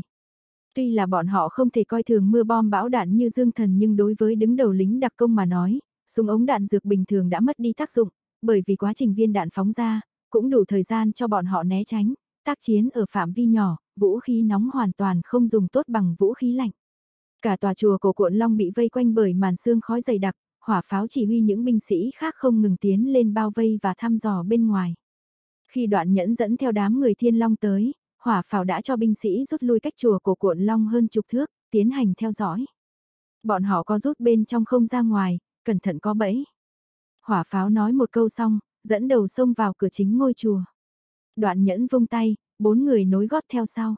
Ở trong doanh trại cửa hẻm núi, trên màn hình vẫn không có cách nào nhìn rõ tình hình bên trong ngôi chùa. Diệp tử tháo ống nghe điện thoại xuống, hỏi hải khiếu bên cạnh. Người của Blue Storm chưa có động tĩnh gì sao? Không có, tổng bộ cũng không có bất cứ chỉ thị nào, trước đều là tổ trưởng đoạn nhẫn trực tiếp liên hệ, nếu có động tĩnh, tổ trưởng hẳn biết trước chứ. Chẳng lẽ cảm thấy quá mạo hiểm, người của Blue Storm không đến nữa? Diệp tử nhíu mi hỏi, hải khiếu cũng không thể giải thích khác, lắc đầu tỏ ý không biết. Dương thần ở cửa lều, cầm bật lửa không ngừng châm thuốc, bởi vì do ở cao nguyên, ngọn lửa luôn bật không đứng được, bật hồi lâu mới châm đỏ được đầu thuốc.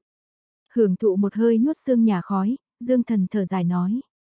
Theo tôi thấy, thủ tại nơi này cũng vô dụng, chỉ bằng chúng ta vào chùa xem xem, thế nào. Không được, chúng ta ở đây mới có thể khống chế được tổng thể thế cục bên ngoài, ngộ nhỡ người của Blue Storm đến, nhất thiết phải ngăn bên ngoài, không để cho bọn họ và bề trên đan tầng hợp lại. Hải khiếu nghiêm mặt nói, Dương thần cười nhạo một tiếng, là cô có thể khống chế sao?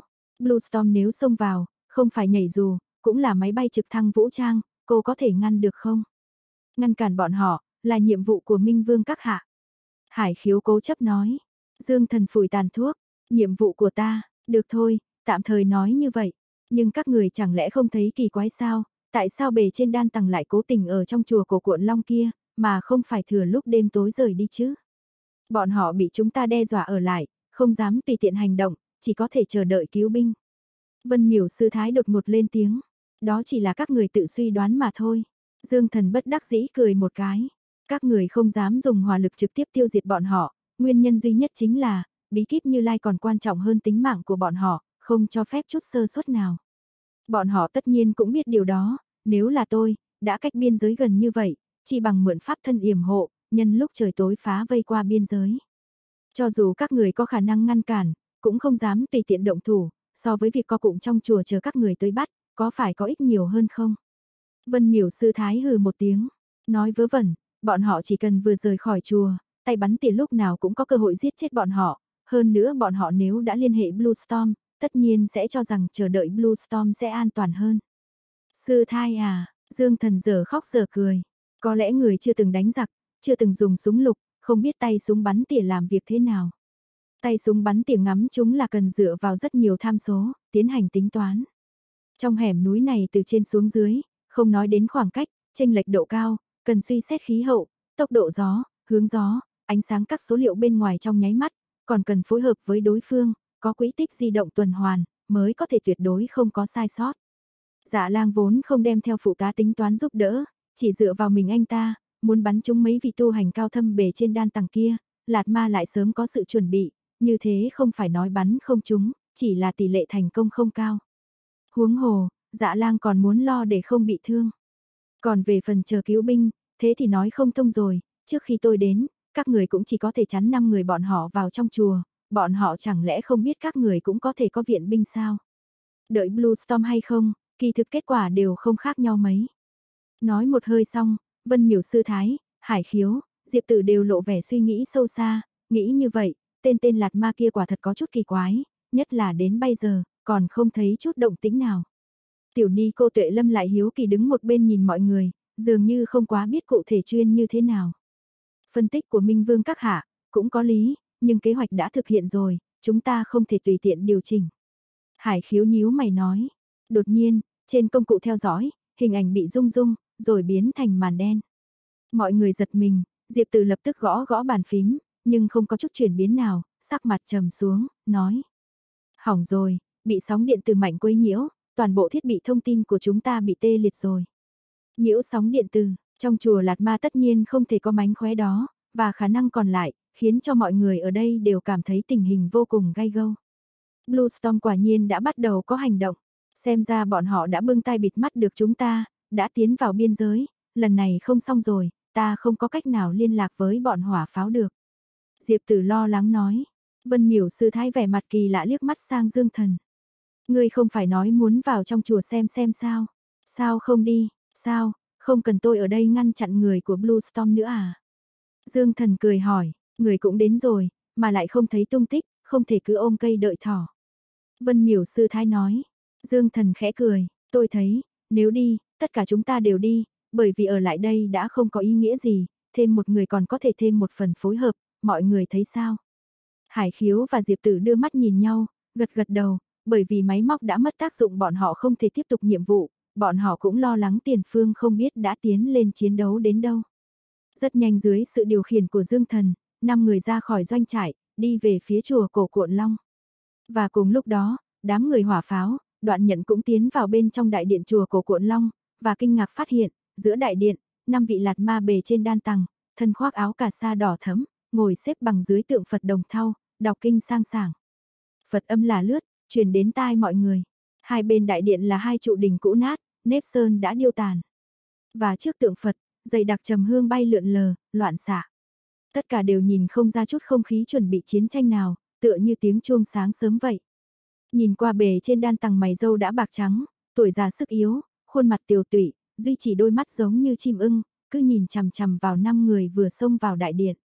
Ông ta ngồi xếp bằng trước tứ pháp vương, đại thừa, đại trí, đại bảo và đại từ, mấy vị lạt ma trung niên đều có vẻ phúc hậu, trái tai đầy đặn, cầm trong tay mặc ngọc tàng châu, nét mặt thản nhiên. Trong đại điện, nhìn không rõ bóng dáng người khác, hỏa pháo nôn nóng nhất, tìm mãi không thấy bí kíp như lai trong đại điện, liên tiếp bắn quét súng máy tạch tạch tạch trên nền gạch, tia lửa bắn ra bốn phía. Đan tàng, mau giao như lai ra. Hỏa pháo giận dữ nói. Bề trên đan Tàng không trả lời, vẫn ngồi tụng kinh Phật. Cuồng phong tốc độ nhanh, lục soát toàn bộ chùa cuộn long, bốn người chúng ta coi chừng năm người này. Đoạn nhẫn chỉ huy, cuồng phong nhận lệnh, lập tức xông qua hướng sườn điện, bóng dáng luồn qua lách lại, thật như là một trận cuồng phong, tốc độ cực kỳ nhanh. Nhưng, chưa đợi cuồng phong đi vào sườn điện, cơ thể anh ta đột nhiên như bị ngăn cản bởi một bức tường vô hình, âm thanh va chạm vang lên ầm một tiếng, bị bắn bay ngược trở lại. Cuồng phong quay người xoay một vòng, cố gượng đứng vững, khó tin nhìn về phía cửa sườn điện. Một cánh tay trắng như tuyết từ hông điện thò ra, theo sát sau, một cô gái mặc chiếc áo màng may ô bó sát người màu lam, đứng trên đôi giày quân đội màu đen, thân hình bốc lửa, và có mái tóc vàng đi ra, mặt mang nụ cười quyến rũ, đôi mắt nâu nhìn khắp cả mọi người, nói tiếng hoa hạ lơ lớ. Xin chào, cô gái tóc vàng vừa bước ra, không khí trong đại điện trong nháy mắt như đông cứng lại. Người của Blue Storm, đại cước bình tĩnh nhíu mày nói, đã tiến vào cuộn Long Viện rồi sao? Tổ trưởng, tình báo có nhầm lẫn, lần này không xong rồi. Cuồng Phong nói, đoạn nhẫn cắn chặt răng, tình báo sai sót cũng không thể tránh được, kỹ thuật kẻ thù tiên tiến hơn ta, trinh sát không thể hoàn hảo, bây giờ chỉ có liều mạng thôi. Lúc này, Thiên Long đã lên trước một bước, bắt giặc phải bắt kẻ cầm đầu, không có khả năng lùi rồi, xử lão hòa thượng trước rồi tính sau.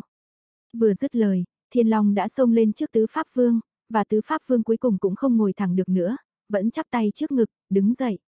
Thiên Long vừa mới phát huy long trào thủ, lập tức tóm được bề trên đan tầng đang đứng trên mặt đất, nhưng bề trên đan tầng cũng chưa có mảy may chút động tác nào, nhị Pháp Vương đại thừa, đại trí đã liên thủ chắn ở phía trước.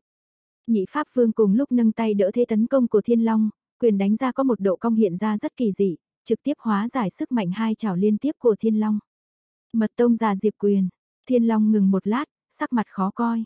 A-di-đà Phật, Thiên Long thí chủ không hổ xuất thân bổn tông thiếu lâm, có thể nhận ra quyền này. Thiên Long hừ một tiếng lạnh lùng, xương cốt toàn thân rung động đôm đốp như bao đậu nổ vậy, một hơi khí vô hình tỏa ra toàn thân. Già Diệp quyền dù do đạt ma truyền lại, nhưng cũng không phải không thể phá, xem các người có cản nổi tẩy tùy kinh nội kình thiếu lâm rồi hãy nói. Chân khí lộ ra ngoài, có lẽ đạt đỉnh cao rồi thì.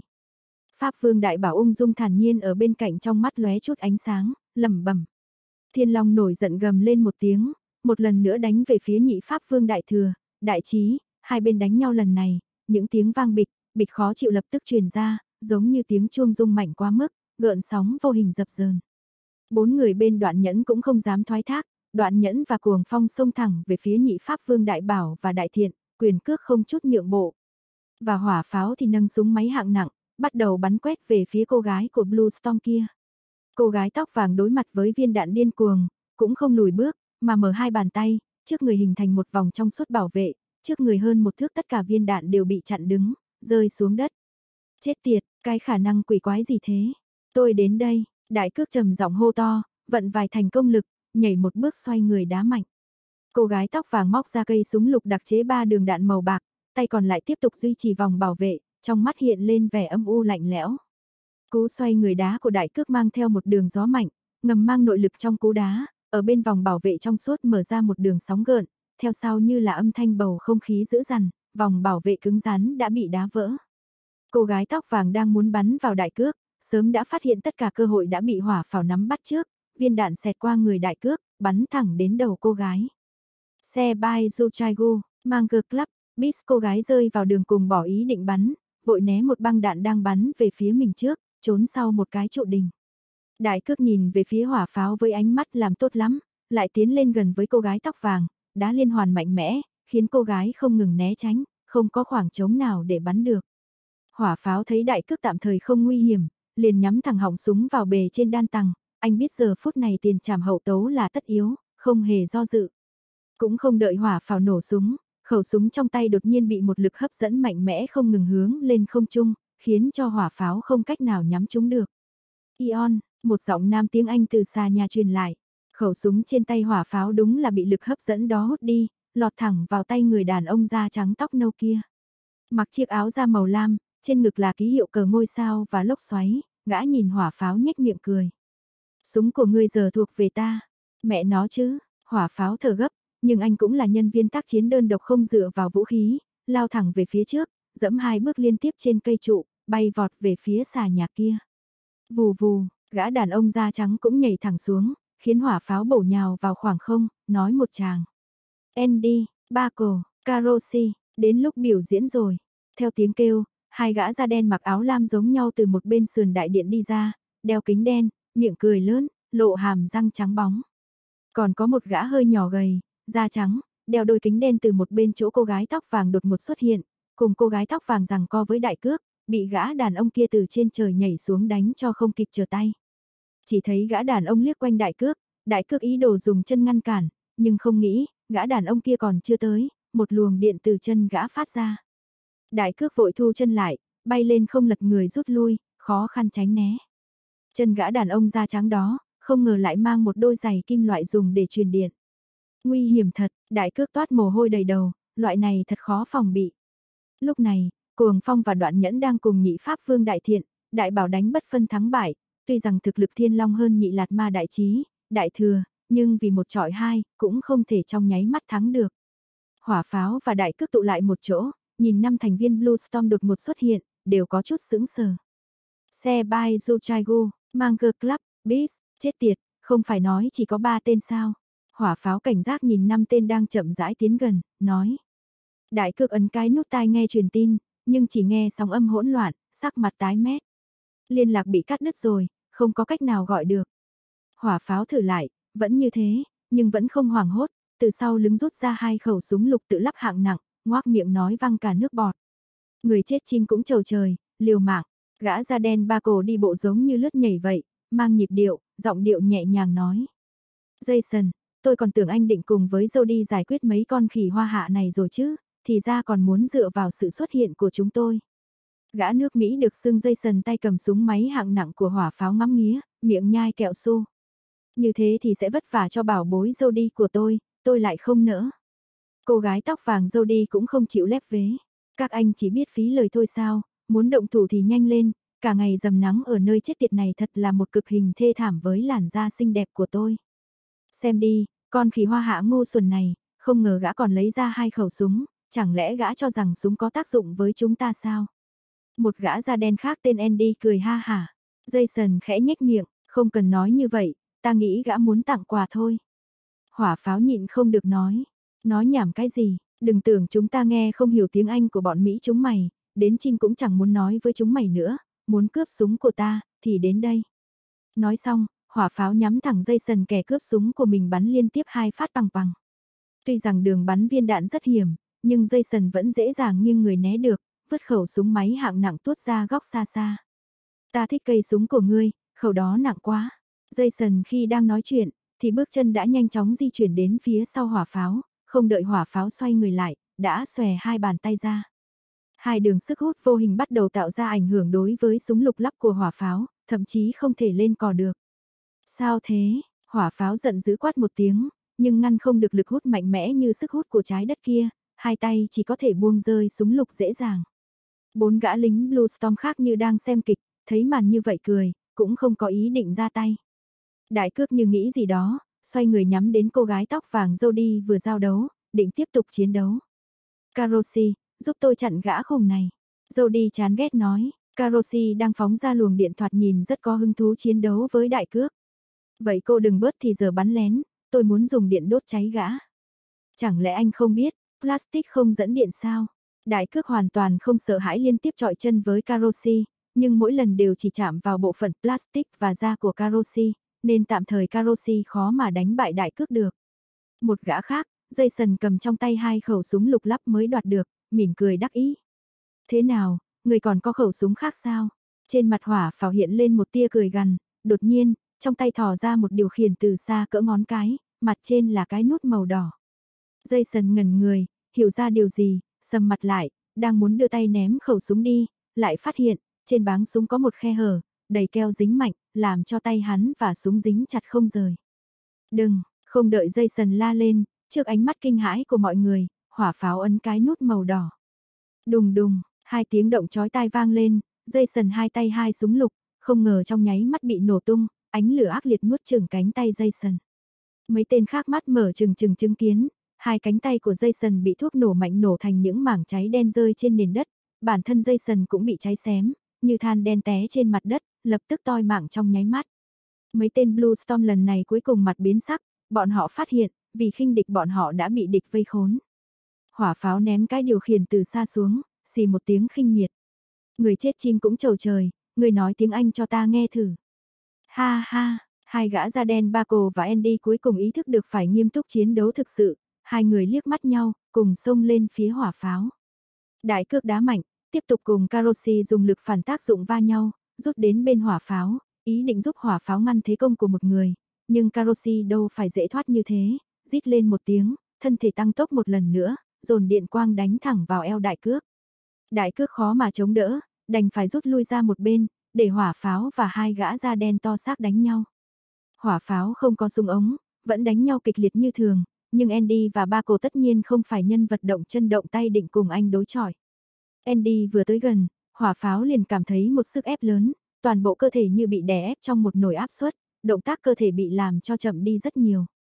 Làm sao lại, đi chết đi, Andy dùng một quyền mạnh đánh vào bụng hỏa pháo, cơ thể hỏa pháo liền như một mảnh đạn, bị bắn văng ra ngoài. Cẩn thận, gã có thể hạ thấp mật độ không khí quanh cậu, cuồng phong qua thế tấn công nhanh liên tục, làm Pháp Vương Đại Thiện không thể đỡ nổi chiêu thức nhanh, cuối cùng có thời gian chú ý đến người khác, phát hiện hỏa pháo bị đánh bay, lập tức lên tiếng nhắc nhở.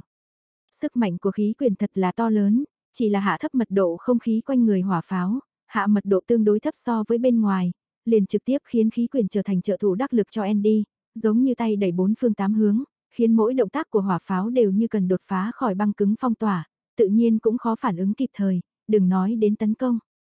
Không đợi hỏa pháo đứng dậy, ba cổ đã chạy đến bên cạnh, kéo áo hỏa pháo, nhấc người hỏa pháo lên. Ba cổ cao chừng hai thước, hỏa pháo tuy rằng vạm vỡ nhưng xem ra cũng nhỏ hơn một chút. Mày đã giết Jason, là chiến sĩ xuất sắc, nhưng là chiến sĩ xuất sắc của kẻ địch, kết cục tốt nhất, chính là chết. Đồ chó nhà ngươi, hỏa pháo trong cơn giận dữ, tình huống như vậy là xì nhục gã, giờ nắm đấm nhắm mặt ba cổ. Nhưng hiện tượng kỳ quặc lại xảy ra, nắm đấm của hỏa pháo đánh tới trước mặt ba cổ khoảng vài phân, bỗng nhiên lại dừng lại, không tiến thêm được nữa. Đáng, đáng chết, làm sao lại, hỏa pháo nghiến chặt hàm răng, ý đồ định đấm ba cổ, nhưng đổi lại khiến cho ba cổ cười nhạo coi thường.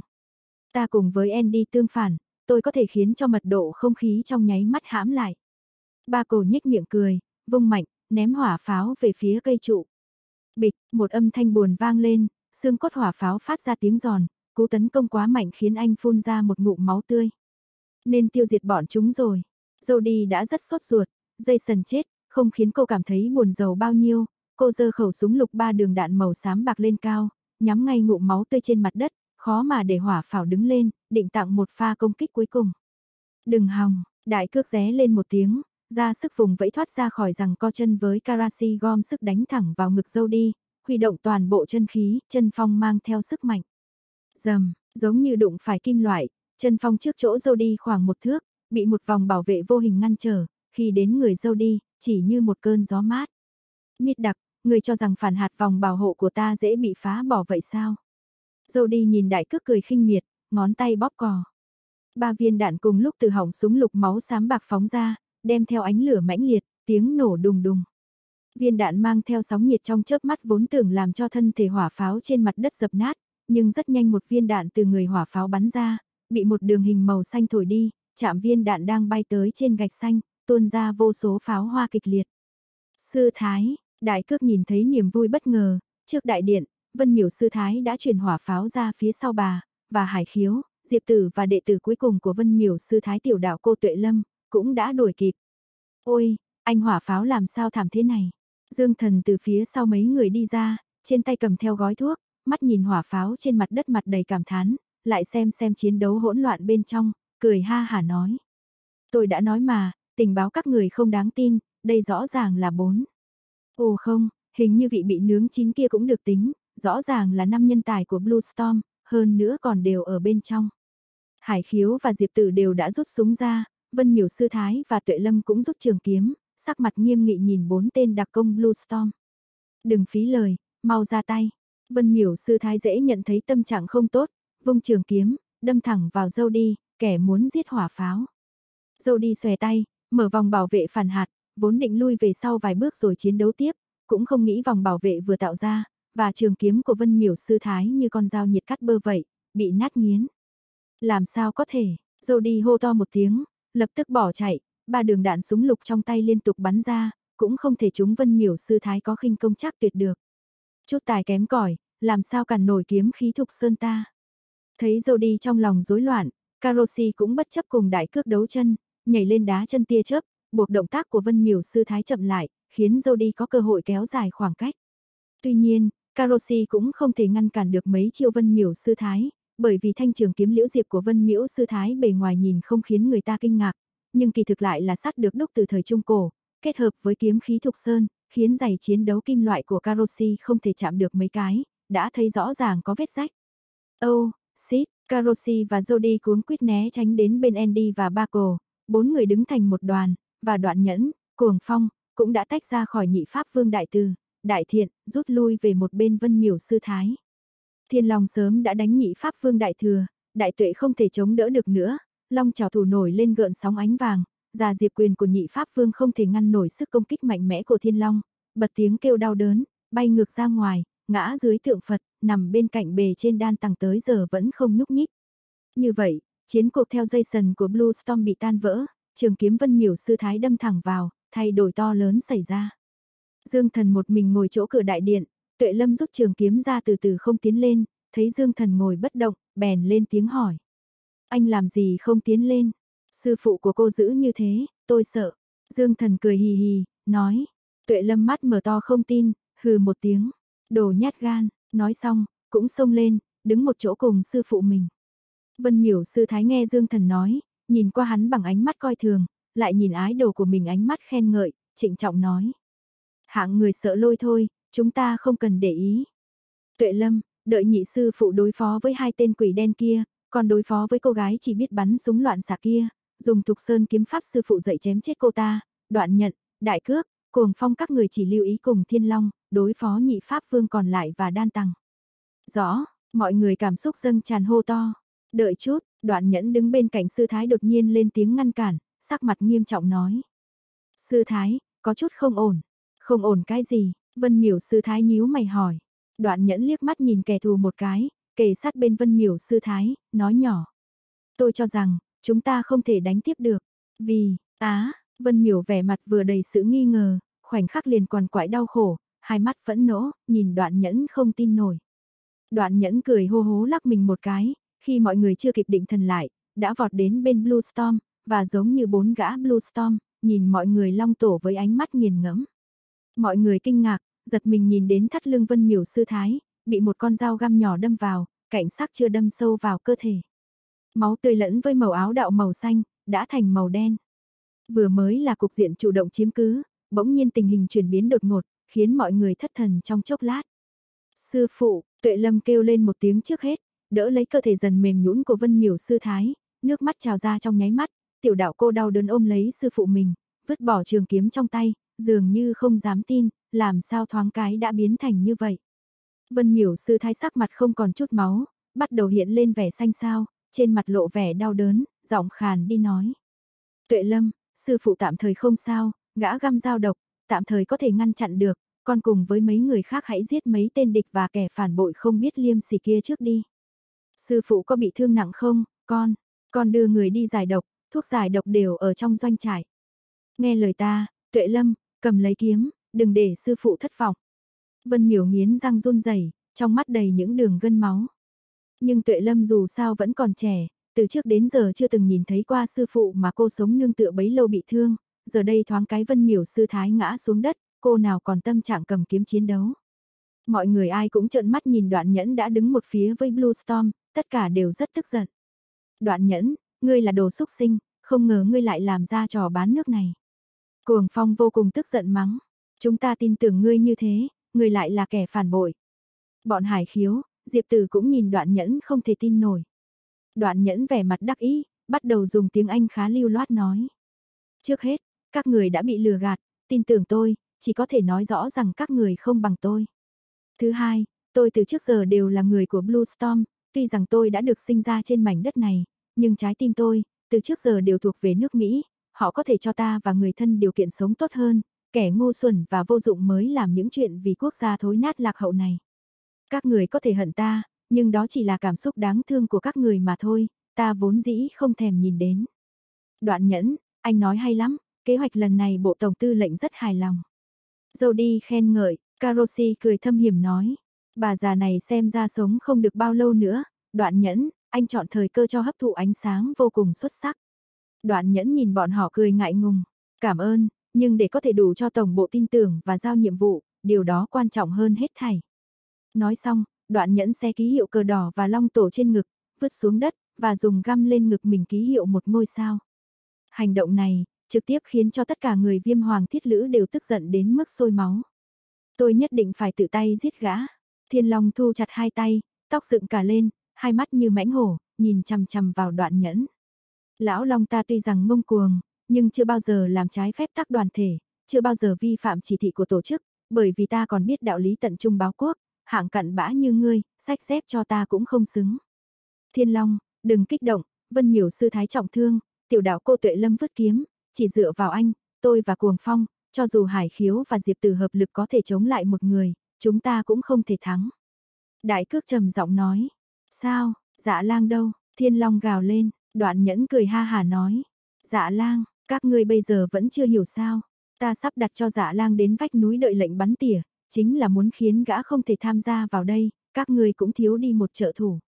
Dạ lang đúng là tay tập kích phục tùng mệnh lệnh tuyệt đối, nếu không hạ lệnh cho gã, gã dù nhìn thấy cuộn long viện bị thiêu cháy, cũng sẽ không rời khỏi vị trí bắn tỉa. Tin tức này, chắc chắn đem đến cho tình hình ở đây đã khổ còn gặp nạn. Đúng lúc này, bề trên đan tầng vẫn không động thủ bỗng nhiên đứng dậy, ánh mắt già nua lóe lên nhìn đảo qua mấy người viêm hoàng thiết lữ, nói. Được rồi, đại cục đã định, các vị thí chủ, không cần dựa vào nơi hiểm yếu ngoan cố chống đối, lão nạp sẽ đưa các vị đến Tây Thiên Cực Lạc, gặp mặt Phật tổ. Hừ, tên giặc hòa thượng ngươi, còn xứng đặt quan hệ với Phật Như Lai sao? Thiên Long tức giận nói, bề trên đan tầng hai tay chắp trước ngực, Thiên Long thí chủ, những gì lão nạp làm lần này, là vì sự hưng thịnh Phật môn, Thiên Long thí chủ còn cố can thiệp, phá sự nghiệp siêu độ chúng sinh to lớn của Phật tôi, lão nạp cũng đành vung đao Phật. Địa tạng vương Bồ Tát, thân ở nơi địa ngục ác quỷ, đan tầng tôi không bằng địa tạng vương Bồ Tát, nhưng sinh thời tất nhiên Phật hiệu mật tông, hải ngoại tuyên dương. Nếu có kẻ cố tình quấy rối, lão nạp sẽ không nhân từ nương tay. Đều là đồ cho má. Thiên Long không thể nhịn được nữa, chân vừa bước trên nền gạch xanh, nền đã lõm xuống một miếng lớn, Long trào thủ như một kim mang, nhằm đan tẳng đánh tới. Đan tẳng nhìn già nua, nhưng thân thể vô cùng linh hoạt, nghiêng người qua, nhưng đồng thời ra thế giống hệt Long trào thủ, và vừa lúc đụng phải Long trào thủ của Thiên Long. Đạt ma sư tổ truyền lại, cũng không phải độc nhất thiếu lâm có, đều là ngàn năm kế thừa, đã là võ học không thể hoàn mỹ, tây vực trào thủ của ta, chưa hẳn là không địch lại được long trào thủ thiếu lâm của thí chủ. Bề trên đan tầng vừa dứt lời, thì cùng thiên long liên tục so đấu hơn 10 chiêu, nội công mật tông hơn 10 năm, dù thiên long có nội lực tẩy tùy kinh mạnh mẽ cũng không thể lay động, long trào thủ của đan tầng đầy sinh lực, cứng rắn đánh thiên long rút lui.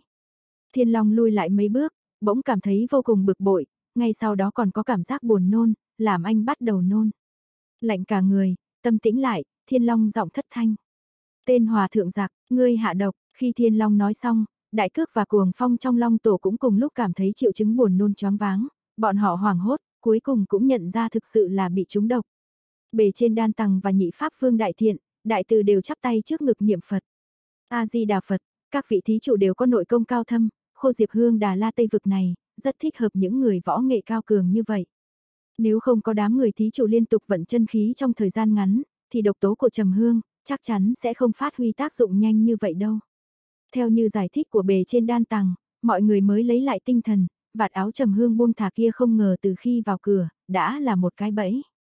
Đại cước hung dữ nhìn thẳng vào đoạn nhẫn đang bình yên vô sự.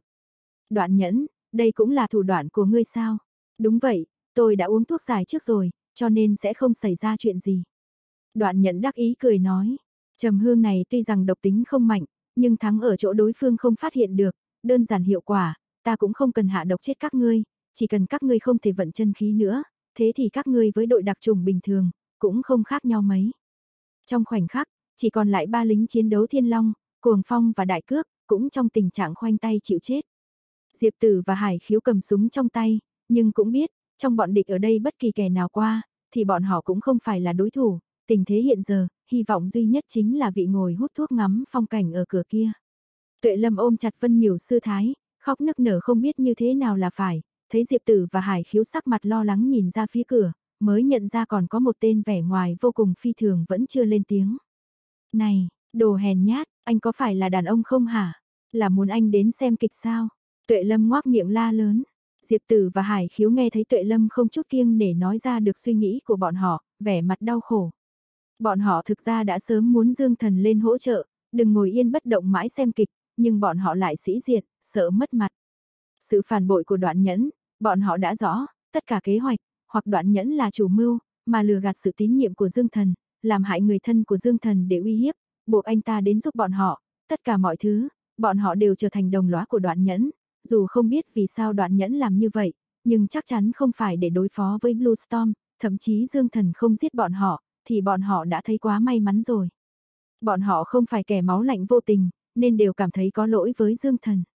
Lúc này, cho dù Dương Thần một mình rời đi, buông tay mặc kệ, bọn họ cũng không thể nói gì hơn, thậm chí còn hy vọng Dương Thần đừng xảy ra chuyện chỉ trách đã lầm tin đoạn nhẫn, rơi vào cạm bẫy.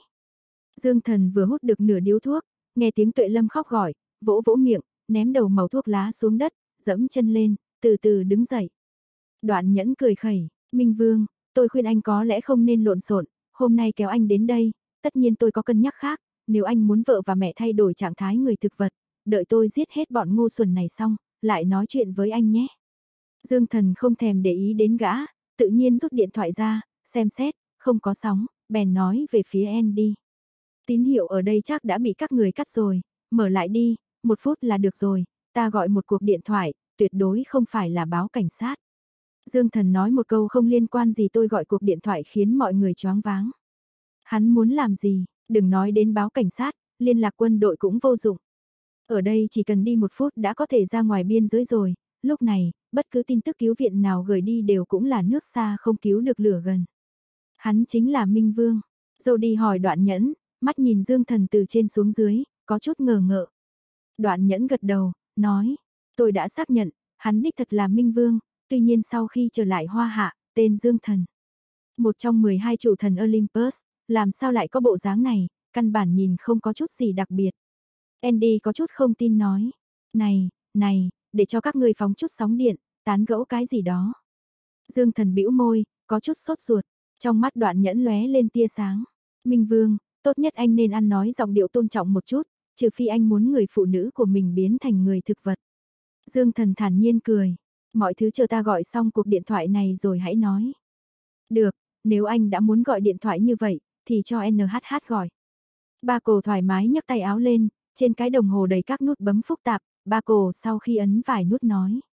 Tôi đã hủy bỏ sóng điện từ quấy nhiễu khu vực này, anh có thể bắt đầu liên lạc, tùy anh gọi, tôi rất ngạc nhiên anh có thể thay đổi được cái gì. Cảm ơn nhiều, Dương Thần thành thơi bấm một dãy số, ấn tiếp loa ngoài điện thoại reo lên một tiếng, lập tức có người nghe. Dương Thần, là anh sao, anh ở đâu, anh không sao chứ, khi nào anh về, từ điện thoại truyền ra giọng nữ vô cùng dễ nghe, nhưng cũng vô cùng lo lắng, hỏi dồn dập. Âm thanh này vừa vang ra, trong tất cả mọi người ở đây, sắc mặt đoạn nhẫn và Diệp Tử lập tức biến sắc. Đoạn nhận vẻ mặt hoảng hốt, đầy vẻ nghi ngờ, còn Diệp Tử lại kinh ngạc vui mừng, dưng dưng. Tiểu thiện thiện à, bây giờ anh ở cách chỗ em khá xa, nhưng anh nghĩ có thể giải quyết chuyện rất nhanh rồi, còn em, ăn ngoan, ngủ ngoan, chờ anh quay lại là tốt rồi. Đầu dây bên kia, đúng là Mạc Thiện Ni. Mạc Thiện Ni lên tiếng xác nhận Dương Thần không sao, cô cũng yên lòng. Thế anh cẩn thận chút nhé, em ở chỗ mẹ đợi anh quay về, mẹ em cũng rất sốt ruột, em phải đi nói cho mẹ biết tin anh không sao đây. Ha ha, để mẹ vợ yên tâm, khi anh về sẽ đem thịt bò Tây Tạng cho mẹ. Dương Thần cười nói như xung quanh không có ai vậy. Đáng ghét, không đàng hoàng gì cả, em cúp máy đây, anh về sớm nhé. Nói xong, Mạc Thiện Ni tắt điện thoại, xác nhận đầu dây bên kia chính là Mạc Thiện Ni, đoạn nhẫn tái mặt, lộ vẻ sầu thảm ngơ ngác, rốt cuộc là chuyện gì? Ngươi, cô ta, cô ta làm sao có thể tỉnh lại? Nhìn vẻ mặt này của đoạn nhẫn, Jody và mấy tên Blue Storm hỏi. Đoạn nhẫn, anh sao vậy, cô gái kia là ai? Đoạn nhẫn nhíu mày, ngoảnh lại nhìn bề trên đan tầng. Phật sống đan tầng, có phải ông đưa nhầm thuốc rồi không? Tuyệt đối không có khả năng đó. Bề trên đan tầng có chút khó hiểu. Nếu như vị nữ thi chú đó, chính là người uống thuốc độc, không có thuốc giải, 10 ngày sau, chắc chắn thần trí khó phục hồi. Hơn nữa theo lão nạp biết, trên đời này gần như không ai có thể giải được. Đám người Diệp Tử vẻ mặt nghi hoặc, bọn họ biết, sở dĩ Dương Thần theo chân họ đến đây, nguyên chân chính là Mạc Thiện Ni và mẹ cô ấy trúng độc, cần thuốc giải, nhưng hôm nay, không ngờ Mạc Thiện Ni bình yên vô sự, Dương Thần kia xuất hiện, lại diễn cái gì đây? Có phải cảm thấy, tất cả không giống như ngươi nghĩ? Dương Thần bỏ điện thoại vào túi, cười nhạt nhìn đoạn nhẫn. Giờ ngươi thấy, ta có cần giữ tôn trọng với các người nữa không? Đoạn nhẫn nuốt khan một cái, bình tĩnh lại, nhận thấy bên mình chiếm ưu thế số lượng tuyệt đối, bên phía Dương Thần có thể nói chỉ mình Dương Thần, cũng không quá e ngại. Minh Vương, cho dù người phụ nữ của ngươi không sao, thì hôm nay ngươi cũng đừng hòng thoát khỏi tay tám người chúng ta. Đoạn nhẫn, anh lợi dụng điểm yếu để uy hiếp hắn sao? Jody lờ mờ hiểu ra, hỏi. Đoạn nhẫn gật đầu, nhưng điểm yếu cũng không có gì, bây giờ đại cuộc đã định, một mình hắn cũng không thay đổi được gì. Anh nói rất đúng, chúng ta vốn định tuyên chiến với hắn, bây giờ tám đấu một, không có gì không ổn.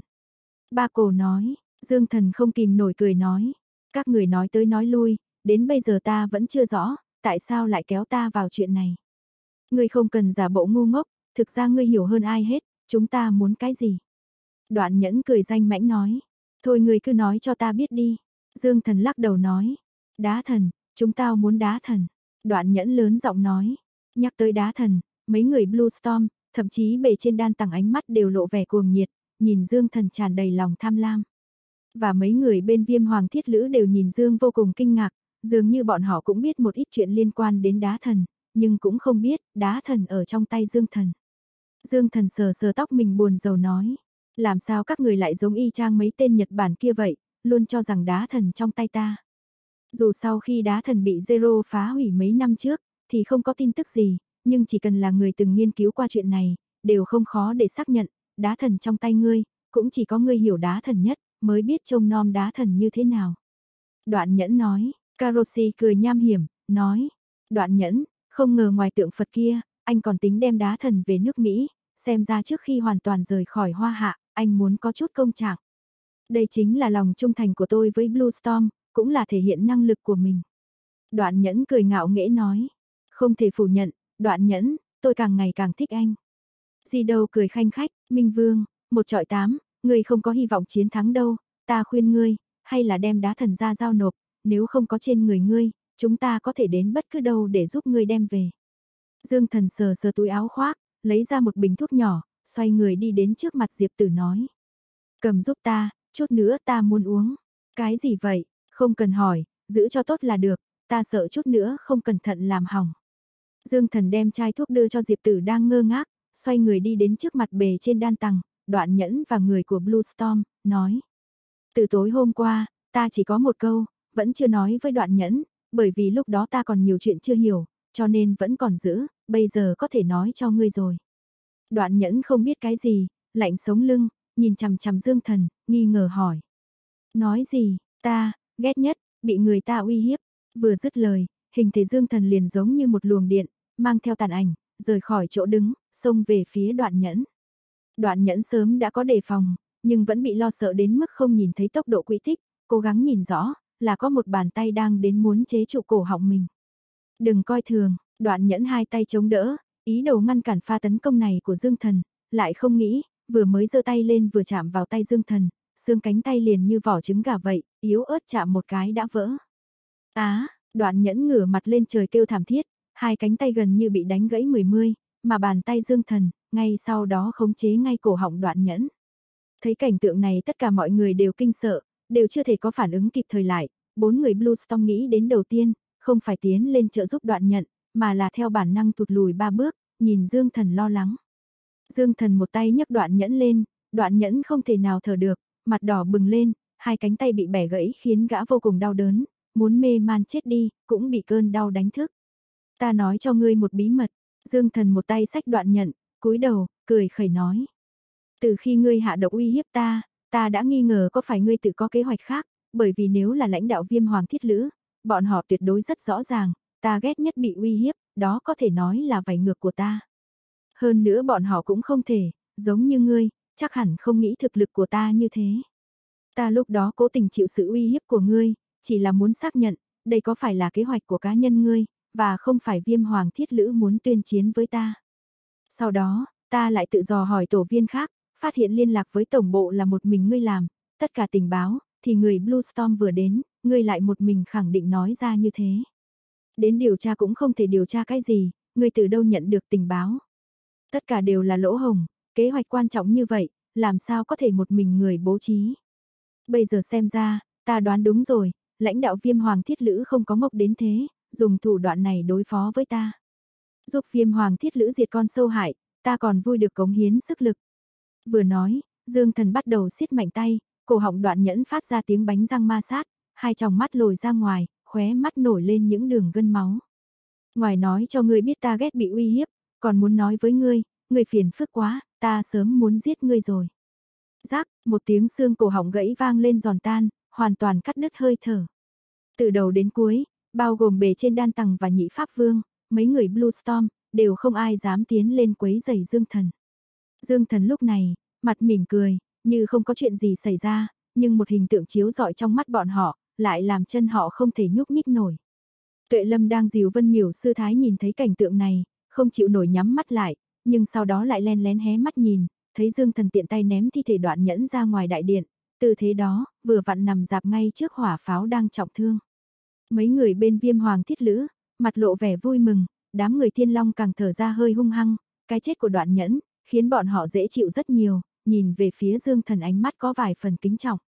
Người đàn ông này không ngờ từ đầu đến cuối lại suy xét được nhiều chuyện như vậy, hơn nữa còn giấu giếm không để lộ dấu vết, so với tất cả kế hoạch tỉ mỉ mà đoạn nhẫn bày ra hắn còn kinh khủng hơn nhiều. Dương thần ngoảnh lại nhìn mấy người cười cười, không cần nhìn ta bằng ánh mắt đó, người trong cuộc thường hay mê muội, bị gạt cũng là chuyện thường. Mà tôi là người thù khá dai, các người tuy rằng không biết vô tình tiếp tay cho đoạn nhẫn, nhưng ta vẫn phải để các người chịu chút đau khổ, trong lòng mới thoải mái được, các người xem, Vân Miểu sư thái luôn đối phó với ta, bị thương nặng nhất, ha ha, nhưng yên tâm, các ngươi sẽ không chết đâu, đáng chết chỉ có đoạn nhẫn mà thôi. Mấy người thiên long cười gượng liên tục, chả trách hắn cứ ngồi ở cửa xem kịch suốt, đúng là cố tình để mấy người bị thương. Được rồi, đến các người rồi. Dương thần quay đầu lại, nhìn về bề trên đan tầng, cười danh mãnh nói. Hòa thượng, đem tượng Phật giao ra đây, sau đó ngoan ngoãn đi tù, ngày ngày đợi trên cao nguyên cũng thú vị, muốn ni cô không có ni cô, muốn đạo cô không có đạo cô, cho ông chọn nhà tù trên cao nguyên, có lẽ còn có thể tích phúc một chút, bây giờ giả mạo ni cô quá nhiều rồi. Đan tằng đừng giao tượng Phật ra, hắn chỉ có một mình, chúng ta có bảy người, cho dù đoạn nhẫn lỡ tay bị giết, thực lực của hắn sao có thể so với liên kết của chúng ta, không phải sợ hắn, đây là cơ hội tốt nhất để lấy đá thần, chúng ta không thể bỏ qua. Karoshi hét lớn, đan tằng nhíu mày trắng, chắp tay nói, Minh Vương thí chủ, một người khó có thể thay đổi cục diện, xin đừng khiến lão nạp, bất đắc dĩ, liên kết cùng bọn họ lãnh giáo thí chủ. Vẻ mặt tươi cười của Dương Thần dần chuyển sang lạnh lùng, trong mắt trở nên u ám, thanh âm có chút trống rỗng, thở dài xa xôi. Các người hình như chưa hiểu, một người, tất nhiên không thay đổi được cục diện hiện tại, nhưng ta không phải là người. Ta, là thần, Dương Thần vừa hạ giọng xuống, quanh thân người dường như hình thành một luồng khí tụ, trên nền gạch xanh đại điện, bụi đất bay lên. Hai con ngươi màu hổ phách dần dần biến thành màu đỏ tươi, khóe miệng Dương Thần hơi hé mở mà không mất đi độ cong, ánh mắt kỳ dị đảo qua bảy người còn lại. Thở một hơi tràn ngập đại điện làm cho người ta tim đập run sợ, tất cả mọi người đều run rẩy, dường như người đàn ông trong đại điện này, thành một cái hang đen ngòm không đáy, bất cứ lúc nào cũng có thể nuốt chửng lấy linh hồn của mỗi người. Ăn một cách sạch sẽ, bốn người Blue Storm và ba người bề trên đan tầng dựa sát vào nhau, chuẩn bị nghênh đón Dương Thần chợt bùng lên. Anh Dương, anh ta. Diệp Tử có chút không nhận ra Dương Thần, bởi vì Dương Thần lúc này, hơi thở đã hoàn toàn khác biệt, như biến thành một người khác. Hải khiếu một tay ngăn Diệp Tử lại phía sau, liên tục lùi về sau mấy bước. Diệp Tử, đừng tới gần, hắn rất nguy hiểm. Đám người thiên long có chút thấp thỏm rút lui tới cửa đại điện, nhìn màn sương khói bao quanh Dương Thần, bọn họ nhìn nhau, đều thấy trong mắt đối phương vẻ sợ hãi. Sao tôi cảm thấy, cái mà hắn sử dụng là một loại nội công tâm pháp. Thiên Long do dự nhỏ giọng hỏi, quá kinh khủng, không tiết chút chân khí ra ngoài, nhưng uy lực như vậy, chẳng lẽ là tiên thiên cảnh giới. Đại cước mở to mắt, tiên thiên, không thể nào, sau khi thất tuyệt đạo nhân võ đang cưỡi hạc bay về trời 16 năm trước, hoa hạ chúng ta đã không có cao thủ tiên thiên cảnh giới, chẳng lẽ hôm nay chúng ta gặp được một người. Cuồng phong cảm thấy không thể tin nổi, tuệ lâm dìu vân miểu sư thái lau khô hai mắt ướt, lẩm bẩm nói. Tôi cảm thấy, có một vị rất quen thuộc, quen thuộc, mấy người thiên long cũng không cho rằng tuệ lâm là trẻ nít nói lung tung, cẩn thận hỏi. Chính xác, hình như cùng với kiếm thuật thục Sơn Vân miểu sư thái, và tiểu sư phụ tuệ lâm dùng, có chút giống nhau. Nhưng chiêu thức của hắn hung dữ hơn nhiều so với thục sơn kiếm khí, hơn nữa cho dù là vân miểu sư thái hay mấy đại cao tăng thiếu lâm thì nội lực cũng không thể thâm hậu như anh ta. Thiên Long vẻ trầm mặc, tung hoành ngang dọc như gã, giờ phút này mới cảm nhận được sự chênh lệch so với Dương Thần. Hải khiếu bình tĩnh nhất, bất luận hắn mạnh bao nhiêu, trước mắt xem ra, là bạn không phải là thù. Không giống đám người viêm hoàng thiết lữ, bảy người bề trên đan tầng sắc mặt đều khó coi, nhưng vấn đề của bọn họ càng ác liệt, bởi vì bọn họ phát hiện, chưa một ai dám ra mặt sông lên. A-di-đà Phật, những nếp nhăn tiểu tụy trên mặt bề trên đan tầng dường như sâu hơn rất nhiều. Cả đời lão nạp, chưa bao giờ gặp qua sát khí hung bạo như thế, nồng như mực, lạnh như băng, chán mũi địa ngục, thế giới tu la, cũng không như thế. Đan tầng, đừng nói những lời chúng tôi nghe không hiểu, muốn lên thì nhanh đi. Ba cổ chửi ầm lên, đại thiện pháp vương tức giận nói, các người vì sao không ra tay trước, bề trên là linh thông chuyển thế, là Phật sống kim thân đương thời, làm sao có thể đem thân vào nguy hiểm. Hòa thượng, người muốn cãi lộn với chúng ta sao? Carosi hét lớn, không đợi hai bên nhiều lời đôi co, Dương Thần nhìn bọn họ hồi lâu đã không thể kiên nhẫn thêm, thở một hơi. Nếu các ngươi không ra tay, thì ta đến đây, giải quyết từng người một, dù chậm một chút, nhưng cũng không phải không được. Minh Vương, bất làm hiệu quả đặc biệt của điện ảnh ở đó đi, chúng ta còn am hiểu cái này hơn ngươi nhiều. Cuối cùng chịu không nổi áp lực Andy quyết định bắt đầu ra tay, một tay mở rộng, một tay rút mã tấu sắc bén ra, cự ly tác chiến ngắn, đặc công đứng đầu đều quen bỏ vũ khí nóng, thay vào đó dùng trực tiếp vũ khí lạnh. Mật độ không khí quanh Dương Thần chợt giảm xuống, áp lực vô hình từ bốn phương tám hướng tràn đến, quần áo trên người Dương Thần cũng bị đè chặt khác thường.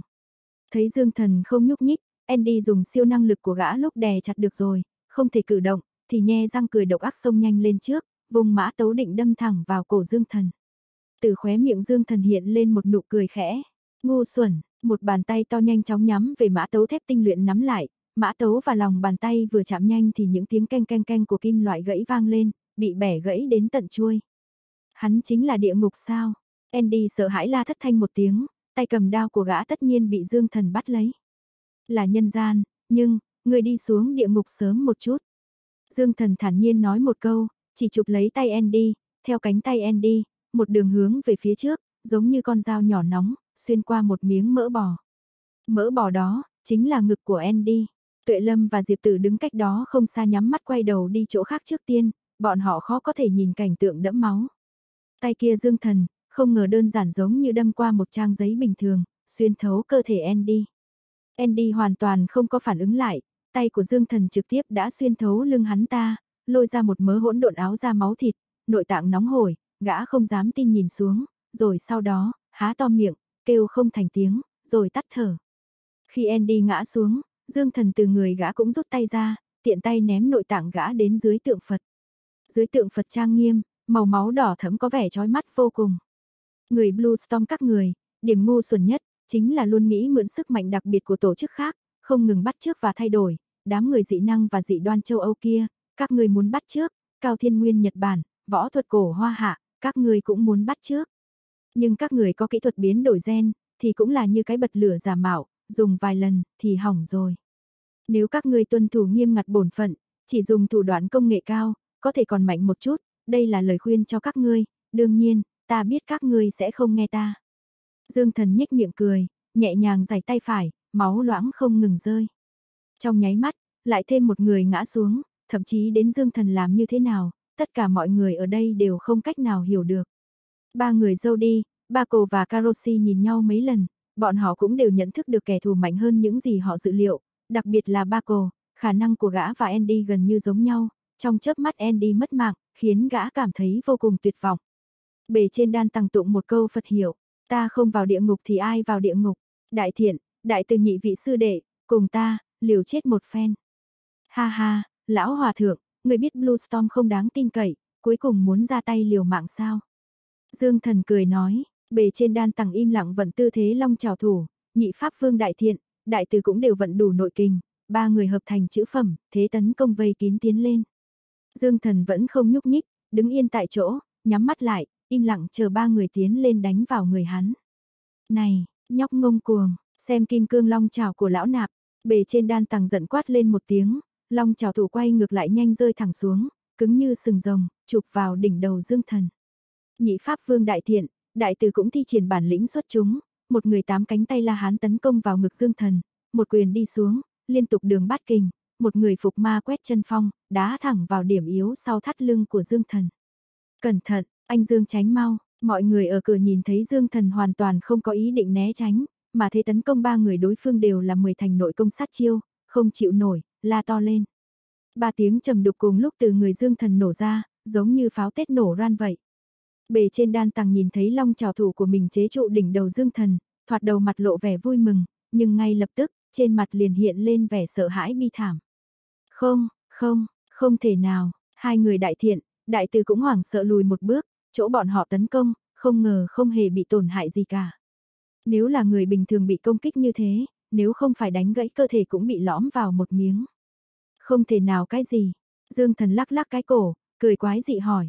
Bề trên đan tăng lào đảo lùi ba bước, dựa vào đại từ, đại thiện đỡ mới không bị ngã, trên gương mặt khô gầy túa đầy mồ hôi. Ngươi, ngươi có thể chế ngự được kim cương bất hoại thần công đã thất truyền ngàn năm. Không, không đúng, kim cương bất hoại thần công, nhất thiết phải là đồng nam trai còn zin, hí hí, mà ngươi, từ lâu không phải thân nguyên dương, làm sao có thể. Lão hòa thượng, đã nói lão không đứng đắn rồi, nguyên dương thân thể cái gì, ta còn là đồng nam mà. Dương thần cười uể oải, chậm rãi tiến gần bề trên đan tầng. Bề trên đan tầng hiệp sức cùng nhị pháp vương đại từ, đại thiện, lúc này hoàn toàn không biết nên làm như thế nào là tốt. Bọn họ đã dùng 10 phần công lực tấn công, đánh vào thân thể người ta, như gãi ngứa, có khác gì lấy trứng trọi đá. Đám người thiên long ở cửa cũng đều trợn mắt há mồm lặng người, tình hình trước mắt đã vượt qua hiểu biết võ học của bọn họ. Chẳng lẽ thật sự là kim cương bất hoại thần công? Cuồng phong thì thào hỏi. Thiên long lắc đầu, không thể nào, cho dù là kim cương bất hoại thần công, theo lý thuyết cũng không thể hấp thụ 10 phần công lực long trào thủ cứng như vậy, có thể không bị thương dù chỉ một sợi tóc. Ba người đan tầng khi rút lui sắc mặt đã tái xám, nếu không phải thu lại chút chân khí cuối cùng, có khi cũng xón ra quần rồi, toàn thân dương thần phát ra sát khí, không ngừng tra tấn trong lòng bọn họ, còn khó chịu hơn là giết bọn họ đi. Pằng pằng pằng, đột nhiên, ba tiếng súng dữ dằn liên tiếp vang lên, bề trên đan tầng và nhị pháp vương đại thiện, đại tử đang rút lui, mở to mắt ngỡ ngàng, cơ thể mềm nhũn ngã xuống đất, ngay trên trán của ba người, đều bị viên đạn xuyên thủng, ứa máu. Phía sau bọn họ, cô gái tóc vàng Jody vừa mới nổ súng, họng súng còn khói thuốc súng, sắc mặt âm u, trong mắt hiện lên vẻ phức tạp. Biến cố này, lại khiến cho tình hình thay đổi, mọi người viêm hoàng thiết lữ nhìn nhau ngơ ngác, không hiểu Jody đang nghĩ cái gì. Dương thần cũng có chút ngạc nhiên dừng chân lại, nhìn về phía ba người dâu đi.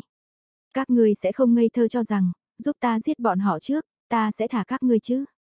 Tất nhiên không phải, Dâu đi tiến tới một bước, phía sau gã Karoshi và ba cổ không dám lộn xộn. Minh Vương các hạ, chúng tôi đã mạo phạm đến điều cấm kỵ của thần, bây giờ, tôi chỉ muốn dùng hành động thực tế của mình, để đổi lấy sự khoan thứ của ngài, bỏ qua cho ba người chúng tôi. Dương thần cười ý nhị nói, hành động, vừa giết bọn họ sao, còn có cái này, đi nói, để ngăn nỗi sợ hãi trong lòng, hít một hơi sâu, thò tay rút ra một cái ví da cài ở thắt lưng, từ bên trong, lấy ra một ngón út đầu nhỏ, mượt mà trơn bóng, như một viên chân châu pha lê, phía trong còn bị rỗng, từ xa nhìn lại, giống như một bong bóng nước. Nhìn thấy đồ vật này, những người ở đây đều không hiểu sao cả, chỉ mình Dương Thần, nụ cười tàn nhẫn trên gương mặt thoải mái từ từ biến mất, hiện lên vẻ nghiêm túc. Audio điện tử võ tấn bền. Mọi người ở cửa nhìn thấy Dương Thần thần sắc đột nhiên trở nên kỳ quái, không hẹn mà cùng tỏ vẻ tò mò. Đó là thứ gì thế? Cuồng Phong hỏi Hải Khiếu bên cạnh. Hải Khiếu lắc đầu, không biết, trước đến giờ chưa từng thấy. Giống như là bong bóng xà phòng, lẽ nào là cầu thủy tinh? Diệp Tử phỏng đoán, lúc này, Dương Thần chợt giơ tay, từ tay dâu đi lấy ra một quả cầu trong suốt, nắm trong tay, nhẹ nhàng ngắm nghía. Người biết Aphrodite, Dương Thần hỏi giọng chậm rãi, trong đôi mắt tràn ngập sự lo lắng, bất an, sợ hãi và chờ đợi kia của dâu đi, hiện lên niềm vui mừng khôn xiết tìm được đường thoát chết. Cái này, cái này thật là bùa hộ mệnh của vị đại nhân đó sao? Thế nào, người không biết nguồn gốc của đồ vật này sao? Dương Thần nhíu mày, không, không, tôi, Tôi lúc trước vẫn chưa xác nhận, lúc đó tôi một lần trong một dịp tình cờ, giúp vị đại nhân đó, vị đại nhân đó rất thích tôi, cho nên nói tặng tôi đồ vật này làm kỷ niệm, nhưng tôi vẫn không dám tin vào tác dụng của nó. Jody nói ngữ điệu gấp gáp, trên thực tế, thậm chí thân phận thực sự của vị đại nhân đó tôi cũng không dám xác định. Dương thần cười khẽ, vận may của ngươi không tệ, bùa hộ mệnh khí bọt này, chính xác là của Aphrodite, tôi có thể cảm nhận được năng lực đặc biệt của cô ấy bám trên bề mặt. Mọi người trong viêm hoàng thiết lữ vẫn chăm chú nghe hai người đối thoại, đều lộ vẻ ngỡ ngàng, chỉ có Diệp Tử Hình như nghĩ đến cái gì, ngây người ngơ ngác. Aphrodite, đó là ai? Thiên Long khó hiểu nhất, nhìn quanh hỏi hai người bên cạnh. Diệp Tử không chắc chắn nói nhỏ, tôi nhớ, hình như một trong 12 vị thần trên đỉnh núi Olympus, đại diện cho nữ thần tình yêu và sắc đẹp Venus, tên Hy Lạp cổ chính là Aphrodite. Venus, mọi người càng không hiểu là chuyện gì, chỉ có Minh Vương là đủ khó để tin, người ngang hàng với Minh Vương lại là vị nào trên thế giới nữa. Diệp Tử châm rãi gật đầu, nói, đúng vậy, nếu nói thật sự là Venus, quả cầu tròn nhỏ kia có thể là đại diện một bong bóng trong nước, bởi vì trong truyền thuyết, Venus là ở trong đại dương, sinh ra từ bọt biển. Mọi người đều cảm thấy rất khó tưởng tượng, nhưng tình hình trước mắt lại có vẻ là sự thật. Dương thần thở dài, cô đã cầm vật này ra, thế cũng nên biết, vật này có thể làm gì, chỉ có một chuyện, hơn nữa, sau khi bùa hộ mệnh này sử dụng một lần, sẽ bị đánh mất ý nghĩa. Tôi biết, trước kia tôi không tin tất cả, nhưng hôm nay nhìn thấy các hạ, mới hiểu tất cả điều đó đều là sự thật. Như vậy dựa theo minh ước chư thần, bùa hộ mệnh của chủ thần có thể giúp người được bảo vệ thoát khỏi một lần trừng phạt của chủ thần khác, hoặc là được một lần chủ thần che chở. Dâu đi khiếm tốn bước lui hai bước, cúi đầu. Chỉ cần minh vương các hạ có thể buông tha cho chúng tôi, chúng tôi lập tức sẽ rời khỏi hoa hạ. Tuy chưa rõ minh ước chư thần là cái gì, nhưng nghe đến có cứu giúp, trong mắt Karoshi và ba cổ lập tức lộ vẻ vui mừng. Các ngươi, Dương thần ánh mắt lạnh lùng liếc qua Karoshi và ba cổ phía sau dâu đi. Bùa hộ mệnh chỉ có thể bảo vệ một người, bọn họ, không có trong phạm vi bảo vệ. Dâu đi cắn môi một cái, nói, Minh Vương các hạ, không thể châm trước một lần sao. Cô gái, chớ có khiêu chiến với điểm cuối của ta, ta cũng không tôn sùng sinh mạng, đại diện cho ta chính là cái chết. Trong mắt Dương Thần lại hiện lên vài tia máu đỏ tươi, hơi thở lan toát lại nồng lên. Phủ quyết bất thình lình khiến Karoshi và Bako như muốn sụp đổ, bọn họ đã không thể chế ngự nổi cảm xúc đang dâng lên, lời nói Dương Thần muốn lấy mạng của bọn họ như đinh đóng cột, trong đầu họ chỉ có duy nhất suy nghĩ đó chính là là trốn. Thừa lúc đối phương chỉ có mình Dương Thần, toàn bộ người viêm hoàng thiết lữ không thể ngăn cản, bọn họ sẵn sàng vì một tỷ lệ sống sót vô cùng nhỏ bé mà mất mạng. Hầu như hai người phối hợp rất ăn ý, sau khi liếc qua nhau, Karoshi nhấc chân, hai đường tia điện màu lam giống như vũ điệu rắn vàng điên cuồng bổ nhào về phía Dương Thần. Ba cổ một tay ấn cái nút trên đồng hồ, một tay mở ra phía trước, không khí xung quanh rung chuyển, mắt thường có thể nhìn thấy tốc độ, khiến người gã trở nên mờ nhạt. Đừng, Karoshi, đừng chạy trốn, Jody thấy hai người động thủ muốn chạy trốn, lại không kịp ngăn cản, chỉ có thể sợ hãi la to. Nhưng đã quá muộn, khoảnh khắc tia lửa điện phóng tới trước người Dương Thần, Dương Thần đã một tay nâng lên, nhẹ nhàng đem mấy ngàn vôn điện cao thế đỡ xuống, theo sát sau, bay người lại phía ba cô và Karoshi. Hai người Karoshi vốn muốn làm Dương Thần ngừng một chút, để bọn họ có cơ hội chạy trốn, cũng không nghĩ, Karoshi toàn lực thi triển điện cao thế căn bản không có hiệu quả gì. Các người quá ngây thơ rồi. Khi Dương Thần nói xong, người đã đến bên ba cổ đang chạy trốn. Ba cổ hoàng hốt mở to mắt, mật độ không khí quanh gã đã đặc lại hơn mấy ngàn lần so với bình thường, nhưng khi bàn tay Dương Thần đưa tới đầu gã, cơ bản không có chút trở ngại nào. Bóp, ba cổ không kịp né tránh, cả đầu đã bị Dương Thần chụp lấy, liền giống như dưa hấu bị đập mạnh, bể ra nhiều mảnh. A, à, phát hiện cái chết kinh khủng tột cùng của ba cổ, hai chân chạy như tới giới hạn cao nhất, đảo mắt chạy tới cửa chính cuộn Long Việt. Dương Thần cũng không đuổi theo, mà hướng về cách đó không xa, liếc mắt một cái. ầm, một tiếng nổ trên không phát ra kịch liệt, Karoshi đang chạy trốn nhanh liền té thẳng, lăn mấy vòng, nhìn đúng là không còn sống rồi. Vừa mới có chút lo lắng Karoshi chạy thoát, mọi người viêm hoàng thiết lữ lúc này mới giật mình, bên ngoài bọn họ còn có dạ lang. Tay bắn tỉa ưu tú nhất, vẫn đang trong tình trạng đợi lệnh. Nhìn lại ánh mắt dương thần, mọi người không biết dùng ngôn ngữ gì để biểu đạt người đàn ông này, trong nháy mắt đã cảm nhận được, dạ lang ở nơi xa sẽ giết chết Karoshi ư. Điều đó có nghĩa là, ngay cả tay tập kích bên ngoài, đối với hắn cũng như trong lòng bàn tay. Trên thực tế, nếu Karoshi không phải điên cuồng quá mức, mất đi lý trí, gã cũng sẽ không dùng cách chạy trốn, khiến dạ lang thoải mái tính toán đường giết, chết thảm tại chỗ. Dương thần quay người lại, nhìn Jody đang kinh ngạc đứng bất động, nói. Cô có thể đi rồi, dựa vào bản lĩnh của cô, nói thật, sẽ không bị bắn chết. Jody nhìn xung quanh, thi thể đồng bọn trong, ngoài đại điện, hốc mắt đỏ lên, cơ thể run nhẹ vì quá đau khổ. Nhưng dâu rất rõ ràng, nếu cô lựa chọn vì bọn họ mà báo thù, kết quả sẽ như thế. Vô cùng may mắn dựa vào bùa hộ mệnh bảo vệ chính mình, Jody đã không dũng khí để vì tổ chức vinh quang kia mà chết đi. Cảm ơn ngài, Minh Vương các hạ. Jody dường như nói câu cảm ơn từng chữ một, sau đó tạo ra vòng bảo vệ, thả người rời khỏi cuộn Long Việt Nhìn bóng dáng Jody không ngừng rời xa, đám người thiên long có chút sốt ruột, nhưng bọn họ không thể đuổi theo được, dù sao thì Dương Thần vừa mới cứu bọn họ, bọn họ tạm thời không thể sử dụng nội lực. Cái đó, Minh, này, ta vẫn là gọi anh Dương Thần nhé, Dương Thần, anh thả cô gái đó đi, không phải thả hồ về rừng sao. Thiên Long hét lớn, Dương Thần không để ý đến gã, đi đến trước Diệp Tử, cầm lấy chai thuốc từ tay Diệp Tử, chút ra một viên, nuốt xuống. Hít một hơi sâu, khi Dương Thần mở mắt ra lần nữa, màu đỏ trong mắt đã bớt đi, hơi thở toàn thân, cũng khôi phục lại như trước, ôn hòa cả người. Thế nào, các người sợ một cô gái? Dương Thần cười danh mãnh nói. Đám người thiên long lập tức thay đổi nét mặt. Sợ, cái cái quái gì, tha thì tha, dù sao hôm nay cũng giết đủ rồi. Vậy ngươi còn nói cái gì? Tôi, tôi không phải sợ cô ấy trở về tiết lộ hành tung sao? Nếu chẳng may bọn họ phái nhiều người tới gây rối, thì làm thế nào? Thiên Long gân cổ, ồm ồm nói. Dương Thần nhún vai, nếu các ngươi đồng ý thả cho bọn họ tiến vào hoa hạ, ta sao cũng được. Ngươi, Thiên Long nghẹn họng, không nói được ra lời. Các người đừng nói những chuyện vô dụng đó nữa, đan tàng chết rồi, người Bluestone cũng không đem bí kíp như Lai đi, khẳng định bí kíp như Lai còn ở trong chùa, đi lục soát một chút, đây mới là nhiệm vụ quan trọng. Hải khiếu nói, Thiên Long cười ha hà nói, đoạn nhẫn kia vừa mới chết, Hải khiếu cuối cùng đã có thể làm tổ trưởng rồi, tốt tốt, tôi cảm thấy có tiền đồ hơn đoạn nhận đấy. Đừng nhắc đến đồ xúc sinh đó, gã không xứng đáng so với tổ trưởng hải khiếu của chúng ta, đúng không, hải lão đại. Cuống phong lập tức nịnh nọt, mọi thứ như từ cõi chết trở về, tâm trạng rất tốt, nhìn mọi người trêu đùa, hải khiếu vẻ mặt xấu hổ, diệp tử và đại cước bình tĩnh lộ chút hiểu ý mỉm cười. Tuy nhiên, cũng không phải tất cả mọi người đều vui vẻ. Dương thần đem chai thuốc bỏ vào túi xong, xoay người đi ra cửa, ở đó, hỏa pháo dù bị thương nặng, nhưng dù thế nào cơ thể cường tráng, cũng không nhiều vấn đề lớn, trên cái miệng đau đớn vẫn nở nụ cười vui mừng. Nhưng một người khác, tiểu đạo cô tuệ lâm ôm vân miểu sư thái, tình hình lại không hề lạc quan. Trên khuôn mặt thanh mảnh xinh đẹp của tuệ lâm, như hoa lệ tuôn mưa, khóc khiến người ta thương xót vô hạn. Vân miểu sư thái dùng nội lực ép độc tố ra ngoài, nhưng cũng không có cách thanh trừ chất độc, mặt trắng bệch, môi lạnh, mồ hôi toát ra không ngừng, tình hình rất xấu.